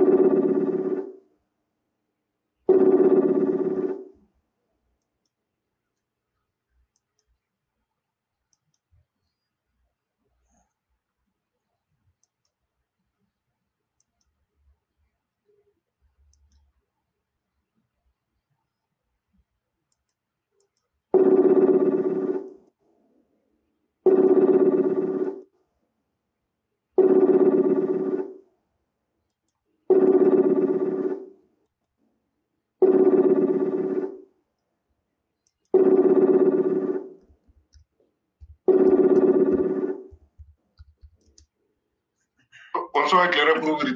Bonsoir, le, puissant, euh, le cyclone puissance 1000. Comment allez-vous? Alhamdulillah, ça va chez vous? Dieu merci, tout va très bien. Et la famille? La famille va très bien. Et le 1er mai? Alors, eh, Dieu merci, tout s'est très bien passé. Dieu merci. À la grâce de Dieu. Hier, hier, vous ne vous êtes pas amusé au restaurant, hein? C'est ce qui a fait mal à l'Aurora. J'ai pris pour lui. J'ai pris pour restaurant de Greski. J'ai pris, moi seul là. Je vous dis, hein, l'Aurora, c'était quatre plats. Ah, là. Et après, fait emporter. Donc, ça veut dire tu as mangé pour une semaine, quoi. donc, donc, ici, bonjour, les fêtes, ça va. Vraiment, merci Et que beaucoup. Et là, tu as ton copilote qui est là, hein, qui est avec nous. Donc, actuellement, Ah, actuellement là, je vous laisse avec votre bagarre. Vous prenez le volant. Vous deux en même temps. Ok, bonsoir, mon frère Touré. Bonsoir, mon général. Tu as quoi au Caïma Alhamdulillah, j'ai vu mon, kete avec André, hein. André, les, les, les, les- ah bon, hein, les y a trop attaché les niveau là-bas, putain. C'est- quel ici C'est quel ici dossier que contre toi ici là Moi, je préfère être prêt avec toi. Les grands commandants t'ont limogé parce que tu es, tu- que tu es rentré en brousse. Donc, les missions que tu allais faire, vraiment, les décharges ne sont pas faites. J'ai essayé de te soustraire. Je voulais perdre mon poste, donc j'ai préféré mon poste. Vraiment, il t'a limogé, mais il y a une solution. Il faut qu'il soit clair avec toi. Donc, euh, actuellement, il est en train de traiter avec le grand commandant. Je sais qu'il nous écoute actuellement là. Donc, après, tu m'envoies tous les dossiers et je mets les cachets et peux monter ça. Et puis, c'est propre. Tu reprends ton poste. Mais déjà, même, il faut reprendre ton poste. même, tu as pris. Mon pardon, il va accepter. Tout le monde va demander pardon. À nous aller. 5, 6, 5 côté paralysé, moi, et Sanjaye mille fois vu, moi. Ok, merci beaucoup. Je dis merci à toute la famille. Merci à tous les Ivoiriens. Merci à tous les auditeurs. Merci à tous ceux qui ont intervenu. Ces Ivoiriens, restons vrais, comme ce que le frère vient de dire. Si tu as les moyens, il faut rester vrai. Si tu n'as pas les moyens financiers, il faut rester vrai. Si tu es court, il faut rester vrai. Si tu es grand, il faut rester vrai. Un homme, quand il marche, il laisse des traces. Mais si Dieu veut sauver quelqu'un, veut aider quelqu'un, veut faire mettre sa grâce sur quelqu'un, Dieu passe par les gens. Ça peut être n'importe qui. C'est pourquoi, dans l'amitié, il faut être prêt. C'est pourquoi, même dans le travail, il faut être prêt. Tout ce que tu veux faire, il faut être prêt. Si les gars t'ont pas aimé pour ça, si on ne t'aime pas pour ça, s'ils ne vont jamais t'aimer pour ça, mais toi et moi, on doit rester prêt dans tout ce qu'on fait. Un homme n'est pas parfait. Chacun d'entre nous a un petit dépôt. Mais on arrive à s'appuyer sur nos dépôts pour ne pas faire voir à nos voisins, à nos amis, à nos euh, proches. C'est ça qui fait un grand, grand homme. Tout le monde a son côté noir. Mais c'est les vrais. Oui, là, on ne voit pas. Si tu mens, la vérité, là, ça sort. Moi, j'ai dit merci à l'aîné P52. J'ai dit merci à tous les auditeurs. Nous ne sommes contre personne. Nous sommes amis de tout le monde. Mais on a nos visions à part. Et la vision que les élèves éclairés pauvreté est dessus, c'est ce qui peut arranger la Côte d'Ivoire. La base, c'est la vérité. Que tu aimes ou pas, la vérité, il faut reconnaître. Éclairé n'a pas besoin de euh, publicité. Éclairé, ce qu'il dit là, c'est ça qui nous arrange. Mais on a tout compris sur la toile. On nous a traité de tout. Mais on, est là, tranquille. On n'a pas de problème avec quelqu'un. Mais à un moment donné, celui qui veut être dans la vision du président de la République, celui qui veut aider son pays, celui qui veut aider ses parents, celui qui veut aider les Ivoiriens et celui qui pense à tous ceux qui sont tombés, doit être juste et puis être véridique pour éclairer la lanterne de tout le monde. Voilà tout ce secret-là. Voilà tout ce secret-là. Il n'y a rien derrière. Et ta conscience est tranquille. Et tu parles aussi, ils vont te comprendre. Même ceux qui ne veulent pas attendre, ils vont chercher à savoir c'est qui, il dit quoi, c'est de quoi il parle. C'est ça. C'est ce qu'est le président. Hein. Tout ce qu'on est en train de dire, président Ouattara, il a construit ici, il a construit ici, il fait ça, milliards, débat partout là. Ce qu'on doit remarquer, ce qu'on doit observer, et ce qu'on doit retenir, comment le président il se comporte. Son parole est comment devant le monde entier, envers les Ivoiriens, même avec ceux-mêmes qui cherchent à le tuer. C'est la parole. Il est vrai. Et il est il est On ne peut pas faire commenter. Donc, c'est valable pour tous les Ivoiriens. C'est le slogan du président de la République. Il dit, je veux mes enfants ensemble, sans faire la différence sans faire différence politique. Là. Lui, pour ça. Lui dit, nous avons même père et même mère. Et c'est, tout, tout, le monde sait que c'est, ce qu'il est en train de, c'est ce qu'il pense. Et les Ivoiriens éclairés ont commencé à être clairs éclairer les Ivoiriens, on ne va pas laisser quelqu'un venir les aboutir. Parce que le démon est dans tout ce qui est mal. Jamais on va accepter. Quand on vous dit ici qu'on a perdu des parents, des proches, ils étaient tués sur nos pieds, il y a d'autres qui ne croient pas. Il y a d'autres poués, parce qu'on est derrière nos écrans. Euh, on est en train de parler sur Facebook. Chers parents, on vous jure de tout. On a des... Eh, cette image-là, nous, on ne peut jamais oublier. Ils ont leur famille. Est-ce que les Ivoiriens ont besoin de ça? Non. Donc, pour ne pas trop tarder, moi j'ai dit merci à l'aîné d'être vrai. Remarquons toujours quelque chose. Nous avons nos courlets en nous. Mais depuis le direct a commencé, ça fait combien de temps? Après du temps, hein? Mais est-ce que vous avez entendu un jus de et père Non. C'est des responsables, des pères de famille, des hommes intelligents qui sont là, qui ont un objectif et pour l'intérêt des Ivoiriens et l'image de nos pays. Le président a tout accepté. Il a tout encaissé. Le président n'a jamais insulté quelqu'un. Mais si on nous dit que nous sommes à l'exemple du président, eh, faut pas on va se comparer à ça. Hein. C'est fort que nous. Ce qu'on peut faire, c'est de s'accepter d'abord. Mais quand tu n'aimes pas ton prochain, quand tu passes sur ton terrain, toujours c'est le côté comme ça qui sort. À la fin, ça devient ridicule. Ça devient un temps perdu. Pour eux et peu, ceux qui vont manipuler. Mais Dieu merci, par le programme du président de la République, les Ivoiriens ont compris. La majorité silencieuse ont compris. Mensonge là, ça passe plus. Et si tu on va te désavouer. C'est ce qu'on a choisi. Maintenant, nous, on dit, nous, on laisse appel. On dit, venez nous désavouer. C'est parce qu'on veut qu'on n'a qu'à avoir les mêmes passés. Même si ce n'est pas les mêmes passés, on n'a qu'à être droit dans nos portes. C'est tout. Donc, je ne vais pas trop tarder là. Vraiment, l'année, merci beaucoup d'être prêt. De dire ce qui est sur le cœur. C'est ça un vrai garçon.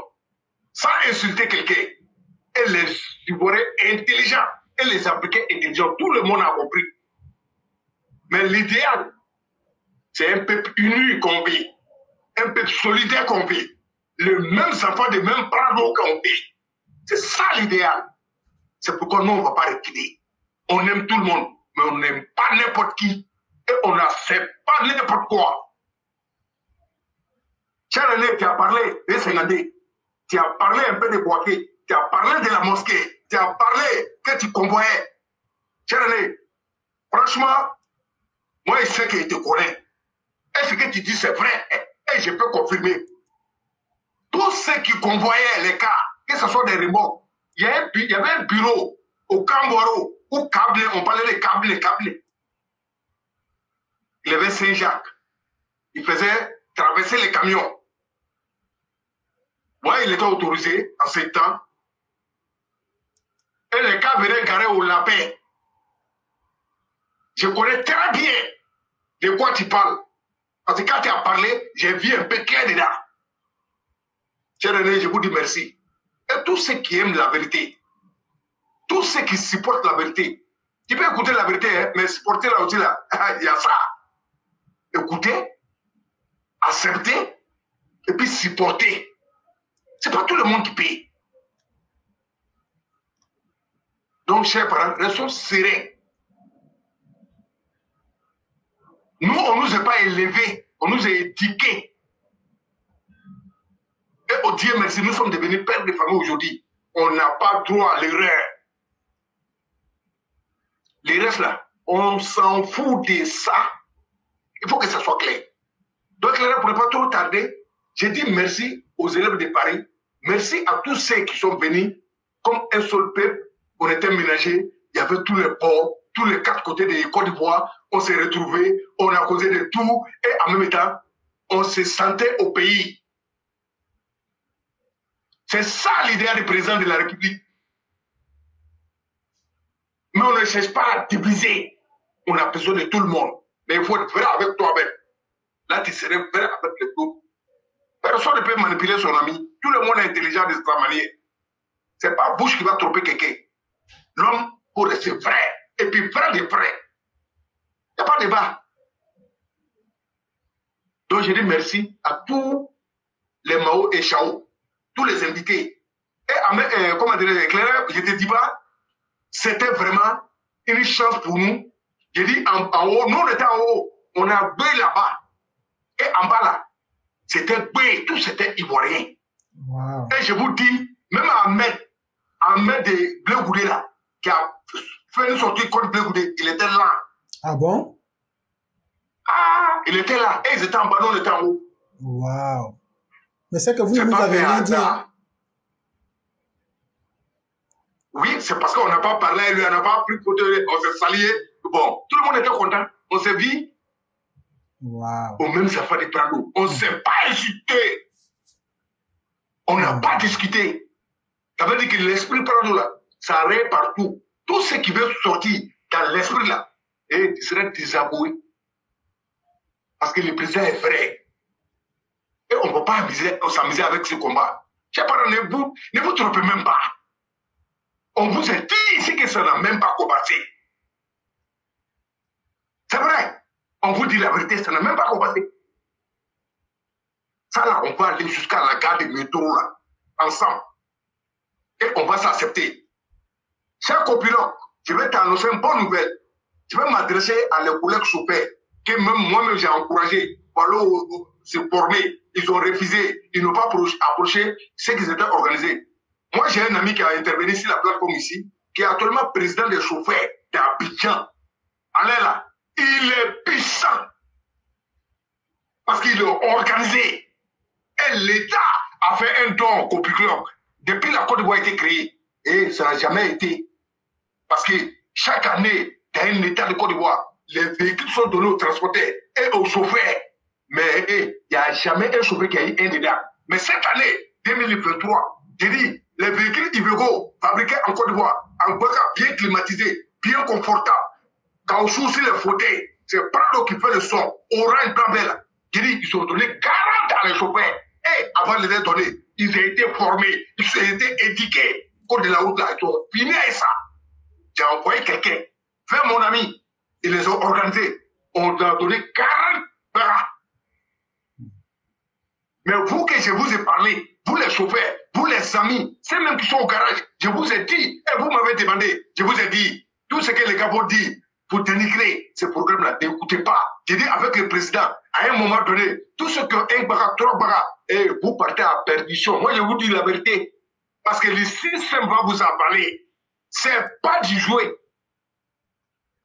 Il y a d'autres qui ont négligé. Mais quand ils ont vu les chauffeurs étaient formés, bien éduqués. Il y a même des filles dedans. Et les bagages sont de. J'ai dit 40 bagages, renseignez-vous. 40 Chaque petit groupe, bien organisé, bien formé. Il y a tous les ethnies dedans. Ceux qui ont confiance au programme du président, ceux qui ont confiance à la Côte d'Ivoire, ceux qui ont confiance à leur avenir, ceux qui pensent à fonder une famille et passer à ces enfants-là. Et ils ont pris courage, ils, se sont, ils ont pris le chemin de travail et ils sont allés. Aujourd'hui, ils sont sortis, dans les barrages. Maintenant, c'est maintenant d'autres m'appellent. Et non, ne croyez pas. Il ne faut pas croire. Tu es maudit à jamais. Et je le bloque. Parce que je n'aime pas ça du tout. C'est où nous on court pour chercher tout. Voilà ça. Si un plateau d'eau vient vous donner et on vous appelle, vous sabotez. Après maintenant, c'est pour appeler les gens, emmerder les gens, demander l'argent aux gens. Moi, je n'aime pas ces gens de personnes. Oui, moi-même, je n'ai pas l'argent. Ne m'appelez pas. Je connais personne. Faites comme les autres jeunes. On vous appelle. Voilà le ministre de la jeunesse qui est là pour nous, le tout jeune ministre. Eh, Mamadou Touré, je vais oublier. J'ai dit merci au président de la République. Monsieur le président de la République, son excellence, M. Alassane Ouattara. Sans oublier le ministre de la jeunesse. Je vous dis merci pour votre sortie. Franchement, j'ai suivi ça avec une intention bien. Non, franchement, j'étais content. Ouais. Monsieur le ministre, que Dieu vous donne tous les bonheurs dans tout ce que vous êtes en train de faire. Que Dieu puisse faire que dans vos ministères, vous réussissez. Et ça doit être un, slogan pour nous en 2025 jusqu'à 2060 pour ne pas qu'on vous oublie. Reste, rentre dans l'histoire avec le président parce que son objectif aujourd'hui, c'est les chaînes. Aidez-les. Tout ce qui peut aider Mamadou Touré, on va l'aider. Si la base de la vérité, on dire la vérité. Si ça va pas, on va sortir pour dire, ministre, puisse te rattraper.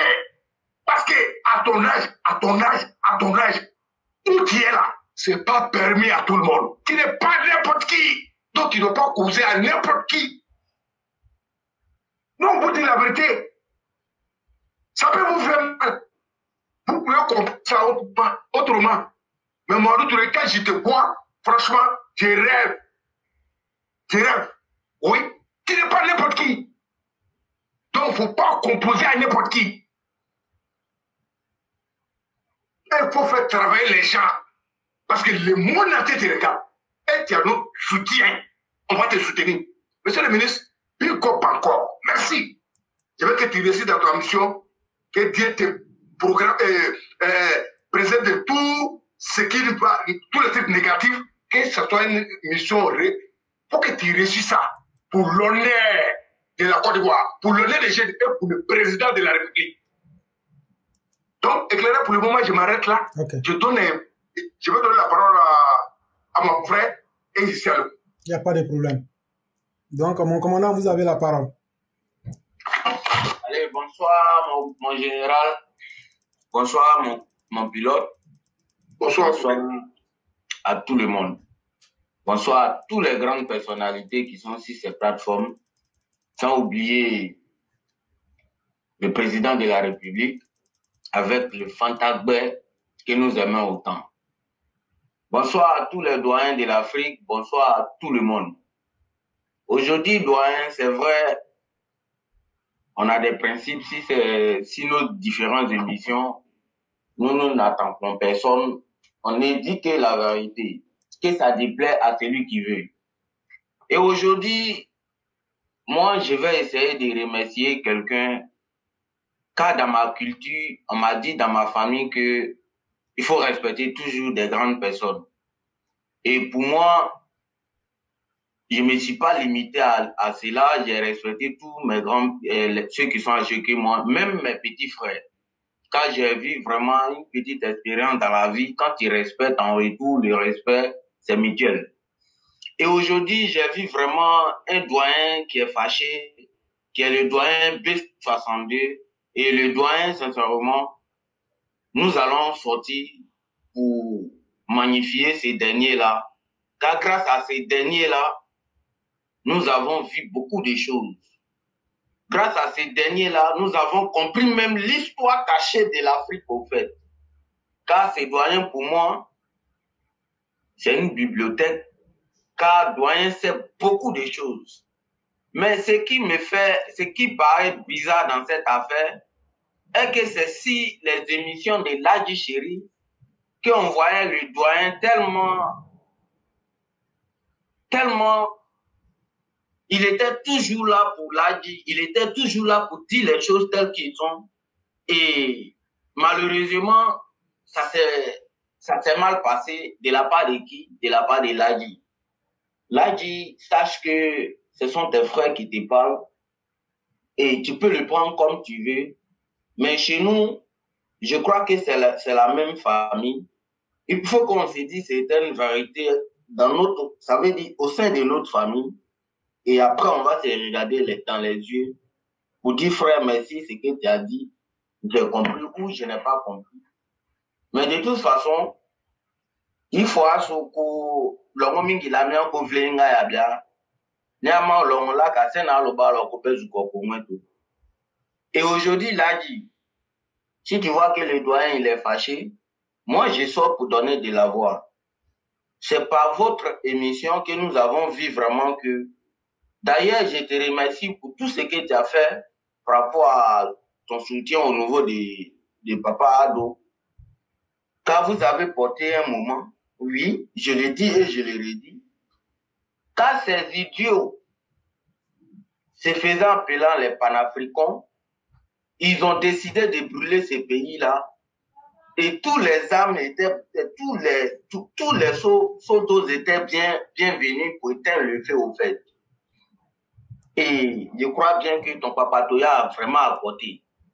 Et là, dit, mais ce que tu as oublié, est que toi-même, tu le dis dans tes différentes émissions pour dire que c'est parce que tu as aimé Papa Ado. Jusqu'à ça t'a poussé au moins à améliorer ton vocabulaire pour pouvoir faire son combat comme il faut. Mais là, dit ce que vous avez oublié. C'est les doyens comme les doyens B60, B52 qui étaient là pour vous qui, connaît, qui maîtrisait les différents sujets qui venaient débattre. Et pour moi, qui a fait que tu t'es amélioré dans beaucoup de choses. Et si vraiment le doyen vient, vient vraiment faire son ras-le-bol, et pour moi, je suis quelqu'un qui, est mieux placé pour pouvoir témoigner à faveur des doyens, je crois bien. Hein. Car tous les sujets que le doyen a essayé d'intervenir sur ton émission, ça a été le sujet concret. Et ça apportait tellement que... Bon, bref. Frère, il faut vous y aller, il faut que vous y allez pour Bamoé. tumu mi bɔ agbaŋɔ lɔ we anu fɔ ama mɔ kaka nɔ ko gbanɔ tumu tɔ alamadi ŋo mi alamadi ŋo nyɔ tsana we ogbi kɔ bona le donc bona ko le o le en tout cas je voulais que i miani yaki li i kɔ sɛ tɔn ba ma que ta derli que tɔn ba yɛ pour moi ça serait encore sage et je vais me limiter par là Et aujourd'hui, le deuxième sujet, c'est une doléance encore à le président de la République. Le deuxième sujet que j'ai, au moins, euh, la doléance que je veux demander à le père de la République, qui est le monsieur, son excellence, M. Alassane Draman Ouattara. L'objet, nous ne croyons plus à nos maires, nous ne croyons plus à nos députés, euh, comment on appelle ça, à nos députés, je peux le dire, car ils sont là pour défendre le peuple, je crois qu'ils ne le font pas. Et aujourd'hui, il y a un problème vraiment qui s'impose au niveau de la Côte d'Ivoire. Par rapport à l'autosuffisance ivoirienne, Louvier. Louvier, quand je dis cela, je, je sais de quoi je parle. Savez-vous, Louvier, il y a beaucoup de choses qui apportent en Côte d'Ivoire, mais il y, a un problème qui se pose, raison pour laquelle que ces choses-là, on n'en bénéficie, bénéficie pas vraiment, et que nos parents le produisent un maximum? C'est-à-dire, aussi, on a besoin de les différents hangars où on peut garder nos produits pendant de longues périodes. Quand tu vois chez moi, Logier, je viens de Bakenesso. Et tous ceux qui connaissent Bakenesso savent bien que il y a certains trucs qui sortent là-bas. Je prends exemple si Gombo. En Côte d'Ivoire, les frères, il y a beaucoup de choses. Quand tu connais le pays, tu peux parler comme tu veux. Et puis, il n'y a pas quelqu'un qui va venir te dire le contraire. Voyez-vous en Côte d'Ivoire, mon village, on appelle Bakenesso. Le village là, nos mères, tout le village fait seulement que le gombo dans une, dans, dans, dans une période courte. Si c'est trop, c'est trois mois. Mais cette période-là, les frères, je vous jure devant Dieu et les hommes, non, maman, il y a des personnes qui peuvent enlever gombo presque 60, 60, 60 sacs différents de gombo.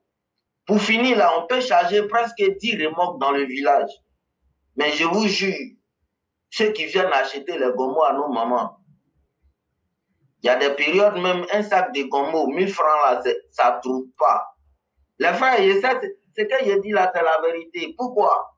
Parce que les commerçants qui viennent vendre les gombos là, euh, qui viennent payer les gombos là, ils savent très bien que c'est quelque chose qui est vraiment fragile. Si nos mamans sont contraintes au fait à vendre, parce que s'ils ne vendent pas, ça va pourrir dans les mains. Ou soit, la deuxième méthode que nos mamans doivent faire, c'est pour couper tous ces gombos là. Imaginez-vous, un sac de gombos, tu t'imagines, tu vas le couper en combien de minutes? Tu es découragé d'abord. Donc nos mamans sont obligées de vendre les gombos avec les prix médiocres, peut-être les 1500, les 2000. Si c'est trop, frère, tellement c'est difficile même qu'on ne peut pas parler. Donc tu t'imagines le. Aujourd'hui, on a au moins un hangar, au moins à Touba ou bien dans les différents endroits où on peut stocker des produits. En tout cas, les techniques qu'on a besoin, ce sont ces différentes techniques-là. Dans toutes les régions de la Côte d'Ivoire d'ailleurs, si on arrive à garder nos matières, parce qu'il il ne s'agit pas de dire on va produire, mais il faut les garder, c'est le problème. Sinon, d'ailleurs, nous produisons déjà. Mais ça a pourri. Donc, la doléance je demande au niveau des chefs d'État, ça, automatiquement, on peut dire que c'est le rôle de les maires. Mais comme nos, les maires sont devenus les merdes, on est obligé de parler comme ça pour qu'on puisse au moins trouver solution à nos problèmes. Et la deuxième chose, euh, la troisième chose, c'est de remercier l'éclaireur pour vérité. Mon général, aujourd'hui, c'est un grand jour. Car l'homme noir est méchant. Voyez-vous, on ne veut pas rentrer dans certains différents, euh, dans certains détails au fait. Mais les quand vous imaginez aujourd'hui que c'est quand tu es dans un problème, c'est lui qui vient pour t'enlever dans le problème, et que toi tu oses au moins ça, à, à, te, à, te, confronter avec la personne, c'est que vraiment le monde va en envers. hein. Donc, aujourd'hui, je vais remercier ces grands hommes qui font tout ce qu'elles sont possible pour pouvoir comprendre la jeunesse d'aujourd'hui que ce qu'on nous dit là, c'est archi faux. Mais, comme on nous dit que celui qui refuse, il n'y a pas un aveu que celui qui refuse de voir. En tout cas, nous ne sommes pas payés. Et les efforts que nous faisons, je vous en prie les amis, le jour les résultats seront attribués au moins à des personnes qui ont fait des efforts là, pardonnez, acceptez cela. Parce qu'aujourd'hui, nous, nos papas qui s'appelle Alassane, il a déjà tout fait. Et que celui qui veut qu'il ne veut pas, les autres qui n'ont rien fait peuvent mourir en Côte d'Ivoire, mais le papa président ne peut pas mourir. S'il dit qu'il ne peut pas mourir, lui-même, il a déjà presque 100 ans. Bientôt, il va partir. Mais tout ce qu'il a resté va rester au moins pour des générations à venir. Et que ça déplaise à celui qui veut, ils vont toujours dire le nom de Papa Alassane Ouattara. Et aujourd'hui, nous, nos combats, c'est quoi? Nous savons très bien que la Côte d'Ivoire aujourd'hui, c'est le moment que tu veux ou pas. C'est le moment de construire l'histoire de la Côte d'Ivoire. Ah oui, je dis bien, c'est le moment de construire l'histoire de la Côte d'Ivoire. Et tous ceux qui sont là font des efforts. Un jour va, un jour va arriver où les efforts seront payés. Ça sera payé comment? Ça sera payé comment, pardon? Nos enfants seront fiers de ce que nous avons fait. Car aujourd'hui, l'Ivoirien n'aime pas qu'on lui dise la vérité. Sinon, les frères, c'est pas plaisir pour nous pour venir crier, ou bien ça nous fait pas plaisir de dire des choses avec certaines manières, ça nous plaît pas, mais on a fait les analyses, on a trouvé que la génération d'aujourd'hui, on appelle ça la génération TikTok. Il faut appuyer là où ça fait mal pour que le message soit bien passé. Merci beaucoup, mon général. Je vais essayer de laisser la parole à mon pilote d'abord parce que le code pilote est fort. Comment, comment? Son pilote là, c'est lui donne les autres. Allez, mon commandant, 565, vous avez la parole. Eh, Yabadra, mon caporal, Iri, tu es un derby. Tout ce que tu dis là, c'est propre. Et tout le monde peut témoigner. C'est la vérité. Quand tu dis la vérité là, tu es propre. Et ici à Djaï, d'ailleurs, mon commandant a envoyé un message. Il dit tu es pardonné, d'ailleurs, mes salaires ont monté.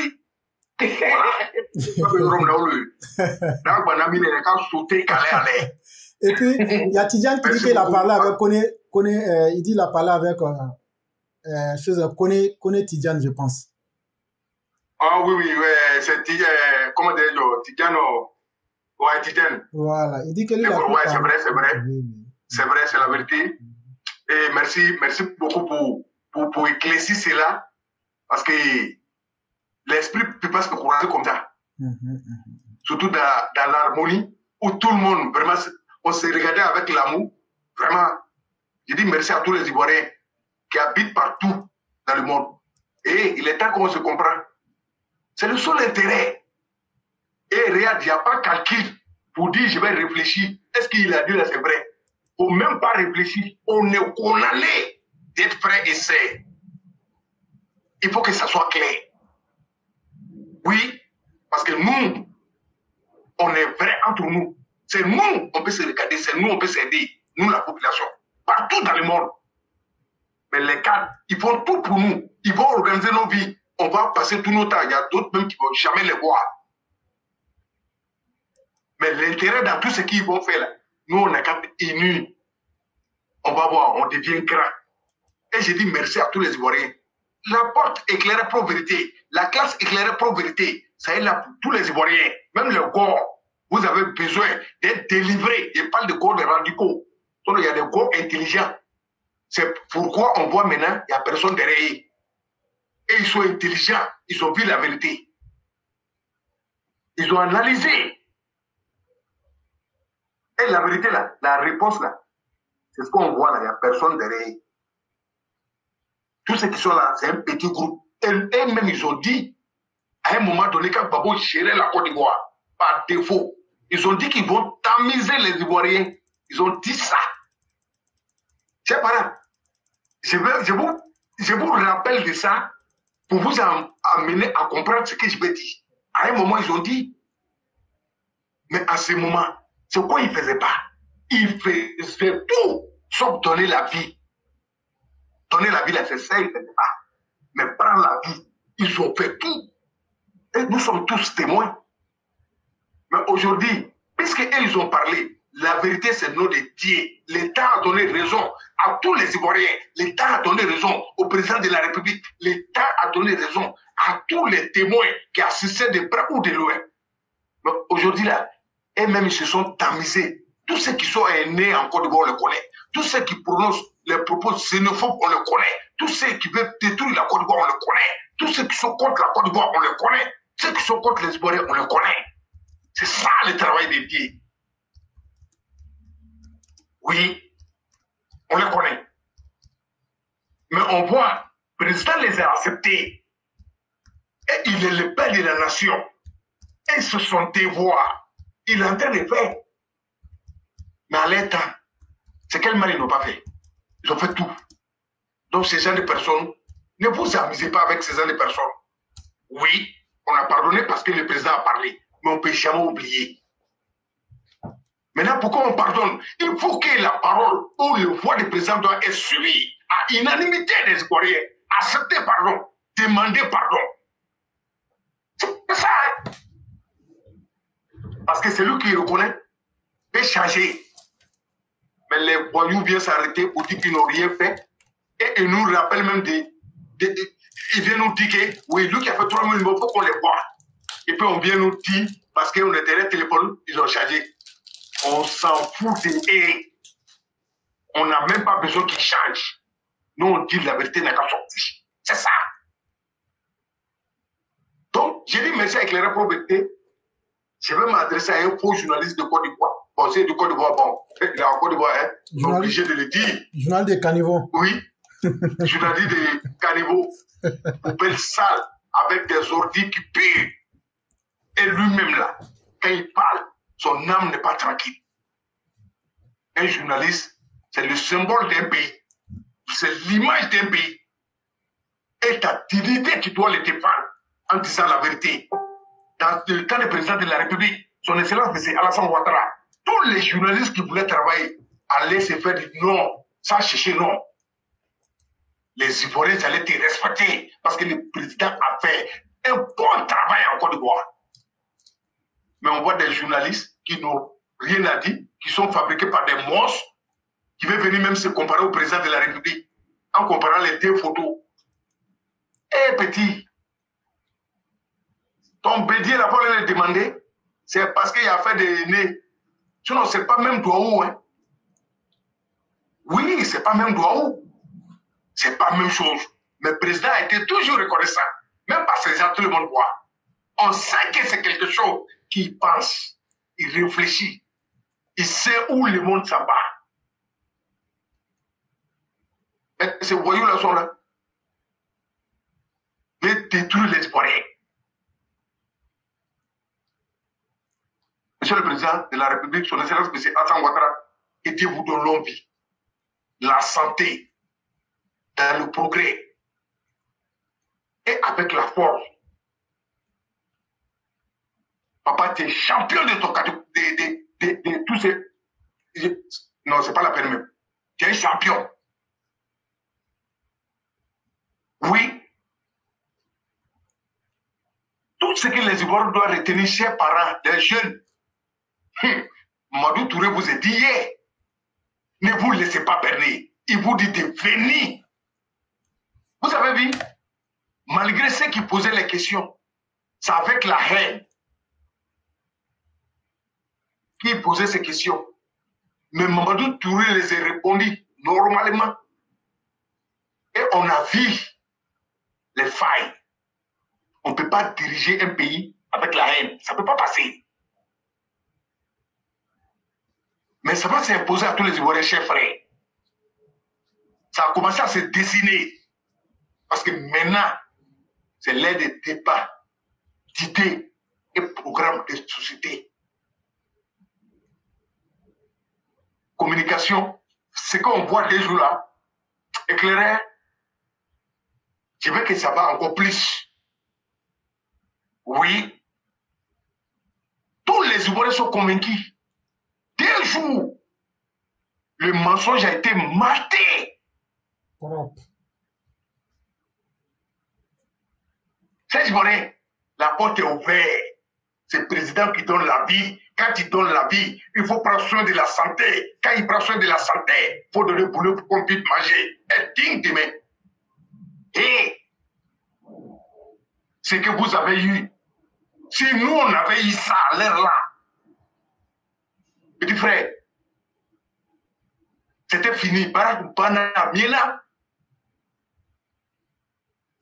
Et puis toi-même qui veux le village, il n'y a pas école dans ton village pour le moment là. Ou il n'y avait pas école dans de Babo. Ou président a construit euh, école chez toi. Mais toi, tu n'as pas eu la chance de précater. Président dit, c'est toi-même là, il Parce que toi-même là, tu es un vrai bosser. Tu n'es pas dans beaucoup de calculs. C'est que tu connais sur ton boulot. Voilà le chemin que le président fait. Mais si vous les jeunes, vous ne partez pas, vous vous laissez berner par des voyous qui ont assassiné nos parents. Ils viennent vous mentir. Prends ça d'argent, faut les partager. Quand il est président, là, quelqu'un qui partage l'argent, c'est lui. Mais je vais vous rappeler, Babo, dans son temps, là, il avait un mécanicien à, comment à l'Express à Bobo, avant d'arriver à Coco Service. Derrière Express Net. Lui qui était président, il, s'appelle Solo. Oui. Mécanicien de Blé là. Un jour, il y a un 4x4 qui est venu. Un Tarouta, tout noir. Les gars travaillaient six voitures. Ça n'a ça n'a même pas fait 40 minutes, lui-même, il est venu. Mais quand il est venu, ils se sont entretenus rapidement, ils sont partis. Quand ils sont partis, Tarouta qui était garé là, chez les parents, le mécanicien a enlevé petit bâche qui est derrière là. C'était quoi de l'argent. Je dis, quoi de l'argent. Ils ont distribué nos biens. Ils ont détruit nos biens. Ils ont gâté, ils ont délapidé nos biens, nos souffrances, nos impôts. Aux gens, on dit l'argent circulaire. Mais parmi ceux que ça circulait, ceux qui ont eu beaucoup d'argent là, aujourd'hui là, on peut parler de très peu. Ils sont tous malheureux parce qu'ils n'ont rien programmé pour vous les jeunes, et même pour eux-mêmes. L'argent là est fini. Ils sont volés, ils sont confiés aux gens, ils ont pris avec ça. Il y a d'autres qui se ils n'ont plus rien. Le président leur donne l'argent, et ça on ne voit pas, on voit non. Mais le président ne donne pas l'argent. Ce qui, qui peut te faire milliardaire de là, c'est ça lui te donne. Pour tous tes descendants, c'est à toi de te mettre au travail. Vous serez surpris en 2025 de la manière je vois le président de la République, son excellence M. Hassan Ouattara, avec le gouvernement qui l'accompagne dans le développement de ce pays, avec les relations qu'il a là. 2025, il est capable. Je n'ai pas dit qu'il va faire. J'ai dit, le président, le chef suprême des armées, le chef d'État de Côte d'Ivoire, non papa, acto, parado, 2025, un milliard c'est petit. Il peut dire 2 milliards par jour. Il a les moyens, il a les sons, il a la confiance et sa parole est respectée. Mais ça les étonne, les opposants qui n'ont rien donné. Parce qu'ils ne pouvaient pas avoir ce genre de trucs pour faire pour nous. Et personne ne les faisait confiance. Qu'est-ce qui, tellement ils n'avaient pas l'argent, Abidjan était sale, il y avait ordi partout, tellement il n'y a pas l'argent. Ils ont fabriqué les armes, Corvo Corala, des trucs là. Ils ne savent même pas où faut partir avec ça. Et ils sont venus à ça Côte d'Ivoire, ils ont mis l'argent dessus. Tellement ils n'ont pas l'argent, ils n'ont pas de relation, ils ont pris pour verser nous. C'est cela qui va venir nous donner conseil, c'est là. Et puis vous avez le temps de les écouter à votre Internet. Ah, chers frères, les Ivoiriens. Et ceux qui ont perdu leurs parents sont des millions de personnes qui sont assis et ils regardent, ils écoutent, ils sont étonnés. Donc, chers frères, suivons le programme du président de la République. Informez-vous au ministère de la Jeunesse. Vous allez avoir boulot. Il faut, te faire confiance. Éclairé Je vais parler un peu de Babo. Parce que moi, pour moi, c'est pas possible qu'on peut parler de bleu et pardon, Babo, dénigrer Babo, dire ce que Babo a fait, les assassinats qu'il a fait, escadron qu'il a envoyé, et il a assassiné, il a pris les Angolais, les monuments, pour venir verser sur nous, et par ce qu'on allait bombarder Boaké. Pendant ce temps, c'est des Ivoiriens qui paient les impôts avec notre argent, il veut nous anéantir, et il a dit avant de le faire, il dit il va rendre le nom à Sam, et il a fait, mais il n'a pas reçu. Ce jour-là, c'est des parents, des familles, des pères de famille qui étaient là, puis les enfants, innocents qui n'ont rien à voir avec politique. Même il y a des parents. Les Angolais ont assassiné nos parents, assassiné nos frères. Mais aujourd'hui, l'image de Boaké, c'est comment? Tout est en construction.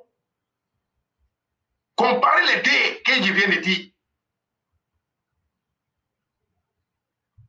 Lucas Simon Babo est parti à Boaké, aller faire meeting. Nous tous on a.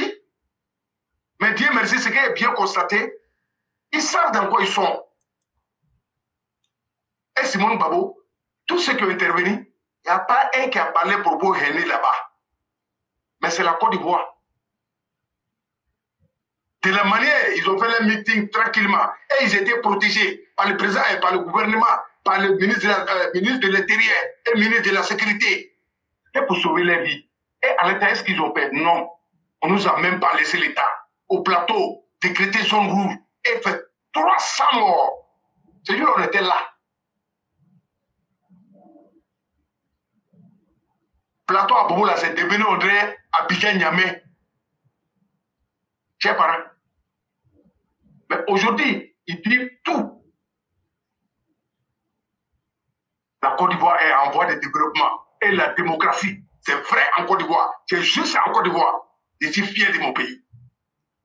Pas d'assassinat. Mes chers parents, tous ensemble, on a qu'à se unir pour demander la justice. Et je suis fier de mon pays. J'ai confiance à mon président, j'ai confiance à tous les Ivoiriens. Je sais que la justice, ça va prendre les... C'est en train de se dessiner. Parce que chacun commence à connaître ses places. Mais, sauf, et ils n'ont pas encore oublié ce qu'ils sont en train de manigancer.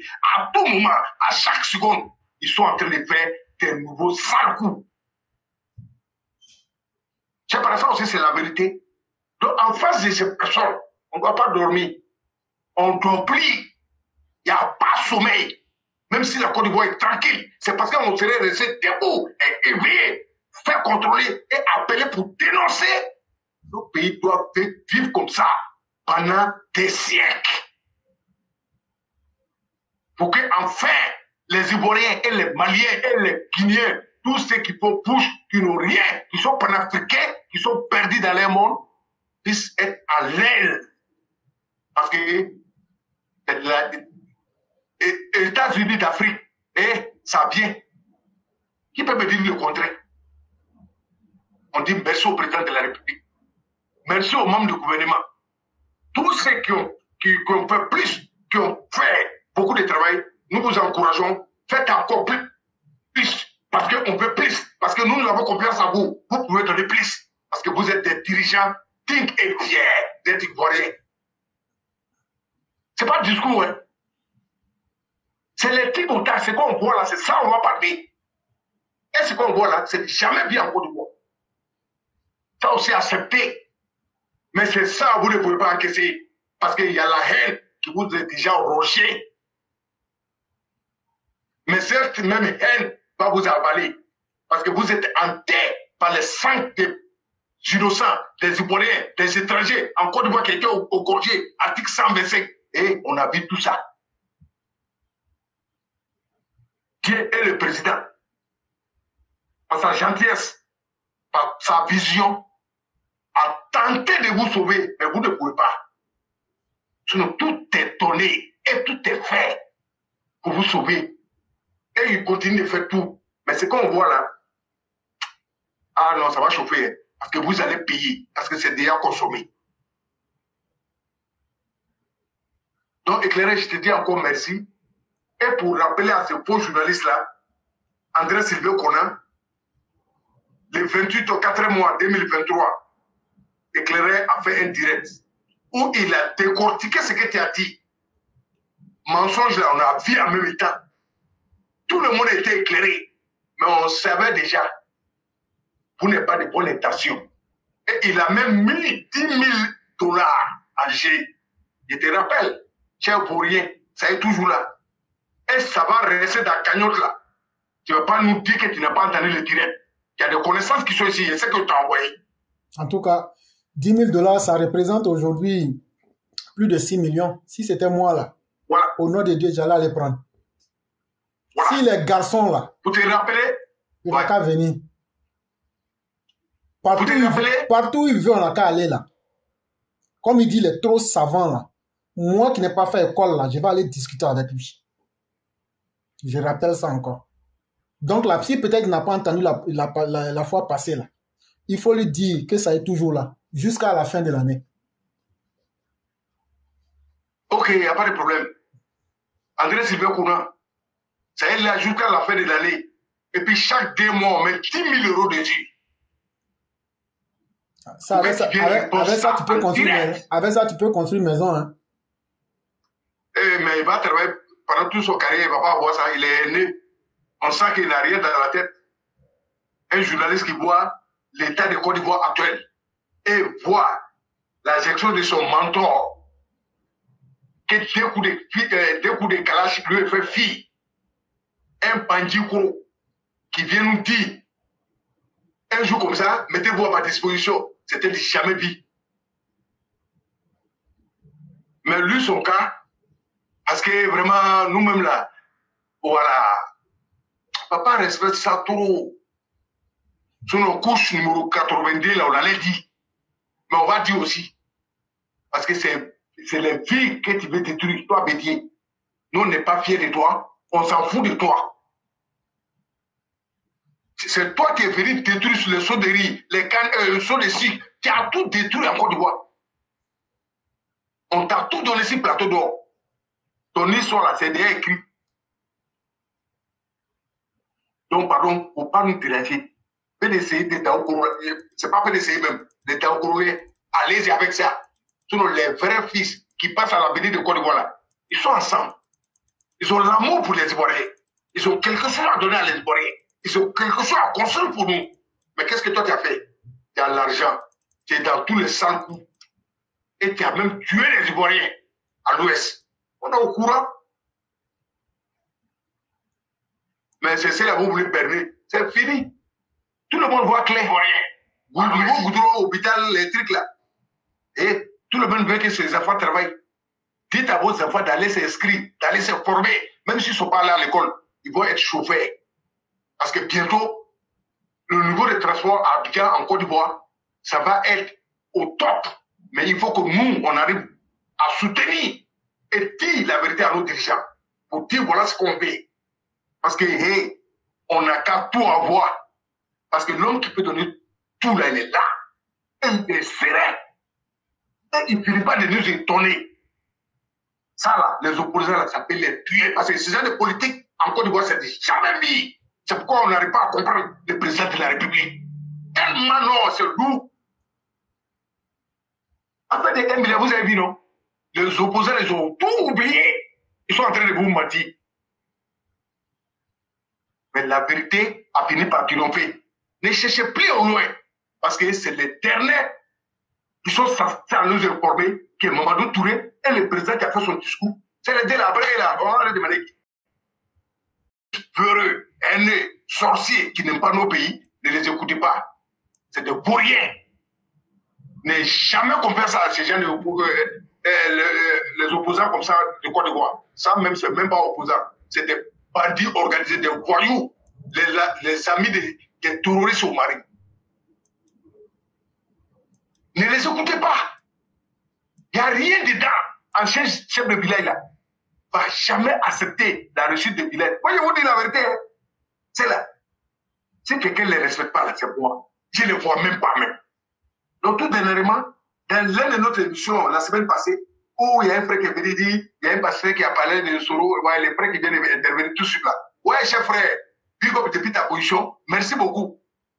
Tu vois Ils veulent faire communiquer parce que Soro a été repéré, tracé, il est devenu sale, noir dans le là. Lui-même, n'est pas tranquille. On sait que son âme fait aller là. C'est chaud, même quand on voit. C'est quelqu'un, on l'a vu, on l'a connu. C'est gâté. Donc, qu'est-ce qu'il faut faire? Pour pouvoir perdre les gens, eux-mêmes, ils ont essayé d'essayer de faire sa communication comme s'ils l'ont repéré, c'est pas grave. Et même, ils ont commencé à publier une photo. Eh, ne vous laissez pas berner. Oui, j'ai banalisé la chose. Oh putain là, t'es fait la radiabi. Donc, c'est pourquoi j'ai dit, ne parlez pas de ces. Je vais dire. Hein, le coron, le coron sur la dent, je ne vais pas dire. Mais c'est un chien quand même. Voilà. Donc, il n'est rien. Dans le programme de la Côte d'Ivoire, on l'a déjà oublié. Et quand c'est comme ça là, il souffre dans son corps. Selon lui, il va se cacher à qui? Et à la nuit où la Côte d'Ivoire est arrivée là, tiens, ne nous amusez pas. Ne sous-estimez pas. Et félicitez le ministre de la Défense, le ministre de l'Intérieur et tous les soldats d'Iran et tous les généraux. Tout le monde bara. Ceux qui sont dans la vérité là, ils sont dans la vérité. Même ceux-mêmes qui n'étaient pas vrais, d'accord là, ils ont vu la vérité. Les vies aujourd'hui, comment ils sont traités, comment nos casernes sont, comment l'armée se fait respecter? Et l'armée même respecte la population. C'est jamais vu en Côte d'Ivoire. Avant, on avait peur de Mais maintenant, là, le ministre même nous a dit, c'est en bas, le ministre TBO nous a dit, et nos complices là, c'est le Corabi là, ce sont nos complices. Complices là, si tu ne comprends pas là, ton ami, où tu ne dois pas les mentir. Toutes les vérités, il faut le dire, pour sauver tout un peuple. Mais avant, quand on voyait les voitures même là, qu'est-ce que ça faisait? Ils étaient devenus des menaces. Quand ils ont fini de faire ça, ils ont fait les charniers, les... ils ont tué à des hommes. C'est parce qu'il y avait un faux président d'Ivan par accident qui était Babou. Chef frère, la Côte d'Ivoire est bouliée. La Côte d'Ivoire, c'est un grand pays. Ne sous-estimons pas nos pays. Et on a qu'à soutenir nos pays. C'est dans ça, on a nos gloires, nos chances et tout le bonheur pour nos enfants et nos petits-enfants. Donc, commandant, je m'arrête là, comme Soubé était pas là. Donc, euh, éclairer bon, le temps pour voir, pour ne pas. Donc, je m'arrête là pour donner parole à, à mon copilote. Il n'y a pas de problème.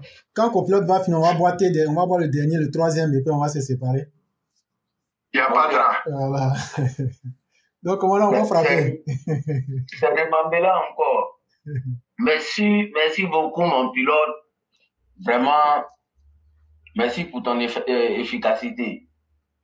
Et là, mon doyen, je viens pour mettre de l'ordre un peu sur les réseaux sociaux.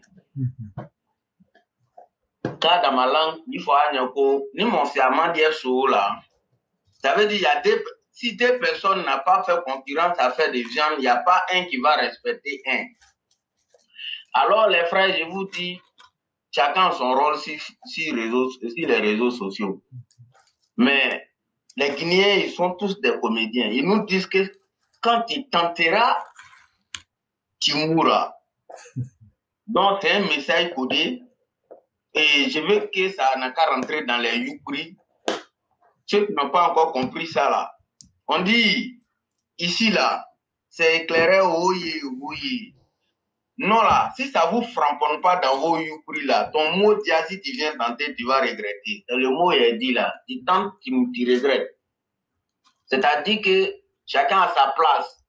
Voilà. C'est parce que nous, on connaît pas, nous, on sait pas que chacun a sa place, qu'on fait l'amalgame dans tout. Sinon, les gens comme Babo, là, je vous jure, hein, les frères, jusqu'à la fin du monde, et ils devaient rester derrière comme, il n'ai pas complété ça. On comprend. Ils devaient rester derrière comme ça. Comme Bocho. Mais, oui, oh, oh. Mais si vous voyez aujourd'hui qu'eux aussi, ils disent que si on veut et les appeler, on n'a qu'à dire, monsieur le président, là. En nous, sinon, on appelle ça Nyanwa.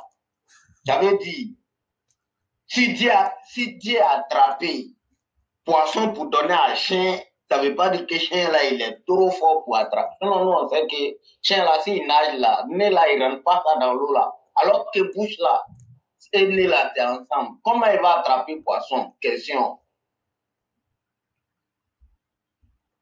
Donc, tous ceux qui viennent se comparer pour faire des quoi, non. Nous, nos maîtres n'est pas là pour se faire des vies. Il n'est pas là pour faire comprendre au moins les gens que lui, il est venu sur les réseaux sociaux pour terre. Non. Pour nous, c'est nos bibliothèques. Tout ce qu'il dit, nous ne sommes pas bêtes. Sinon, il y a beaucoup qui sont sur Facebook.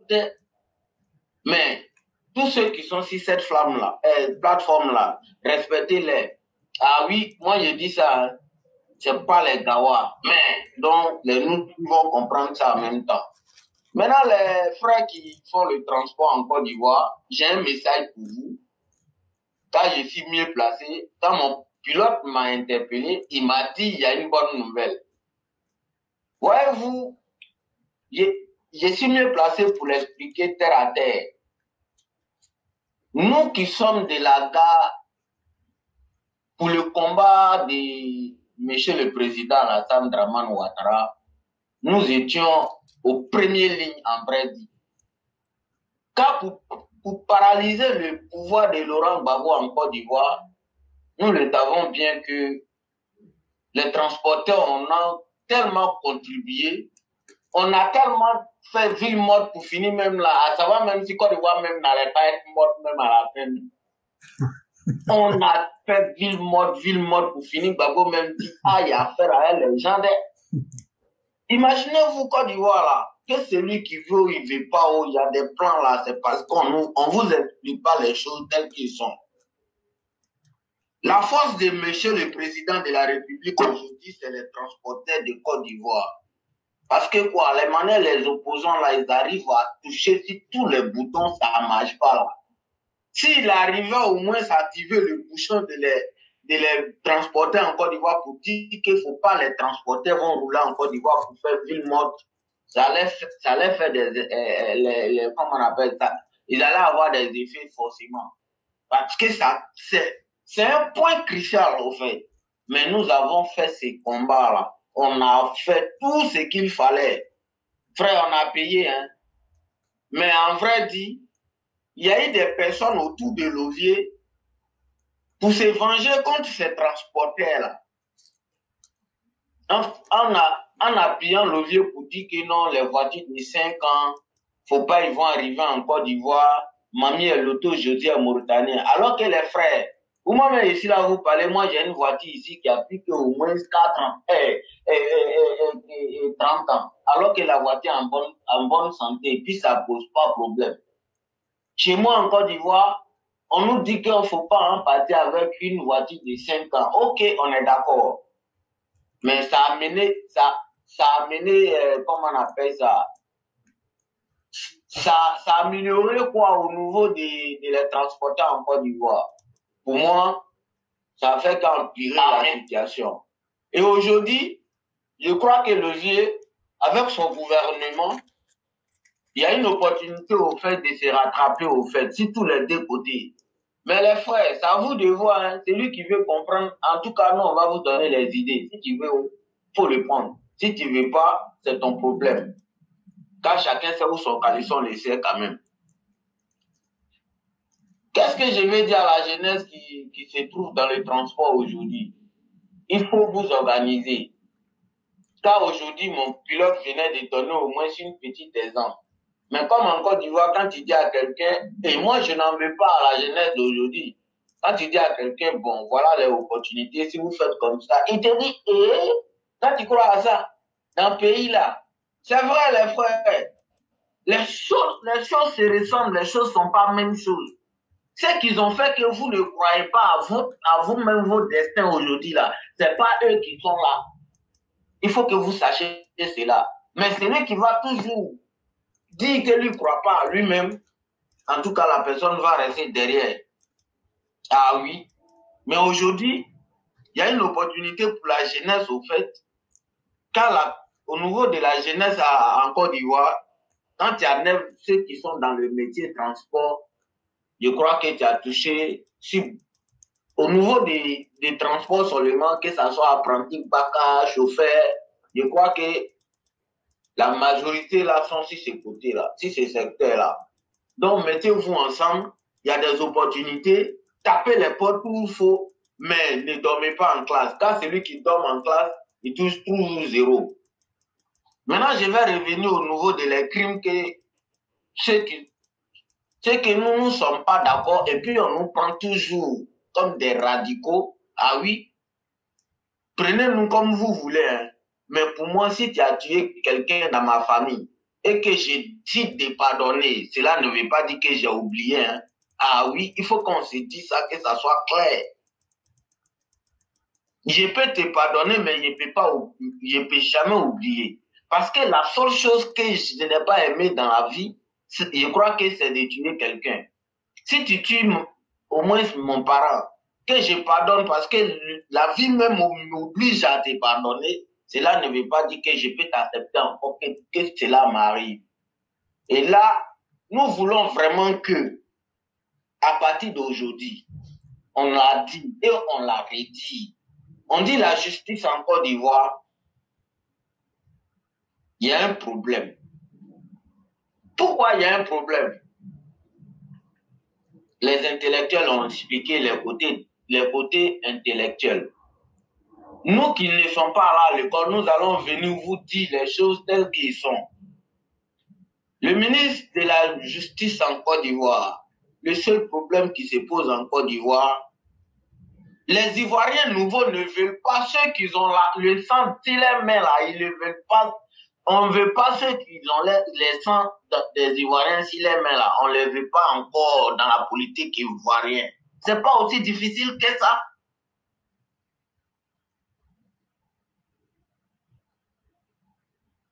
Moi, je crois que on vote, on vote quelqu'un quand il t'appelle pour venir lui, donner ta voix là, on il t'appelle pas de venir lui donner ta vie. Mais on a des personnes qui nous disent toujours dans les paroles que si je t'appelle mon frère, ça veut dire viens mourir. Mais si vous laissez les personnes là faire ça, à moi je crois que la justice c'est l'injustice. hein. Ah oui. Car je suis bien placé de le dire. Cette guerre qui a passé en Côte d'Ivoire, moi, j'ai tout perdu. Mais j'ai cru à, ma, à mon destin. Et ce qui m'énerve en plus, à faire des blés goudés là, son article 125 qu'il a dit pour que la, jeunesse ivoirienne n'a qu'à faire là. Première victime de l'article 125, c'était mon patron. Ah oui.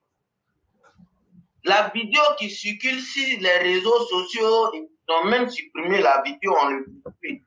Cette vidéo-là, l'homme grand de taille qu'ils ont mis piné sur lui, ils sont là le brûler. Moi, c'est mon patron. J'ai pas pu dire même à sa famille. Et aujourd'hui, j'ai dit, ceux de Diopoué, tous ceux de- qui sont à Diopoué, nous avons cherché Doyen Las, on a cherché Doyen Las. Je laisse ce secret là aujourd'hui. Car c'est quelqu'un que plein de personnes le connaissaient à Diopoué. Jusqu'aujourd'hui, les gens ne savent pas où son corps se trouve.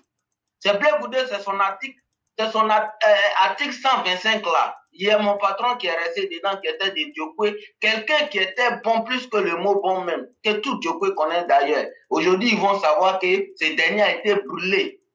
Ah oui, c'est difficile à dire. Et quand on voit les gens qui viennent défendre ces Blé Goudé là, où, où s'en va le monde? Les fripouilles comme les Blé Goudé comme ça. En tout cas, si la Côte d'Ivoire n'a pas encore les intellectuels pour diriger le pays là, moi je crois qu'on va donner ça à les nous comme nous et puis on va tracer ces ces pays là après nous, papa, hein, mais ça propre même. Parce que nous ne sommes pas aînés. Et je voulais toujours, moi, je, je d'alliance même à monsieur le président. Car on nous dit qu'il faut réfléchir pour pouvoir trouver au moins la, porte, la bonne porte de sortie. Mon général, je te donne cette conseil, euh, je te donne cette mission pour pouvoir bien, euh, euh, pour pouvoir bien expliquer cela pour que ça soit zo. Mais mon idée, c'est quoi? Si les réseaux sociaux, la dernière fois, j'ai vu vraiment qu'il y a un monsieur, je sais pas, c'était temps de Gbagbo en 1900 combien, il a été dans, euh, il a été major de sa promotion pour être au moins Je ne sais pas si c'était pour aller terminer son étude d'avocat ou bien pour être juge. Le monsieur, ils l'ont, ils l'ont, ils l'ont dit parce qu'il n'est, il n'était pas ivoirien, euh, qu'il n'est pas ivoirien ou bien son, nom ressemble à quoi. Ils ont essayé d'inscrire. Il le s'appelle. Ba. Il s'appelle Ba. Les gens. Pardon? Il s'appelle Ba. B-A-H. Ok. Et les gens vont le considérer comme un peul, mais c'était par, par xénophobie qu'ils n'ont pas pris pour pouvoir faire le travail. Ok. Maintenant, le, la mission que j'aimerais vous confier, mon grand homme, moi, à mon, à mon, selon mes petites analyses, quand Dieu veut faire quelque chose, doyen, ça veut dire, donne les exemples. Seuls les intelligents peuvent s'en servir de ces exemples-là. Moi, dans mon petite imagination, je vois que le président de la République a fait un acte de grandeur, mais j'aimerais que le vieux aille plus loin encore, déplacer ces messieurs-là dans un endroit où la, où la vérité, même parce que je sais que ce dernier, il, a été victime et il est mieux placé de bien constituer la vérité. Vraiment, ça est dans mon cœur de vous proposer cette proposition. Même s'il s'agit de le placer même comme le, le, le, on appelle ça, le président de la Cour suprême, pour moi, c'est le, ça veut dire c'est le meilleur, frère, c'est la meilleure personne. Je vous jure devant Dieu et les hommes. Même si son niveau ne vaut pas. Félix Houphouët-Boigny n'est pas allé trop loin à l'école. Mais dans l'Afrique, là, aujourd'hui, on crie, crie, on crie, crie, on sait qui a été panafricain. Donc, au niveau de ça, je tenais à souligner cela, mon président. Aujourd'hui, vrai, vrai, là même, il faut vous remercier, doyen. Vous prenez trop le temps pour, pour tout cela. Mais c'est Dieu qui va vous bénir. Vraiment, merci beaucoup. Merci pour toute la Côte d'Ivoire. Je vous remercie. Vraiment, merci beaucoup.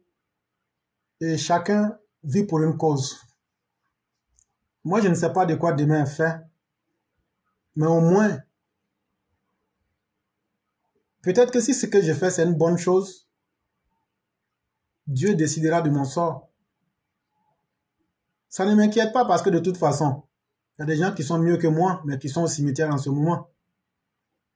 Donc ce n'est pas la mort qui nous inquiète, mais c'est comment on va mourir et ce qu'on va laisser derrière nous qui nous inquiète. Tu as beau durer là, il y a quelqu'un qui va dire non, on l'a pas connu. Sinon là, on avait pensé qu'Oufo était immortel.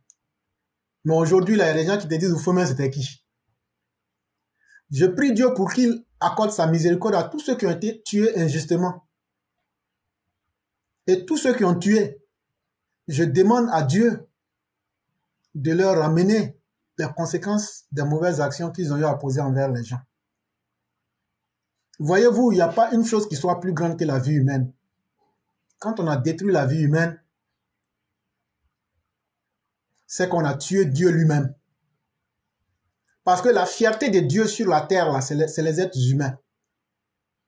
Je prends un exemple dans le Coran où Dieu dit quand il a créé l'être humain, les anges lui ont dit, mais tu ne sais pas que ceux-là, sont mauvais. Tu sais pas qu'ils vont, ils vont commettre, ils vont verser le sang. Ça, ils vont se tuer, ils vont faire, ils peuvent, ils vont verser le sang. Mais c'était pas sang de mouche, c'était pas sang de crabe, c'était pas sang de baleine qu'ils allaient verser. C'est pour dire comment on peut créer des créatures et puis eux-mêmes, ils vont se tuer entre eux. Et ils disent à Dieu qui nous a créés là, qu'est-ce que c'est? Ce que nous on voit dans leur affaire là. hein. Et Dieu leur répond, bon, les idiots disent que Dieu était là. Si vous voyez Dieu, il est dans un coin et puis maintenant il parle avec les gens, c'est que c'est un Dieu faible. C'est qu'il n'est pas omnipotent, omniprésent. En fait, c'était une métaphore. C'était une comparaison, quelque chose qui marche avec notre esprit. C'est tout. Sinon, ça ne veut pas dire que c'était un dialogue direct entre lui, les anges et puis les hommes. Mais au moment où tout le monde désespérait de l'être humain, Dieu dit, mais vous ne savez pas ce que moi j'ai mis en eux. Ce que vous voyez là, c'est ce que vous connaissez. Mais il y a quelque chose d'autre en eux que vous ne connaissez pas. Ceux-là, j'ai mis quelque chose en eux là. Ils peuvent s'adapter. Et ils peuvent faire tout ce qu'ils ont envie de faire. Et ça là, cette capacité que j'ai mis en eux là, je les mets comme mon représentant sur la terre. Quand on dit qu'un être humain qui se corrige et qui va vers sa vraie nature est déjà un Dieu sur la terre, les gens vont dire que l'être humain est Dieu. Oui, moi-même qui te parle là, je suis Dieu. Moi-même qui te parle là, je suis Dieu. Faut même pas aller dire qu'il a dit que faut moi qui te parle là. Et puis demain, il faut venir, je vais te démontrer. Parce que celui qui sauve une vie sauve l'objet de la fierté de Dieu lui-même sur la terre. Parce que si tu tues le représentant de Dieu, tu as tué Dieu lui-même. Mais et si tu sauves les représentants de Dieu, c'est que tu as sauvé Dieu lui-même. Donc tu es un Dieu. Et ça, le Christ nous l'a dit. Il dit, si tu peux être capable de dire la vérité en tout temps et en tout lieu, c'est que tu es de la compagnie des, des dieux. C'est aussi simple que ça. Tu es un être humain, là, c'est la chose la plus ignoble. Mais quand on veut faire passer ça de pète à profit, pour transformer ça en amusement, c'est pas intéressant. La vie n'est pas facile. Hein? Quand tu imagines les conditions dans lesquelles un être humain commence sa vie, ce sont des parents qui sacrifient leur vie, leurs rêves, leurs projets pour dire, bon, le spermatozoïde avec l'œuf qui se sont joints là, nous on va les prendre et puis faire de lui quelqu'un sur la terre pour réaliser nos rêves.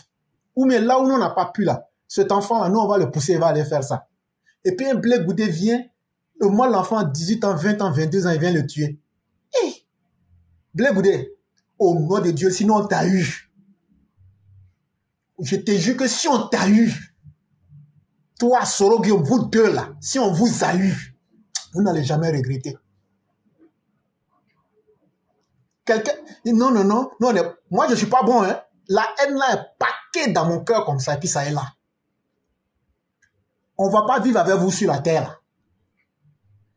Ça, non, va vous dire ça. Il faut que nos coups soient rendus. Et la même chose que vous avez fait là, on va vous refaire ça aussi. Là, chacun, chacun va aller s'asseoir pour réfléchir. Il n'y aura pas de réconciliation. Surtout une réconciliation de merde, ça va jamais exister. Et donc, je demande à nos vrais militants du RDR de ne rien laisser tomber et de ne pas se laisser distraire par qui que ce soit pour dire que non, eh, le monde a changé, Blé est devenu saint, il dort maintenant à l'église, après il va prier vendredi avec les musulmans, et après il va faire combien, il a changé. Non. Et il n'a même pas besoin de changer. Pourquoi lui va changer?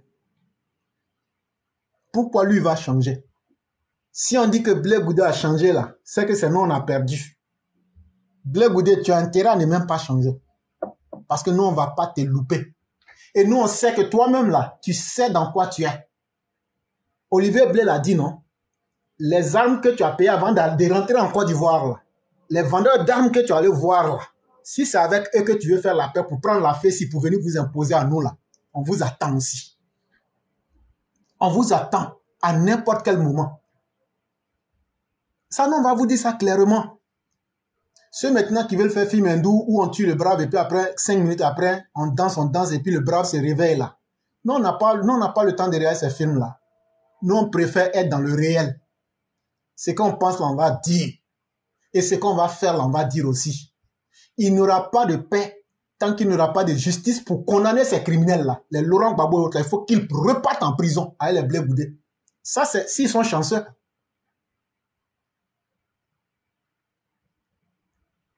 Et donc, les gens peuvent se distraire. Mais quand tu sais ce que tu vas faire là, tu n'as pas besoin de parler beaucoup. Tous ceux qui ont été injustement lésés dans leurs droits, tous ceux à qui on a fauché des êtres chers, soyez tranquilles. Comme ils disent, quand ils disent que le 6 va devenir 9 là, non seulement ils ont tué les parents des gens pendant 10 ans, ils ne sont pas satisfaits. Quand ils disent que 6 va devenir 9 là, c'est pour dire que quand eux là, ils vont avoir une occasion là, ils vont tuer encore, ils vont tuer plus gravement que hier. C'est ça, non? Il n'y a pas de problème. C'est ça seulement que vous savez faire. Vous êtes les ennemis patentés même de la vie. Il n'y a pas de problème. Mais à toute chose, il y a une fin. Mais le jour qu'on va mettre fin à pour vous, là, même livre d'histoire sera petit même pour mettre vos noms dedans. On vous regarde comme ça. C'est parce que Ouattara ne veut pas que son pouvoir, là, Ouattara ne veut pas que son nom soit sali. Sinon, là, on allait vous balayer un matin. Ah non, ils sont radicaux, ils sont durs. Je prie Dieu pour que ceux qui ne sont pas radicaux, là, je prie Dieu pour que Blé Goudé retue leurs parents. Et puis demain, nous, on va leur demander de ne pas être radicaux. Fasse Dieu que ceux qu'aujourd'hui qui disent que Blé Goudé a changé, que demain, quand le 6 va devenir 9 là, que Blé Goudé, Laurent Gbagbo, Simon là, tuent vos parents Et puis maintenant, après, on va vous demander, ne soyez pas radicaux.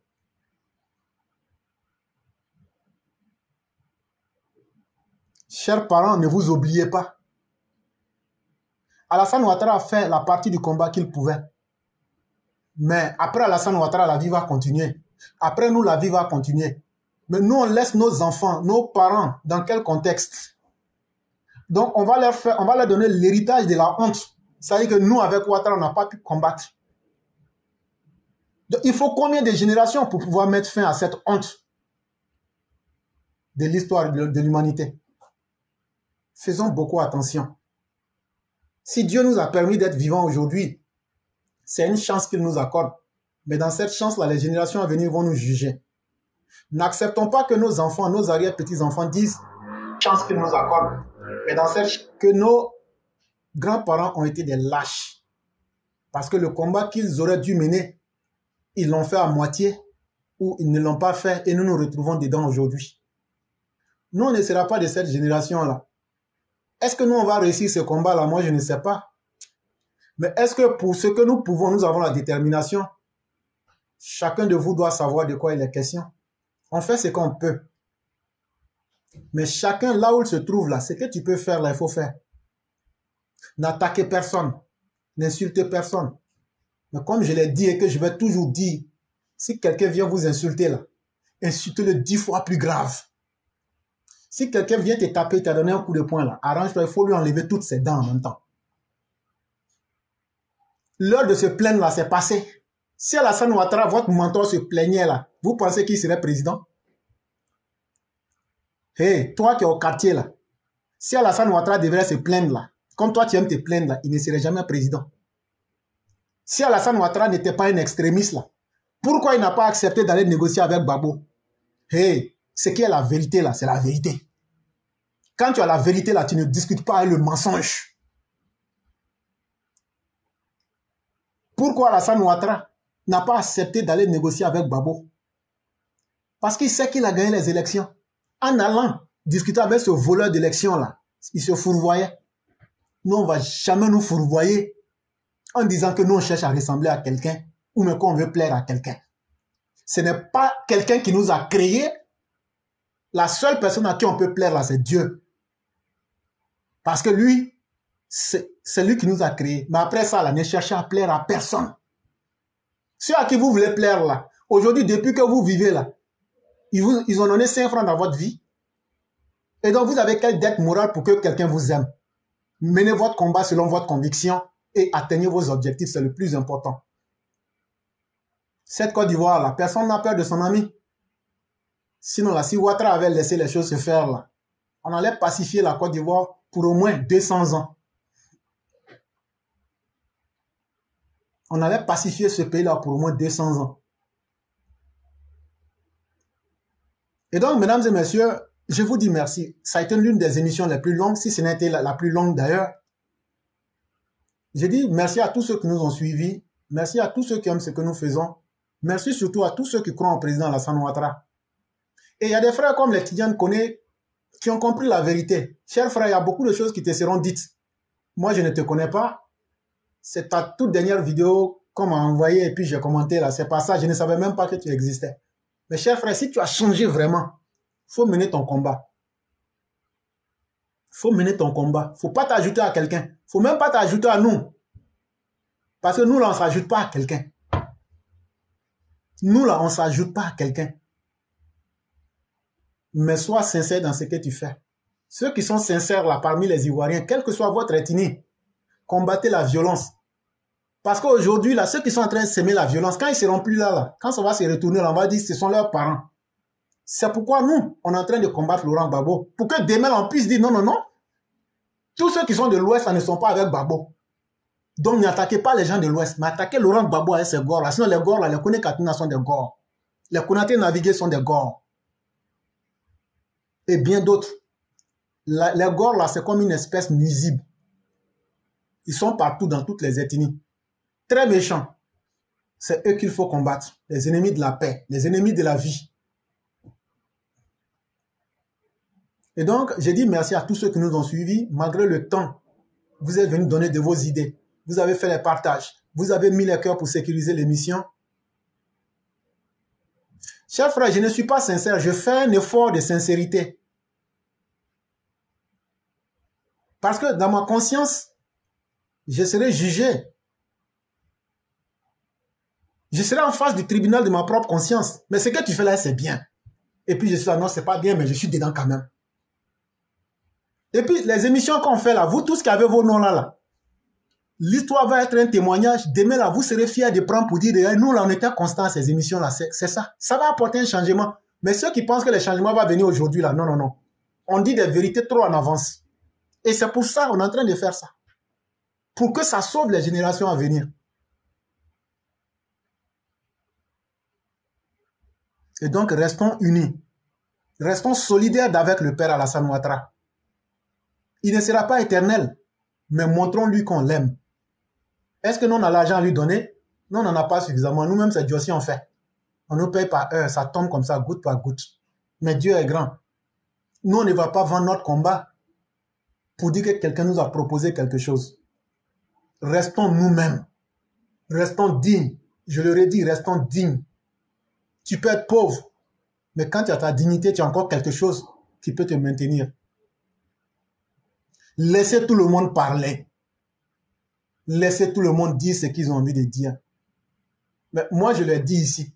Quelqu'un qui a volé ou même qui a tué quelqu'un là. J'ai dit tout ce que j'ai fait là, j'ai dit. Je n'ai pas pris calage pour me mettre là pour aller fusiller les gens. J'ai soutenu idéologiquement la rébellion. Et je n'en ai pas honte. Et si c'était à refaire, je referais mille fois. Ça, je le dis partout. À Yamoussoukro, au corridor, ils m'ont attrapé, ils m'ont mis là, on devait m'exécuter. Les mêmes rebelles là, quand je leur ai dit la vérité, quand les rebelles rentraient dans les excès là, euh, euh, Berthe, je vais te dire ça. Une nuit à Sarabo, ils m'ont ciblé là-bas, ils disent pourquoi? Je suis en train de leur dire, au moment où les gens voulaient, voulaient, voulaient, voulaient les, les gens là, je leur ai dit ça là. Ce sont les choses qui vont faire que les populations vont se réveiller contre vous un jour ici. Ça là, c'est pas pour ça que vous êtes venus. C'était les gens des camps de Wataola qui voulaient. Un jour, ils m'ont ciblé. Ce qu'ils m'ont fait là, c'est moi, je connais. Jusqu'à ils ont décidé, ils vont aller me tuer. La vérité là, il y a des gens que Dieu crée là, eux, c'est leur, leur, comme ça.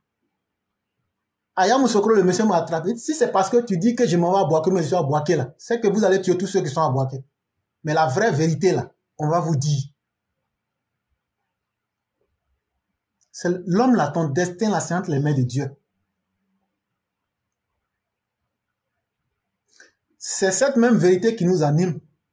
On va aider le président Ouattara avec ça. On est contre personne. Quand tu es contre quelqu'un, là, tu veux prendre son poste, ou bien tu veux détruire sa vie, ou bien tu le fais pour un objectif. Je n'ai pas besoin d'argent des politiciens je n'ai pas besoin de l'amitié d'un politicien. J'ai dit, il y a un monsieur à qui on a fait des injustices là. C'est pas joli à voir. On ne peut pas déterrer la maman d'un être humain. Et puis, toi, tu es là, tu dis, comme c'est pas ma maman, ma, ma maman là, on n'a qu'à laisser, ça n'a qu'à passer. La personne a changé.